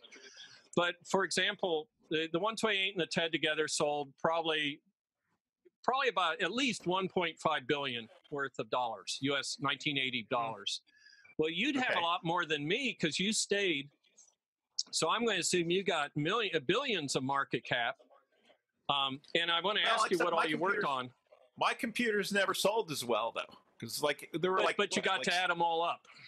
Yeah, yeah, that's true. Well, I mean, you can count the C128, and that was that was pretty good. Um, That's seven million, then- close yeah. to seven. Yeah, it was, it was about seven million, but the uh, I don't know if we ever sold a million two thousands because you know it was an expensive machine comparatively. The you know the, right, the right. 500 sold. You know they they were selling. I think they sold close to two million in one year, which back then was like crazy money. But they you know it never you know it was it never hit the C one you know it never hit the C64 numbers. Uh, right, in fact, right. In fact, nothing did until And they're they're saying the C64 didn't even hit the C64 numbers, but I choose not to believe that. I choose not to believe that as well, and um, and I choose to believe that the first the first single model of a computer that uh, outsold the C64 was the original iPad. Yes, I agree with that. That that is the first single model computer to outsell the C64. Yeah, and, and it's part of it I was call that, an you know- a computer. You know, yeah. Well, yeah. I mean, it's a personal computer. It's not a PC, but you know, we you know We we made them. We could call them PCs. They're home computers. Yeah, it's a home. We were computer, home just like your phone is these days. Yeah. Right. The the word VisiCalc and personal computer weren't part of our uh, you know part of our uh, language back then. At least not often, unless we were talking about IBM or something. They they But you talked know, actually before the IBM came along. Some of the magazines would dif- differentiate between home computer and personal computer, and that a personal computer was, was all in one, everything there ready to go. And home computer might be something like that, like a you know, it, it, it is a personal. It, you could have a computer at your home that was a personal computer, but you could also have something like a Heathkit where you had to build Right. each piece. But it's still a home computer. So, Right. but it was, you know, that was all informal. It, you know, the, it wasn't really until IBM stamped PC on it that you started having arguments about it's a PC or it's not a PC or whatever. Well, and to me, and to me, it- whether you had a trail back to the TV roots or not, you know, whether you just, I tried telling kids, we used to display it on a TV, and they're like, "What? You put it on top of the TV?" No, it was really on the TV. It was. Oh, so, And Now, the ironic tried- thing is, you can do that. St- you you can do that again now, right? You know, you you plug into HDMI. You got a pretty, you know, every TV TV makes a halfway decent monitor today. right, right, right. So Mensch gave gave us a compliment on the 128. Um, see, now I realized Oh, Bill? Mensch saw the year that the 128 went against the Apple II GS. He's like, you guys beat us. You, you they they only made uh, a couple hundred thousand, and we made a few million, right? And I realized I'm like, well, Bill, you know, and I didn't really get this out to him in time. Bill, you were on both sides of the of the of, of the argument. You were you made our 6502s in addition to the 65C02s, and but he was getting royalties for the Apple one. So in his mind, he was on the Apple side of Oh, Apple. okay, yeah. Oh, that's so. That's what he was thinking of it. Yeah, I guess that makes sense. that But- had the but here's- A16 in it, right? Yeah. Uh, yeah, actually it did. But here's here's here's a spec for you. Yeah. The 128 outsold almost all Apple II models combined. It's like within a couple hundred K. So Wow. if you throw out any one model, That's I mean, they only made a couple million of the regular C122. I mean, of the uh, Apple that two that we all think of. But they didn't make the that original, many the original. Apple II. No, they didn't. That was that was back. That was selling back in the days of the PET when it first came out. I, in fact, I when I when I was in high school, I went with my my buddy Scott to Manhattan, where he was going to buy his first computer. We went to the only computer store they had in Manhattan, which was this little one room office. On one side, they had 4K Apple IIs, and the other side, they had the 8K PET. He ended up buying a PET, and we were carrying the PET back to his father's uh, uh, office on Madison Avenue. And uh, right. So you Yeah, mentioned was- writing. Oh, here we go. This is my original C128D, and um, there it is. It's got writing on it. Yeah. And it says not an Amiga on it, which because oh, it says that. That, that says it there, but basically, this is saying that uh, watch your ass. This was a bad hard drive, so it's written. But by writing on our own computers, it kept people from stealing them. Yeah, I wish I wish I had had the uh, I wish I had had the Amiga 2000 from my lab because it said it said A2000 modified on it in big black Sharpie so that no one would steal it and try to sell it. Oh yeah, yeah. This is the one. This is a true plastic C128. Yeah, yeah, But the original only one. one with the camera. Yeah, with there the you go. keyboard stuck under. Yep. it. Yep. So you said you had something written on, right? I don't. Yeah, actually, nothing I still have has writing Okay, on here's something for you. What's this? Modem. That's a modem. That's a Jeff That's- Porter that- modem. That's the Jeff Porter modem. That's Yeah, a 1200. yeah, he- 1200 at a day of 300 baud. Yeah, and that was like the fastest time from somebody joining the company to cranking out a product too. I think. True, very true. Yeah, he had this out before the LCD. I mean, and we knew we wanted to put modem in the LCD, which was you know the trifecta of getting Jeff Porter in there, who came from AT and T. The sucker could whistle the tones necessary to talk to a modem, right? yes, he could. So, but Yeah, but all I all I could ever do is whistle and shut it up. That's he would do that. He said he could whistle at two in the Yeah. morning and cause it to shut off and stuff. Oh yeah, well I had learned I had learned that in college as well because we had the you know acoustic coupled modems, and if you were if you felt like being a real jerk, you'd go in there and whistle the right tones, and the modem would shut up. yeah, right, right, right. So, do you remember the? Do you remember me spray painting everything with H's? I think I all yeah, my remember tools had those around the orange. yeah. If you saw Yeah. orange, and, and once a week or so, I'd go around and pick up my my books would had H's on it, and I'd pick up anything orange. If you got caught with so much as an orange screwdriver, I'd send Haynie to come mess with you, and if if you didn't like that, I'd send Berlin, six foot eight Berlin. Yeah, And, yeah, if you- and yeah. if you still were giving me trouble, I'd send Bowen or Ryan. you know, those those guys they cut you. You never even know your intestines are on the floor. You know. You've never even seen them. yeah, right. Yeah, you don't see them. You just know that your gut yeah. hurts suddenly. Yeah. Uh, do Do you have a pet? uh, You know, I have a pet, but it's so far in, under storage, I couldn't dig it out for this today. No, I never had a pet. Um, that, I had a C64 before I joined the company. Even. Oh, look at that! Do you Do you know what that is? Let me try and. So it's got the power connectors right next to the DRAMs. This is one of the ones that took the towers. Look at all that. Can you imagine management thinking that we're going to get that working? But- but look at the chip guys. They've labeled the chips that are dead bugged. Yep. And this did work. This did work. This this worked with towers that we put in for each chip because yeah. the chips didn't work. Yeah, and I remember those towers were the towers were all wire wrapped, and each one worked a little bit differently when we first got them. we called it the laying of hands. I would walk over, I'd make sure the connectors were tight, everything. And what the programmers would do is when it stopped working, they would start pr- spraying cold spray into the air. Think, you know, and I'd go, oh, they're spraying the board. And I'd come on a run, and they'd be just, they had a, a label on the cold spray. It said hardware engineer call, and they're just reaching up and going,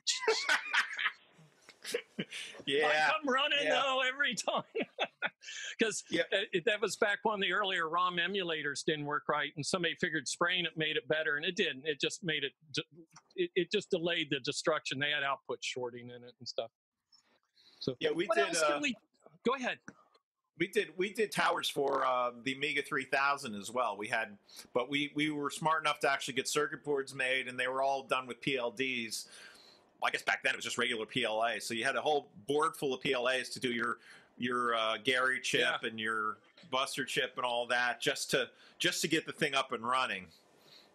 Right, right. Hey, so you know who has more market cap than all of us together for printed circuit? Who's that? Terry Fisher, Fish, our PC board guy. Oh, Fish, because he's on everything. Yeah. everything right so that guy has billions Yeah. and billions of dollars and he's doing work for name companies now and stuff for for our old friends but yeah he he talked about market cap that guy's got it out there Yeah, and ever, ever since uh, we, I did after I left Commodore, I didn't have anything that was all that popular. So, like not not not selling in the millions. well that's an anomaly to sell in the millions It is. It is. It's un, it's unusual. Um,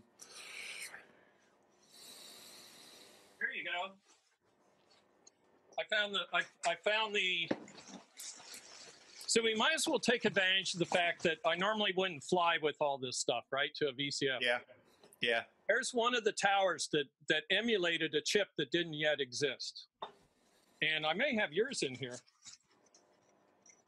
You did the PLA. The PLA tower, yeah.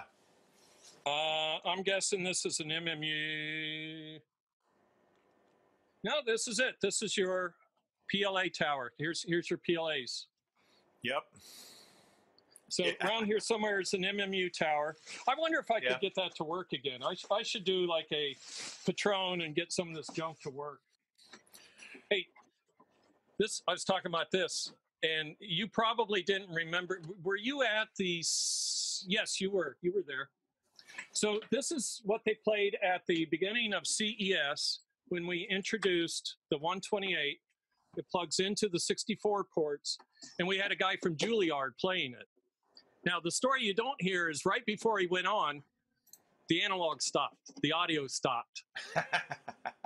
and uh, Gail Moyer came over, and I reached into my pocket of my unmatching corduroy jeans that didn't match my jacket, and I pulled out a fuse. It popped the 9VAC fuse, which is used for the audio output. So we, in true Commodore fashion, we even fixed it at the last minute. Ah, so we talked about this, or we showed this. So this doesn't work, but this is out of that pile that we had.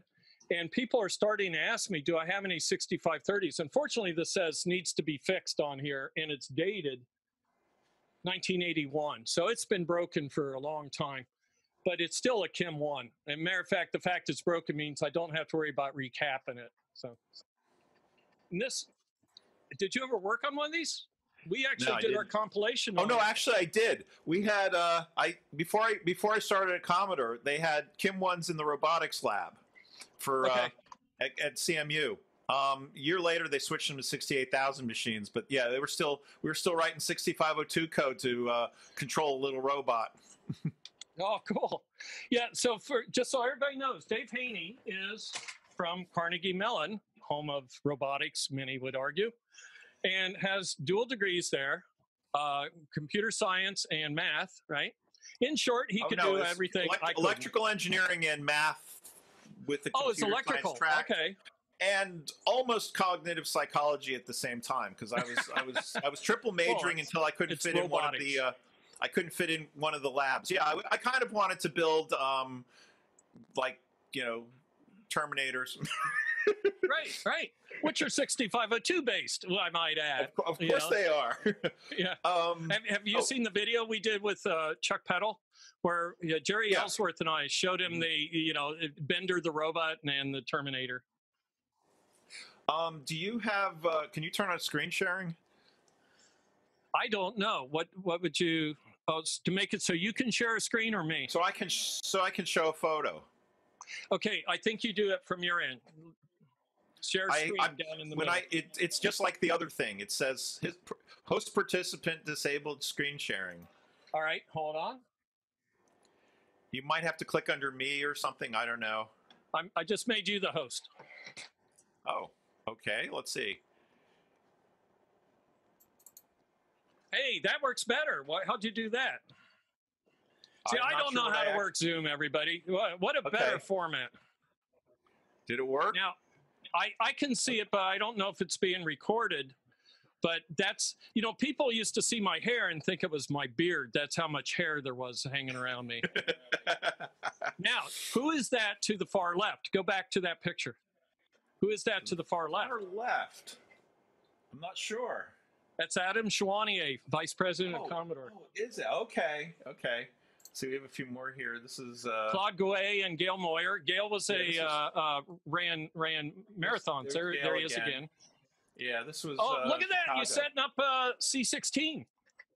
Yeah, yeah. This was Chicago. I didn't have anything from the C128, but uh, this was when we were showing right. off the TEDs the second time. Right, right. yeah, it, it, you I- know- this is the time when I got a hold of Irving Gould while I was drunk and gave him a piece of my mind about something. And surprisingly, I didn't get fired, but I should have been. I can, look at that C116. What what is? I didn't remember the 116 making it to the CES. I'm not sure. I'm not sure it was ever shown. Right. That was I believe back. that. Okay, this was in a bar where somebody came up and started clipping animals on my face, and uh, I was kind Yeah. of okay with it. You're one of the animals, right? Yep. Yep. Go on. Let's see. Six foot eight, Berlin. Greg Berlin, uh, 30 Getting years of the- younger than he is now, dressed like he's from the 80s. Yep. Yep. Uh, look how skinny everybody is back then. Oh. what what I weigh, about it. 150, something like that. Uh, there's Andy Finkel Oh, on the right. Oh yeah. Oh, let's see. Yeah, that was that was yeah. There's Andy Finkel. That was that was the end of uh, '84. Andy Finkel was head of the software games group and then eventually became a head of all software, right? Or all Amiga software. So Bill, if if if that if that doesn't show up in the video, I'll send you the photos. yeah, yeah, that's a real good point. We can always You can stick always those inclu- in. you can always include them in post. in post. Now we're talking like pros. Uh, we'll scrub it in post. Uh, you know, it's everyone uses that term, so I started using it years ago. Like, oh, fix it in post. right, right. All right, I'm kind of out of things to. T- oh, you know what? I do have. Do, do you have like one more thing to show while I go rummage around in something? Um, yes, I do. I have. An, I have thing, another. I have another. Um, I have more photos to show. Um, I yeah, I don't want to get into personal photos. Any from the from the show? Oh, okay. No. Hey, hang on just a second. I'm going to grab Let's a see. Commodore LCD. Hold on a second. Okay, let me see what else I got here. Nah, this is not very good.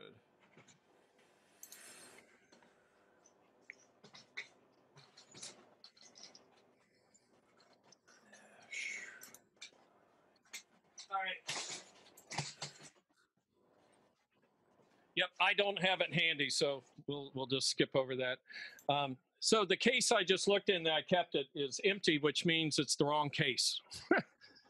so, but the LCD computer, if you remember, that was to me the one computer that was to be evolutionary, or do I mean revolutionary? I probably mean revolutionary. Um, Revolutionary, yeah.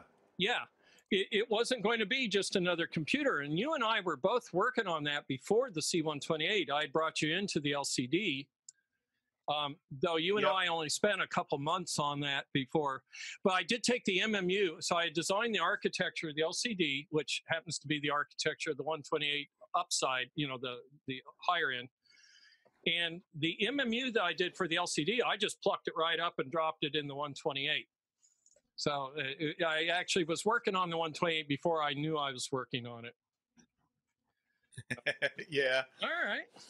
Any, any good memories you have? Of, of, I mean, I got just tons of them, but I'm, I'm trying to think of.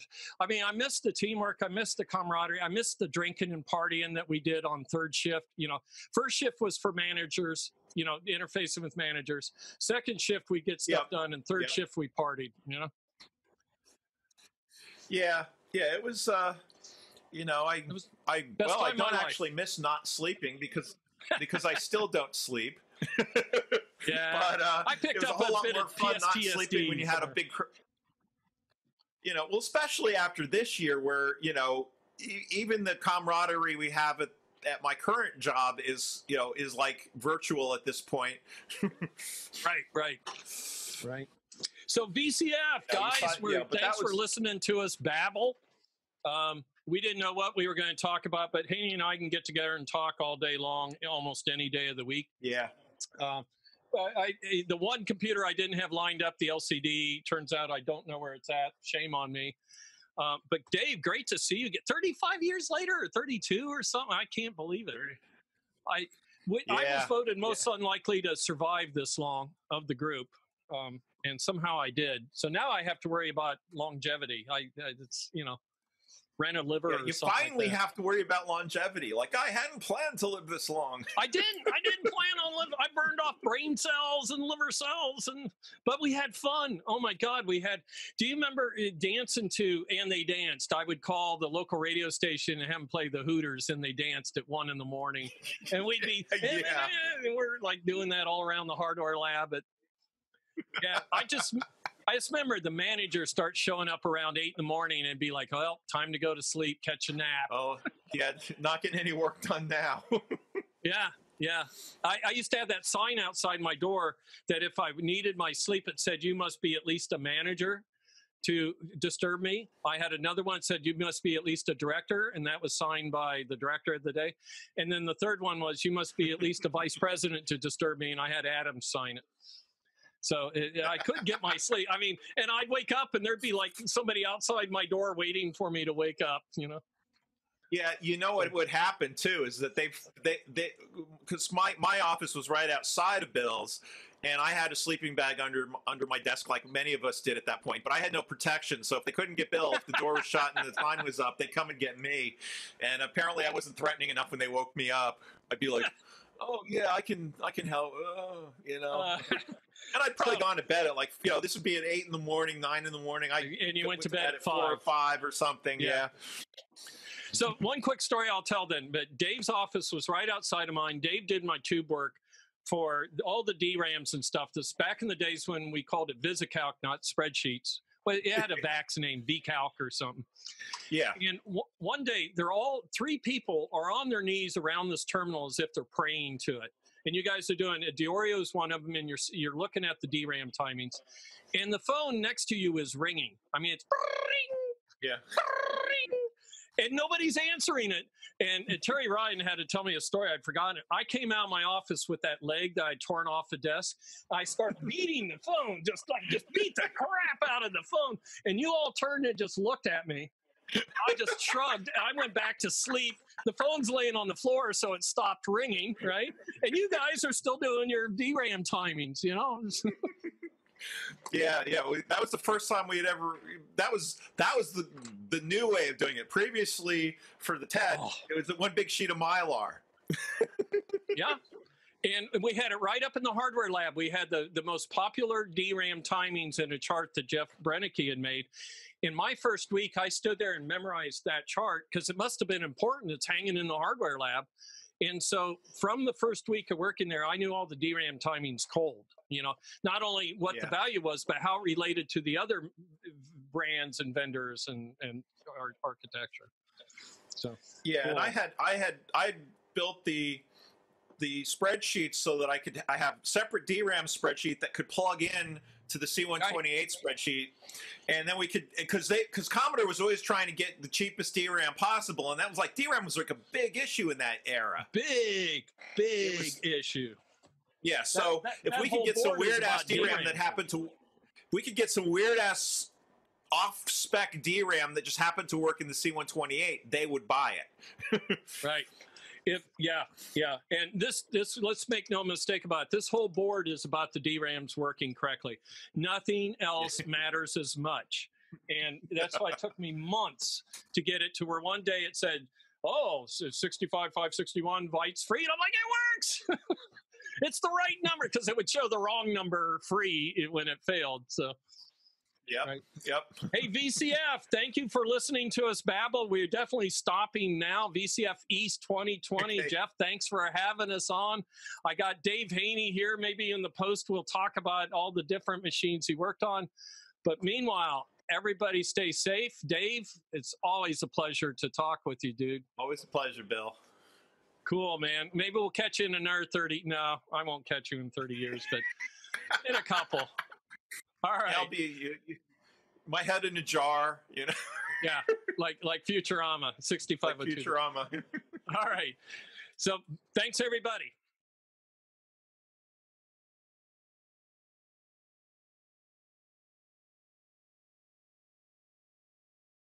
All right, welcome back, everyone. So that was Bil Herd and Dave Haynie. That was a lot of fun. I really enjoyed that video, um, and seeing all those unique items and a little bit more history and stories.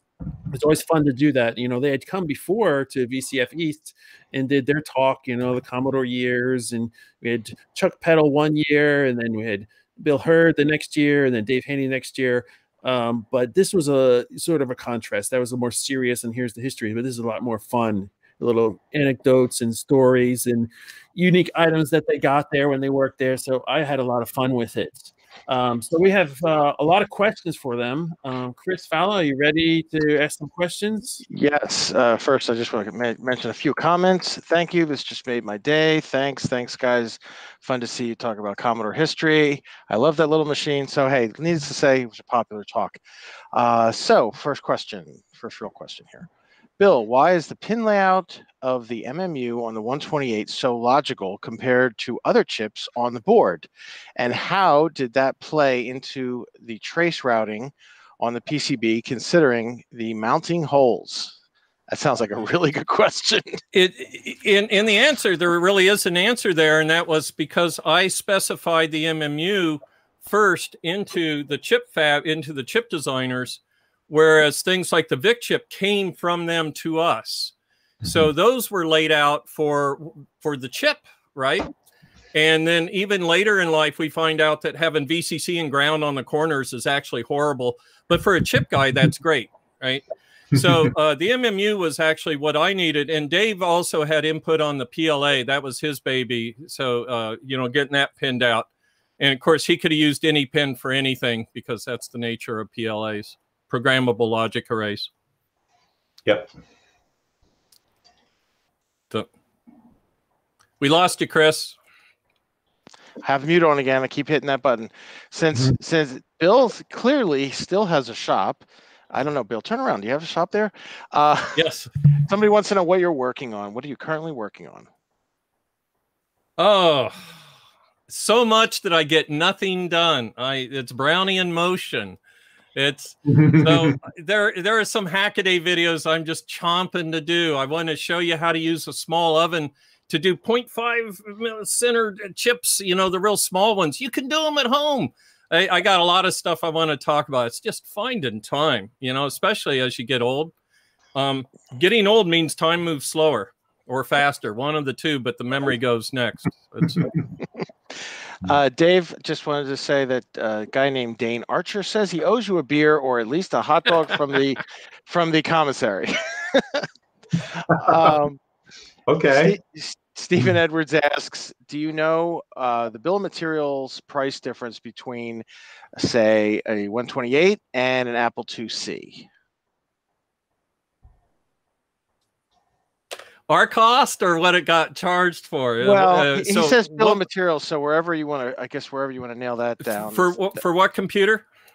either compared to between the like the 128 and uh, Apple IIc. 128's uh, bill of material, my cost was under fifty dollars, um, and, and that included my cost for my chips and stuff. I actually spent four dollars more on the packaging, and I, I Well, hated about, it, like but you had to case package and it. the keyboard and like everything. That's a whole Fifty machine. bucks, man. Wow.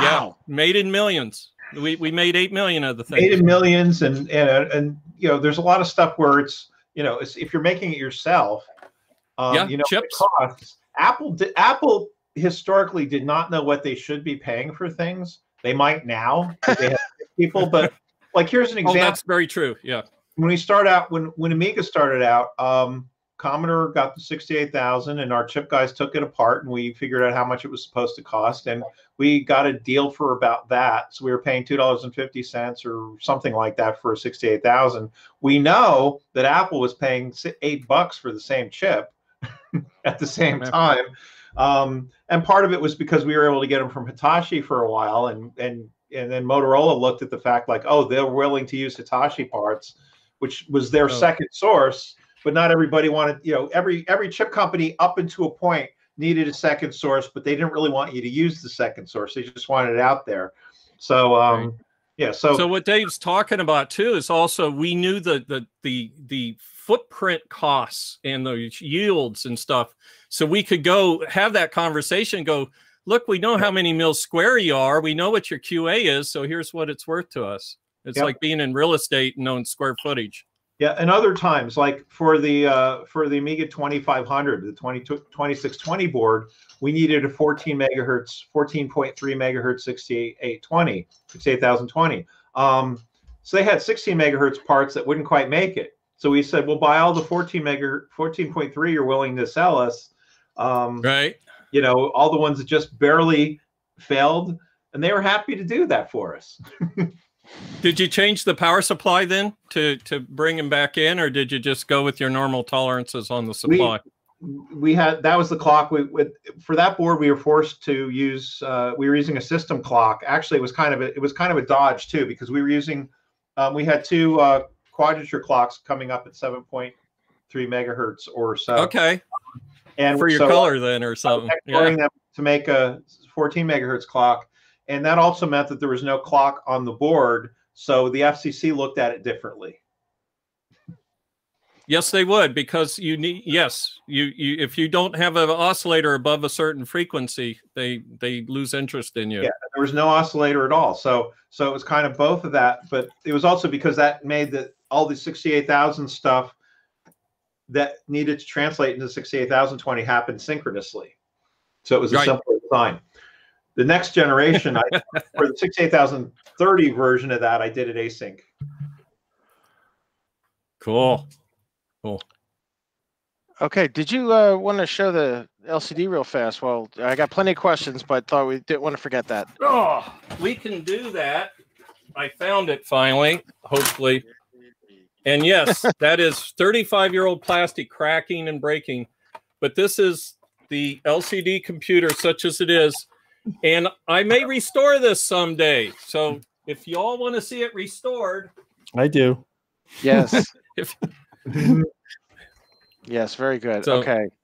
Oh, go ahead.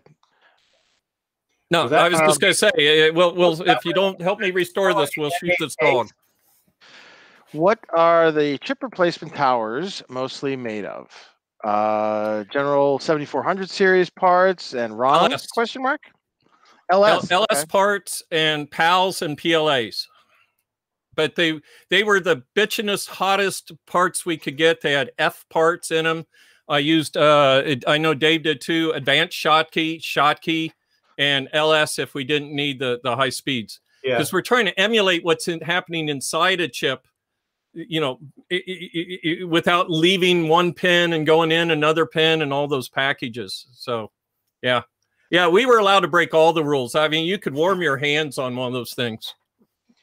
Yeah, we uh for for the six for for early earlier Amiga stuff we were using uh most mostly uh mo- mostly um pals um down to like five nanosecond pals which cost a fortune but we didn't care. we didn't make three or four Trash towers can full of pals. Yeah. and um, later on when they were doing some of the uh, CD32 stuff where they uh, they were actually using FPGAs but like prototyping FPGAs not production FPGAs you could spend 200 400 600 dollars for one chip but it would actually be able to emulate something a little bit more complicated and then Right.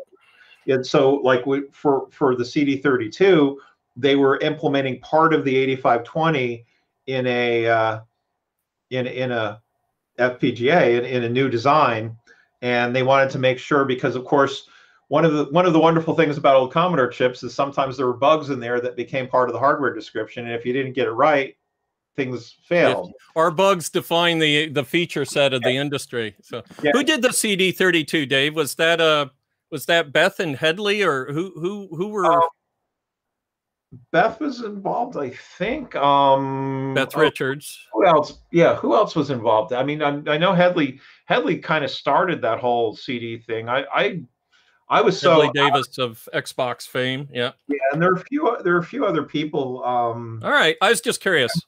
Brian. So, next question. Um, yeah. Uh, this is not in any particular order, but this might be a quick one. Da- Dave, were you at Amiga before Commodore? No, I was a Commodore before Amiga. Who hired you, Dave? explain that a little Herd bit hired because I know. So yeah, I, I don't know the timeline exactly at that Bill- point in Bill Commodore. Herd. So, so I was I was at working at General Electric and very unhappy there, and uh, kind of protesting the fact that the, all the college kids who came out with me started fading into the background, looking like they belonged at a at had worked working at General Electric for like 20 years in about a course of months. So I had, and also they were working on nuclear weapons that I didn't want to. I went there for space shuttle. didn't get to work on space shuttle. So I, I sent out a resume and um and and uh, a week later, less than a week later, they called me in for an interview, and I just happened to be wearing a homemade shirt that day. Went to this headhunter place in Philly, and I met this guy, John Lennon looking guy, because he had the long hair and the round glasses um, in the lobby, and I'm like, and he's like, "Hey, here for an interview?" And I'm like, "Yeah." And he's like, uh, "How about you?" And he's like, "Yeah, kind of." and uh, so then I went in and met the suit, Joe Krasucki, and you know we spoke for a little while, and then he brings me into the room where Bill was, and like, "Hey, we've already met." And he asked me about, uh, I think he asked me about um, diodes for swing limiting in front of op amps and a few other technical Yeah. questions. and and um, oh yeah, he asked me if I knew how to do S plan S or Laplace transforms. Be, and I started to write something. He's like, "Oh, I just want to make sure you knew because I don't." right, and right. At the time, at least, and and um, then uh, like a day or two later, they uh, they invited me out to uh, uh, Commodore in Westchester, and um, I basically accepted right on the spot, and uh, the rest was history. Now, Dave, weren't you? I have a memory of you in the MOS building with me. Did did you ever work there, or did we just go back there? we just went back there. No, I no, I I, I started at the end of October in '83, where where you guys have pretty much just recently just not moved. not just moved, but pretty recently moved over there to, Yeah. to Westchester. Okay. Yeah, we All we right. were back. We were at MOS a couple times for things. Oh yeah, I I loved going there. Go Mm-hmm. poke the dragon. I, I'd like to just take this opportunity since you guys both just said MOS several times. That's one of my pet peeves is when people call it Moss. And I, you know, not that it's so horrible, but let's get the history right. What do you guys think? I mean, I've never heard any Commodore employees call it Moss. It's MOS, correct? Well, now Well, there was. it's CSG. Go ahead, Dave. no, go ahead. yeah. And I never knew it as CSG, but there was a Moss Tech, and there were some other Mosses that that said it Yeah. that way. So you had to say MOS if you meant MOS technology. So for us, it was a mnemonic of say, and I also say CBM instead of Commodore mostly because I used to. It's easier to type, you know. So I would we got in the habit of typing CBM. It's There funny. go. While, while I always said MOS for the company, I still say MOSFET. Yeah. Well, MOSFET as a as a device is a Yeah. MOSFET, but the company in in Norristown is Yeah. MOS. Uh, Anyway. You know, it wouldn't bother me either way, but that's how we always said it. Well, what Yeah. bothers me is the guys that are on YouTube making all this great stuff about Commodore, but then they're getting the name wrong. So I think if they're going to re- record it for posterity, So let's get it the- right. If you're on the internet, you have to argue about something. I'm glad I could contribute then. Uh, Dave, this is for you. This is a little bit long. I didn't read the whole thing beforehand, so forgive me if I fumble through it. Um, the A3640 uh, with the Amiga 68040 CPU board Mhm. has a quote fun circuit lifted from a Motorola application note. It looked like a real pain to design. I found a Usenet post of yours from 91 explaining the Motorola bus adapter design. He puts a link. Um, was this when you were in the throes of the A3640 design? Was it as painful to design as it looks? Uh, there were also some backwards caps on that board, but maybe that was Greg Berlin's fault. No, no, no, no. We're, we'll talk about the caps, but keep asking your question. What? That Dave. was that was it. That was it. That was it. Okay, well, for me, the A3640 was a piece of cake because I didn't design it. Um, at the uh, at basically at the end of the well, not even the end, but about halfway through the A3000 project, um, we started looking around for um, the the 68040 wasn't out yet, but we managed to hire a guy with 68040 experience anyway, Scott Schaefer.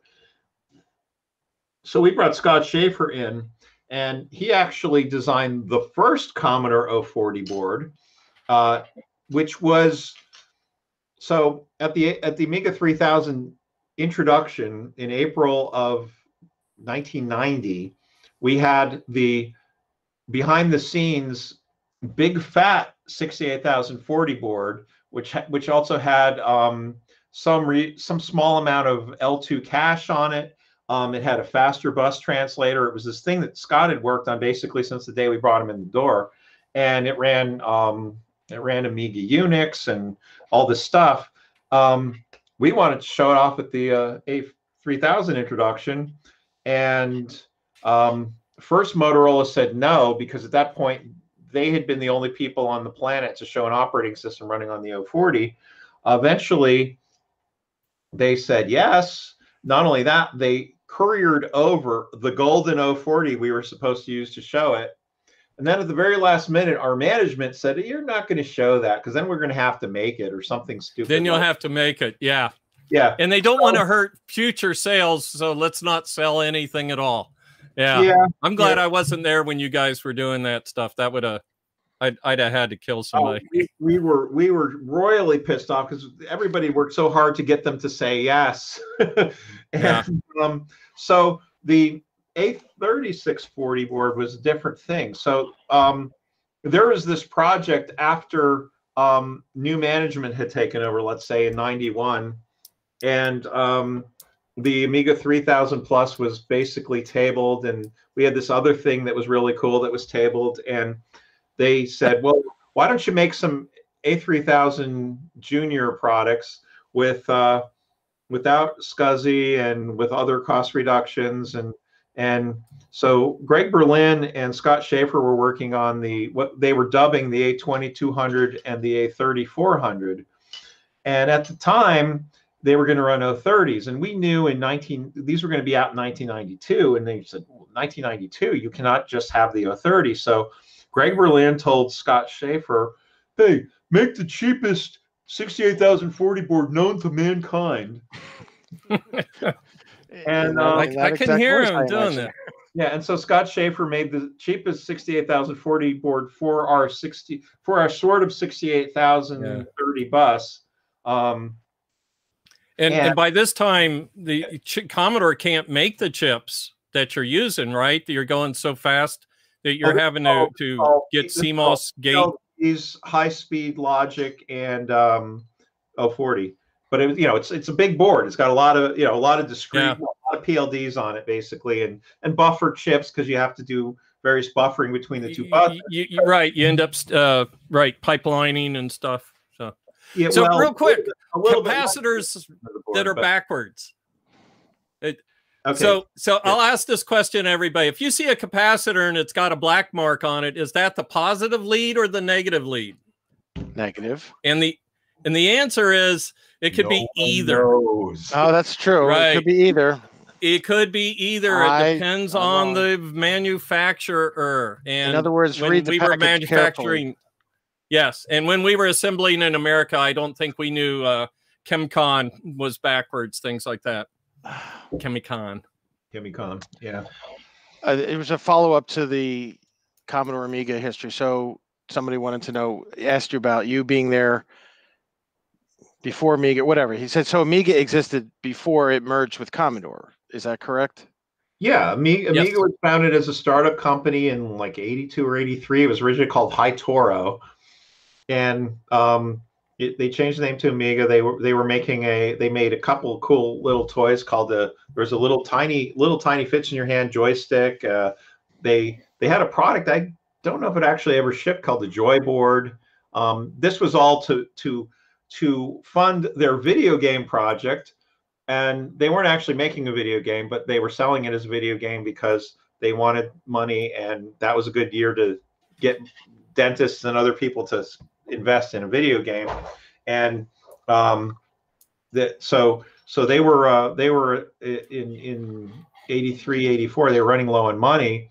And um, they had gotten a loan from and then yeah i was gonna say and then we got into the ugly times that it, that are very uh it depends which side you're on atari or a commodore yeah. Yeah. So Yeah. so so, if pe- people d- if if if they don't know dave worked on the c116 216 264 364 c16 232 c128 and the alpha unit for that. So so And I he thought did do a lot of commodore before stuff that. before the amiga. Yeah. And the, uh, and the and the ted super cartridge. And the ted super cartridge. Now, I was going to hold this question till later, but it seems like it fits in right now. Um, Bob Roswell asks, "What could Commodore have done differently to survive till today?" Uh, not lose Jack Tramiel. You know, that's what I thought too. Is it really that's is it that simple? Not that that's a Jack simple may answer. not have survived till today, but that was our best. That was our best choice, and we lost our way so significantly. Uh, Dave and I are from that small group of people that knew what it was work to work with Jack for Jack Tramiel, and then after Jack Tramiel left, and it, it was night and day. Yeah, and and and and you know, Dave and I carried on with that same. Uh, those that that quality you needed of not not taking excuses and taking no no quarter and the new commodore was like boy you guys need to shut up and sit down wait wait you- you're making us look bad getting the stuff done at three in the morning Now they, you know, that was that wasn't actually much. That was a thing for a little while, but it kind of went away. Like you know, all those the middle managers and the all that stuff that was happening kind of around that time. They they all eventually left. they they killed their their host yeah A- They were- a, well, they a bad parasite yeah They, they were all kicked out, and it did bounce back. But later on, um, I'd say the thing is we were we were moving into an area where you needed more investment in R and D. You just did. yeah and to keep because you know it was mm-hmm. like you know commodore commodore is kind of doing you know commodore is competing against atari and apple and a couple of small companies when you know once once you know once we were getting into the amiga stuff we were starting to compete with ibm and you know and and you know and apple was growing and you know to really and, stay and meanwhile you're locked in a in in it with atari you both are you, you trying to vie for the same dinner. Yeah well yeah a little bit but you, you uh, might not we we didn't feel that way but looking back there was ibm getting its inroads. Meanwhile atari and commodore are tangling with each other and ibm slowly eating our lunch yeah Yeah, you know, IBM was a factor, but they but IBM and MS DOS really hadn't become enough of a factor by the time. not when Commodore- i was there yeah i agree totally Yeah, we didn't we didn't take Commodore them died- seriously back then Yeah. Um, I mean, we you know we basically if you know if they had. I guess our best bet forward in the Amiga era would have been if they took it more seriously, invested when they should have, so that rather taking three years for a AAA chipset that never got finished, it could have happened in a year and a half or two years. That started in 1988, by the way. We started working on our 64-bit architecture, which is what that was. Wow. that sounds cool. know, in in 1980 freaking eight. And by 1992 when i was working on the prototypes um you know it w- we got first silicon i think really in 1993 and commodore was already in financial trouble then and we didn't get a rev we got a couple parts that were fibbed in order to work thousand dollars a chip uh right and uh, that was pretty much where it was left. They were they were not letting me fix things and you know not making not paying the right not letting me make the new boards and there's just all this stuff was going wrong at that time. Um, but you know that was the product of the fact that they were you know they were paying you know I mean I hate to say it but it's true that you know uh, a bunch of the people in upper management were getting three million dollar a year salary and bonus, which was more money than the president all of, of- or Apple got yeah considerably more. So, you know, the money was going to the wrong places within the company. Now, you could say there are other things they did wrong, like marketing and everything. But honestly, if you don't have the right thing to sell, no one's going to buy it, no matter how good you are at selling. and, you know, they, the thing that started out as a, you know, as, as, you know, we were, you know, Amiga came along and that was something no one had ever seen. And it was, it was better, you know, it was multitasking. It was, it had hardware graphics acceleration. It was doing all these things that, you know, eventually became important to other companies. Um, unfortunately, they squandered that lead. Yeah. And you know, and you know, if you don't keep it up, no one's going to buy your stuff. I mean, the you know, there was there were a few outside factors like you know, we had the gaming market in Europe for a long time, but um, piracy started becoming a real factor in selling, in in people being interested in writing code for Amiga. You know, there were there were guys in Germany who wrote a you know, a game that you know everybody in Germany had, and they'd sold 50 copies. Yeah. So Yeah. you know, we you know the CD32 and the CD-TV were kind of the idea of here's how we fix that, but they you know is that all kind of happened after you know after things were already being broken, if not already broken at Commodore. Yeah, that was one of the the things that I wanted to do as a um, exhibit. w- Um, is that the the war between the copy protection and the pirates? It was like a back and forth battle. I would love to like do like uh, some research on that because that was just like a very interesting time where like you know they're, they're like who's gonna crack this this one first and the copy protection programs trying to defeat the protection and then and then trying to make it harder and, and so forth back and forth Right. Uh, Real Jeff, quick, next Jeff. time we get together, uh, we'll, we'll have to talk some stories because there's definitely some. Uh, Commodore was one of the biggest pirates of its own software, but that's for a different day. all right great yeah I'll, I'll, I'll remember that Jeff, we're okay. FBI time, came though. in. I'll tell you off off. We got plenty more questions. I just want to double check the clock. Uh, so we're we're good to keep going. If you are, I got a good list here. You guys good? right. Yeah. Yeah. Okay. Uh, so Bill, regarding the 128 specifically, I think this one one guy sent us four questions. Number one, do you know why Commodore refused to make a variant of the SFD 1001 drive for the 128? It would have been quite useful to have one megabyte on a cheap uh, five and a quarter floppy. Right. Yeah. Uh, I only ever saw one or two of those drives myself. Uh, Fred Bowen would have had one. Um, it just it, it wasn't a a product in production. Certainly wasn't worth trying to uh, change one of our new designs to. I liked it though. What he's talking about is one that had a 488 uh, interface on the back Right. of it. Yeah, which made total sense, especially given the speed of our serial bus. Yeah, those those things are extremely rare and and they fetch a pretty penny. They are, eBay, yeah. uh, these days they're like several hundred dollars easy. Uh, okay, number two. Does do you know why the 128 is limited to 128 uh, RAM, 128K of RAM, while its MMU could have handled 256? Why didn't they just leave room for further expansion and just cut off the MMU ability to work with 256K? Uh, his name's Joe Krasucki, and he was my boss, and he stepped in and uh, made the decision to not throw the final mask at the chip. So the chip was designed to be 512k, um, and he he he he, he urinated on the project. That's all I can tell you. He made a decision. and you've heard it you've heard it here the truth in the matter. Okay very good. Thanks bill. Uh, do you know why the 128d release in 87 also missed 256k ram? Were there any movements inside commodore toward expanding the c128 memory? Uh, is that a similar question or something different? No, I wasn't there, and you know the 128 was only made to sell for one year. We were just trying to patch a bump in the whole in the road until the Amiga arrived. Right. So the concept that four years later we'd be adding RAM to it, that's that's just kind of a meandering computer trying to find its way to a slow death. It sounds like to me.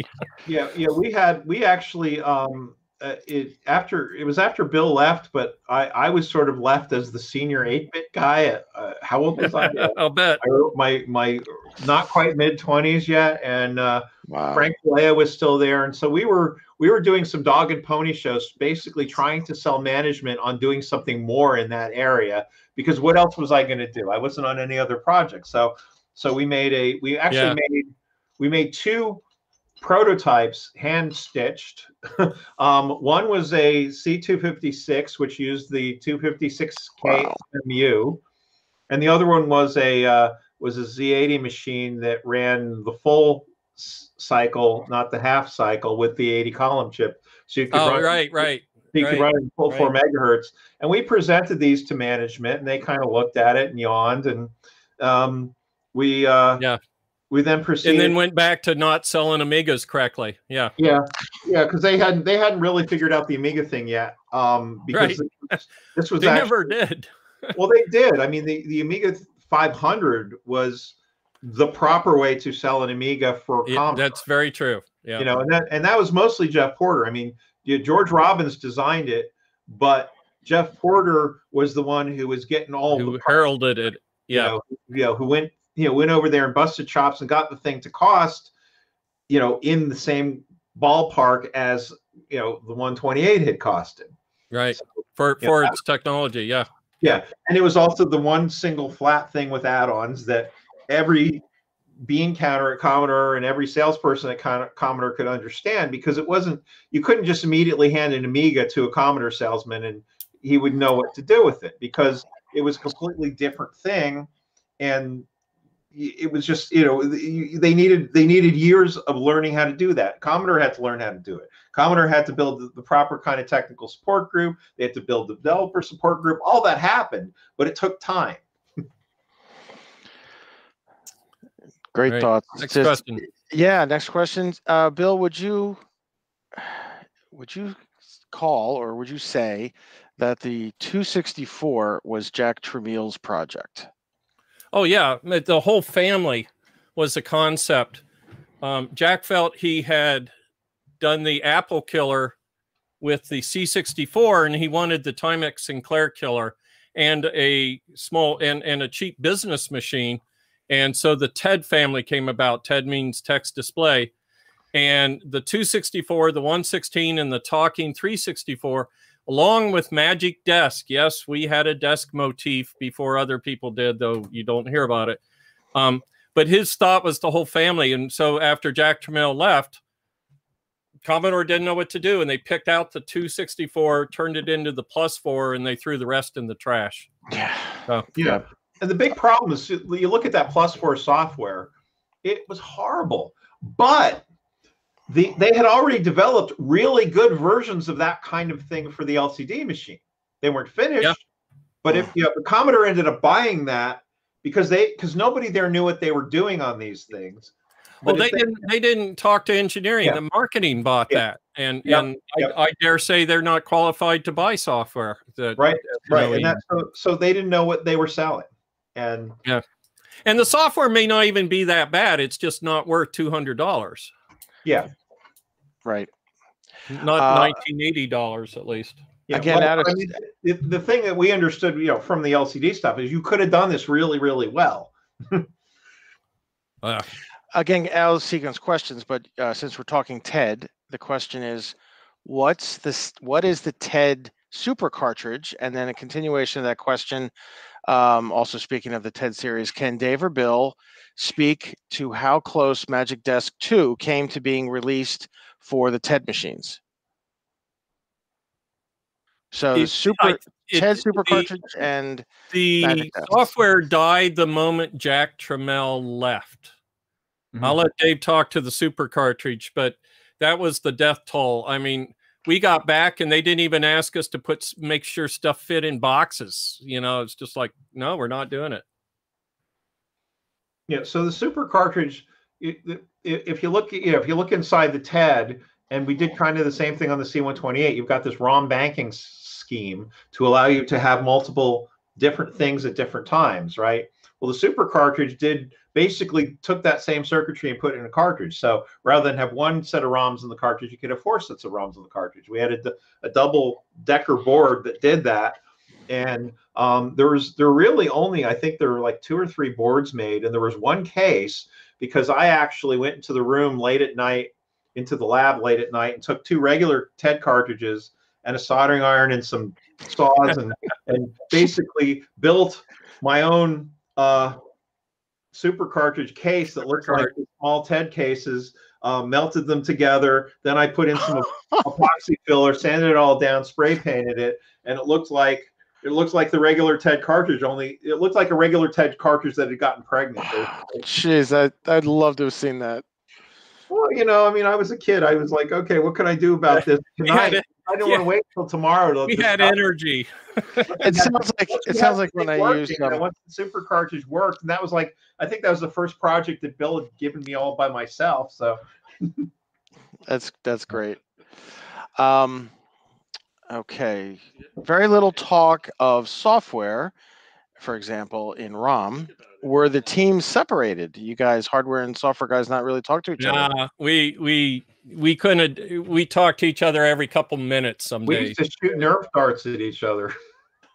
yeah no it's something like this we were in tight synchronization synchronization you don't hear about the programmers but i'll tell you uh, for the 128 the real father of the c128 is a guy named fred bowen who did the kernel in that which would make me the mother of the 128 and i've been worse than that um, but we don't hear about the programmers as much because everybody can see and feel and hold a computer i love the color of an atari 800 uh, but I know very little about the guy that wrote the kernel in there, right? Yeah. So it, it's it's it's kind of it's been unfair to the programmers. They they were brilliant, hardworking, and here's the the thing was we said we will meet you in the valley three days from now at sunrise, and boom, we would all be there, right? They'd have their code, we'd have our PLAs and our hardware, and we just knew we could count on each other. We we knew we'd be in the right place at the right time.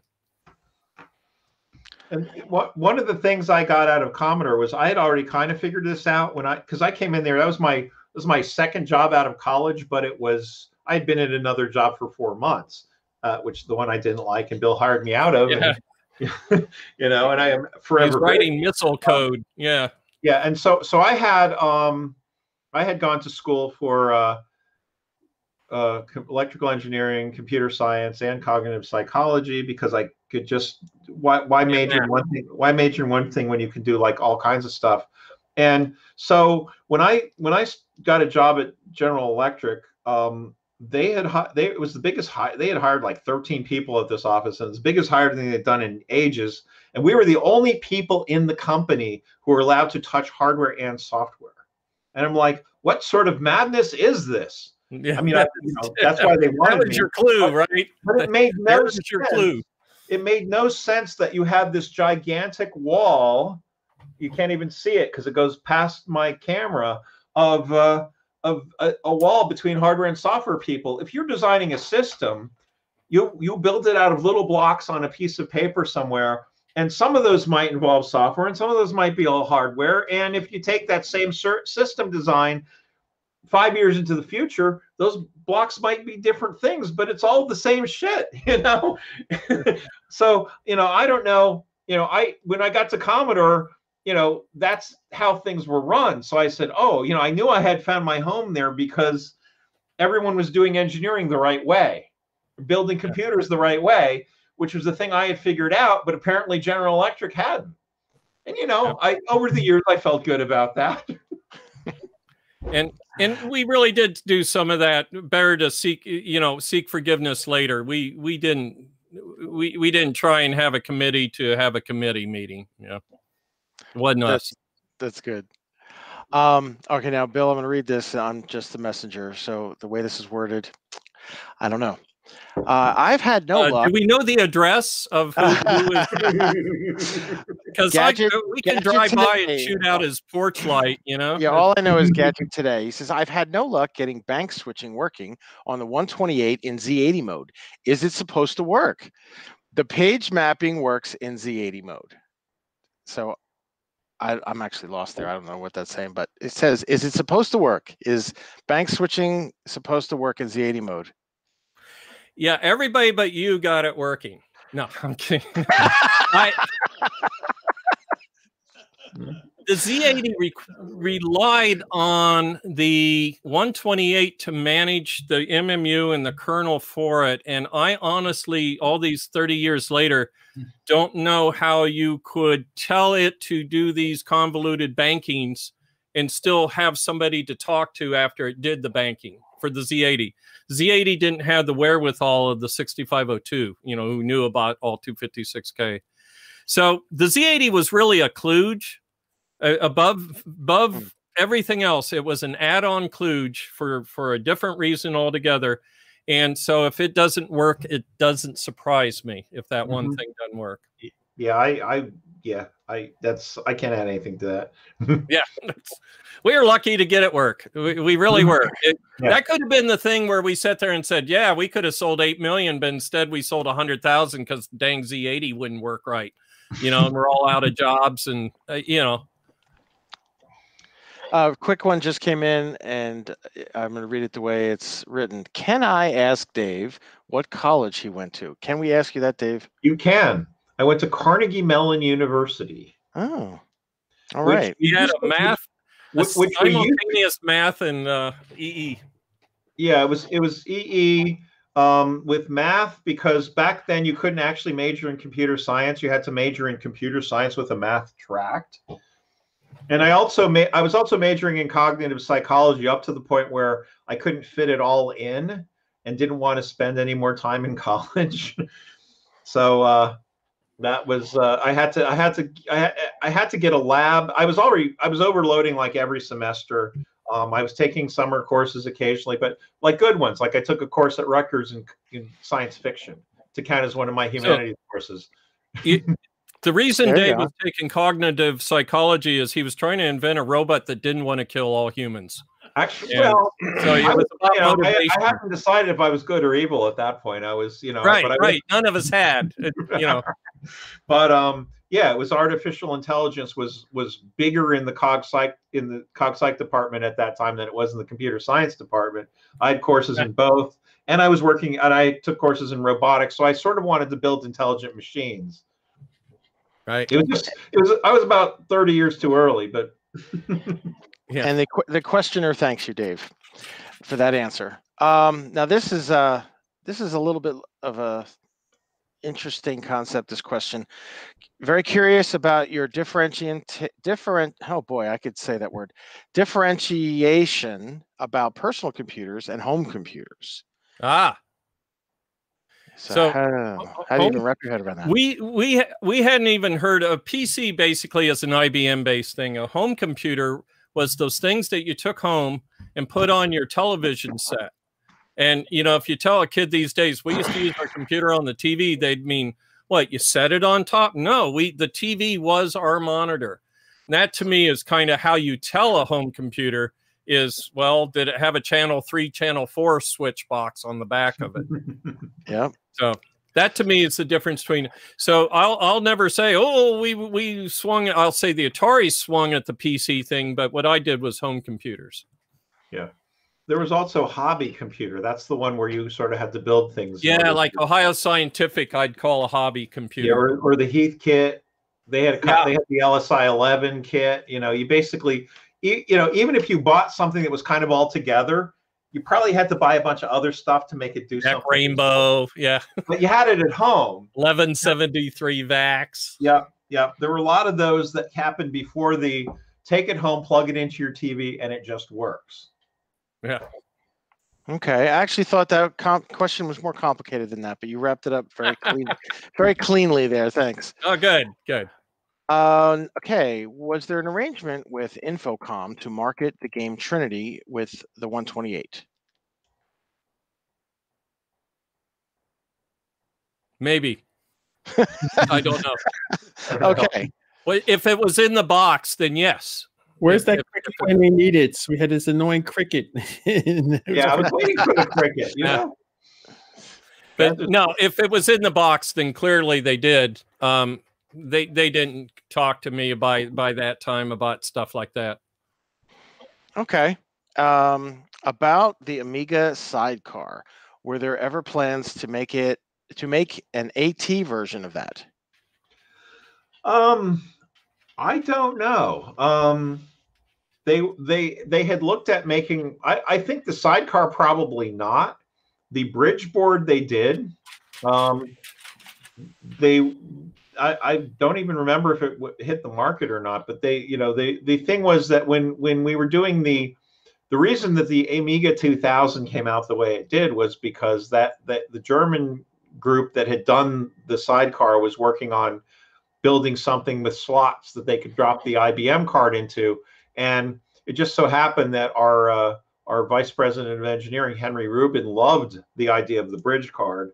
So um, so yeah, they they did some advanced work on the bridge card, but eventually they got tired of doing that. But there's a good bridge card story. So when I was working on the Amiga 3000, um, I had an early version of the Buster chip, which controls the bus and also does this 68,030 to 68,000 translation for Zorro 2 cards and stuff. And, and um, we got the new version in that was supposed to fix a bunch of problems and it fixed a bunch of problems, but the bridge card didn't work. And Henry was all a panic because the bridge card didn't work. And um, we were going to summon some Germans to the United States to get to come out and fix the bridge card or to figure out why it wasn't working. And I was, I was, they were, they were coming, and I was like, I have, I had to go and get some dentistry or something done. You can see me with like, my dentistry is always an issue. I broke another tooth. Um, you know, you, you know, you don't want to be one of those people who lives life without uh, damaging your body all the way through because otherwise you're going to live a boring life. Anyway, I had to go and get some teeth work done. So I so I got into my stupid little plastic car. I had a Fiero. I'm driving like 90 miles an hour down the highway, which is about as fast as it would go. Uh, thinking about nothing much, listening to loud rock music, and all of a sudden it dawns on me why the bridge car didn't work. And I still have to go and get Why didn't it work? Well, we'll we'll get to that. Um, I um. But for the record, a I drive, and a fast drive down the road I makes went your and got my brain work teeth better. done. Decided to go back to Commodore. the adrenaline. Brilliant idea. I got there. Apparently, the Germans had been there and decided to go to their hotel rooms and get all set up and everything, and they were going to come back later. So I said, okay. Took the took the actual bridge card, made a few little modifications, put it back in, started right up. Um, I uh, ran. I got this. You know, I got booted DOS. I wrote a script that basically just said it works now, and left it in a loop and went back home. And so they came back from dinner and saw this thing running and didn't had I you know there's no other indication of why it had. And that was kind of a that was basically a poke at Henry, like you didn't really need to summon Germans from across the sea to come and fix this thing because I was perfectly capable of fixing it myself. But basically, it was it was if you want to know the Zorro two, we had two different ways of doing uh, wait states on the Zorro two bus, and um, that version of the Buster chip um, had a disagreement with the bridge card about how the X ready signal was going to work. So I turned it into a, an um, I turned it into an OVR signal. I turned it Yeah. well X ready delay DTACK and OVR let you write drive your own DTACK. So I set it to OVR, Right. drove my own DTACK, and then it worked fine. Yeah. See, You notice my ears perked up when we got to wait states. That, that's the kind of stuff we live for. Yeah. So the X ready signal All about balance. Oh, X ready signal is a way to add to just say go and add D go and add wait states without having to worry about driving your own DTACK. And OVR let you drive your own DTACK. So A few more coming in. So I got an email from uh, our Amiga Bill here, who's who's sitting with us uh, in the chat. His partner Amiga Anthony emailed just to refresh his memory as best I can.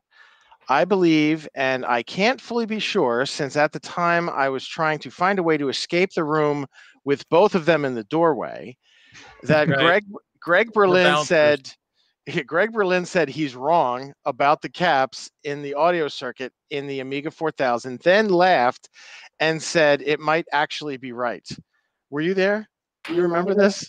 Oh yeah, I remember that uh, very very clearly. And yep, Anthony was giving uh, a talk about how to repair your you know basic repair on your Amiga 4000. And, Uh, 4000. yep, exactly. And uh, he was there giving the talk, and then um, he was talking about the caps being backwards, and uh, and Bill was in the room, and you know we noticed that Bill had just like exited really quick, and a few moments later, uh, Bill returns to the room. And uh, and then With this, a six this- foot eight guy yeah, this behind huge, me. this huge guy and with a really deep voice and he's like uh he's like what are you saying about my caps and anthony anthony turned and saw like who it was it was greg berlin and uh he he really wanted to jump out that window it was uh it was a heart attack moment for anthony because there's a Oh, I didn't know he had done the fourth. So I went outside. I said, Greg. And he's like, yeah. I'm like, did you do the 4,000? He goes, mm, yeah. Yeah. All right, come with me. So the part of it was I didn't even know he did it till that day.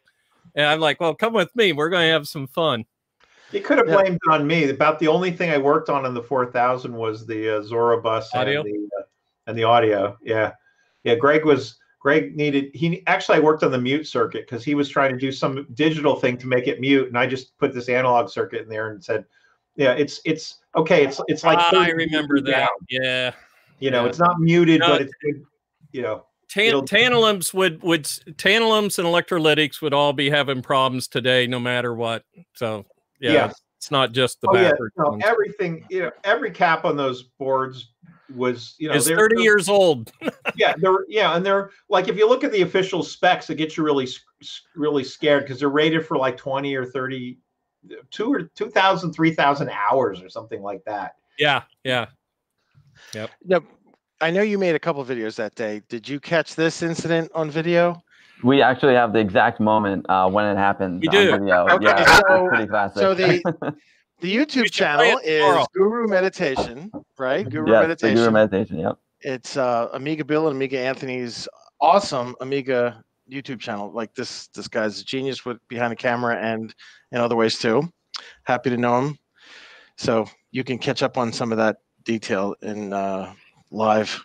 Oh, thanks, Chris. I appreciate You got that. Once, uh, once we're talking about Anthony, you know, uh, Anthony is the proud owner of a very rare piece of Commodore history. He's got a Commodore 65, and uh, I'm wondering if uh, either Bill or Dave uh, worked on the Commodore 65, and uh, what Commodores uh, to the Commodore 65. Go ahead, Dave.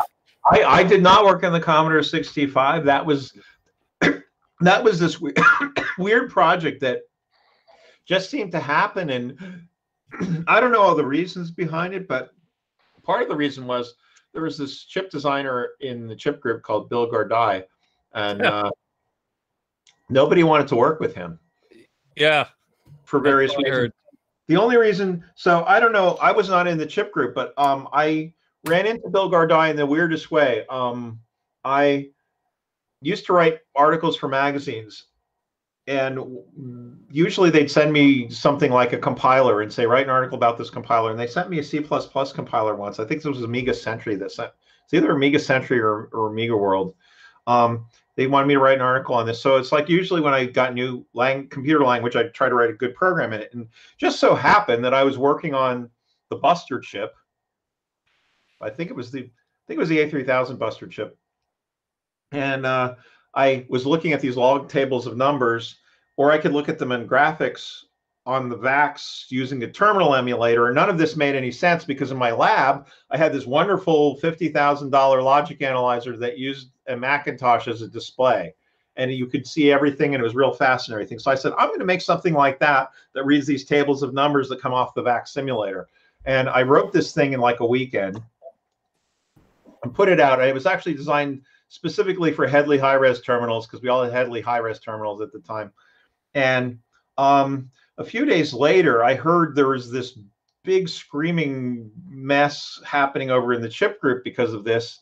Well, apparently, the terminal emulator that you could use to see your graph your your waveforms when you're running the simulator was written by Bill Gardei, and anytime he got pissed off, it stopped working. so he had this uh, little bit of power, and uh, I had inadvertently given them a way to not to that for that not to be power anymore. Here's this is what happens when you ask a C65 question. Yeah, I you know I the only thing I the only other thing I know about a C65 is I saw a I saw a, a couple guys in Germany making a C65 clone, but not having the full specifications. And they hit me up and said, "What do you know about the C65?" And I said, "Well, I, I have this friend Fred who who who Yeah, Fred was on it. designers, and that's all, all- about all I know about it. Uh, I oh, I actually I did. I I helped uh, I helped them fix a C65 keyboard just because uh, Randell Jesup had a C65 with a weird keyboard thing, and he was thinking about selling it so he could put his daughter through college. So, so I, I, I did finally understand the C65. It was after VCF West, and uh, was it Scott? Who who was the main guy on Dave on the C65, the main hardware guy? Um, but he. he tell me his name when you think about it. So, but he he he was adamant. He said because I said, was there a niche for this thing cost wise? And he said, yes, it tucked up underneath the Amiga in a place where an 8 bit would normally fit. And when somebody from Commodore says that, I usually believe them because we knew what we were talking about when we were talking about quantities and and so market guys, niches. and keep stuff. um keep elaborating on that because the question in the in the chat is C65 question mark. Mhm. So what just what is it? Well, so Fred Bowen, it, it was an 8 bit computer that came along 10 years after the 128. It had dual SIDs, and did it, did it have a? It had an Amiga chip in it, right? No, it had Dave? its own chip, its own like VIC board. thing? It had Yeah. a VIC like thing that could do 8-bit graphics. So the the story, the way I hear it is, they used it to keep the engineers busy so that they could sell the company with the engineers still working there. Yeah, which- and that's why that's why there's so many C65s as they were doing runs of 20 and 50 of them. Whereas like when Dave and I w- would do like the 128, we might do three boards at a time before we're ready for another rev. Not certainly not They, hundreds. they, they were they were actually getting some pretty decent chip resources. Of course, they were really small chips, and Commodore could Yeah. But so they had, no, I, I learned to like the 65 though, but that that was Yeah. that was years had- later when I learned to like it. had the 4502 processor in it that had some of Headley's new instructions. They had a Z Yeah. register. And and Bowen Bowen's good at what he does too. So Oh, yeah. and and, I- and the hardware guy knew what he was doing. Uh, so Fred- it, Fred- it, it was mostly about whether the Commodore was going to follow through or not, and the answer was they didn't. So Yeah. and that wasn't a surprise. Fred Fred's actually in my company today. Yeah. Yeah. So is Andy Finkel. Wow. Yeah. Yeah, oh yeah, Andy- there, there's yeah, a whole group of them out there. We we sort of we sort of like working with each other. What can I say? That's good. Yeah, I'd All love to imagine if Andy Finkel was on this conversation. Okay, uh, another question. I'll get If- you Andy one day. Yeah, I'll good. get Yeah, I- Let's do that. you don't let me miss that for sure. And he's actually and he's been getting kind of back into it. He's been publishing all Yeah. kinds of stuff on Facebook, all these all these old We'll, notes. we'll get Andy for the next one. And Yeah. Andy Finkel for everybody is Good. he was the head of the games group when I got there and went on to become head of the Amiga software development. Yep, yep. Great guy. And Andy's one of our sages. He knows where the bodies are buried. He helped bury some of them. Yep. I also worked. I also did him. two startup companies with Andy before this one we're currently with Yeah, now. don't wasn't gi- don't startup. give anything away though. So Well, they, I, didn't, I, they didn't do so well. I'm coming to what I think is the last question, and I feel like um, And the crowd uh, goes wild. I feel like uh, what's um, David uh, Tennant in in uh, Doctor Who. He says, "I don't want to go," uh, but I want to stay. I think he said, "I want to stay." He said, "I don't want to go." So um, the question, it might be a good one. Uh, All right. If I don't get any more, so as Commodore was still around technologically, would it be ahead of where of other companies? Where would it fall, like in tech, technological advancement? Uh, it looks like that's what they're asking. If Commodore can, had survived and is still around today, if if we had stuck with the LCD, we could have just cleared the field on portable computing ahead of its Yeah. time. Yeah, it's yeah, it really And- depends on which Commodore you point out to, because yeah, that's exactly right. You know, that was that was the thing that grew into this huge business. It would have been a different world if the LCD had come out when when it had been developed. Yeah, and I, I I swear to God, we could have dominated things like neural nets and stuff that came later, because we could integrate hardware and chip production as if we worked in the same room as e- with each other, and so that was our strength. Yeah. Um, later on, um, Amiga stuff could have survived, I think, but I think at some point we would have had to decide whether we were a just a systems company or we, whether we wanted to make custom chips. Because if you looked at what happened after Amiga AAA, it was going to be this thing called Hombre, which had on-chip. It was a 3D system and had an on-chip processor. It was, you know, it was, it was a cool architecture. That was the thing Ed Hepler was working on in the like '93.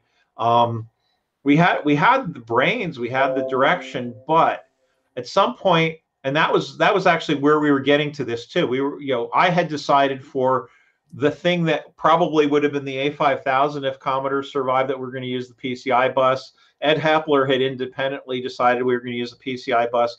We were we were getting on the idea that see part of the problem is when you're the first one doing something, you kind of have to do it all. But after other people are doing it correctly and it becomes an industry standard, you sort of have to follow that. So I think you know eventually Commodore would have been probably followed the same way Apple did and gone with x86 processors. I think we, you know, if you know, if, if if if my brain had worked the same way, if that had continued, I think we would have jumped on ARM real early rather than waiting, you know, because That's we, you know, ARM's a great example. Yeah. because Yeah. because uh, because Amiga stuff, even if it had been enhanced, it was still going to be lightweight compared to everything else everybody had out there. So I could have seen that going on ARM, but it's you know it's impossible to say because you know you can you know you can you know you can shoot something forward a little bit, but you know you don't know where those future winds are pointing.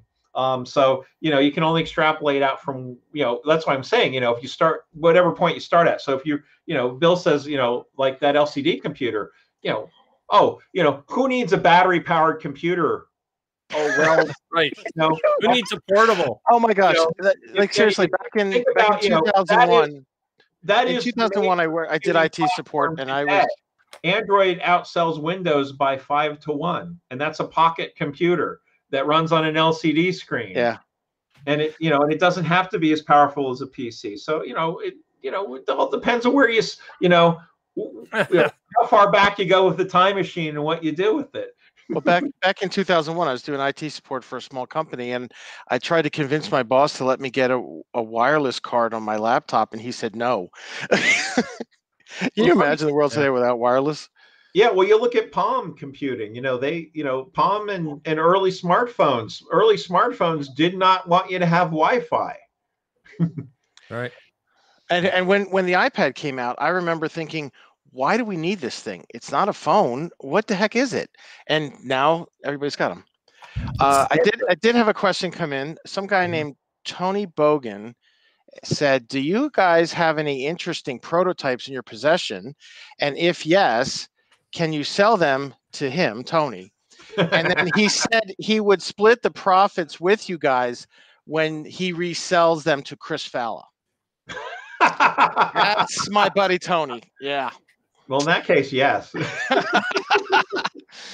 And and but see, knowing me, I'd pay whatever and would buy it. So No, actually, I, I kind of, I, I unloaded. I didn't really keep any terribly useful. No, Dave prototypes. Dave unloaded a, a bunch and donated the money to uh, cancer research. Yeah, I was. I Oh, was wow. Yeah, my wife got breast cancer, and so I did a, uh, I did a big, uh, a big sell off of.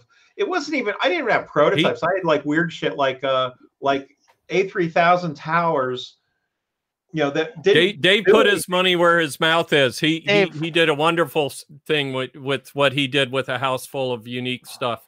It, he went out and Well, sold that and you know some of it was also i mean you know, it, you're making it sound really noble and some of it was but the other thing was that um yeah i i actually got the idea when i was going through my garage doing a little cleaning and i found this box i hadn't looked at since i'd moved there 10 years before and i had all these a3000 towers in it and it's like ebay garbage Dave, was that um Old was that when you were selling like you know, toasters. when you were selling like 80 SID chips or something at some point? Is that the same time? Oh, I had well, that was a little bit later. I just I, I had Okay. been, the the the eighty there wasn't it was like it was like a you know I had a I had a big foam thing full of SID chips. Um, I you know I didn't really need any SID chips anymore, and I, that, I had been going. That was after I that was when I was moving from yes, uh, and you know it's funny. my- I I ran yeah, across you on to Delaware. I and ran was across you on eBay Yeah. during that. Yeah, I, I I sent you a few messages on eBay, Mhm. and I remember you commenting that you were astonished at how much money that they the SID chips would draw. I mean, they're they're very popular. I actually knew they were popular because the reason I had a, a big foam thing full of SID chips because when I was when I was uh, at early on at Commodore, um, my sister was at Oberlin Conservatory, and all of her electronic music geek friends wanted SID chips. So I just I think at one point I grabbed some. You know, they were they weren't exactly a rare commodity at Commodore. You could get SID Yeah. chips if you wanted some. So I think I grabbed some, and every time some, one of her friends wanted some SID chips, I sent them a couple in the in the mail, and it just it didn't last that long. yeah, if only we knew, right? Right. So right. then, Who knew? I- you know, hey, the be- the biggest money making thing would have been if, uh, if we had all if we had all cashed in our shares of Commodore stock, one share printed per share, and then all signed them those would have been nice collector's items and worth way more than the stock ever was. yeah. I think I have one more. Uh, was it true that Bil Herd might be the cause of the LCD not coming out? I seem to recall him saying that they had money to do one machine and he made the 128 seem cheaper to make at the time. And that was from Amiga Anthony. And um, I kind of started coming to this conclusion that where I said to myself, uh, first off, Jeff Porter told me that the LCD got canned because we didn't have enough to go with two brand new computers, which was news to me because before then, in the Jack Tramiel era, we had lots of cash to output new computers. Where we were going to do eight or nine, you know, of the Yeah. TED series. Yeah. So the what happened to me then, that moment where I really hated my life from then on, was wow. If I hadn't done the 128, if I didn't sit down and draw that that day, or Fred Bowen and I had never hooked up, um, would we have stayed with the LCD computer? And the answer is, yeah, maybe we would have, and maybe the LCD computer would have changed Commodore. So we should have done the one. we should have done the LCD computer, not the 128. One was evolutionary, one was revolutionary, and we went with the wrong one. We went with the one we could understand. You know, the one that was 64 compatible. I didn't really understand that, but the same kind of thing happened later on. Um, Commodore had been working on this thing called the Commodore 900 for three different engineering teams, and they could never quite get it to work. Uh, other people call it the Z8000. Is that the Z8000? Yeah. Yeah. Yeah. Well, the last Yeah, iteration. No, they didn't get it to work. No. Yeah, well, last iteration of that had Bob Welland and, and uh, George Wellen. Roberts working on it, and they got it working. It actually worked really well. I, I heard they did some slick stuff to make it work too. did some really crazy slick stuff. They had this. That's guy what Rick I heard. A one transistor DTACK circuit. doing their windowing. They had a windowing system, so it ran this. It ran this this Unix clone called Coherent. They had a they had a megapixel black and white display. Um, it was basically like a Sun Two. Yeah. Um, Only thing was when when Amiga came along, Commodore said we can only do one computer. You know, it's I mean it, it is up to management to say one or another. They, And and the Z8000 needed to die. It, it was on its third third year too. It wasn't going anywhere. It, it Well, needed no, to die. At that point, it didn't. No, it actually, by the time there were plenty of times it needed to die, but by the time they actually killed it, it was a good system. It didn't need to die anymore. Oh, I see what you're saying. Yeah. So they didn't kill it when they should have, and yeah, they they, fly. they let they let they let George Robbins get his hands on it, and that guy was Uh, that. well, th- yeah. yeah, yeah, he was amazing. He could make you know he uh, he could you know, he, he, he was the high end guy, right? The only reason I worked on the Amiga 2000 was that George had started the 500, and that was his baby, and he wouldn't let it up. So I got to I you know I was I had been the low end guy, right? Being you know part of the C128 team, and they put you know they basically handed me over the A2000 and said, "Here, boy, go." And I had anybody. The only one help, who helped me on that was George, because of course George, George, for those that don't know, slept in bubble wrap under his desk, and we called it nesting. And after he'd wake up, he'd walk around, and he'd have these little red circles on his face from where he was sleeping in bubble wrap. Yeah, there were times when he never. I mean, there were there were months when he never left. Months where he didn't go home. Yeah. Well, after yeah, we'd bring him food, uh-huh. change the clothes. Yeah. I don't know exactly when it happened, but at one point he had he had been caught driving his van with no driver with the with an outdated Station wagon. no insurance, Yes. no no. Well, he had, it was the van too. It was I, may, I, the station wagon might have been the first one of those, but at one point he had the van that lived in the Commodore parking lot. After that, Right, right. I thought that was station wagon, but you're probably right. It, it, it had a bunch of Z8000s in it at one point. He was driving around. Yeah, well, actually, the Z8 that the, the original the original Commodore compute Commodore uh, entry to um, the internet was one of George's Z8000 uh, machines Yeah, that he had got- he had Yeah. got Exxon or whatever when they were when they were That's right. their data systems. That's right. That's right. His Yeah. his his mission was lots of little Unix boxes take over the world. Yep, yep, and and, uh, and that's that's how that's actually how we ended up getting Amiga Yeah. Unix. We It miss you, George. George Yeah. passed away years ago. We miss you, guy. died at All work. right. All right, guys. This has been wonderful. We loved your video. Thank you so much for staying for a whole hour of questions and answers. You see, everybody loves it. Lots of questions. Um, thank you for the answers and memories. Um, this is invaluable. for asking us. Yeah, you're welcome. You know, Yeah. the day you guys quit asking is the day we stop showing up. So Yeah, know, yeah. really, we appreciate that. Yeah. Um, so it was great. Thank you. It was Yeah. good. Good finale. Yeah, I had a blast. Dave and I don't get to do this all that often, so now we now we we're all caught up and we're synchronous again for a little while. Then our buses will go asynchronous and yeah, that's always a kinds good of bad things. So um, I have some finishing things to say before we end the day. Um, one of our members, Glitch, uh, Glitchworks, is going to be doing his own streaming tomorrow morning at 9 a.m. He has his new uh, R6501Q SBC. Um, his Twitter is at systems underscore glitch. He's doing it on Twitch, twitch.tv slash glitchworks. Oh, Chris is showing you the board. So he's going to show you how to make the board um, on Twitch. Um, unfortunately, he wasn't able to make it here live, but he's going to do it in his place. Also, we have our t-shirts. Chris, do you want to show us the, this year's t-shirt? We have two colors, green and amber. Um, you can find them at vcfed.org slash wp slash t dash shirt. They're twenty dollars plus shipping charge. Um, they're really great. One of our, our board members, Mike Brutman, made them. Oh yeah, I forgot about the back. So that has the Vintage Computer Festival, just like a concert T-shirt. Officially, KNW was canceled. Italia was virtual. West was virtual. We're virtual. Um, but Oh. it's a great T-shirt. I love it. Um, we're going to start again tomorrow at 9 a.m.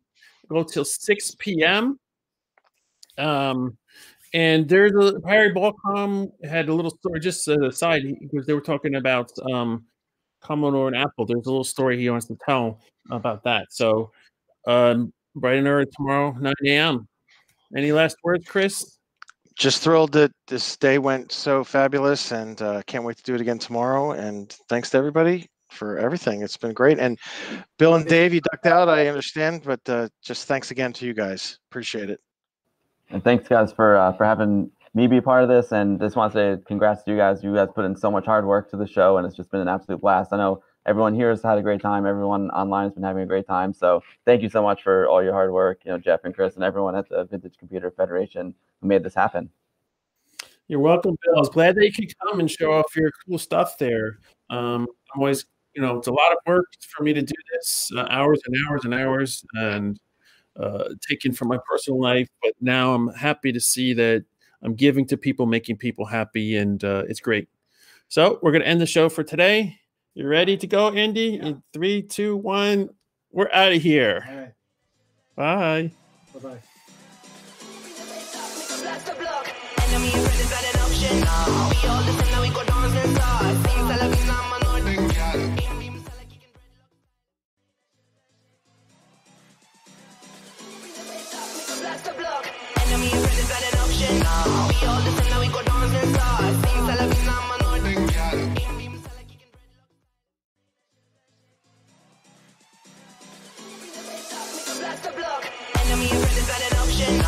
All listen